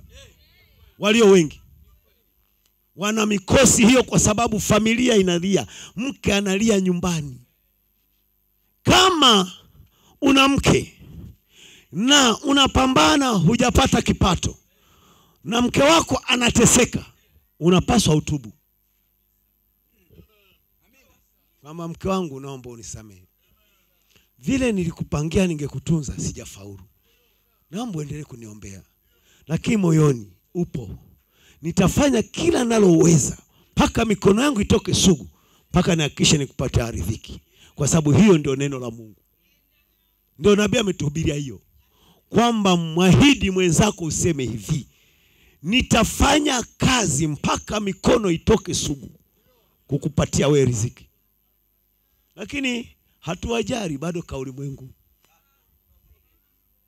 Alafu unataka ushikilie kwamba utatoboa kwenye ujumbe ha? Mambo hayaendi kwa sababu kuna vitu vingi tunaviishi vibaya hatujashika ujumbe vile inatakikana. Tulipaswa tuwe na ndoa zilizojaa furaha na amani. Sana sana, mpaka wake zetu wamerizika kabisa kabisa, lakini Mungu ameahidi atatutengeneza. Mpaka tutafikia hakuna ila, hakuna wa, hakuna doa, hakuna kunyanzi. Kwa wadada, msihofu, Mungu atatengeneza na nyewe wa ndugu msiofu, Mungu atatengeneza wadada zetu kote kote. Kuna tuulimwengu, lakini Mungu atatengeneza. Meseji imekuja itutengenezee ndoa zikae vizuri kabisa kabisa. We endelea kuomba, dada, endelea kuchochea maombi, endelea kuomba, Mungu atakurekebishia.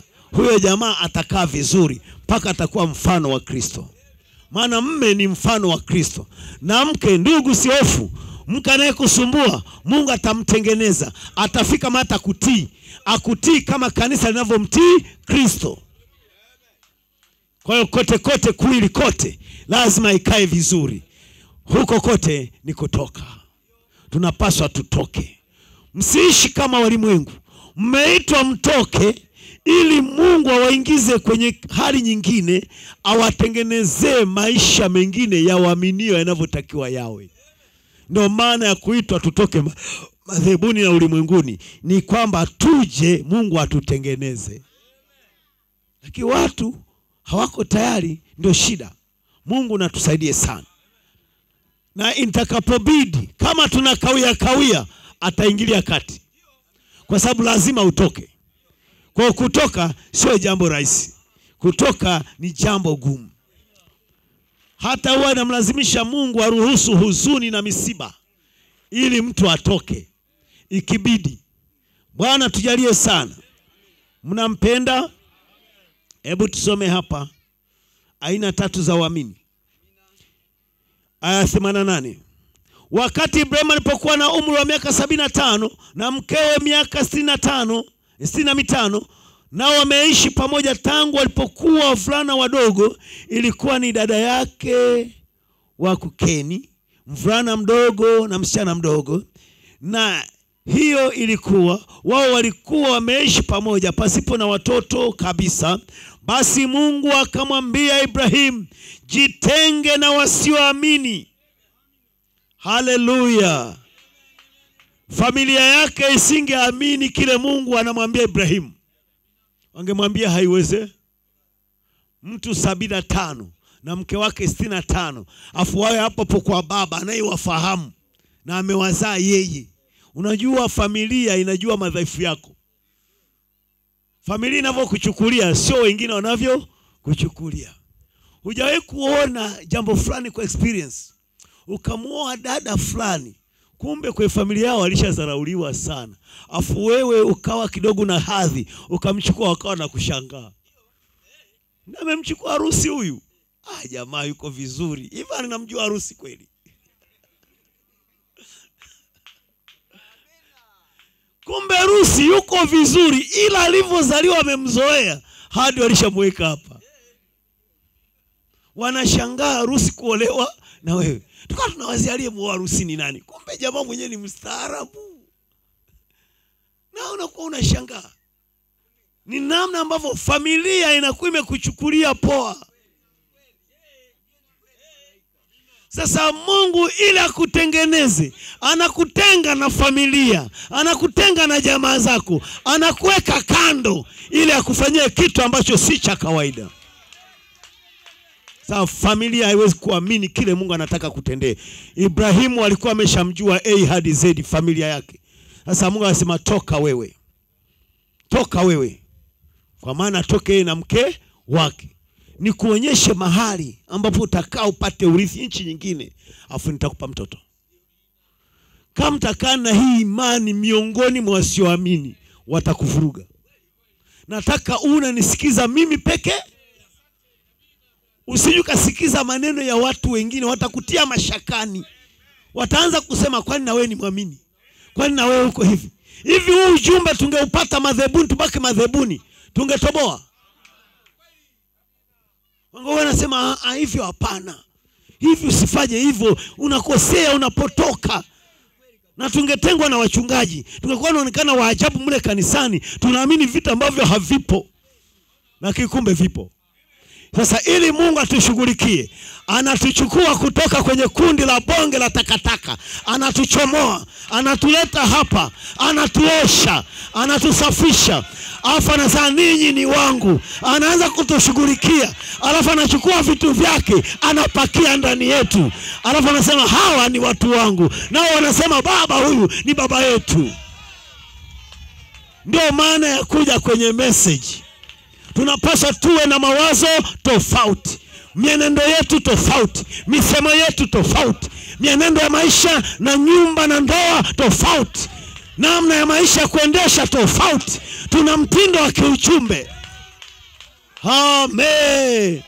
Hatupaswi kujichanganya na ulimwengu, tunapaswa tuonekane sisi ni wa aina tofauti, tuna mambo yetu tofauti, miziki tunasikia nyumbani ya tofauti.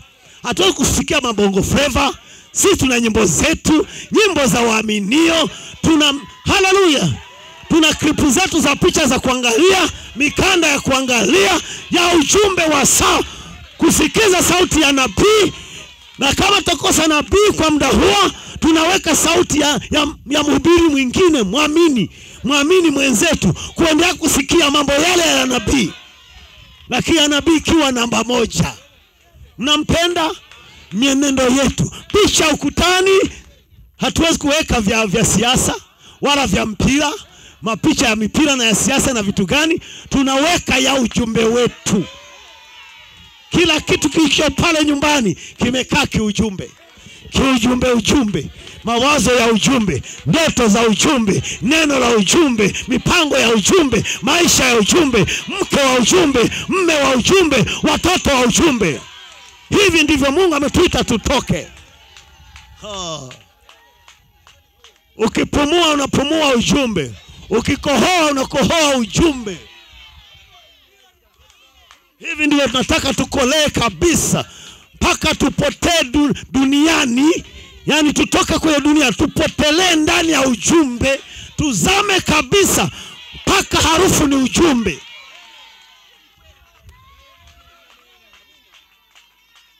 Mungu anapenda watu wa jinsi hiyo waliozama sana kwenye ujumbe mpaka wamefanyika ujumbe. Nabii mmoja alizama sana uweponi kwa Mungu, anaitwa Elia Mtishibi, akazama sana, akazama sana kwenye maombi, akazama, akaingia kwenye uwepo wa Mungu mpaka akafanyika Mungu. We wazia, mtu anazama mpaka anafanyika Mungu, amezama ndani ya Mungu mpaka anakuwa Mungu. Akatokea kuona Waisraeli akiwa na upako wa Mungu, anawambia namwambia, anawambia hakutakuwa na umande, hakutakuwa na mvua wala umande, ila kwa neno langu. Yani amezama kwa Mungu mpaka amekuwa Mungu. Hakutakuwa na mvua wala umande, unyevu wote hautakuwepo isipokuwa kwa neno langu. Hiyo ndio sawa. Naweza kukumbuka jinsi ambavyo nabii amesema, mama dubu alichukua kitoto chake kimoja, akaasha kundi la vitoto. Wakati anaondoka hivi, kimoja kamfuata mama, wakafika kwenye jabali, wakakuta mzinga, wakakuta nyuki zimeweka asari. Yule dubu akawa nakula. Sasa kitoto chenyewe kikaingia, kikajichovya kabisa, kikajigaragaza na humo, kikaloa, kikala yote, kikala wezeje kula kash mpaka katumbo kakaja huku, kabaki kina kina hema kimebeua, kinabeua asari, kinakohoa asari, kinapumua asari, kikaanza kutembea kurudi kwa wenzake wanaobaki kambini. Chote kimejaa asari mas kwenye ngozi yote, kwenye manyoya yote, kwenye miguu kote, kwenye mdomo kote, ni asari tupu, iko ndani na nje. Kufika vyanzake vikaanza kumlamba lamba lamba kabisa, lamba lamba kabisa. Amen. Ndivyo tunapaswa tufuate ujumbe wa Sam, mjumbe William Marion Branham, tuingie kabisa kwenye ujumbe wake, tuzame mpaka tujazwe na Roho wa Mungu. Tukiingia mo kabisa, tumezama. Tukitokea wengine waanze kutulamba, kwa sababu tumejaa ujumbe. Mungu atusaidie sana. Ah. Hii ni kweli wapenzi, kutoka tunapaswa tutoke. Unaweza kuongea na dada au na ndugu dakika tano ukagundua ametoka au kwa hii message, hata huwezi ukajipumbaza, utajulikana umetoka au hujatoka. Ni mazungumzo ya dakika chache tu, inaonekana wewe unafanyizwa kwa kitu gani.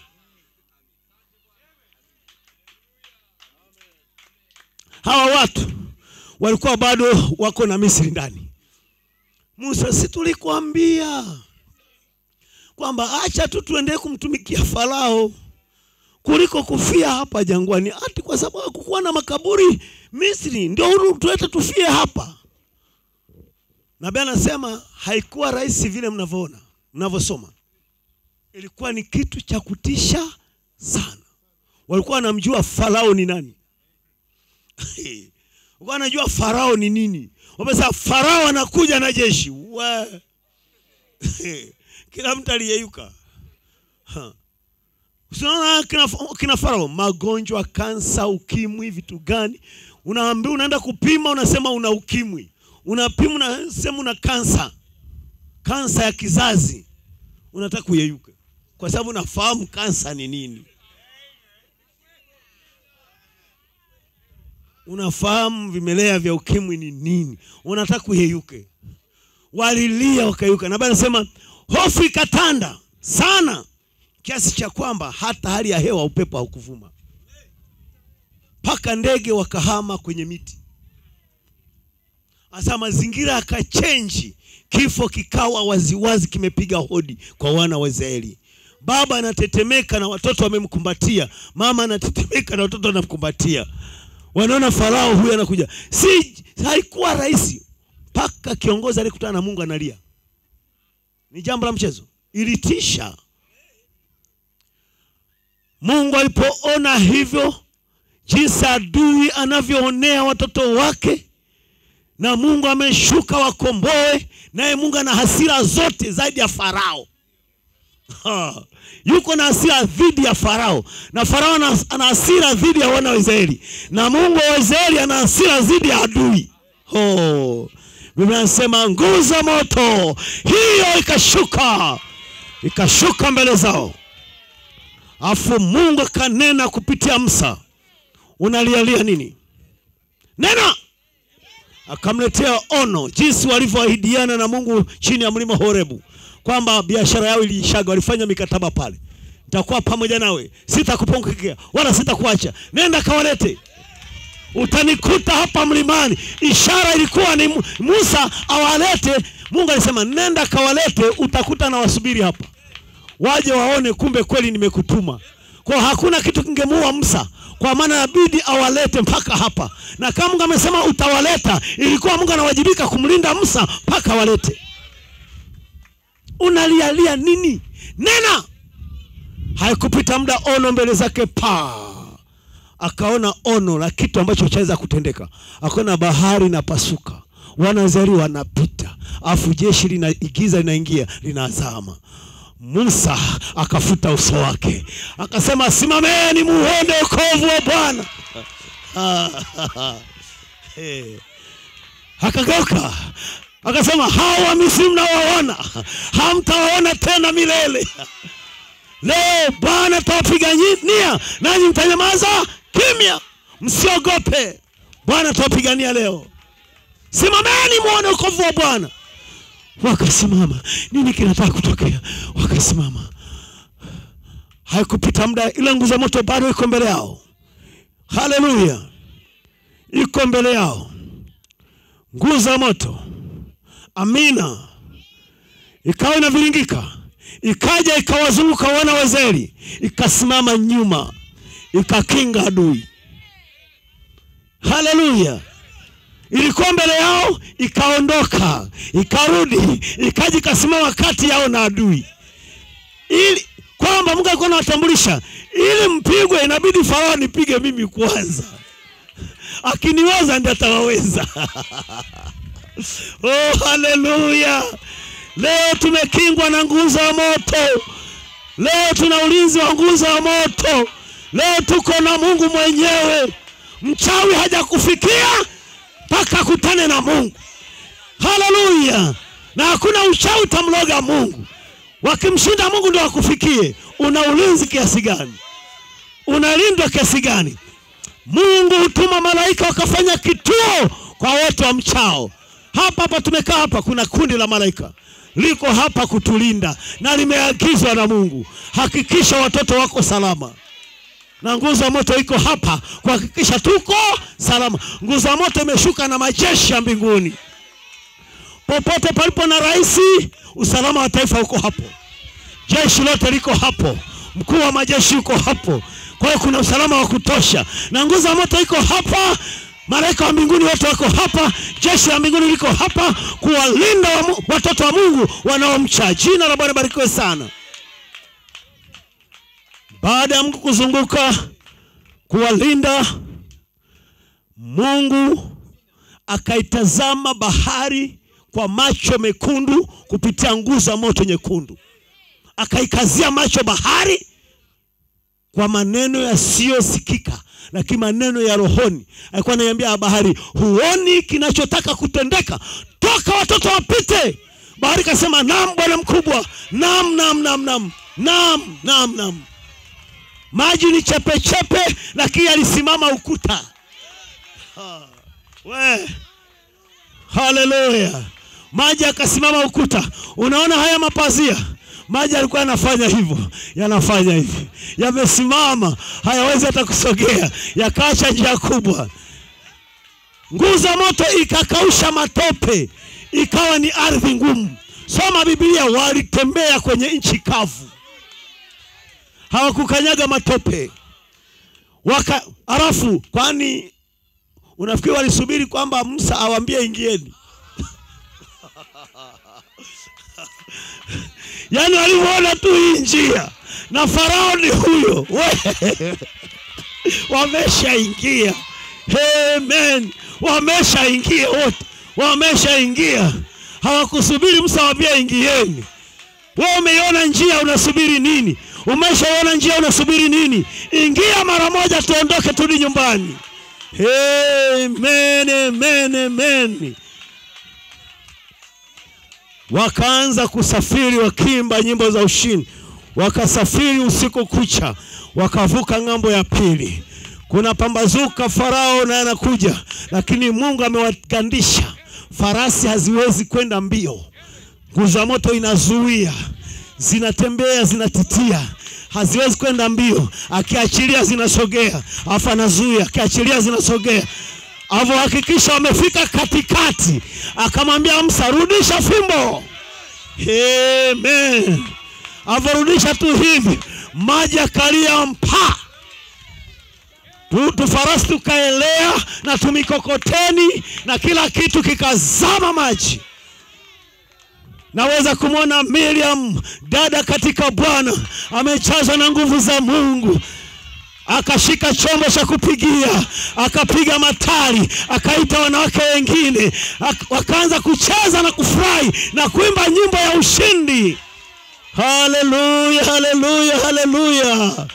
Wakaimba wimbo wa msa jinsi mungu alivyompa ushindi na jinsi adui alivyoangamia na sisi leo moja ya siku hizi mungu ataangamiza magonjwa yote ataangamiza kazi za ibilisi zote na ataangamiza mapepo yote na atatoa mauti yote mpaka mauti itatukimbia.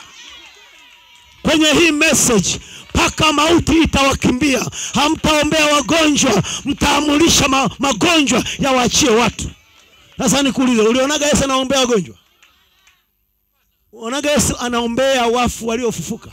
Anaanza oh baba unajua alikuwa anaamrisha binti amka.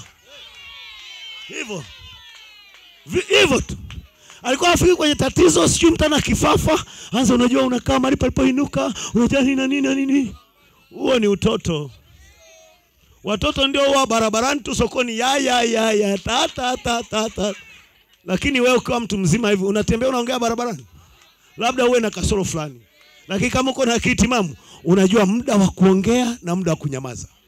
Sasa na tukifika kwenye ukubwa wa kiroho tutakuwa tunajua muda wa kuongea na muda wa kunyamaza. Ulikuwa unaona yesu anajibu kila swali? Yesu alikuwa anaweza kaongea au akanyamaza? Na yesu alikuwa popote anapoenda ni bwana asema alikuwa hazururi ovyo ovyo. Mungu wetu ha- huwa hazururi huwa hazururi kwamba anatangatanga sio anaelekea wapi alafu ni mungu. Roho mtakatifu anatangatanga kwa kwenda aona mwingie nani. Uh-uh. anayetangatangaga na kuzurura ni shetani. Mungu yuko mbinguni shetani afika. Mungu anamwambia umetoka wapi? Umetoka nimetoka kuzungazunguka yeye ni mzururaji. Nazunguka zunguka. Na vile kasema kwamba mpingeni huyo shetani anayezunguka zunguka akitafuta mtu ammeze. Kumbe yeye huwa anazunguka zunguka.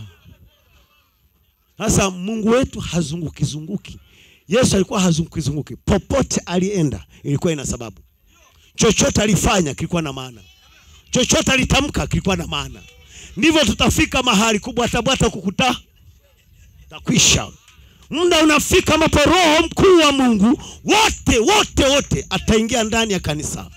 Atavaa mkono kwa mkono mguu kwa mguu kidore kwa kidore pua kwa pua kwenye kanisa la dunia nzima. Na huo ndio mvuto wa tatu. Na huko ndio kudhihirishwa kwa wana wa mungu. Na hapo ndio kanisa litakuwa duniani. Litampiga lita, lita shetani atafyata mkia muda huo nikwambie hutaombea wagonjwa utafika hospitali pale rufaa sumbawanga unaingia hivi wagonjwa wote kwenye wodi wanainuka. Na wote wameponywa. Utasogea tu kwa mtu mwenye kansa hivi kansa inakimbia. Branham alikuwa akisimama hivi chini ya uwezo wa bwana. Na ameshaweka roho zote chini ya mamlaka yake kwa utukufu wa yesu. Kansa zilianza kutetemeka kwenye mili ya watu zinanyofoka. Kansa moja ikatoka kwenye kichwa cha mwanamke ikaviringika mpaka chini akasema iokoteni mweke kwenye chupa. Hicho kipawa sio cha mchezo kwamba kiko ndani ya branham. Kansa zinakifahamu. Zinafahamu kicho kipawa kansa zinatafuta kwa kwenda. Sasa hiyo kitu itaingia ndani ya bibi harusi. Hiyo nguvu huyo roho mtakatifu utimilifu wa roho wa mungu ataingia ndani ya bibi harusi yeye wote. Alafu magonjwa yatatafuta kwa kwenda. Na utakuwa unasema rudi kuzimu. Ndio mahali penu pepo rudi kuzimu. Nenda kuzimu. Usiwaingie tena hawa. Na mapepo yanajua ati shetani anajua kwamba kuna kuja wakati ambapo hana nafasi. Ndio maana yesu alivyokuja. Yesu kuja pale alikuwa hajaja kwenye utimilifu wa kuja kwake kuvaa mili ya watoto wake. Alikuja katikati ili avae mwili azivunje kazi za ibilisi zilizo kwenye mili ya watoto. Maana kusudi lake kubwa ni kutuingia sisi sasa alitaka atuingie akakuta tuna dhambi. So, oh, okay. Hawa ni watengeneze akarudi akavaa mwili unaoitwa mwana pekee wa mungu. Kwa sababu kuna wana wengi wa mungu. Yeye akawa mwana pekee. Ule mwili ni wa kuazima. Ndoa ya kuazima. Tumbo la uzazi la kuazima. Mavazi ya kuazima. Farasi wa kuazima. Kaburi la kuazima vyote ni vya kuazimaazima kwa muda ili amchapie shetani. Akapata huo mwili wa kuazima akaenda karovari akawafia watoto. Akawatakasa dhambi zao. Ndio maana siku ya pentekoste akawa sasa anaweza akawaingia amina. Maana ameshatusamehe. Haleluya. Kabla hajaondoka alituhesabia haki akawahesabia haki wale mitume amina akawatakasa. Sasa baba uwatakase na ile kweli. Neno lako ndio kweli. Na akasema pokeeni roho mtakatifu. Subirini yerusalemu. Nguvu za aliye juu zitawashukia. Amina. Na siku ya pentekoste sasa kwa kuwa alishawatakasa chombo kishatakaswa kinafaa kwa matumizi. Kwa akaja akawaingia ndani. Tangu wakati huo wamekuwa akiingia watoto wake. Kwa sehemu. Kwa sehemu kwa sehemu mpaka michirizi saba nyakati saba za kanisa.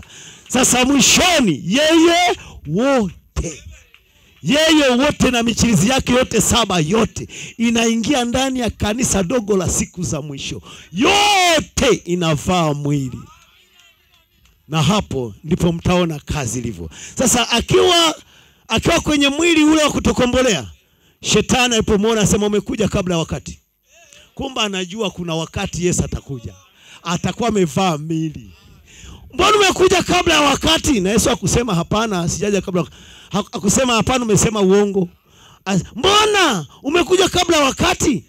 Sasa eh basi kwa kuwa umekuja kabla ya wakati wako turuhusu tuingie nguruwe. Sasa haya ingieni. Kwa lugha nyingine kwa maneno mengine siku itakuja hata nguruwe nitamkomboa hamtaingia hata nguruwe siku inakuja ambapo mungu anakomboa hata nguruwe hata kuku hata punda hata kila kitu. Hivi mnavyosikia huu ujumbe umekuja ukomboe kila kiumbe alichokuwa nacho adam eden. Vyote vitakombolewa. Wangapi wanataka waone kwamba kwenye Biblia imesema hivyo? Ah, niwasomee. Kwamba kumbe viumbe vyote vitakombolewa. Viumbe vyote vitakombolewa. Sio mwanadamu tu. Biblia inasema injili hii ni kwa kila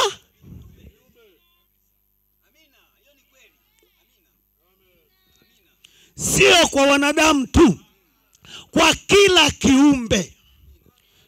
Niwaulize branham hajaongea na viumbe? Sasa ameongea na manyigu? Anatembeza mashine yake hivi ya kufyeka nyasi kukata nyasi chini akagonga mti wa maua. Kumbe kuna manyigu huku chini kuna kiote cha manyigu. Yakaja ya muume branham sasa samani. Sikujua mko hapa nimewasumbueni. Rudini mkae vikarudi vikakaa vinasikia sauti ya mwana wa mungu. Nabii akakatiza sengenge kuna ng'ombe ni mkali ana pembe zimechongoka sana na ameua na ame- ame- ame- amejeruhi watu wengi. Nabii anaingia hivi ng'ombe huyu hapa amekuja fosi nabii akasimama. Asa samahani nimekukosea kwenye himaya yako. Nimeruka hapa kwa ghafla nina dharura kumwombea mtoto wa mungu pale ng'ambo. Naomba urudi ulipokuwa ng'ombe akarudi huyo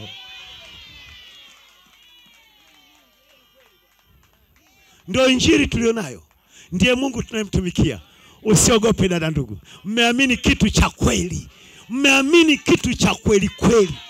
Kweli kabisa. Ujumbe ni kweli. Amina. Mungu mungu amefufua samaki. Kizazi hiki, samaki aliyekwanguliwa na ndoana, tuutumbo tumeangukia pale pembeni, nta kasamaki kamelala chari eh. kame kamekwangulia utumbo wote tumboni. Jua la saa nne limesha kachoma, kamekaukia kwenye kameganda kwenye mchanga, na tutumbo tumeganda hapa. Nabii yuko na mwenzake wanavua samaki, kale kasamaki kamesha kauka. Mara ono limekuja, Mungu alikuwa amemwambia nitakufanyia muujiza kwa kiumbe kidogo. Mara Mungu anamwambia hiyo hapo. Bwana anasema ndugu, ndugu, angalia hii hapa.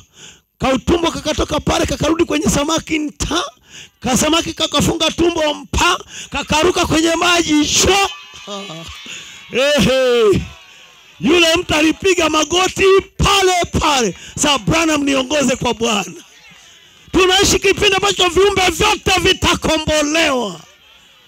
Naweza kumwona mama Oposam yuko porini, amejeruhiwa na majeraha ya kumuua, pamebaki uhai kidogo, akaitiza vitoto vyake, njoni watoto wangu, ninaishi kipindi cha neema, kuna nabii nchini.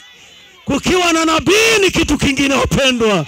Njoni watoto wangu, akawabeba juu ya mgongo. Huyo opo sama anatembea, hakuna mnyama mwingine angemzuru. Kwa nini? Anaongozwa na nguzo ya moto huyo, kwa maana ni Mungu ndiye aliyemwambia kuna nabii nchini, nitakupeleka akakuombee kama wanyama wameombewa. Haleluya! Vipi mwanadamu wewe unayeumwa? Mungu anakuwazia vipi? Kama aliwazia tu mnyama wa porini, wewe ni zaidi.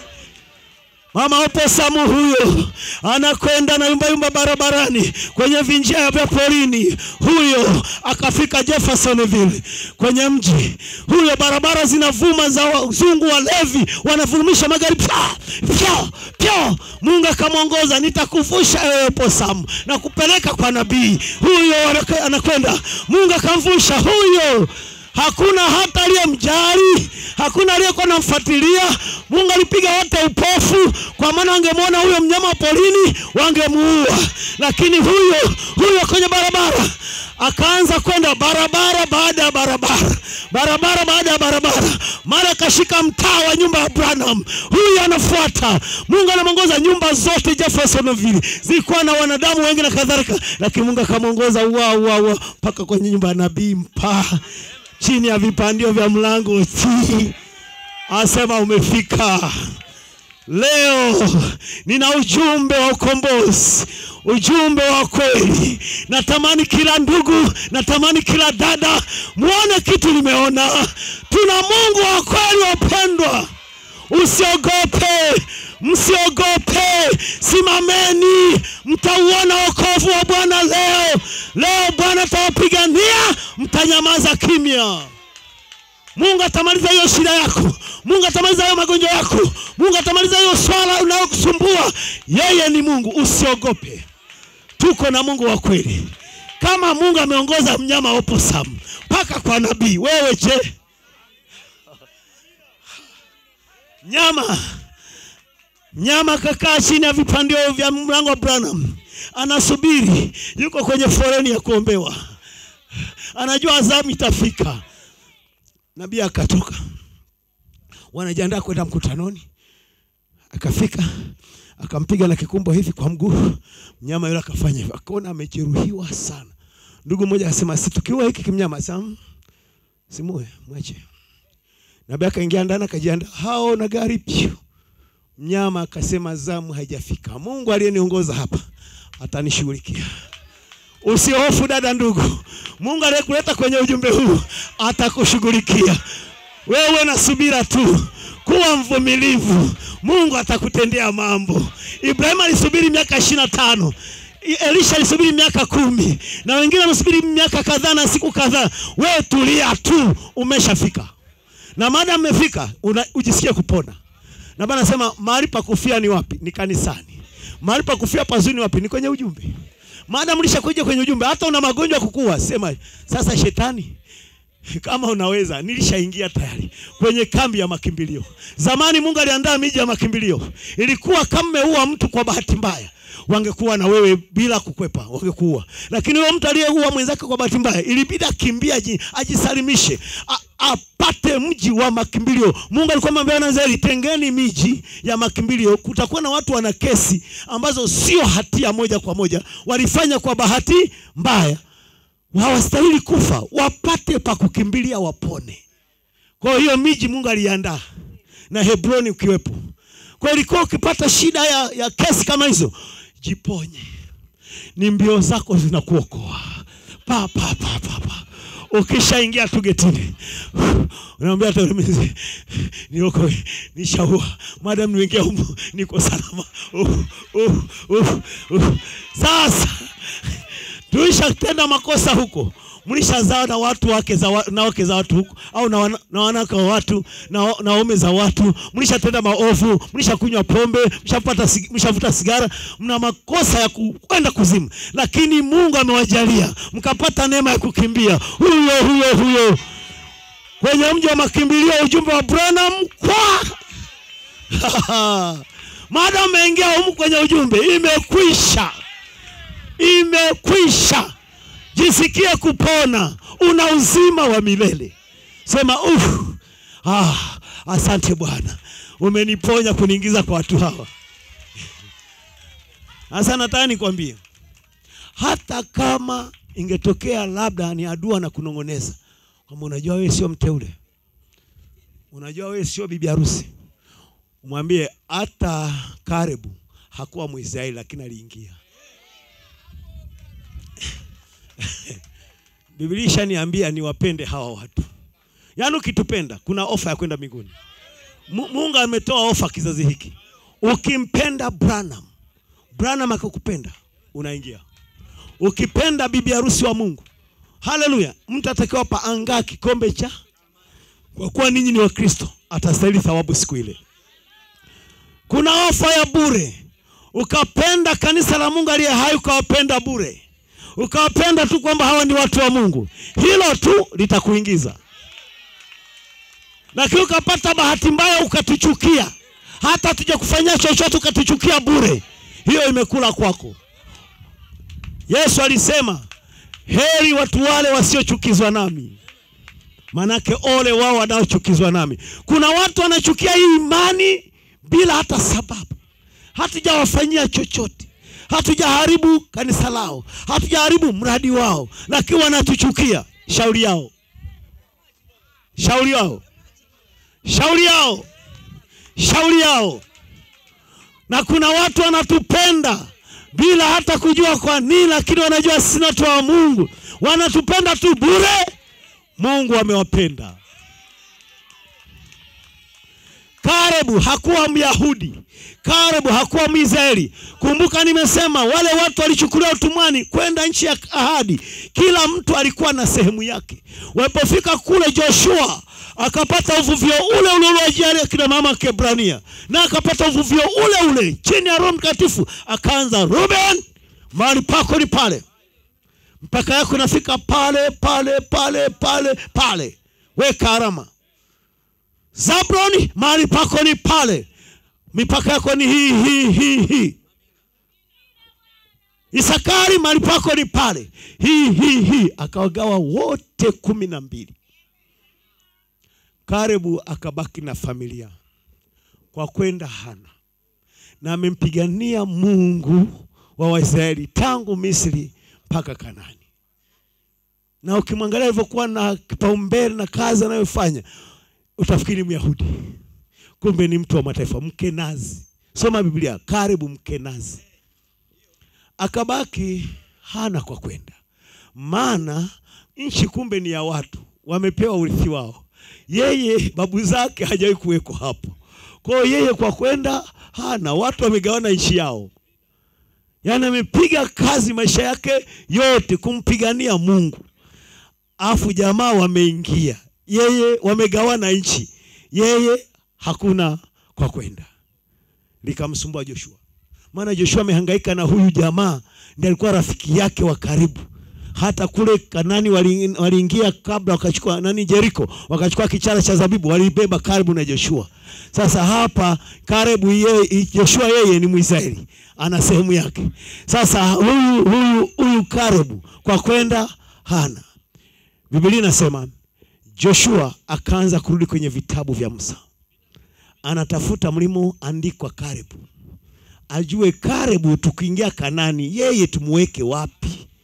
Ikamhangaisha, karudi karudi, akakuta Musa alipomtaja, mkifika nchi ya Kanani mkagawana nchi ile, Karebu mwana wa Yefune yeye mgawie sehemu ya Yuda, mumpe sehemu ya mlima. Na leo watu wa mataifa tumepewa mlima, ile piramidi. Ndio tunaimba wimbo nipe mlima wangu, nipe mlima wangu, nipe mlima wangu. Ni ile piramidi. Kwa hiyo Kalebu alipewa mlima katika eneo la Yuda, na leo tumepewa mlima, tunapanda hiyo ngazi. Ndio urithi wetu uko kwenye mlima wa Paulo chini ni watu wa mataifa, tulishapewa mlima. Waenias wakafuata, wengine akafuata, wengine akafuata, wa Branham wanamalizia, nipe mlima wangu, nipe mlima wangu, nipe mlima wangu.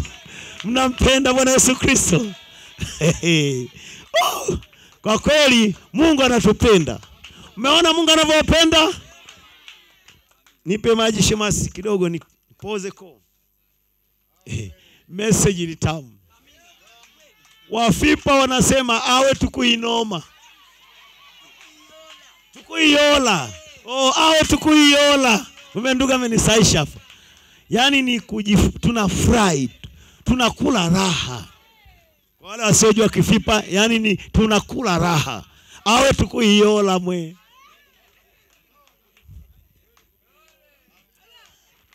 Ndugu yangu Gamari, nashukuru Mungu kunipa wewe kwamba umekuja kwenye message na kwamba ungenipenda kiasi hiki na uwe shemasi wangu. Mungu akubariki sana. Wapenzi, nashukuru Mungu kunipa nyie kwamba muwe ndugu zangu na mimi niwe ndugu yenu. Mungu nawabariki kwa wingi sana sana. Sikudhani ningepata marafiki kama hivi. Ah, najisikia vizuri. Tuna ujumbe wa kweli mwamini wa ujumbe, ondoa wasiwasi. Musa akawaambia wale wale waamini wenzake, wale watu wake, washirika wake, akasema msiogope, msiogope, simameni muone wokovu wa Bwana. Na kwenye ujumbe msiogope, tulishapewa kitu kikubwa. We nabii tuliyepewa hawajawahi kupewaga vizazi vingine siali tujivunie nabii wetu jamani. Nabii wetu ndio mkuu wa manabii wengine wote. Nabii wetu anajua wa kwanza mpaka wa mwisho, anaweza kawataja kwa majina akakwambia na sura zao, na anakwambia Paulo ni, ni Myahudi ambaye pua imepinda kama ndoana. Kwa nini? Alimwona, amepewa kibali na Mungu kuwaona wote. Branham ndiye mjumbe pekee anaweza akakwambia mbinguni walioingia na ambao hawajaingia. Cha ajabu, samani nayahubiri humu ni hadharani, kuwa tu yanene tu tukiwa pekee. Hata nimejisahau kwamba ni mwinjilisti, nimejisahau. Wajua nyewe mnamweka na mtu ambaye sio mwinjilisti. Mimi nilipewa kuhubiri waamini, jamani. Kuhubiri huko nje najitahidi, najaribu tu mwe mnatafuta wahubiri wanaoweza kupiga nje, wanajua namna ya kupiga nje. Mi najuaga kuwapa hawa ndani walioingia ndio nimepewa kanema hako, nimepewa kanema kwa kuwatia moyo, kuwaimarisha ndugu zangu. Amina. Hivi maana injili injili sema injili ni mtu aliye chini ya uvuvio akipiga akipiga piga wagonjwa na nini no, wanaponywa na kadhalika, afa na wavuta kutoka nje kuwaingiza ndipo mu ndani anakuta kuna mtu mwalimu anawaweka mahali pao. Kufundisha ni kumweka mtu mahali atambue mahali pake ni wapi. Bwana Yesu awabariki sana. Tuna nabii wa ajabu aweze kukwambia kuzimu kukoje na mbinguni kukoje. Tunaishi kwenye shuhuda ambazo nabii mwenyewe ameeleza. Mtu mmoja akafiwa baba yake siku za nyuma huko, na baba yake hajaona ujumbe. Alikuwa babu mzee sana, na huyo ndugu akawa ameamini ujumbe. siku moja akaja akamuuliza Branham, Mungu angekujalia Branham kwamba Mungu angekuonyesha baba yangu yuko mbinguni au yuko kuzimu, maana hata ujumbe hakuamini. Branham anasema hamna shida. Branham akaomba, Mungu akamwingiza mbinguni, akafika akamkuta yule mzee, akaja akamjibu yule ndugu, akasema baba yako aliokolewa na ujumbe wa John Wesley. Nime- nimemkuta huyo huyo nabii wa hivyo, si ndio wakufuata wapendwa? eh? nabii wa hivyo. Haya, kijana mmoja Devi aka akafariki. Alivyofariki baba yake kuwa mwamini wa ujumbe, amegongwa na gari Devi. Baba akasikitika, sijui mwanangu kama ameingia. Ndugu Branham, naomba uombe Mungu akuonyeshe wakuonyeshe Devi yuko wapi. Ndio shauku ya kila mzazi, ni watoto wake wote wafike. Branham akaomba, akaingia kwenye ono mpaka mbinguni, kaanza kumsaka Devi, mtaa kwa mtaa mbinguni, chumba kwa chumba mbinguni, akamkosa. Karibu anataka atoka rudi duniani, anamkuta Devi yuko chini ya taa imewasha hivi. Devi ameinama hapa, yuko mbinguni. Akaja kaambia baba yake, hapo maiti hawajaizika, ndio amegongwa juzi. Asa Devi nimemkuta yuko chini ya taa. Huyo si ndio unaambiwa kufuata pendwa Asa yuko chini ya taa imeangaza hivi, yuko chini pale. Usikie, anamwambia sasa, baba amua, Devi arudi au aende kwa huko. Asa mwe yaani madam amefika, yaani inatosha hiyo.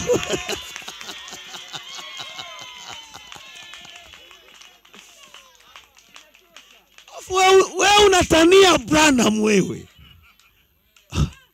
unafaa Branham ni mwenzako wewe.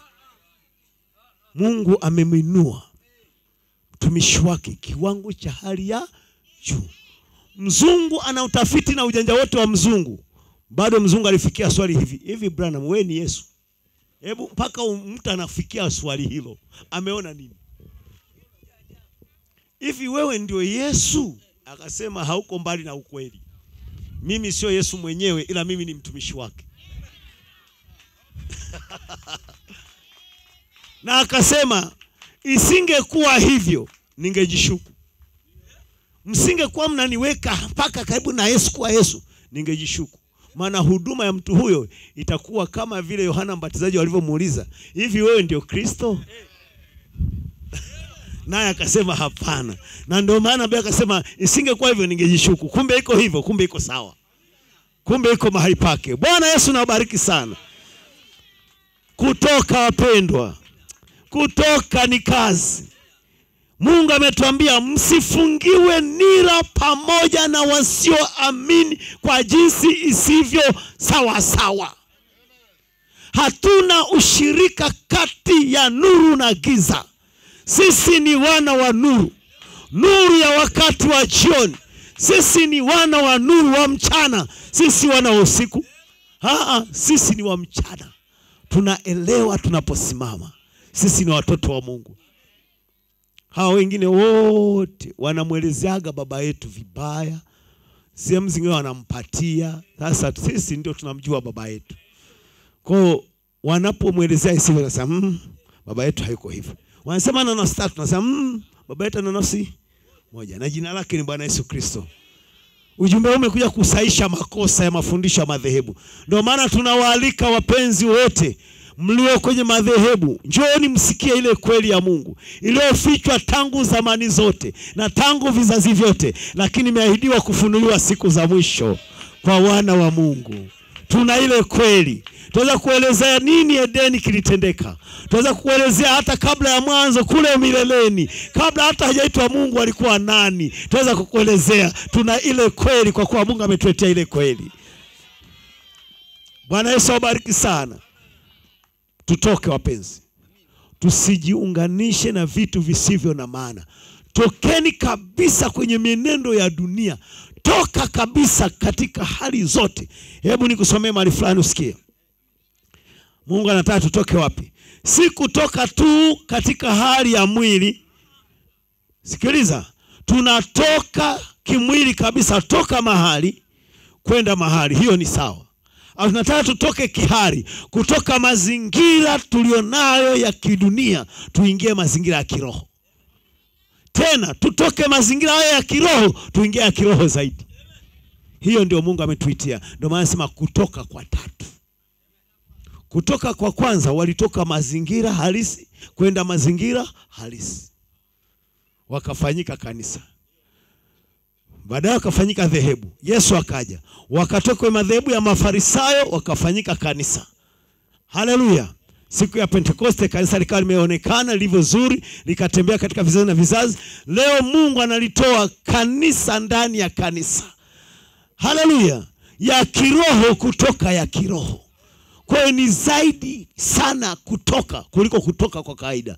Tuko na kutoka kwa tatu, tutoke kwenye mifumo tuliozaliwa nayo tuingie kwenye mfumo wa Mungu, na hapo ndivyo tutakuwa tumetoka. Unatoka kiasi cha kwamba hata mauti haikuoni, unatoka kiasi cha kwamba hata magonjwa hakugusi. Ndio kitu Mungu amekuja kufanya, atatutoa kabisa kwenye uharibifu mpaka tutakuwa ni viumbe mara mbili hata unaweza kuwasaidia wengine. Huo ndio ujumbe wa saa tulioitiwa. Kwa hiyo unaweza ukaona ambavyo bado tuko mbali, bado tungali tunabishana vitu vidogo vidogo, huku tuna safari mbali sana. Tufanyike Mungu, tuna safari ya kurudi tufanyike Mungu, kwa kuwa tangu mwanzo tuliumbwa tuwe Mungu, tuliumbwa kuwa Mungu.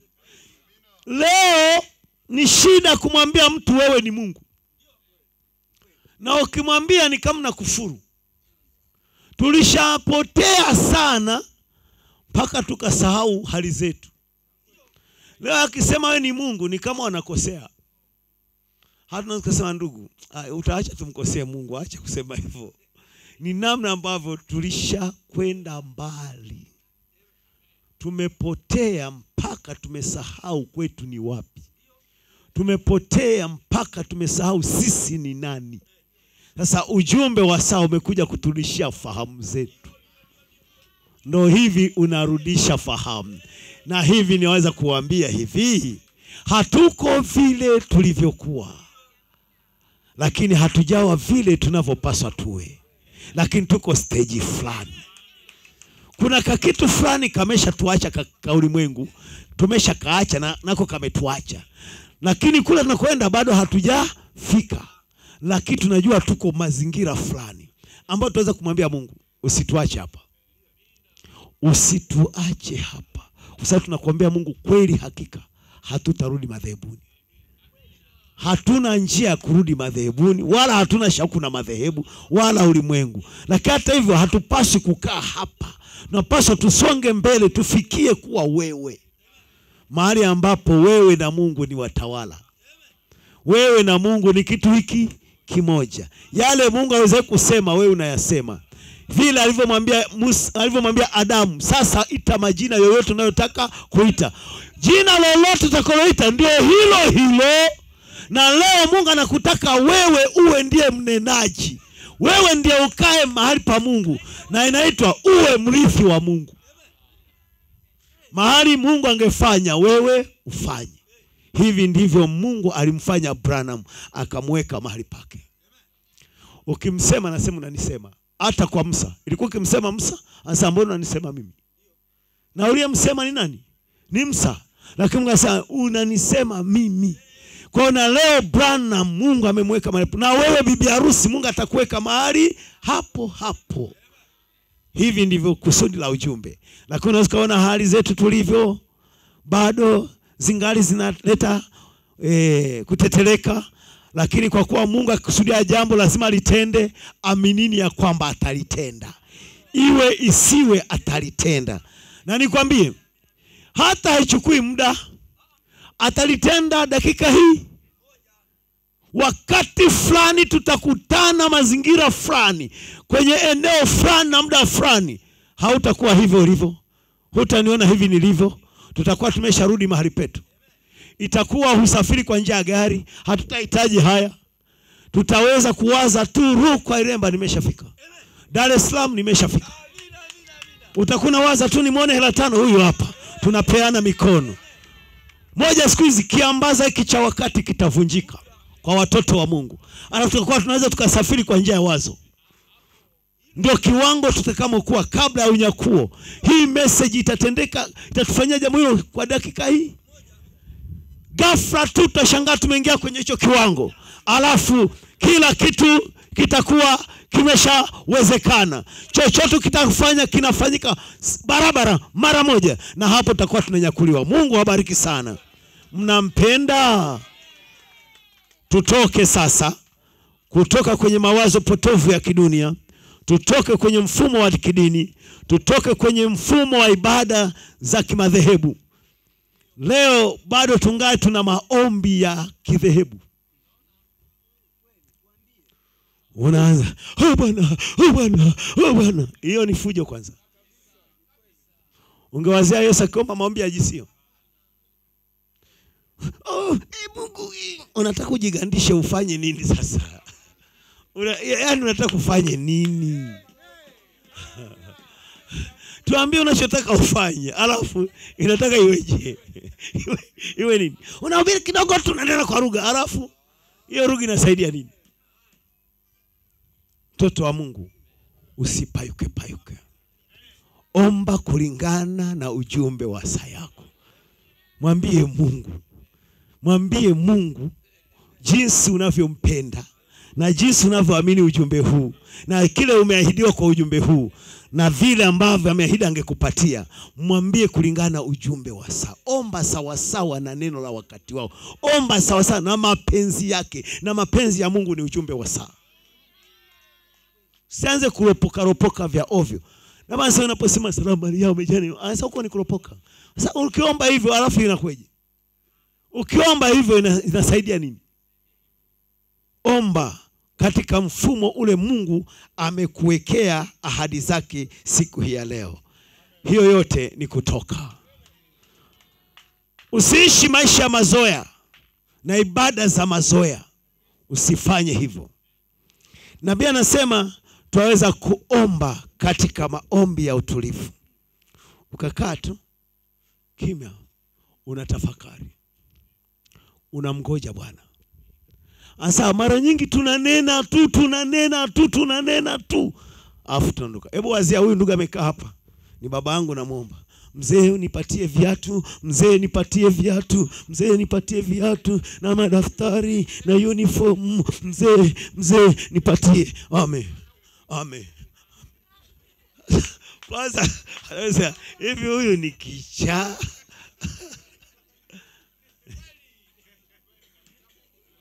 Nafikiri ningekuja kulingana na mazingira yake na utamaduni wake wa heshima.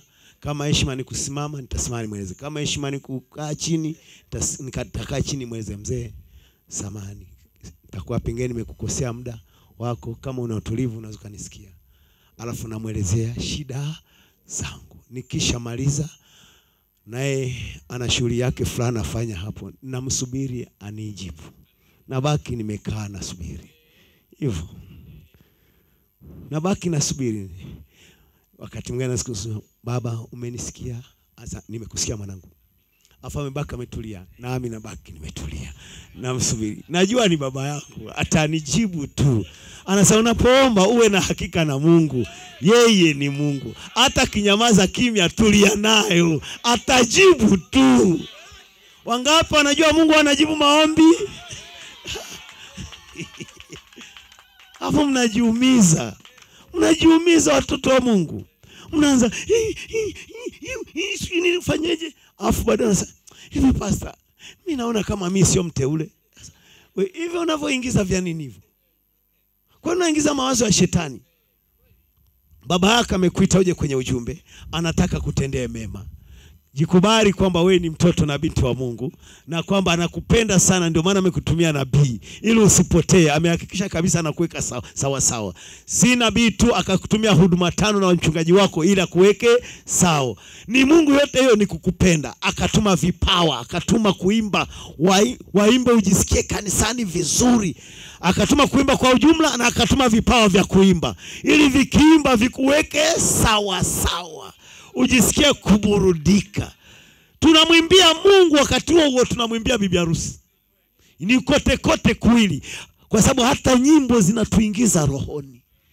Mnafahamu hivyo? Mziki huingiza watoto wa Mungu rohoni na humfanya Mungu ashuke. Kwa hiyo mtu anapoimba anaimba kwa ajili ya Mungu, pia anaimba kwa ajili yetu. Wakati mmoja nabii mmoja akawa anataka kuombea maiti, akakuta ni kimya kabisa na kuna shida kabisa kiroho akatoka. Sasa hivi hakuna mpiga kinanda hapa kwenye huu mji? Tafutieni mpiga kinanda. Wakasema yupo. Akaja sasa piga kinanda. Wakati anapiga akajisikia kuburudika akazama rohoni na mungu akashuka na akaombea maiti na maiti kafufuka. Bwana tujalie sana. Kwa hiyo mungu vyote hivyo anakufanyia hivyo ili ujisikie vizuri. Mungu abariki sana tunapaswa tuwe na mfumo wa ibada zetu za kiujumbe vile nabii ameziweka. Kuna sehemu ambapo ukienda hawataki kuweka ala ya dakika thelathini, wanafika tu ne kuimbaimba tu, bado hamjatoka. Weka ile ara ya dakika thelathini na watu waingie pole pole wakiomba kimya kimya. Yote hiyo ni mfumo wa Mungu. Tunatoka madhebuni tunakuja kwenye ibada za Mungu. Hiyo ndio njia Mungu amesema tupite. Amina. Usipige kelele dakika thelathini. Usibuguzi mwenzako aliye upande wa kulia. Msiandikiane vimeseji ibadani. Hebu kila mtu a, ajiweke wakfu kwa Mungu kabla nyimbo hazijaanza. Haleluya! Hivyo lakini watu wameacha mambo hayo, wakidhani wanaweza kujitengenezea ibada wanazotaka. Mkifanya hivyo, bado mko Misri bado mko Misri, mnaitumikia Misri kama alivyosema, ungetuacha tu tutumikie Farao, umetuleta hapa ili tufe. Lakini Mungu alikuwa ameshawatoa na aliendelea kuwatoa na kuwatoa na kuwatoa na hatimaye wakafika Kanani. Bwana Yesu abariki sana. Tokeni wapendwa kwenye mambo yote ya ulimwengu, tokeni kwenye mambo yote ya kidhehebu, tokeni kwenye mifumo ya mira na desturi. Bado mtu kwenye ujumbe, bado anashikilia mira za wazee wa ukoo na wa familia. Ah, wamesema hivi na hivi, tusifanye hivyo. We angalia ujumbe umesemaje, siangalia hayo mambo mengine. Wakati mwingine kutoka itakulazimu waache baba na mama, wakati mwingine kutoka ni kuliacha dhehebu kuacha ushirika kabisa wa dhehebu fulani, hiyo ni kutoka. Itakulazi, itakulazimu wakati mwingine kuacha hata kundi la marafiki fulani uliozoeana nao dada, wao ni wasengenyaji na wasima vitu vya ovyo ovyo walimwengu. Achana nayo, ambatana na wadada waaminio. Una urafiki na watu wasioamini kwa namna gani? Urafiki wenu ni wa nini? Ni wa nini huo? Mnaunda kitu gani? Kama sio muhimu kuwa nao na wanakuingiza shidani, achana nayo. Ungana na marafiki wa ujumbe ambao Mungu atakufanya usonge mbele zaidi kiujumbe. Mu- Ibrahimu alitoka Kanaani, namaanisha alitoka huyo wakadayo kwa watu waliozoea, akaenda miongoni mwa watu wasiowajua.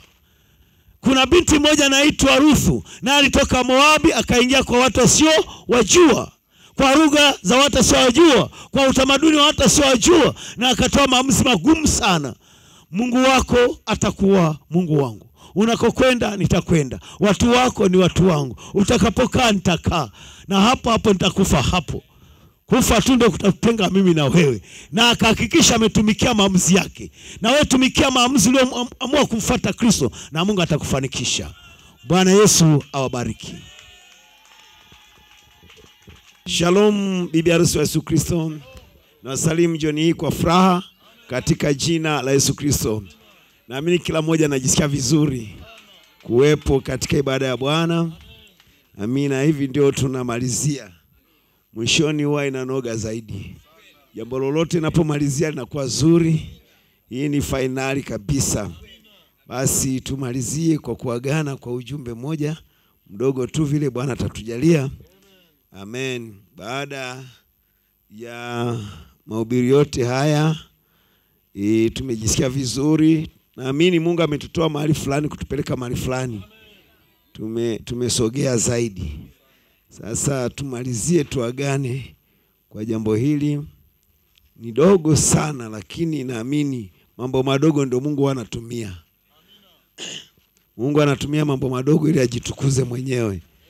Fungueni pamoja nami wapenzi, kitabu cha Waamuzi sura ile ya tatu. Waamuzi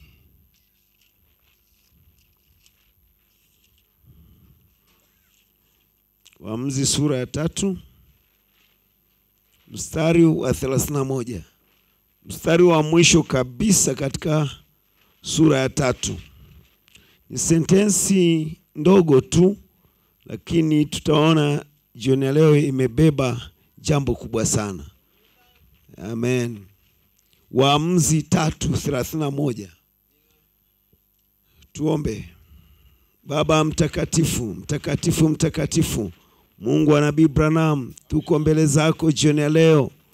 Baba, tunaomba bariki watoto wako wote wanaosikiza, wote ambao wamekubali ujumbe huu na wale ambao wana hamu nao hata kabla hawajaingia, lakini wana hamu kusikiza.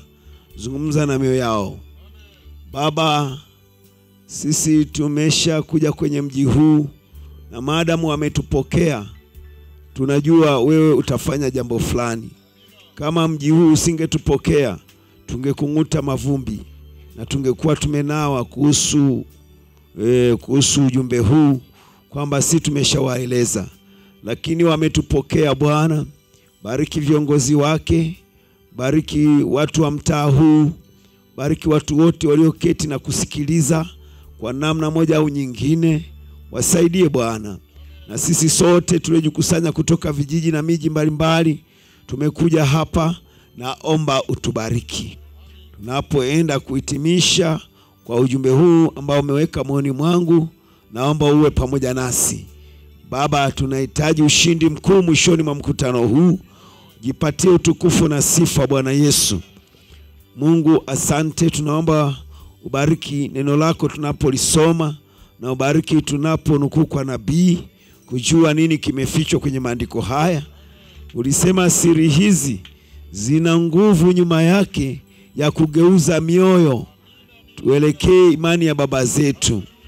Siri hizi uliziweka, zina uwezo wa kufanya mabadiliko katika maisha yetu. Tusaidie Bwana tunapojiachilia kwako, katika jina la Yesu Kristo, amen. Waamuzi tatu thelathini na moja maandiko yanasema tena baada yake huyo alikuwapo Shamgari mwana wa Anathi aliyepiga katika Wafilisti watu mia sita kwa konzo la ng'ombe, yeye naye aliwaokoa Israeli. Mungu aongeze baraka zake kwa kusomwa kwa neno lake. Tuketi kutoka kwenye kifungu hicho kidogo sana na habari ambayo ni ndogo sana hivi. Niwaulize wapendwa, bila nabii ungeelekea wapi baada ya kusoma hapo? Ungeeleza nini na ungejua ni kitu gani? Faida ya Mungu kuwatumia watoto wake nabii utaiona leo jioni ya leo. Biblia hii ni kitabu cha manabii. Tunamshukuru Mungu, ametufanya tujue mambo mengi sana na hiyo inathibitisha sisi ni bibi harusi wake. Ametunong'oneza siri zake nyingi. Kichwa cha somo langu jioni ya leo tunapomalizia kinasema Shamgari na konzo la ng'ombe. Jina la Bwana libarikiwe sana.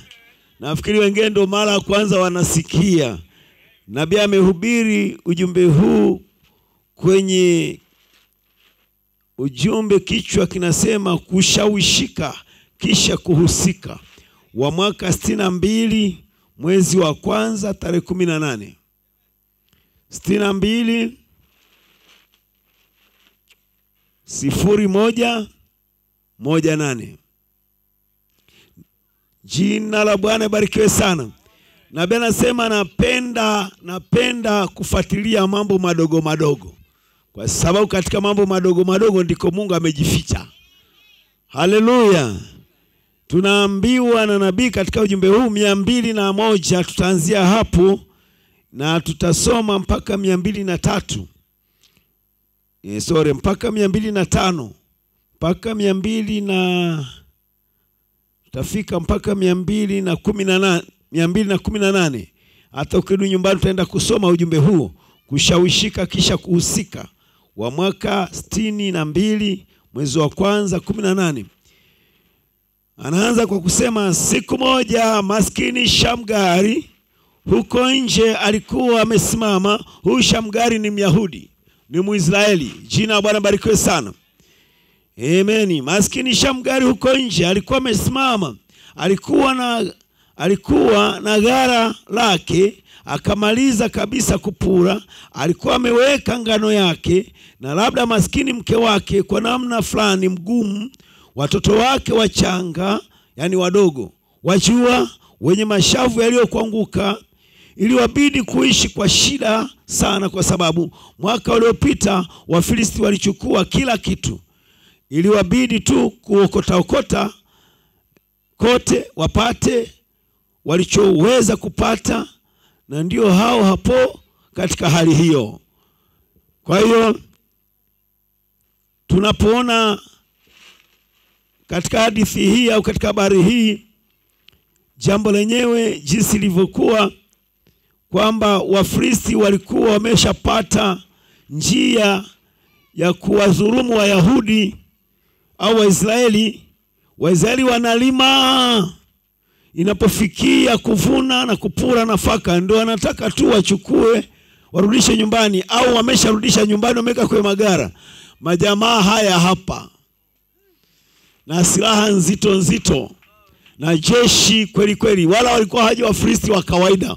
Jeshi la Wafilisti linakuja linawavamia Wayahudi, linanyang'anya mazao yao yote, linaenda kula tu. Lilish- Hilo jeshi au hilo taifa la Wafilisti lishapata watumwa wa kuwalimia. Kumbe Mungu anaona ah, hiyo ndio mnafanya, ngoja siku moja nitawakomesha. Kwa mwaka wa jana ilikuwa walifanya jambo hilo, wakaja wakapora nafaka yote waliopura Waisraeli. Jamaa wakaenda kujinufaisha na wake zao na watoto, huku Israeli wakabaki wanakufa njaa, na Shamgari akiwa sehemu ya Waisraeli. Shamgari huyu akiwa ameshanyang'anywa kila kitu mwaka jana, ilibidi tu waende kuokoteza mashambani. Nafikiri mnafahamu watu wakishavuna mazao huwa kuna kuokoteza kidogo. Sasa wewe ulilima mwaka jana umepata gunia mia, afu mtu anapora yote, afu rudi kuokoteza nyumbani nani shambani, nafikiri unajisikiaje? Ni tabu kweli. Ndo sasa ikabidi tena mwaka uliofuata Shamgari pamoja na wenzake wakalima tena, hawakukata tamaa, kwa sababu wasipolima watakufa njaa. Walipolima wakapalilia, wakaja wakavuna. Na unajua kilimo kilivyo kigumu, unasubiri miezi ya kutosha, ndipo vimekomaa, ndipo wamevuna, wameshapura nafaka zao, wametengeneza magara, ndo wamerudisha kuweka kwenye magara. Shamgari akasikia makelele na vishindo, akatokea hivi kuangalia, anaona Wafilisti hao wanakuja wabebe tena kama walivyozoea kubeba. Unafikiri inauma kiasi gani? Lakini mambo haya yote Mungu ameyaweka ili kutupa kitu fulani, amina, kinachoweza kutusogeza mbele za Mungu zaidi. Amen. Na leo nitakuonyesha jinsi ya kupata baraka zako, jinsi ya kung'ang'ania baraka zako, jinsi ya kung'ang'ania kile Mungu amekupea, na vile adui anavyojaribu kukuzurumu, lakini Mungu anakuonyesha mbinu ya kunyang'anya haki zako. Usiache zichukuliwe bure. Hiyo umbe unasema unasema shetani, chukua vyote niachie Yesu, na nakwambia mimi huwa si, uimbi huo, si uimbi. Sikubali shetani achukue vyote. Leo nakwambia kataa, shetani asichukue afya yako, shetani asichukue utajiri wako uchumi wako. Hasa shetani akichukua uchumi akachukua afya utamwabuduje mungu? Anasema chukua vyote unaache yesu. Hasa ameshachukua uchumi wako ameshachukua afya yako akachukua watoto wako akachukua na mke wako au mume wako unabaki na nini? Afu wewe mwenyewe unaimba kabisa asema e, uninyang'anye. Tena namwambia akunyang'anye huo wimbo simbagi mimi. Sitamruhusu shetani anyang'anye chochote. Wana wa israeli farao akawaambia basi mnapoondoka acheni vitu vingine kidogo. Wakasema hatuachi hata ukwato wa ng'ombe. Hatuachi chochote. Walibeba hadi mabata mpaka mayai. Walibeba kila kicho cha kwao si hivyo tu mungu akaingia ndani ya misri baadhi yao wakaachilia mioyo wakaanza kuwapa waisraeli na hiki na hiki na hiki. Waisraeli wakabeba vitu vingi sana. Haleluya! Na safari hii bibi harusi anabeba kila iliyo baraka yake. Hatumwachii shetani hata ukwato hatumwachii hata chembe. Tunabeba kila kitu kicho haki yetu. Afya ni yetu watoto ni wetu uchumi ni wetu haleluya. Baraka ni zetu furaha ni yetu. We unataka umwachie shetani akunyang'anye? Shamgari hapa mtaona anakataa. Anasema yatosha shetani. Mwaka jana ulibeba mwaka huu hubebi. Umeniuguza umenifanya niugue muda mrefu safari hii siugui tena. Haleluya. Umebeba watoto wangu mara nyingi ukiwafanya waishi ovyo kinyume cha ujumbe safari hii nagoma na waita wote watoto na wakomboa wote. Haleluya. Shamgari.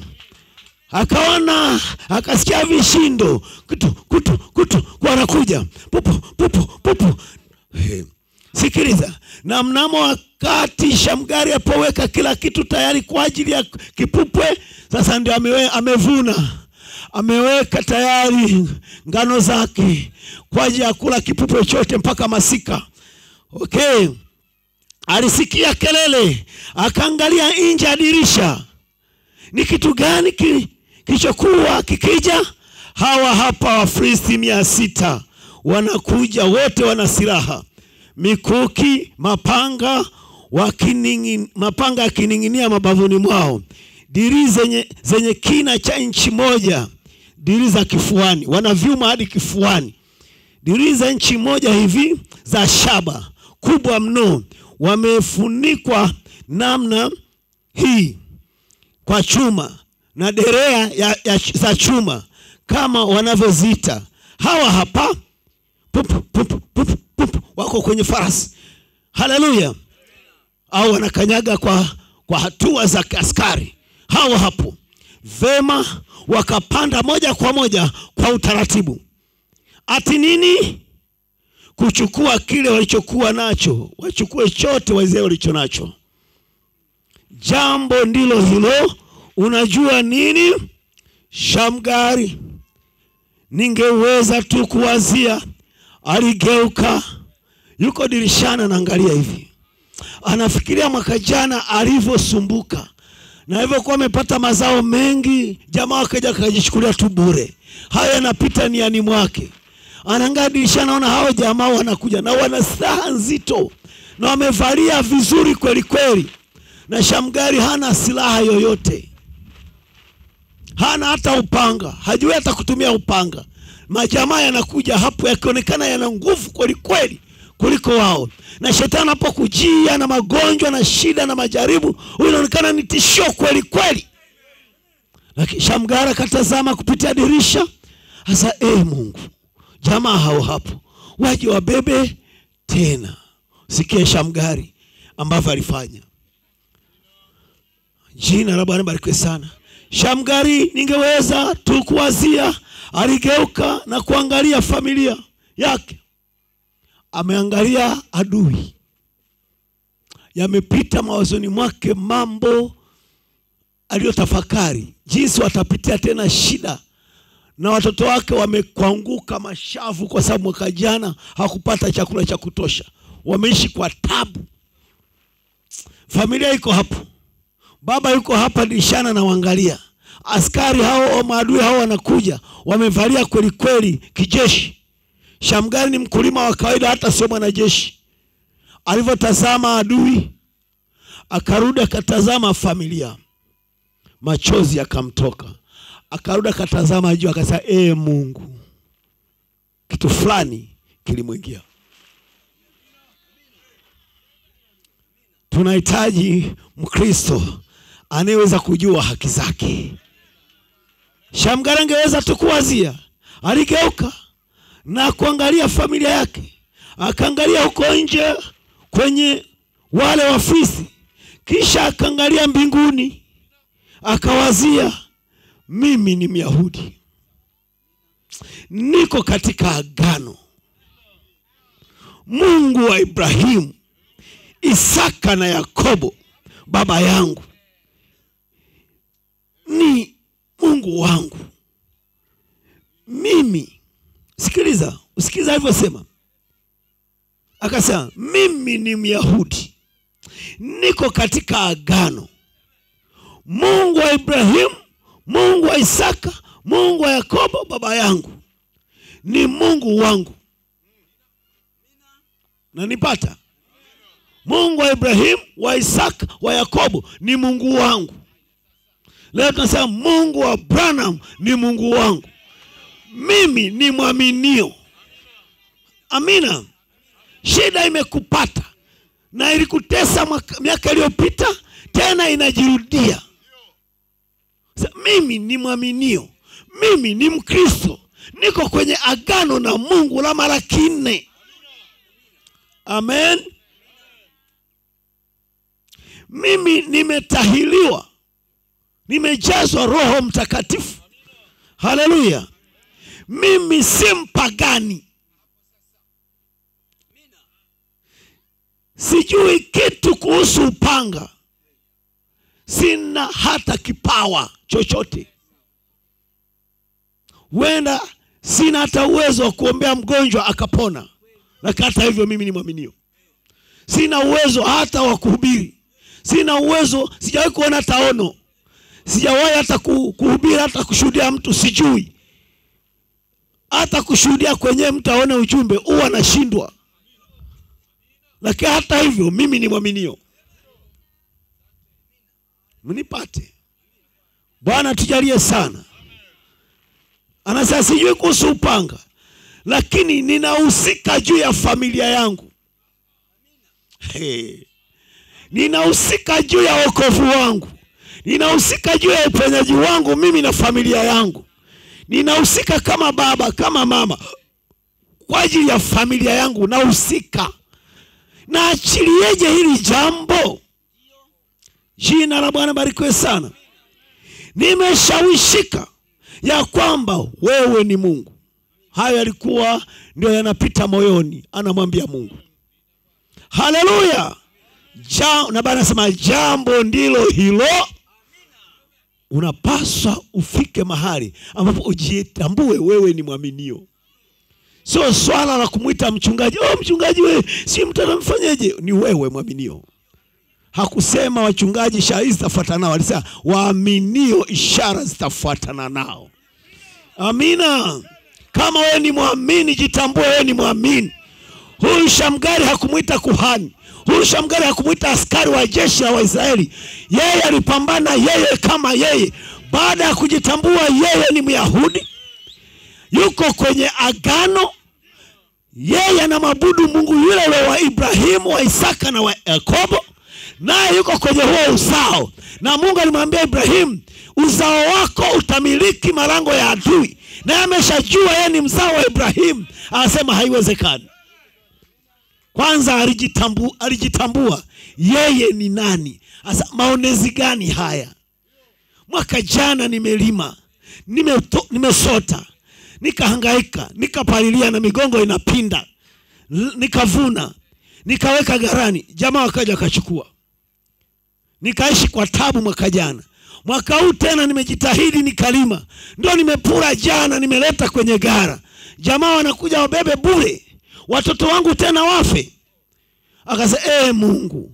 Akaangalia wanajeshi wanaokuja kuja kuchukua. Akarudi akaangalia watoto wake. Akarudi akaangalia juu angani. Asa ee mungu. Mbona mimi ni myahudi? Mbona mimi ni mwaminio mbona mimi ni mkristo. Mbona iamini Biblia? yule mungu akina petro yuko wapi? Yule mungu akina paulo yuko wapi? Kwa nini leo niwe na mungu wa hadithi wa historia? Nahitaji mungu aliyeko sasa hivi. Kwa nini leo unakufa kwa magonjwa na wewe ni mkristo? Na umeshikilia dini yako tu na unayojua haijawahi kukusaidia hata kitu kimoja. Swala sio dini swala sio dhehebu. Haleluya pamoja na dini yako wachawi wanakuchezea. Si ubadilishe mambo useme hapana. Hii dini haina msaada wowote. Nataka yule mungu nayemsoma kwa Biblia aliyekuwa anatenda ishara maajabu. Hatupasi tuwe na biblia yenye makaratasi matupu. Aa, na unanukuu tu alafu haikusaidii. Bado unaenda kwa kina karumanzia wakuchanje chari si unaenda kwa kumanzia wakupe madawa ya kuzindika nyumba. Wakati wewe ni mkristo kataa sema yatosha shetani. Umenitesa kwa muda mrefu. Sasa basi nataka yule mungu aliyekuwa pamoja na wana wa israeli yule mungu aliyekuwa pamoja na kina petro aonekane kwenye nyumba yangu aonekane kwenye ukristo wangu. Alafu simama kidedea mwambie hapana shamgari alikataa maonezi. Kataa maonezi dada. Kataa maonezi mama. Fika mahali useme hapana mimi ni mkristo. Na neno limekuahidi wakristo watu wa mungu ishara alizotenda yesu nanyi meahidiwa mngezitenda. Usiogope usiogope chochote. Wewe umepewa haki na mungu una haki zako na mungu. Fika mahali useme hapana. Nakataa maonezi ya shetani nakataa kuteswa na majini nakataa kuteswa na wachawi. Mimi ni mkristo. Haleluya yatosha kutafuta dawa kwa, za kienyeji kwa waganga. Yatosha siendi tena. Mimi ni mwaminio. Nataka nimwite mungu yule nayemtumikia aliyeumba mbingu na nchi. Mbona namtumikia? Mbona nauzuria ibada? Mbona natoa fungu la kumi? Mbona natoa sadaka? Mbona nampenda? Namwimbia nyimbo? Namwimbia zaburi? Namwimbia tenzi? Mbona? Kwa nini sisimame katika ukweli na nijitambue na nimdai mungu huyo anifanyie maajabu. Shida watu ni waoga. Mnamwogopa shetani. Shamgari hapa utaona ametufundisha ushujaa wa mkristo kusimama. Kama una vidonda vya tumbo sema hapana. Mimi sitakufa nitaishi. Sifi nitaishi niko kwenye agano la uchumbe wa saa. Una vidonda vya tumbo sema hapana. Una kisukari sema hapana. Usikubali kuonewa. Hajaishi kiugonjwa ni kikubwa kama wafristi kama goriati sema hapana daudi hakuona Goliath. Jinsi alivyo mkubwa. Daudi alimwona mungu. Alivyo mkubwa kuliko Goliath. mungu ni mkubwa kuliko magonjwa. Mungu ni mkubwa kuliko wachawi. Mungu ni mkubwa kuliko chochote kile. Mungu ndiye mkubwa. Na ndiye aliyekuleta duniani. Anataka uzitambue haki zako. Una haki ulizopewa na baba yako. Nilikwambia jana na juzi baba yako wa mbinguni mungu anakuthamini sana kuliko hata wazazi wa kawaida wanavyokuthamini. Baba yako wa mbinguni alishakulipia gharama zako zote. Huhitaji kulipia chochote. Leo kuna mataperi wanaotoza watu huduma ya uponyaji huduma ya baraka. Wanawatoza watu hela ni mataperi baba wa mbinguni anawapa watoto wake vitu vyote bure ungewazia baba wa nyumbani wa kawaida akitoza watoto wake akiwatoza pesa. Mtoto anataka madaftari baba anamnunulia anasarudisha hela. Itabidi nimuulize huyo baba nionyeshe baba yangu. Maana kama nanunua daftari unanipia school fees afu kesho unanidai mimi mtoto nikafanyie kibarua nikulipe na wewe unadai ni baba. Hapana kama we ni baba yangu wa kweli uliyenizaa nimetoka viunoni mwako nina haki ya kuhudumiwa na wewe bure. Bure kabisa bure. Eti akina mama mnaonyonyesha mnatoeshaga vitoto vichanga hela kwamba leo utanyonya masaa kadhaa kulingana na hela ulizonipa. Ungekuwa kichaa labda labda aliye kichaa. Mtoto ananyonya bure kwa sababu wewe umemzaa. Na wewe unawajibika kumtunza mpaka akue na umewajibi, unawajibishwa na mungu kumlea mtoto kwa ajili ya ufalme wa mungu. Na mtoto anapata vitu vyote bure. Utamtunza utamlea utamsafisha utam, haleluya utamlisha utahakikisha umemhudumia kila kitu. Na, na utegemee kulipwa na hujawai kuwazia. Ni mzazi gani anawazia kutunza watoto atakuja alipwe na watoto? Nani? Unawasomesha unapambana unang'ang'ana na maisha katika uchumi mdogo mpaka wasomeshe mpaka chuo kikuu. Ni wao wakijisikia kukukumbuka wakupe chochote ni sawa. Lakini hawawezi kulipa gharama uliowazaa hatuwezi kumlipa mungu chochote. Ni nani aweze kumlipa mungu? Mungu ndiye ametuleta duniani akatukusudia tuwe wanadamu tuwe na afya tufike umri huu tulindwe na kila ajali na kila uchawi na kila nguvu za giza hazijatuua kwa sababu yeye ametulinda. Alafu kesho mungu atarajia tumlipe chochote. Tunacho? Tunatoa wapi? Maana hata tukitoa sadaka tunatoa kwake. Hata tutoa fungu kumi tunatoa kwake. Asipotupatia hatuna kwa kutoa dunia yenyewe ni ya kwake anga la kwake jua la kwake mwezi wa kwake nyota za kwake hali ya hewa ni ya kwake. Sisi hatuna chochote tunamtegemea baba peke yake. Kwa hiyo kumbe uponyaji ni bure wokovu ni bure baraka ni bure. Hupaswi kulipa hata senti moja. Ni haki zako kuponywa ni haki zako kupokea wokovu. Haleluya!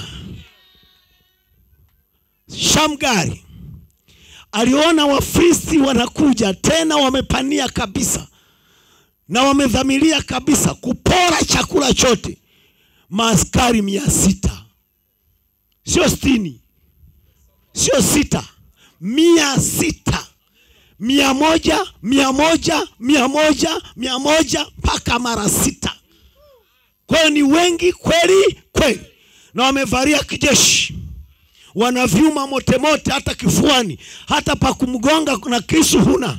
Hata kusikia yeye na kufuatilia tu mimi ni mkuki wake. Au mshare wake. Au chochote kile. Usikubali kunyanyaswa na shetani. Shetani ni kiumbe kisha kwisha kuhukumiwa. Shetani ni mwovu.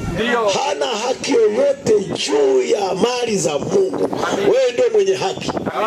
Kwa maana wewe ni mzao wa mungu. Jina la bwana barikiwe sana. Baba yako alishakulipia vyote na baba yako amesha ku- kuapia kwamba lazima ubarikiwe. Sikiliza ndugu yangu jina la bwana ibarikiwe sana. Haleluya. Mwanaume shamgari alipigania familia yake. Haleluya. Namna hiyo chini ya hali ya mambo hayo na wewe uku, na wewe unaambiwa pigania haki zote za familia yako pigania familia yako kufa na kupona. Jina la bwana barikiwe sana. Sio kupiga makelele. Uanze aseme shamgari e bwana wafilisti we bwana mfilisti ngoja mpaka nitakapopata digrii yangu ya sanaa. Wajua phd yangu. Nitajifunza jinsi ya kupigana na kwa upanga la huna wakati wa jambo hilo. Jua tu ya kwamba yeye ni mungu. Hivyo tu. Haleluya. Huanzi kumbembeleza shetani. Naonaga watu fulani eti wanaongea na majini na mapepo. Eti mmetoka wapi? Muko wangapi? Mnaingia? Ehe. Mnaingiaje? Mnataka nini tuwape wewe unajadiliana na mapepo? Hatuna ushirika na mapepo. Biblia inasema mtafukuza pepo kufukuza maana yake ni kwa fujo sio kwa, sio kuyaomba. Hatuyaombi mapepo wala majini kwamba jamani tokeni mwacheni huyu mtu. Hatuyaombi tunayafukuza. Na umepewa kukemea mapepo. Kuyakemea maanake ni kuyakaripia. Yakaripie kabisa. Kwamba nyinyi pepo wachafu acheni mwacheni huyu mtu, sio kuyaomba, siaombe mapepo, yakemee. Tunamwomba Mungu atupe nguvu na mamlaka kuyashinda mapepo, na kinachotoa pepo sio nguvu zako, sio sauti yako ya kungurumisha. Si usianze kumbana mgonjwa mpaka naugua mara mbili, usianze kumpiga makofi mgonjwa, usianze kumtikisa mgonjwa. Kinachotoa pepo ni mamlaka katika jina la Yesu Kristo. Wamtazama trafiki barabarani akisimamisha yale magari, si kwamba na nguvu za kibinadamu za kwake mwenyewe za kusimamisha magari. Hana hata uwezo wa kusimamisha pikipiki iliyovuruma, hana hata uwezo wa kusimamisha hata baiskeli iliyovuruma, lakini kinachosimamisha magari hayo makubwa yako na spidi mia ishirini kwa saa, lakini akiinua tu, haleluya, mkono wake akainua mkono wake akanyosha hivi. Kwa nini? Ana uniform maalum haleluya, ina ngao ya taifa, haleluya, na mavazi rasmi na kofia yake, haleluya, na faili lake, anainua mkono kisha ananyonyesha pa kutua, haleluya. Weka hapo, utaona breki zinaanza kubanwa, gari inaanza kupiga breki kule mpaka kufika hapa. Nini hiyo? Dereva naogopa mamlaka iliyo nyuma ya huyo mtu. Serikali yote iko nyuma ya huyo trafiki akishasimamisha hivi akaiamuru simame hapo, lazima huyo dereva atii. Asipotii atatiwa nguvuni. Sasa Mkristo wa kweli aliye kwenye agano la kweli ameguswa na Roho wa Mungu, yuko kwenye neno la saa, anaye mamlaka zaidi ya trafiki kusimamisha kazi ya pepo, kusimamisha kazi ya shetani. Tuna mamlaka kumwambia shetani achia na lazima aachie, kwa maana mbingu yote iko nyuma yako. Umepewa mamlaka na hiyo mbingu. Kinachosimamisha nguvu za shetani zisimame ni mamlaka ulionayo kutoka mbinguni. Unaogopa nini? Uwe dada, uwe ndugu mdogo kanisani, huenda ndio mdogo kuliko wote, hata ni mdhaifu kuliko wote. Yesu amekupa njia ya kushinda pepo. Humshindi kwa kunena kwa lugha, humshindi kwa vipawa na karama, unamshinda kwa neno la Mungu. Shetani anashindwa popote na mahali popote na kwa hali yoyote kwa neno la Mungu lililoandikwa. Ndio maana Yesu alisema imeandikwa, imeandikwa, imeandikwa, imeandikwa, imeandikwa, mpaka shetani akakimbia. Hiyo imeandikwa ni silaha yenye bomba mbili, inatoaga risasi bomba mbili papa papa papa papa papa papa mpaka shetani anashindwa kustahimili. Wewe sema tu imeandikwa, imeandikwa. Unanukuu ujumbe wa saa ilivyoandikwa. Kama Mungu amesema, shetani lazima atii, shetani lazima ashindwe. Sio kuanza kulia, sio kuanza kuhahaha, sio kuanza sema mwe, sijui nifanyeje, mwe, yani mtoto hapa hapa amezimia, sijui nifanyeje, ameanguka, sijui ni kifafa, mchungaji yuko wapi, sijui simu iko wapi. Huko ni kutokuamini umepata shida, mtoto ameregea, si mtoto ame- amefanyaje? Amefanyaje? Simama imara, sema shetani, unanifahamu mimi ni nani? Mimi ni mwaminio na nimeletwa kizazi hiki kukukabiri. Niko hapa kukukabiri wewe. Sasa niko na ujumbe wa saa. Mimi ni mwaminio kwa ujumbe wa saa, na sasa kazi zifanyazo nasi ungezifanya na kuamuru achia mtoto na lazima ataachia. Unaanza kuhahaha, unaanza kuhofu, sijui shemasi atakuwa wapi, sijui nini, mwe mwe majirani, mwe mtoto, unaregana miguu mpaka wenzako wanakuja wanakubeba dada. We hujajua kumkabiri ibilisi. Mkabiri ibilisi, uwe uwe shujaa, askari shujaa. Na shetani akishajua wewe ni mdhaifu, anakanyagiaga pale pale, kila wakati anakanyaga pale pale. Mi nina madume matano, kasichana kako kamoja, kanaitwa Pendo. Nimepambania hali zake mpaka nakasomesha saizi chuo kikuu, wengine wamefika form 4 na kadhalika, lakini Kenya nikaona akasije kakasema sijui baba ameniacha, nikaona labda kama ni kushindwa shindwe mwenyewe, lakini hawezi kushindwa kwa sababu namuombea. Sasa shetani akamuonea, sasa anajua kabisa upendo wangu wote uko hapo kwa sababu ya kutunza nywele, wajua ibilisi anatubana hata mashuleni na wapi. Kwa hiyo nikamsomesha shule za gharama za kulipia za binafsi kwa gharama kubwa, form 1 hadi form 4. Sasa iko chuo tu, Tu- tukaomba mkopo kumbe huwezi kupata kama mtoto anasoma shule za private, lakini nakang'ana mpaka leo napambana, atamaliza. Sasa shetani aka- akamwonea sana akiwa akiwa huku A level, Eh, na- namaanisha O level la, la, from 1 hadi form 4 alikuwa kanaugua sana. Sasa Penda amerudishwa, yuko hoi, hata macho anashindwa kufumbua, wanafunzi wenzake wamemshikilia na kadhalika. Nini? Sasa kichwa kinataka kama kipasuke. Sasa twende hospitali, tukaomba, tukaenda hospitali, wakaenda kupima, wakasema ni tatizo la macho, avae miwani. Kuna miwani ya kadhaa ya kadhaa ya kadhaa, tukanunua miwani ya elfu sitini na nne mtoto akavaa, akapewa na tiba nyingine, akapata nafuu, akarudi shuleni. Mwezi unapita, Pendo huyu hapa anaumwa, anaumwa nini? Macho tena, kichwa kinataka kupasuka. Kwenda kwa daktari, kachunguza, sema lenzi imeisha ya miwani. Shingapi? elfu arobaini. Katoa, imekwenda. Mwezi umeisha, Pendo huyu hapa anaumwa. Tuenda siku hiyo, nikamwambia mke wangu mpeleke mi nilikuwa kama nimekuja Sumbawanga mjini, nafahamu pale karibu na soko kuu kwa ndugu yangu Bruno pale kwa Kafusu, niko pale tunashuhudia neno la Mungu.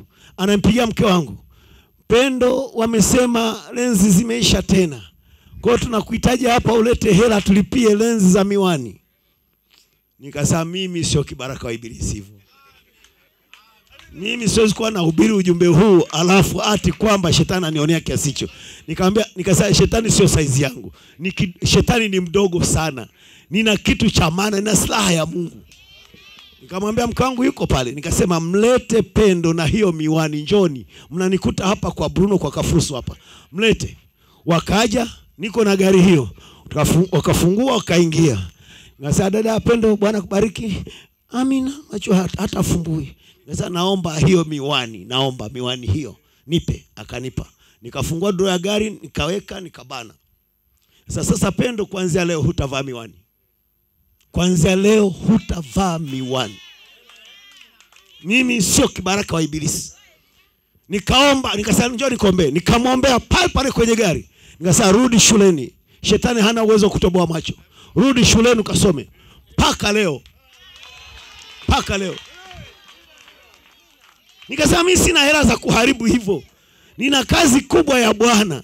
Hela hizo zitafanya kazi ya Injili, zifanye kazi ya Bwana, sio kumtumikia ibilisi magonjwa.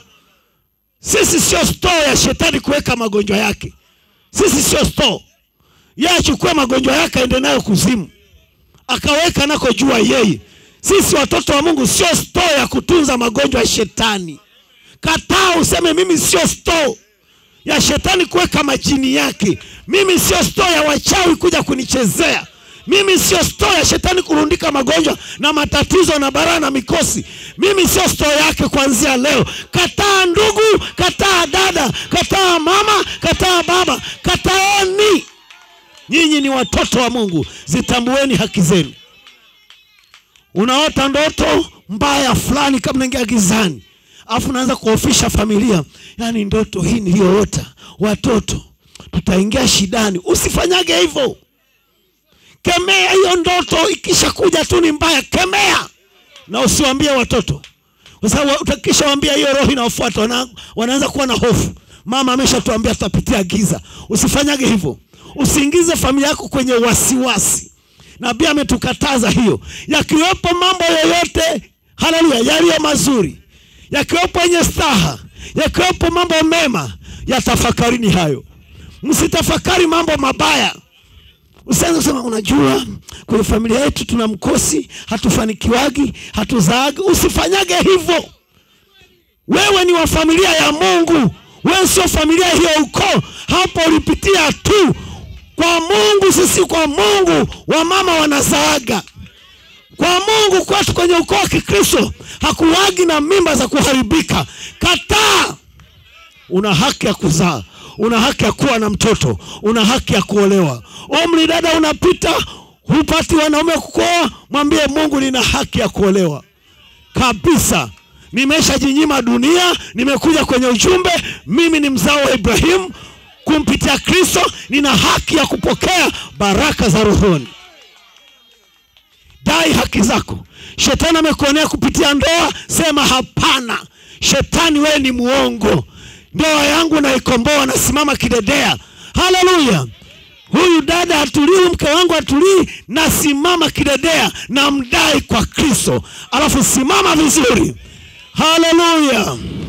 Shamgari akatazama jeshi kupitia dirishani akaja akatazama familia akawaza watoto hawa na mke wangu nawapeleka wapi? Jamaa wakibeba. Yote nilipiga jana yote mazao. Jamaa wanabeba. Na wana nguvu kunishinda. Lakini mimi ni mzao wa ibrahimu mimi baba yangu ni yule baba wa ibrahimu yule mungu wa isaka. Yule mungu wa yakobo. Na mimi niko kwenye agano. Mimi ni wa uzao huo huo. Mimi ni mwaminio mwisraeli aliyetahiriwa ilikuwa ndo agano likithibitika ni kutahiriwa, na leo ni kuamini ujumbe na kujazwa. Hata kama kabla hujajazwa ukishaamini ujumbe mungu anakuhesabia umejazwa. Nitakusomea mahali ambapo Bwana anasema hata usihangaike kwamba kama sijajazwa mimi sio mwenyewe. Nikuulize kuhesabiwa haki ni sehemu ya roho mtakatifu ni kweli?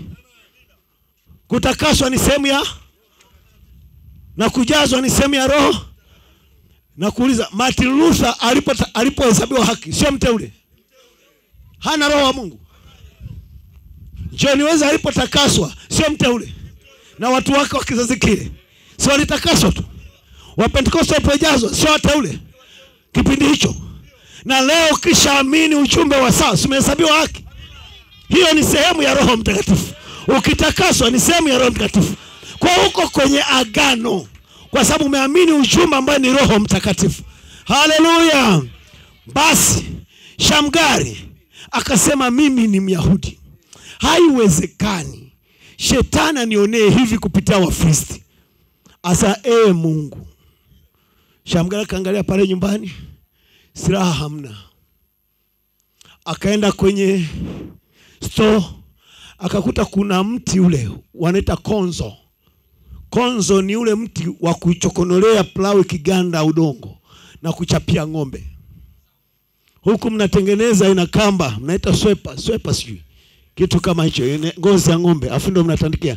Sasa wayahudi walikuwa hawatengenezi hiyo ni fimbo tu ndefu ya futi kadhaa. Haleluya! Futi tano au futi sita. Ili atakiwa huku mbali anaweza kapiga ng'ombe hivi. Kuna jembe likiganda anachokonoa hivi. Ndio inaitwa konzo ndio maana nasema ujumbe wangu ni shamgari na konzo la ng'ombe. Shamgari na fimbo ya kuchapia ng'ombe au ya kulimia. Ile fimbo tu ile ya kuchokonolea udongo kwenye plau. Hiyo tu ndio aliikuta store ndi akaibeba. Kwenda kupigana ufristi wenye silaha. Ni nini? Ni mtu amefika mahali ameshawishika. Amesema sasa basi. Haleluya ni wakati umeshawishika na ujumbe huu labda unajua neno kidogo tu kuliko mchungaji. Hata una vitu vikubwa sana lakini unaelewa wewe ni mwaminio na branham ni nabii. Ni hiyo tu. Nenda nayo. Nenda nayo kujua wewe ni mkristo. Hiyo tu. Mwambie shetani namuweza. Yeye namuweza kabisa. Sio saizi yangu yuko chini sana. Hawezi kulivuka hili neno. Shamgari akachukua hiyo fimbo. Kwani nameshashawishika sana na ameamua kupigania familia. Akatoka kama utani. Akatoka na fimbo. Jamaa wana mikuki. Jamaa wana silaha wana mapanga. Unawaendea watu wana mapanga wana mikuki wana diriki fuani wana vyuma kichwani. Wamevaa kama helmeti hizi helmeti za, za, za za lakini za vyuma mpaka kwenye pua kimeshuka hivi kichuma kingine. Kwenye kifua ni vyuma vitupu. Humu kwenye miguu mote ni vyuma. Afu jamaa wako vizuri na wako mia sita. Barabarani. Shamgara kajitosa barabarani. Asa niko tayari kupigana. Sawa huyu ni mjinga huyu. Shetani wanakutishia kama vile uogope wala usiogope. Simama imara ukijitambua wewe ni nani. Mungu atakaa upande wako. Maonezi unasema maonezi basi shamgara katoka na fimbo. Fimbo! Nini hiyo iko mikononi mwako ndugu yangu asubuhi ya leo mchana huwa leo jioni ya leo? Dada nini iko mikononi mwako? Sio mikono hii mikono ya moyo wa imani ndani yako. Nini hiyo uliko nayo? Una neno dogo la uchumbe wa saa una ujumbe wa william branham. Hiyo ni fimbo tosha. Hiyo ni konzo tosha. Itampiga shetani popote wakati wowote kwa hali yoyote. Shikilia hiyo. Nini hiyo kwenye, kwenye mkono wa daudi? Kombeo dogo tu. Manati ya mtoto. Lakini alimpiga goliati. Haleluya jambo dogo tu. Nini msa kwenye mkono? Fimbo ya kuchungia. Sasa hiyo kateke misri. Akatumia fimbo tu kuteka misri. Aliiteka hakuiteka? Kwa fimbo ya kuchungia kondoo za yefro. Waenda wapi msa naenda misri. Kufanya nini? Kuiteka. Silaha gani uzo nazo? Fimbo. Nina bwana asema hivi nini iko mikono mwako dada ndugu? Neno la mungu. Zaidi ya fimbo zaidi ya konzo zaidi ya manati zaidi ya kombea daudi ni neno la mungu. Ikishikwa kwa imani kama una imani ya kutosha ndogo tu ya kutosha kuliamini neno la mungu shetani hana nguvu. Usi unaonewa nikamwambia pendo leta miwani. Hutavaa tena mimi ni mwaminio wa ujumbe wa saa. Sasa mungu umetupa ahadi. Hii ni haki yetu. Mtoto apone akasome shule. Sina hela ya kuharibu. Niko na hela ya kukutumikia. Nikaomba mtoto akarudi shule mpaka leo. Mpaka leo. Usiuna kubali kubali tu shetani akupelekesha hivi eh, basi mi nitafanyeje? Magonjwa haya ndugu. Unabaki tu unatumikiaga magonjwa maisha yako ukishapata kahela tu shida hii. Kwenye familia ukipata tu kasenti fulani shida hii. Mara mama mgonjwa mara baba mgonjwa mara babu mara shangazi mara nini. Hata hufanyi chochote ni kutumikia magonjwa Nayo ni mwaminio wa ujumbe. Kataa! Kataa kabisa! Sema shetani yatosha. Simama wakati moja tafakari. Kutafakari kunaleta mema. Tafakari neno la mungu kama mahali fulani tulia. Kwamba mimi ni mwaminio. Mwaminio ujumbe wenye baraka. Ujumbe wenye ushindi. Ujumbe ambao ulikuwa ukiwa na nguvu za upako juu ya branham hata kansa zinakimbia.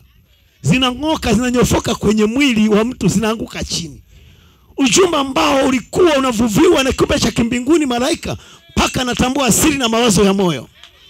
Ujumbe huo ninauamini mimi mbona mungu alikuwa anatumia brother na ninyi mlio kwenye kanda? Na mimi niko kwenye kanda. Mimi ni mwaminio. Kwa nini usitendeke? Ng'ang'ania. Sasa wewe unakufa kwa baridi. Alafu una, una unaona moto wa kuchorwa kwenye ukuta. Unasema "Ah, naweza kupona kwa moto huu. Si huo ni wa kuchora. Tunataka moto halisi usiwage na mungu wa historia. Ah. si tunamchomoa kwenye historia tumlete hapa. Ni yeye yule jana leo na hata milele. Alivyokuwa jana ndivyo anap- anapaswa awe leo na ndivyo atakuwa milele. Wale walioamini kale pale wakiwa na mungu walipata matokeo. Na wewe umeamini leo ni zamu yako. Si matokeo yale yale. Kwani wewe unataka kubaki na hadithi hati mungu wa Musa alipanua bahari akokona zeri afu leo una shida. Afu leo mungu asikusaidie. Inakusaidia nini kueleza mungu wa Musa? Aliyefanya vya afu leo unakufa kwa matatizo yale yale. Mungu aliyeponya jana akamponya dada hana akampa mtoto alikuwa tasa na wewe leo ni tasa ng'ang'ania. Sema mungu mimi ndio yule mwanamke kama hana. Niko hapa penina nanichokoza wananichokoza hata familia ya huyu mume wangu wanasema nakula tu bure na kujaza choo. Lakini nataka kuniondolea aibu. Niwe mama. Niitwe mama. Nipe mtoto tena wa kiume. Na nitamtunza nitamfundisha neno awe mtumishi wako. Uone kama mungu hatakupatia. Inahitaji imani ile ile ambayo wakati mmoja ilitenda kazi kwenye mazingira fulani. Haleluya na tatizo lile likija nao ukawa na imani ile ile na mazinga kaja yale yale hapana budi jambo fulani lazima litendeke. Msiwe mnaachilia kwamba ah, hii kama vile kuna watu fulani ndio wako special kuliko wewe. Wewe pia ni special. Wewe ni special kwa kizazi hiki. Kataa kabisa kuonewa na shetani. Kuna watu ambao leo wanamweka mungu kwa branham basi kwao hayupo ukisema nguzo moto sasa ilikuwa kwa branham. Eti kwetu haipo. Kwani mungu alilala na branham? Mungu yule wa branham yuko pamoja na neno lake. Neno lake bado linatenda kazi na neno lake halina budi kuna watu wameliamini. Na hiyo nguzo moto lazima ifae mwili tena. Mungu hakosi kuwa na mashahidi duniani. Kwa nguzo moto haijabaki na branham uponyaji haujabaki na branham hala uponyaji jabaki hata yesu alipokuwa hapa duniani uponyaji wa kubaki na yesu. Ulienda moja kwa moja mpaka kwa mitume. Mpaka akina petro akaanza kutenda kama yesu. Mpaka watu wakasema hawa ni wakristo ni watu waliosema. Baada ya kuona wanatenda kama yesu wananena kama yesu miujiza kama yesu wakasema hawa ni wa yesu. Hawa ni wakristo na leo wanatakiwa waseme hawa kabisa ni wa branham. Wanatenda kama branham alivyotenda. Kwa nini tuna ujumbe ule ule mungu yule ule? Bwana yesu abariki sana. Huyu shamgari wazia alisema yule mungu wa ibrahimu mungu wa isaka mungu wa yakobo ndio mungu wangu. Na kufaje hapa na shida. Jana wa, mwaka jana wamebeba vyote. Nusura tufe njaa tumeishi kwa tabu tena jana nilipura nafaka nimeweka. Jamaa wanakuja wabebe tena. Hapana. Linalokuwa. Na leo sema kwa ibada hii linalokuwa shetani naliwe usimwachage shetani awe anakuchukulia vitu burebure bure.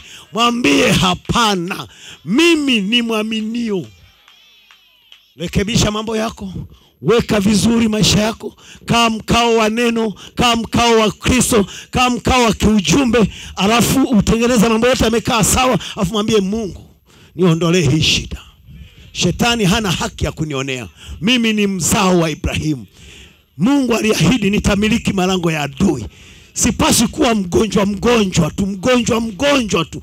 Mimi simtumikii shetani na kutumikia mungu. Nahitaji afya ili niende ibadani. Nahitaji afya ili nifanye kazi. Nipate kikumi nipate na sadaka nahitaji afya. Afya ni haki yako. Nakubali kuoneaonewa tu. Sionewe. Fika mahali kataa. Jina la bwana barikiwe sana kama mungu anaweza akatusaidia vitu vidogo kama funguo ya nyumba. Vipi watoto, wa, watoto wetu na afya zetu? Tumepoteza funguo mara nyingi sumbawanga. Shemasa akiwa moja hapo alishawahi kupoteza funguo. Sasa pasta omba. Nikaomba. Mungu alivyolala ndugu akaonyeshwa ziko wapi. Akaamka tu akaenda huyo ndio mungu tunamtumikia.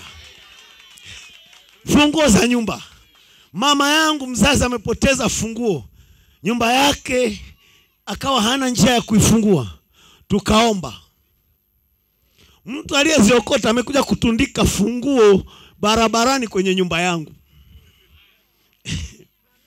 Kwa hiyo napita hivi nakuta funguo zimening'inizwa. Na nyumba yake liko ni mbali. Maombi hugeuza hali za mambo yesu akawambia wanafunzi hamna kwa sababu hamjaomba. Hamjaomba neno lolote kwa jina langu mpate ili muwe na furaha iliyotimilika. Ombeni nanyi mtapata na furaha yenu itakuwa timilifu. Mungu anataka tuombe na tukipata tuwe tufurahi. Kwanza nikwambie mungu anapenda watoto wanaomtegemea. Hata wewe ni mzazi watoto wako hao hakutegemea ungejisikiaje yaani mtoto uliyemzaa mwenyewe yuko darasa la pili hakutegemei. Daftari eti kanaenda kufanyia vibarua kapate daftari. Sa, we unaenda wapi? Najitafutia za kwangu. Tasema wewe dogo achana utakachara za viboko? Shenzi kabisa rudi ndani. Sasa mungu anatushangaa tunapotaka tupambane wenyewe. Huwa anatushangaza hivi hao watu wanajua mimi ni nani kwao? Hivi mnajua mungu aliachilia anguko ili tumtambue. Mungu alikaa peke yake milele na na kukaa peke yako sio kitu kizuri. Na mungu alikuwa peke yake i ela ela elohim peke yake. Hakuna malaika hakuna mwezi hakuna nyota hakuna tone la maji hakuna hewa hakuna chochote.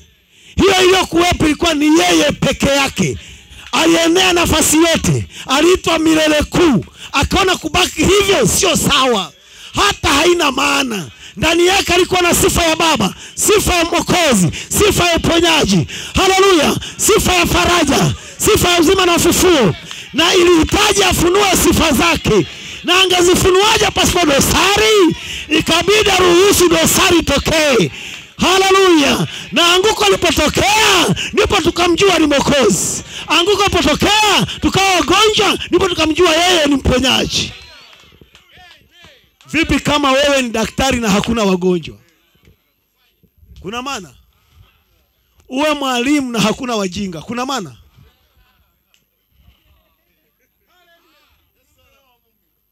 Sifa zako nzuri zinatokana na dosari fulani mbaya na ili aitwe mungu ilibidi kuwe na viumbe vya kumwabudu. Angekaa peke yake angepata wapi sifa? Ilibidi viumbe fulani vimsifu kwa kuwa yeye ana nguvu zote. Ilibidi awaachilie wana wa Israeli waende utumwani kwa Farao, alafu wanapopitia mateso Mungu ajitokeze, alafu ampige Farao kwa mapigo ya maana, ajionyeshe yeye ni Mungu. Haleluya! Na Israeli wamfurahie Mungu wao, alafu awakwamishe kwenye bahari, alafu yeye aje apanue bahari, alafu aseme Mungu ni mkuu. ilibidi aachilie Lazaro augue, na akasema ugonjwa wa Lazaro ni kwa utukufu wa Mungu. Kumbe mambo mengi ya dosari ni kwa ajili ya utukufu wa Mungu. Hata kipofu mmoja wakamuuliza Yesu, je, huyu ni kipofu kwa sababu wazazi wake walitenda dhambi? Akasema hapana. Au yeye mwenyewe ametenda dhambi? Akasema hapana. Kwa nini sasa ni kipofu? Asa ili kazi za Mungu zidhihirishwe kwa matatizo yako yapo ili Mungu ajitambulishe. Bila changamoto huwezi kujua sifa za Mungu. Yabidi tupitie changamoto ili Mungu ajionyeshe. Na maisha yenyewe tulionayo yote yabidi kuwe na changamoto, ndipo utapambana na ndipo itajulikana wewe ni nani. Kile kicho ndani yako kitajifunua. Bila changamoto utakuwa ni kitu kichokaa tu, hakina kazi yoyote. Kwa hiyo Mungu mwenyewe aliona kukaa hivi hivi sio sawa, akajianzishia kazi mwenyewe ya kuruhusu shetani alete anguko, alafu Mungu apambane na shetani ili Mungu ajionyeshe yeye ni nani. Kwa hiyo Mungu ana, anapenda kusikia watoto wake wanamlilia. Nawe mzazi unapenda watoto wako wawe wanakuomba vitu, ninunue ninunue gauni, ninunue shati, ninunue viatu, ninunue uniform. Baba, wanataka rimu ili upambane, na huo ndio uzazi. Unapambana huko ili uletee familia yako, na huo ndio uzazi. Vipi kama na familia afu haikutegemei, unajisikiaje? Uwe una mke alafu akutegemei, unajisikiaje? Alafu lakini unaona anavaa, alafu wewe hununuagi chochote, unajisikiaje? lazima ujiulize kwamba mm, hii ni nini. Unapaswa wewe utoe matumizi yote, kuanzia chakula chake chote na mavazi yake yote, na huo ndio wanaume. Sio umekaa kidondoa dume nyumbani, mke wake anakulisha ndio anapambana mashamba na kila kitu, afu ni kwenye pombe tu. Wewe ni kidondoa dume. Tunataka wanaume halisi wanaojitambua wao ni wanaume na mwanaume mwenye sifa, yeye ni mgawaji wa mali. Yeye ndiye anayetoa vyote, anatoa vyote kwa mke wake, anatoa vyote kwa watoto, na huo ndio ubaba. Na ana mashamba ya kutosha, na ana maeneo ya kutosha, na watoto wakikua, anaanza kuwagawa urithi. Mwanangu, na kukatia hapa, utalima. huu Huyo ndio baba baba mwenye mali, huyo ndio baba. Amepambana maisha mpaka akafanikiwa, ni kwa ajili ya watoto wake, na hiyo yote ni chan- chanzo cha jambo lote hilo ni Mungu. Mungu ndiye anayetoa vyote kwa watoto wake. Mnampenda? Sasa Shamgari hakutulia, aliamua kupambania familia yake. Dada, ndugu, pambanieni familia yenu, familia yako ipambanie kwamba hapana, maisha haya yanayoishi sio, shetani amenionea vya kutosha. Nililima mwaka jana Shetani akasababisha mvua ya mawe ikanyesha kwenye shamba langu, sikupata kitu. Nililima mwaka jana, wadudu wakaja wakala vyote. Nilipamba kulima na lima na, lakini kuna kitu kinaharibu, kwa sababu Mungu hatesagi watoto wake. Hiyo ni shetani. Mateso yote yanatoka kwa shetani. Fika mahali useme hapana, una haki kumiliki mambo yako, mambo ambayo ni haki yako. Vile Mungu atakuongoza chini ya upako, waweze kufika shambani ukalizunguka kwa jina la Yesu Kristo, kwamba anazunguka shamba kwa jina la Yesu Kristo. Kwa nini? Mimi ni mwana wa mfalme. Kama unazindika kwa madawa, si kwa vichupa vya, vya kwenye nini vya madawa, mimi nazunguka kwa jina la Bwana Yesu Kristo. Nazunguka shamba, nazunguka shamba, naenda kufika mpaka nipoanzia Nasema mahali hapa nimeteka kwa jina la Yesu Kristo. Mvua ya mawe haitanyesha, wala upepo wa kupurura maua kwenye maharage hautapiga tena, wala wala baridi yoyote, wala jua kali. Na kataa, naomba unipatie mazao yaliyostahiki yangu, na ulisema utazidisha na kubariki, na utafungua madirisha mbinguni, na nibarikiwa hata nafasi sitoshe au la. Kwa nini? Natoa fungu la kumi, natoa sadaka na sapoti kazi ya Bwana, ni haki yangu kupata uone kama shetani ataharibu. Shida ninyi ni waoga. Shamgari hapa ameonyesha hakuogopa mikuki yao, hakuogopa mishale yao, hakuogopa mapanga yao. Alimwona Mungu, aliona jeshi, akageuka kuona familia, akageuka akamwona Mungu. Sasa ee Mungu, afa karudi akajitambua, mimi ni Myahudi, nimetahiriwa, niko kwenye agano. Baba yangu Mungu wa Ibrahimu, Mungu wa Isaka, Mungu wa Yakobo ndio Mungu wangu. Akatoka hapo akaenda kuchukua konzo, akatoka akaenda uwanjani barabarani. Hawa wanakuja, haogopi liwalo na liwe, hawa wanakuja. Walidhani ni utani, na mambo ya Mungu yanafanyika kama vile utani. Wanakuja kachapa huyu, Mungu akaingilia kati. Anapoona umejitoa, Mungu anaingilia kati hapo chapa tu huyu, kumbe kuna fimbo nyingine nyuma ya fimbo. Ha. Amen. Unapoomba maombi chini ya upako, chini ya moyo uliofikika, chini ya moyo ulio na nguvu za Mungu na hasira takatifu za Mungu ndani yako, yani tunaita wivu wa Mungu. Unapoomba kwa hali hiyo, Mungu anaambatana na maombi yako. Unapoomba maneno tu ya kawaida, yeye anauingiza maneno yenye upako lazima shetani achie. Daudi alichukua kombeo. Kombeo ni ni ni ni, ni, ni, ni kingozi kilicho kilichotengenezwa cha kuwekea jiwe kama manati, lakini kombeo sio manati, chenyewe hakina mtu yoyote. Alafu hicho kingozi ni kikubwa, upande huu kuna kamba na upande huu kuna kamba basi unaweka jiwe hapo kwenye kingozi, alafu unaviringisha zile kamba, unazishika pamoja. Hivyo ndivyo Daudi ilikuwa silaha yake, hiyo tu. Wakati jeshi la wana wa Israeli linaogopa Goliath, yeye Daudi asema huyo Goliath ni nani? Mfilisti asiyetahiriwa, mpagani asiye kwenye agano la uchumbe akajua akijua yeye kama nimeingia kwenye uchumbe, Mungu anawajibika kunishughulikia. Huyu ni Mfilisti asiyetahiriwa. Hivi mlijua ujumbe huu ni, tu, ni kisu cha kututahiri, kimetutahiri udhehebu wote, kimetutahiri ulimwengu wote. Sisi ni wa ujumbe, tumetahiriwa sio kwa kisu cha kibinadamu, bali kwa kisu cha Mungu. Sisi ni uzao mteule.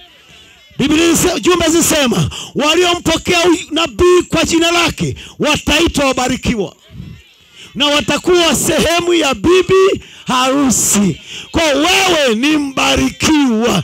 Ndio maana hata salamu yenyewe, Bwana akubariki, Bwana kubariki, Bwana kubariki, Bwana kubariki. Na- Na nabii anasema ukitaka umpe mwenzako zawadi kubwa kuliko zote, mwambie Bwana akubariki, Mungu akubariki na ukibarikiwa umebarikiwa. Watoto wa Mungu wa Kristo wa kweli wamebarikiwa, ni wabarikiwa. Jina la Bwana barikiwe sana, haleluya. Daudi alijua alishapakwa mafuta na Mungu. Daudi akiwa machungani, haleluya, alikuwa anajua Mungu yuko pamoja naye. angeweza kupiga zeze. Haleluya! Lakini naona nirudi nyuma niwasimulie Daudi vizuri.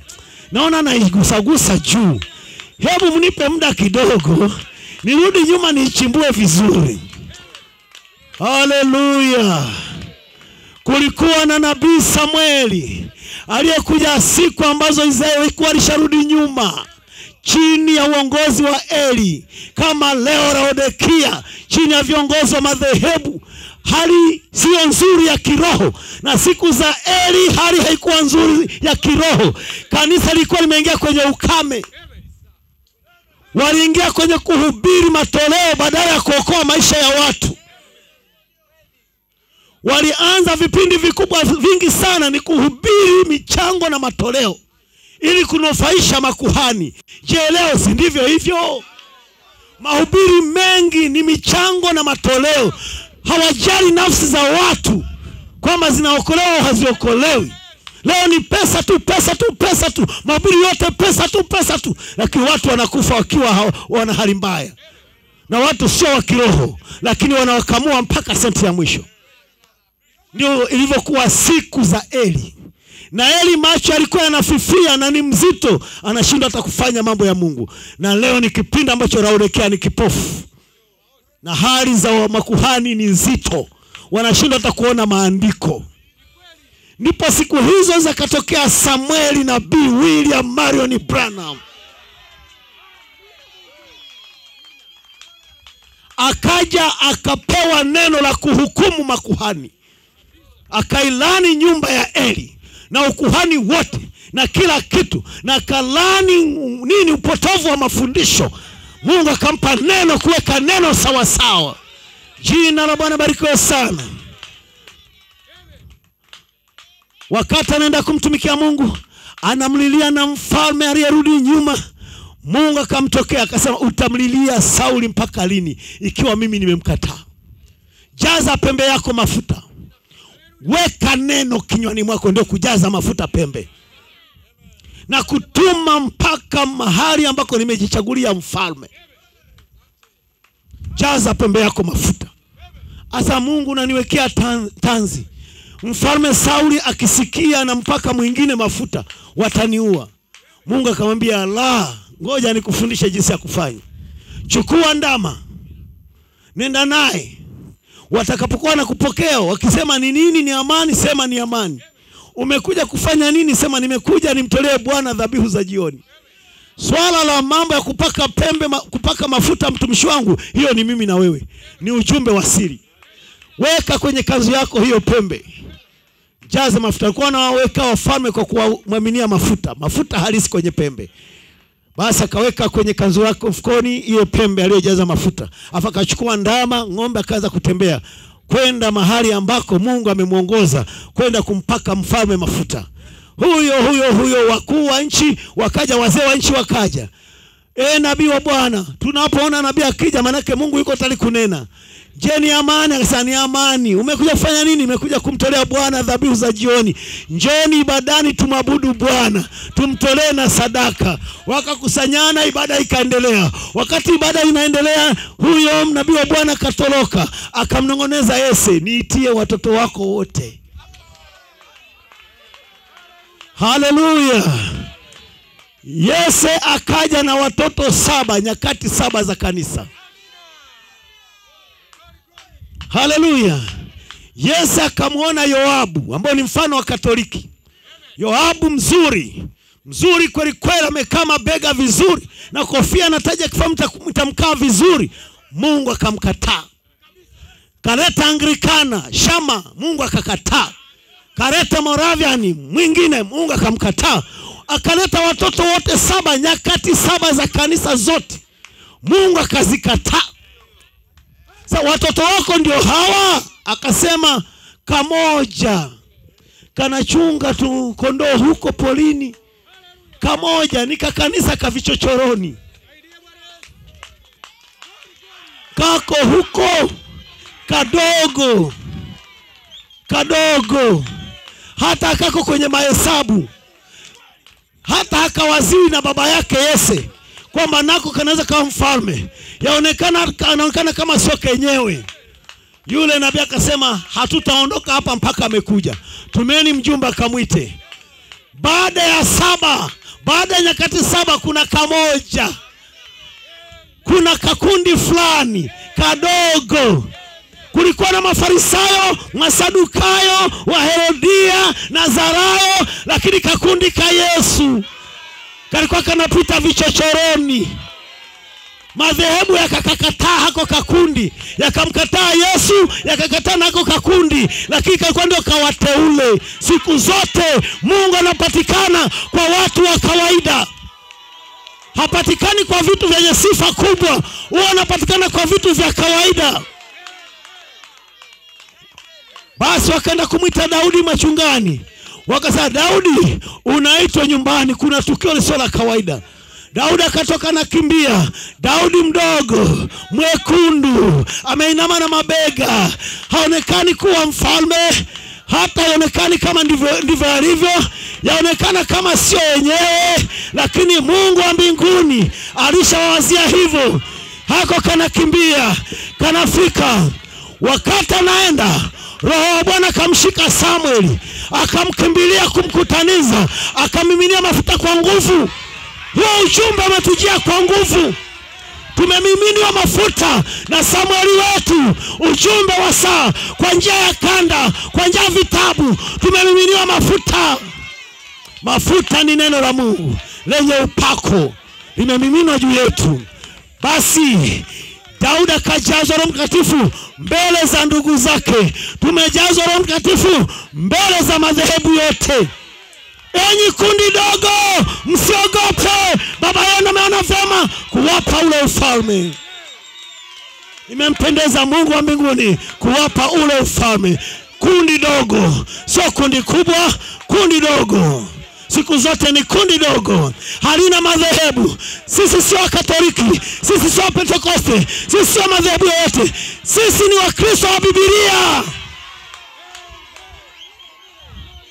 tunaita ndugu zetu walioko madhehebuni, njoni, njoni, njoni, turudi kwenye Bibilia, tuwe na kanisa moja, Bwana mmoja, ubatizo mmoja, imani moja. Haleluya, haleluya. Mungu amekuja wakati wa jioni, anaita watoto wake watoke kwenye madhehebu waje kwenye ujumbe. Tunarudi nyumbani, unyakuo kaiba utendeke. Oh, haleluya! Nilisema juzi, nilisema juzi, tunaishi siku ambazo dalili za kuja kwa Bwana ziko nyingi. Kimulimuli chekundu cha dalili ya kuja kwa Bwana Yesu Kristo, taa nyekundu ilishawaka kuonyesha tuko siku za mwisho. Haleluya! Tukaona juzi taa mojawapo ya kuonyesha muda umekwisha, Yesu anarudi, ongezeko la wanadamu duniani. Tuna, tumerudi mwishoni, tukaona ishara ya mwisho tena, wanawake wakijipodoa. Na maadili ya wanawake yakishuka, wanavaa nusu uchi, ni roho ya wakati. Hiyo yote ni taa nyekundu inaonyesha tuko mwisho, lakini Mungu anaita watoto wake watoke kwenye hali hizo, waje warudie ile kweli, wawe kanisa la Mungu aliye hai, warudi nyumbani. Hili kundi unaloliona hapa, tumetoka madhehebuni, wengine ni Wakatoliki, wengine ni Wasabato, wengine ni Moraviani. Tumevunja tofauti zetu, tumerudi kwenye neno.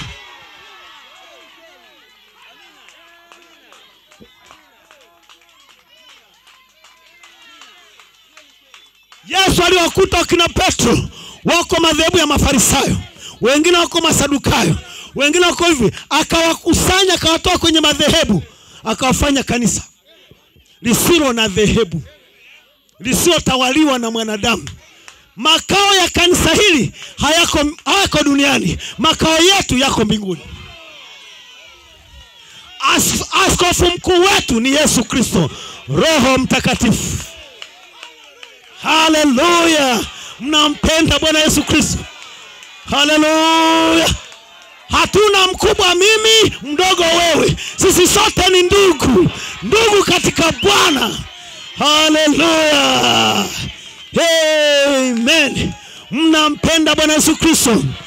turudi hapa daudi mdogo amemiminwa mafuta haleluya ogopa mtu akimiminwa mafuta anakuwa special haleluya Apomimina mafuta akarudi kuchunga akiwa mfalme.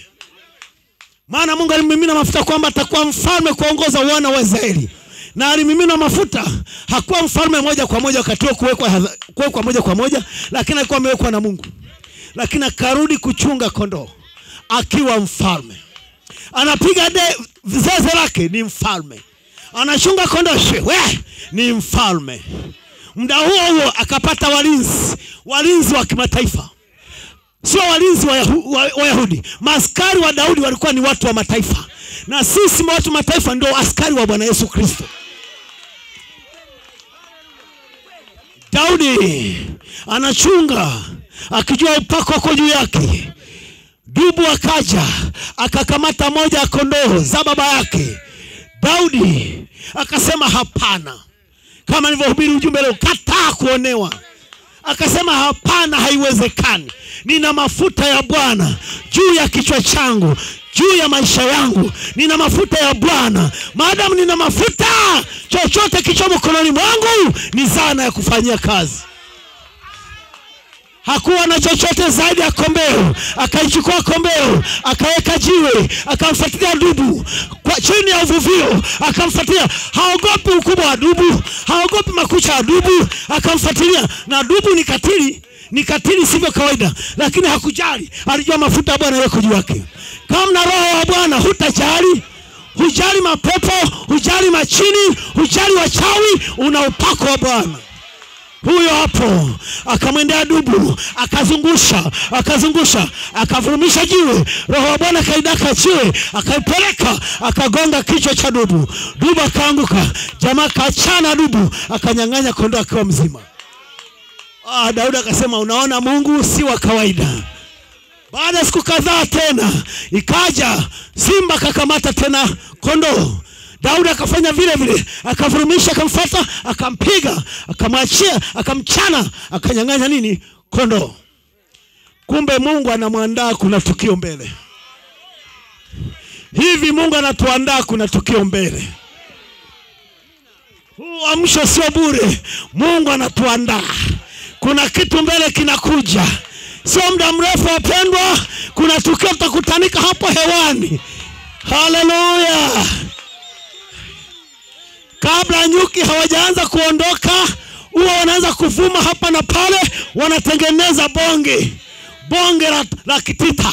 Nyuki wanatokea hapa na pale pale wanatengeneza bonge la kitita. Alafu wana kiongozi hapo nyuko wanataka wahame, lakini kunatokea ajabu sana, mawasiliano ya silika, wanaweza kujua saizi ni muda wa kuondoka. Utaona wanaanzisha ufufuo, wanajijenga mahali fulani. Lazima waitane kwanza, wakae mahali fulani. Wanaposubiri wito wa kuondoka. Hivi mnavyoona tunahubiri hapa, dunia nzima ujumbe huu umeenea vikundi vikundi karibu tunaondoka. Mara baada ya muda kiongozi wao anaanzisha safari kundi zima bonge la nyuki linafuata. Nampenda bwana yesu kristo. Kabla mvua haijanyesha huo upepo unatokea unakusanya mawingu. Wingu moja pale inasogea jingine inasogea jingine inasogea inatengeneza wingu zito moja na watoto wanaanza kuona mvua karibu inanyesha. Radi zinaanza kupiga. Ili maji yaachie. Haleluya na baada ya muda mvua inatokea lakini kwanza mawingu yalijikusanya. Na leo tunajikusanya toka madhehebu mbali mbali. Jambo fulani liko karibu kutendeka. Kwa nini leo tunayaasi madhehebu? Na tunarudi tuwe neno. Na tuwe ndugu. Ni muda umefika mungu alitabiri atakusanya watoto wake toka kwenye vikundi vikundi awarudishe kwenye imani moja kanisa moja bwana mmoja na hapo itatokea kanisa halina ila wala wa, wala kunyazi, na baada ya muda atalinyakua. Daudi mdogo kumbe mungu anamwandaa kwa ajili ya tukio la mbele. Daudi akaja kwa baba yake. Alivyokuja akaambiwa ndugu zake wako jeshini wanampiga Goliath kule, lakini amewashinda. Kakafuata mpaka kwa ndugu zake, kakuta ndugu zake wameshafyata mikia kwa Goliath. Mwambia wewe mtoto, nani amekuleta huku? Anasema ah, nimesikia mko huku mnapigana jamaa fulani. Sasa wewe, hili jamaa sio la kawaida, wewe ni pande la jitu. Lakini Sauli amesema atakayeshinda ana zawadi. Sasa zawadi gani? Sasa zawadi yenyewe ni hii, yaani ukimshinda Goliath huyo, kwanza ofa nzuri kuliko zote, unaoa kwa mfalme, unakuwa baba mkwe wa mfalme. Kaka sema kumbe mimi ni baba mkwe wa mfalme.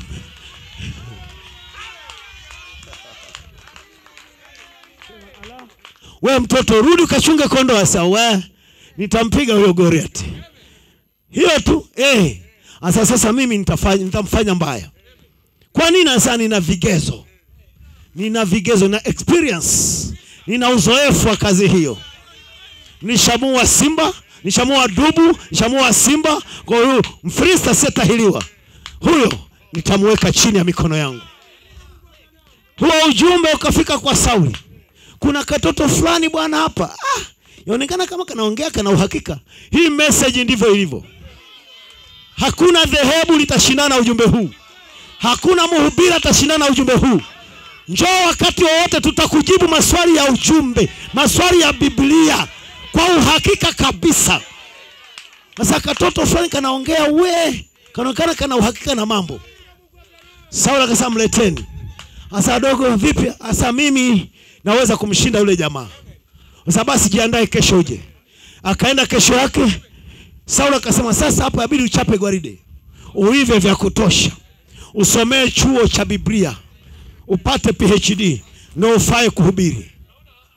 Sasa kwa hiyo ndio utaratibu na Sasa yeye ndio utaratibu, ndio utakujua wewe ni mwenyewe. Sasa okay, wakamvisha combat, wakamvisha magwanda, wakamvisha makofia na madiri. Daudi akajaribu kutembea hivi, akasema wapendwa, hivi ni vizito, siviwezi. Hizo PhD zenu ni nzito kwangu ni mngeniacha nibaki wa kienyeji. Huu ujumbe ni wa kienyeji, waamini ni wa kienyeji. Haleluya! Mungu sio mtaalamu, Mungu ni wa kienyeji, ni Mungu wa kale na kale na kale. Yeye ni Mungu wa kienyeji, sio Mungu wa kisasa, sio wa kitaalamu. Mungu siku zote yuko vile vile, haongezi maarifa wala hapungui maarifa. Ni yeye yule jana, leo hata milele. Akavua vyote akavua hivyo PhD na hivyo vyeo vya kusomea vyote akavua, akabaki kama alivyo. Akasema sasa twaweza kwenda tumpige Goliath. Sasa, Eh, kwa hiyo sasa twendeni. Wakati askari wanakimbia wenzake kwenda, Kenya kakawatoroka kakaenda kwenye kijito, kakaokota mawe matano sawa na herufi za Jesus, herufi tano, namba ya neema, kakaweka kwenye podo lake, kwenye mfuko wa kuchungia alafu kakaenda pale kakajificha ndani ya kundi la wana Israeli. maana wao mapigano yalikuwa hivi, kuna kuwa kule milima na upande wa mlima, afu kule bonde na kubonde, afu mto umepita katikati. Kwa hiyo wanatokea kule Wafilisti, wanajigamba wanajigamba, na ndiko huko atokee na Mwisraeli naye ajigambe. Kwa hiyo wamejipanga hivi, jeshi la Waisraeli na upande ule wa Wafilisti wamejipanga vile, ndipo baada ya muda wanaona kijamaa pande la jitu linakuja kiganja chake ni, ni, ni inchi kumi na nne. Anaweza akachukua mtu akamshika miguu yote miwili mtu akawa fimbo ya mwingine. Akuwa anatishia usalama. Mkuki wake unabebwa na mtu. Yeye anabeba mkono mmoja. Ngao yake inabebwa na watu wawili. Kwa hiyo wakaleta mkuki wakasimika hapo. Wakaleta na ngao wakasimika hapo. Afu kikajitokeza pande la mtu sema enyi Waisraeli, Mungu wenu yuko wapi? Nani anaweza kupigana na mimi hapo? Kikajigamba, kajigamba, kajigamba. Waisraeli wote wako kimya. Katikati ya kundi, katoto kakampenyeza, kakafenyeza, kakaja kakatokea, kakaanza kuviringisha kombeo, kakasema wewe wanijia kwa chapo, wanijia kwa mkuki, wanijia kwa ngao, mimi nakujia kwa jina la Bwana majeshi huku kanafungisha pole pole pole pole. Goliath anadharau, mnaniletea katoto haka, kanakuja na fimbo. Upande mmoja alikuwa ameshika fimbo Daudi, na upande mwingine nini? Kombeo na fimbo ya kuchungia. Amen. silaha za mungu wakama za kuchekesha lakini nikwambie zina nguvu sio ya kawaida sasa mnamleta mtoto nipigane naye huyu saenda kapige mapanzi kule. Sasa niwambie huyu dogo huyu nitachukua mkuki wangu nimchome nimwokote chini nimrushe kwenye mti ndege waokote huko juu. Unaona majigambo hayo? Lakini daudi hakuyasikia hayo. Alijua ni mfristi asiyetahiliwa hayuko kwenye agano hayuko kwenye ujumbe. Mungu anaheshimu ujumbe na watu walio ndani ya ujumbe. Nje ya ujumbe hamna hamna mwenye nguvu. Kada- kadaudi kakaanza kuviringisha pole pole pole pole. Sasa wanijia kwa chapeo wanijia kwa upanga wanijia kwa mkuki wanijia kwa nini? Mi nakujia katika jina la bwana wa majeshi kakaachilia pya. Roho Mtakatifu kadaka lejiwe. Akalipitisha likawa na nguvu zaidi ya risasi akalenga kwenye paji la uso uliojaa vyuma lakini kulikuwa na nafasi. Mungu akanyosha pale pale. Walishangaga kupu. Maana daudi alikuwa amesema leo leo na kukata kichwa na upanga hana. Jitabilie mazuri na mungu ataunga mkono. Sa leo na kukata kichwa na wafilisti wengine wote watakatwa vichwa na daudi hana upanga. Kakafanya vipyu walishangaga tu. Kup kama utani. Kakaruka mtaro kakaenda kakanyaga juu ya kifua. Kakachomoa kisu cha upanga wake mwenyewe kakakata kichwa. Bado wanashangaa. Anasema Biblia inasema injili inahubiriwa kwa mizaha lakini kwa mizaha hiyo wokovu wapatikana. Ni kama kwa mizaha sio mizaha lakini ni kama kwa mizaha na kupitia hiyo unaodhalili mzaha wokovu unapatikana. Kwani watu wote wamepatikana wapi? Ni mungu akileta injili kama vile kwa mizaha lakini wokovu unapatikana. Goliath akafa kirahisi sana. Magonjwa yatakufa kirahisi sana. Wachawi wataachilia kirahisi sana nguvu za shetani za mapepo na za majini zitaachilia rahisi sana. Kwa nini? Wewe ni mzao wa mungu uko kwenye agano.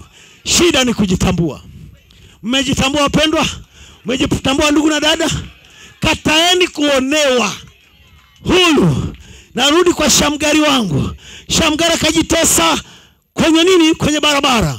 Kundi la maskari mia sita walijipanga vizuri kijeshi waje kupora mali na mazao yote ya wana wa Israeli. Shamgar akakataa, ametazama jeshi, amerudi akatazama watoto, amerudi katazama juu. Sasa ee Mungu, mimi ni Myahudi, niko kwenye agano mimi ni, mimi ni mzao wa Mungu, mzao wa Ibrahimu. Mungu wangu ni Mungu wa Ibrahimu, wa Isaka, wa Yakobo, ndiye Mungu wangu. Huyu Mfilisti asiyetahiriwa atatuoneaje hivi? Akajitosa barabarani, akashika konzo la ng'ombe, fimbo ya kuchapia ng'ombe zinapolima. Hiyo tu ndio ilikuwa silaha yake. Akaanza kuviringisha, kila anayekuja mpaa kidogo tu nguvu iliyoko kwenye fimbo wakakuta sio ya kawaida. Akigonga mmoja na mmoja akagonga mwenzake, wote wanakufa. Kilichoko kwenye fimbo, acha ni upako wa Mungu juu ya huyo jamaa. Anagonga hivi kulia na kushoto, anafanya tu mpo mpo mpo, kama utani mpo. Akaua jeshi la Wafilisti mia sita. Biblia inasema akaokoa wana wa Israeli, maana aliwashinda hao jeshi. Wakabaki wanafikiria hii fimbo ina nini? Ungeokota jana ni fimbo tu, na ungegonga kichwa kimoja cha mtu huyo bila upako wa Mungu, ilikuwa inasambaa vipande mia moja, lakini kwa sababu ina nguvu ya Mungu ilikuwa haipasuki hata kidogo. Na mkumbuka mtu mmoja anaitwa Samson. Haleluya! alikuwa ni tishio kwa Wafilisti. Siku moja Wafilisti elfu moja askari waliojipanga vizuri wakamvamia ghafla, hajajiandaa, hana chochote pale. Samson akazunguka, akashika nywele, akakuta zipo, na maadamu kuna agano la Mungu hiyo inatosha. Ukishaona uko kwenye agano la Mungu, hiyo kila kitu kinawezekana. Ukikuta uko kwenye ujumbe, uko sawa na neno la ujumbe, uko sawa na ujumbe, lolote itatendeka. Aposhika hivi kuta nywele zipo, akatafuta zana akakosa, akapata mfupa wa taya la punda. Punda mfupa wake huu ni mrefu. Kwa hiyo kulikuwa na punda alishachinjwaga au alishauawaga huko na maanisha alikuwa alishajifia huko kwa alishaozaga miaka ilishapita. kwa hiyo kimfupa kisha baki hapo kama jalalani. samson akashika huo mfupa. Wafisi wanakuja wana, wamevaa helmet za chuma. Ukigonga huo mfupa wa kale utapasuka vipande vipande. Lakini maadamu huyo mtu ana upako juu yake kuna nguvu ya mungu juu yake yuko kwenye agano ni mnadhiri wa bwana. Kuna nguvu nyingine iko nyuma ya mfupa wakati wakija alikuwa akigonga mpo mpo wakigongana wenyewe wanakufa. Kuna nguvu isiyo ya kawaida iko ndani. Kwani nikuulize wakristo wa kweli wanapoweka mikono juu ya mgonjwa pepo zinatoka. Je ni mikono inayoponya mkono unafanyika tu kama zana kama mfupa wa taya ya punda lakini ndani yake kuna nguvu ya mungu iko nyuma yake. Tamka chochote. Kwa jina la yesu kristo kila kitu kitatii. Kwa sababu umejitambua wewe ni nani naye samson akaua jeshi la watu elfu moja. Siku moja samson wakamzingira anaingia mahali fulani getini wakafunga geti. Geti la chuma kizito sana inatosha winchi ya kutosha kuchomoa. Wakadhani wamemweza sema kesho tunamshughulikia. Wakaenda kulala. Usiku samson akagusa nywele hivi akakuta zipo. Shida ilikuwa ni nywele tu akishafanya hivyo anakuta zipa sa tayari. Hapa mambo yote yanawezekana. Kwenye hii message ukishagusa uko sawa na ujumbe. Unaishi neno. Sema chochote itatendeka. Samson akaenda kwenye geti. Akaishika geti. Akasikia nguvu isiyo ya kawaida. Akainyenyua mpaka vizingiti vyake. Akaichomoa kwenye simenti. Geti la nguvu geti kubwa sana toka hapa mpaka kwenye mti kule. Akalinyanyua lote. Si tu kulinyanyua basi akapanda nalo mlimani. Oh, haleluya akaenda kuliangusha huko. Asubuhi kumekucha ili wakampa wakampa, wakambananishe. Wauta geti sio mtu samsoni hayupo mpaka geti lao halipo. Oh, haleluya mungu yule yule wa samsoni. Mungu yule wa samsoni aliyeng'oa geti alikuja siku ya pentekoste akamwingia petro nguzo ya moto. Siku moja akamkamata petro kumbe ana nguvu za kuwa kwa samsoni. Wakamfungia getini wakamfungia ndani ya gereza. Chumba cha ndani cha ndani geti la kwanza geti la pili geti la tatu wakaweka walinzi mara tatu. Petro amelala kule ndani kesho wanakata kichwa nguvu ile iliyokuwa kwa samson usiku ikamjia imevaa umbo la malaika ikamwambia petro amka. Akadhani ni ndoto kumbe ni nguvu ile ile. Nisema amka. Akaamka. Ikasema vaa viatu vyako. Akavaa. Anadhani ni ndoto. Sema vaa kanzu yako funga mshipi kiunoni nifuate. Wakapita geti la kwanza likafunguka. Geti la pili likafunguka. Geti la tatu likafunguka haleluya. Mungu yule yule aliyekuwa kwa samsoni alikuwa ndani ya petro. Mungu yule yule aliyekuwa kwa petro alikuwa ndani ya paulo na Sila, wamefungwa gerezani. Haleluya. Wamepigwa minyororo miguuni wamepigwa minyororo mikononi. Petro namaanisha paulo na Sila, wako gerezani wakaanza kuimba mteule hata ukiwa na shida usihangaike usihofu usiwe na huzuni. Mwimbie mungu msifu mungu atakupatia njia. Wakaanza kuimba wakaanza kuimba. Labda wangeimba hivi karibu na wewe mungu wangu. O karibu za bwana. Wakati wanaimba wakasikia uwepo huo mpaka nywele zinasisimka. Nguvu sio ya kawaida ikaachiliwa kutoka juu. Kwa nini? Ni wana wa agano ni mzao wa ibrahimu. Nguvu ikaja ikakata minyororo yote ikavunja minyororo yote ikafungua na gereza wakawa huru. Ndiye mungu unayemtumikia jioni ya leo mungu yule wa petro mungu yule wa paulo na sira akamjia branham wakati wa jioni. Branham nguzo ya moto ikamfuata ikampa huduma. Siku moja yuko mahali fulani anahubiri mkutano kama hivi. Gari ikagonga watu kama wanne hivi. Ikaua wa kwanza ikaua wa pili na wawili kakanyagia ndio ikasimama. Wawili wamesha kufa pale wanakufa pale na hawa wawili gari imekanyagia dereva ndio amesimama. Watu wakataruka kwenye mkutano. Wakaanza kwenda baadhi ya wahubiri wanamwambia acha kuhubiri watu wamekufa huku. Acha kuhubiri watu wamekufa. Branham ndio yuko chini ya upako. Anasema mungu yule yule aliyekuwa kule kwa musa yuko hapa. Mungu yule yule aliyekuwa kwa paulo yuko hapa ilikuwa ndio amepata upako hivyo hivyo mungu yule yule aliyekuwa kule ndio yuko hapa wakati anaendelea chini ya upako hivyo Bwana akasogea kwa zile maiti, akafika hakuzishika, alifanya tu hivi, maiti zikawa hai. Akaenda kwenye gari, akaenda kwenye gari, akafanya hivi, gari ikainuka, maiti zikachomoka, wakawa hai. Huyo ndio Mungu tunayemtumikia jioni ya leo. Unaogopa nini? Una hofu nini? Mungu wa Shamgari aliyeua Wafilisti mia sita kwa konzo la ng'ombe, leo jioni hii atakuokoa na shida ulizo nazo, iwe ni majini, iwe ni wachawi, iwe ni kifua, iwe ni vidonda vya tumbo, iwe ni kisukari, iwe ni ukimwi. Mungu huyo yuko kukukomboa. Mnaamini hivyo? Simameni tushukuru Bwana Yesu Kristo.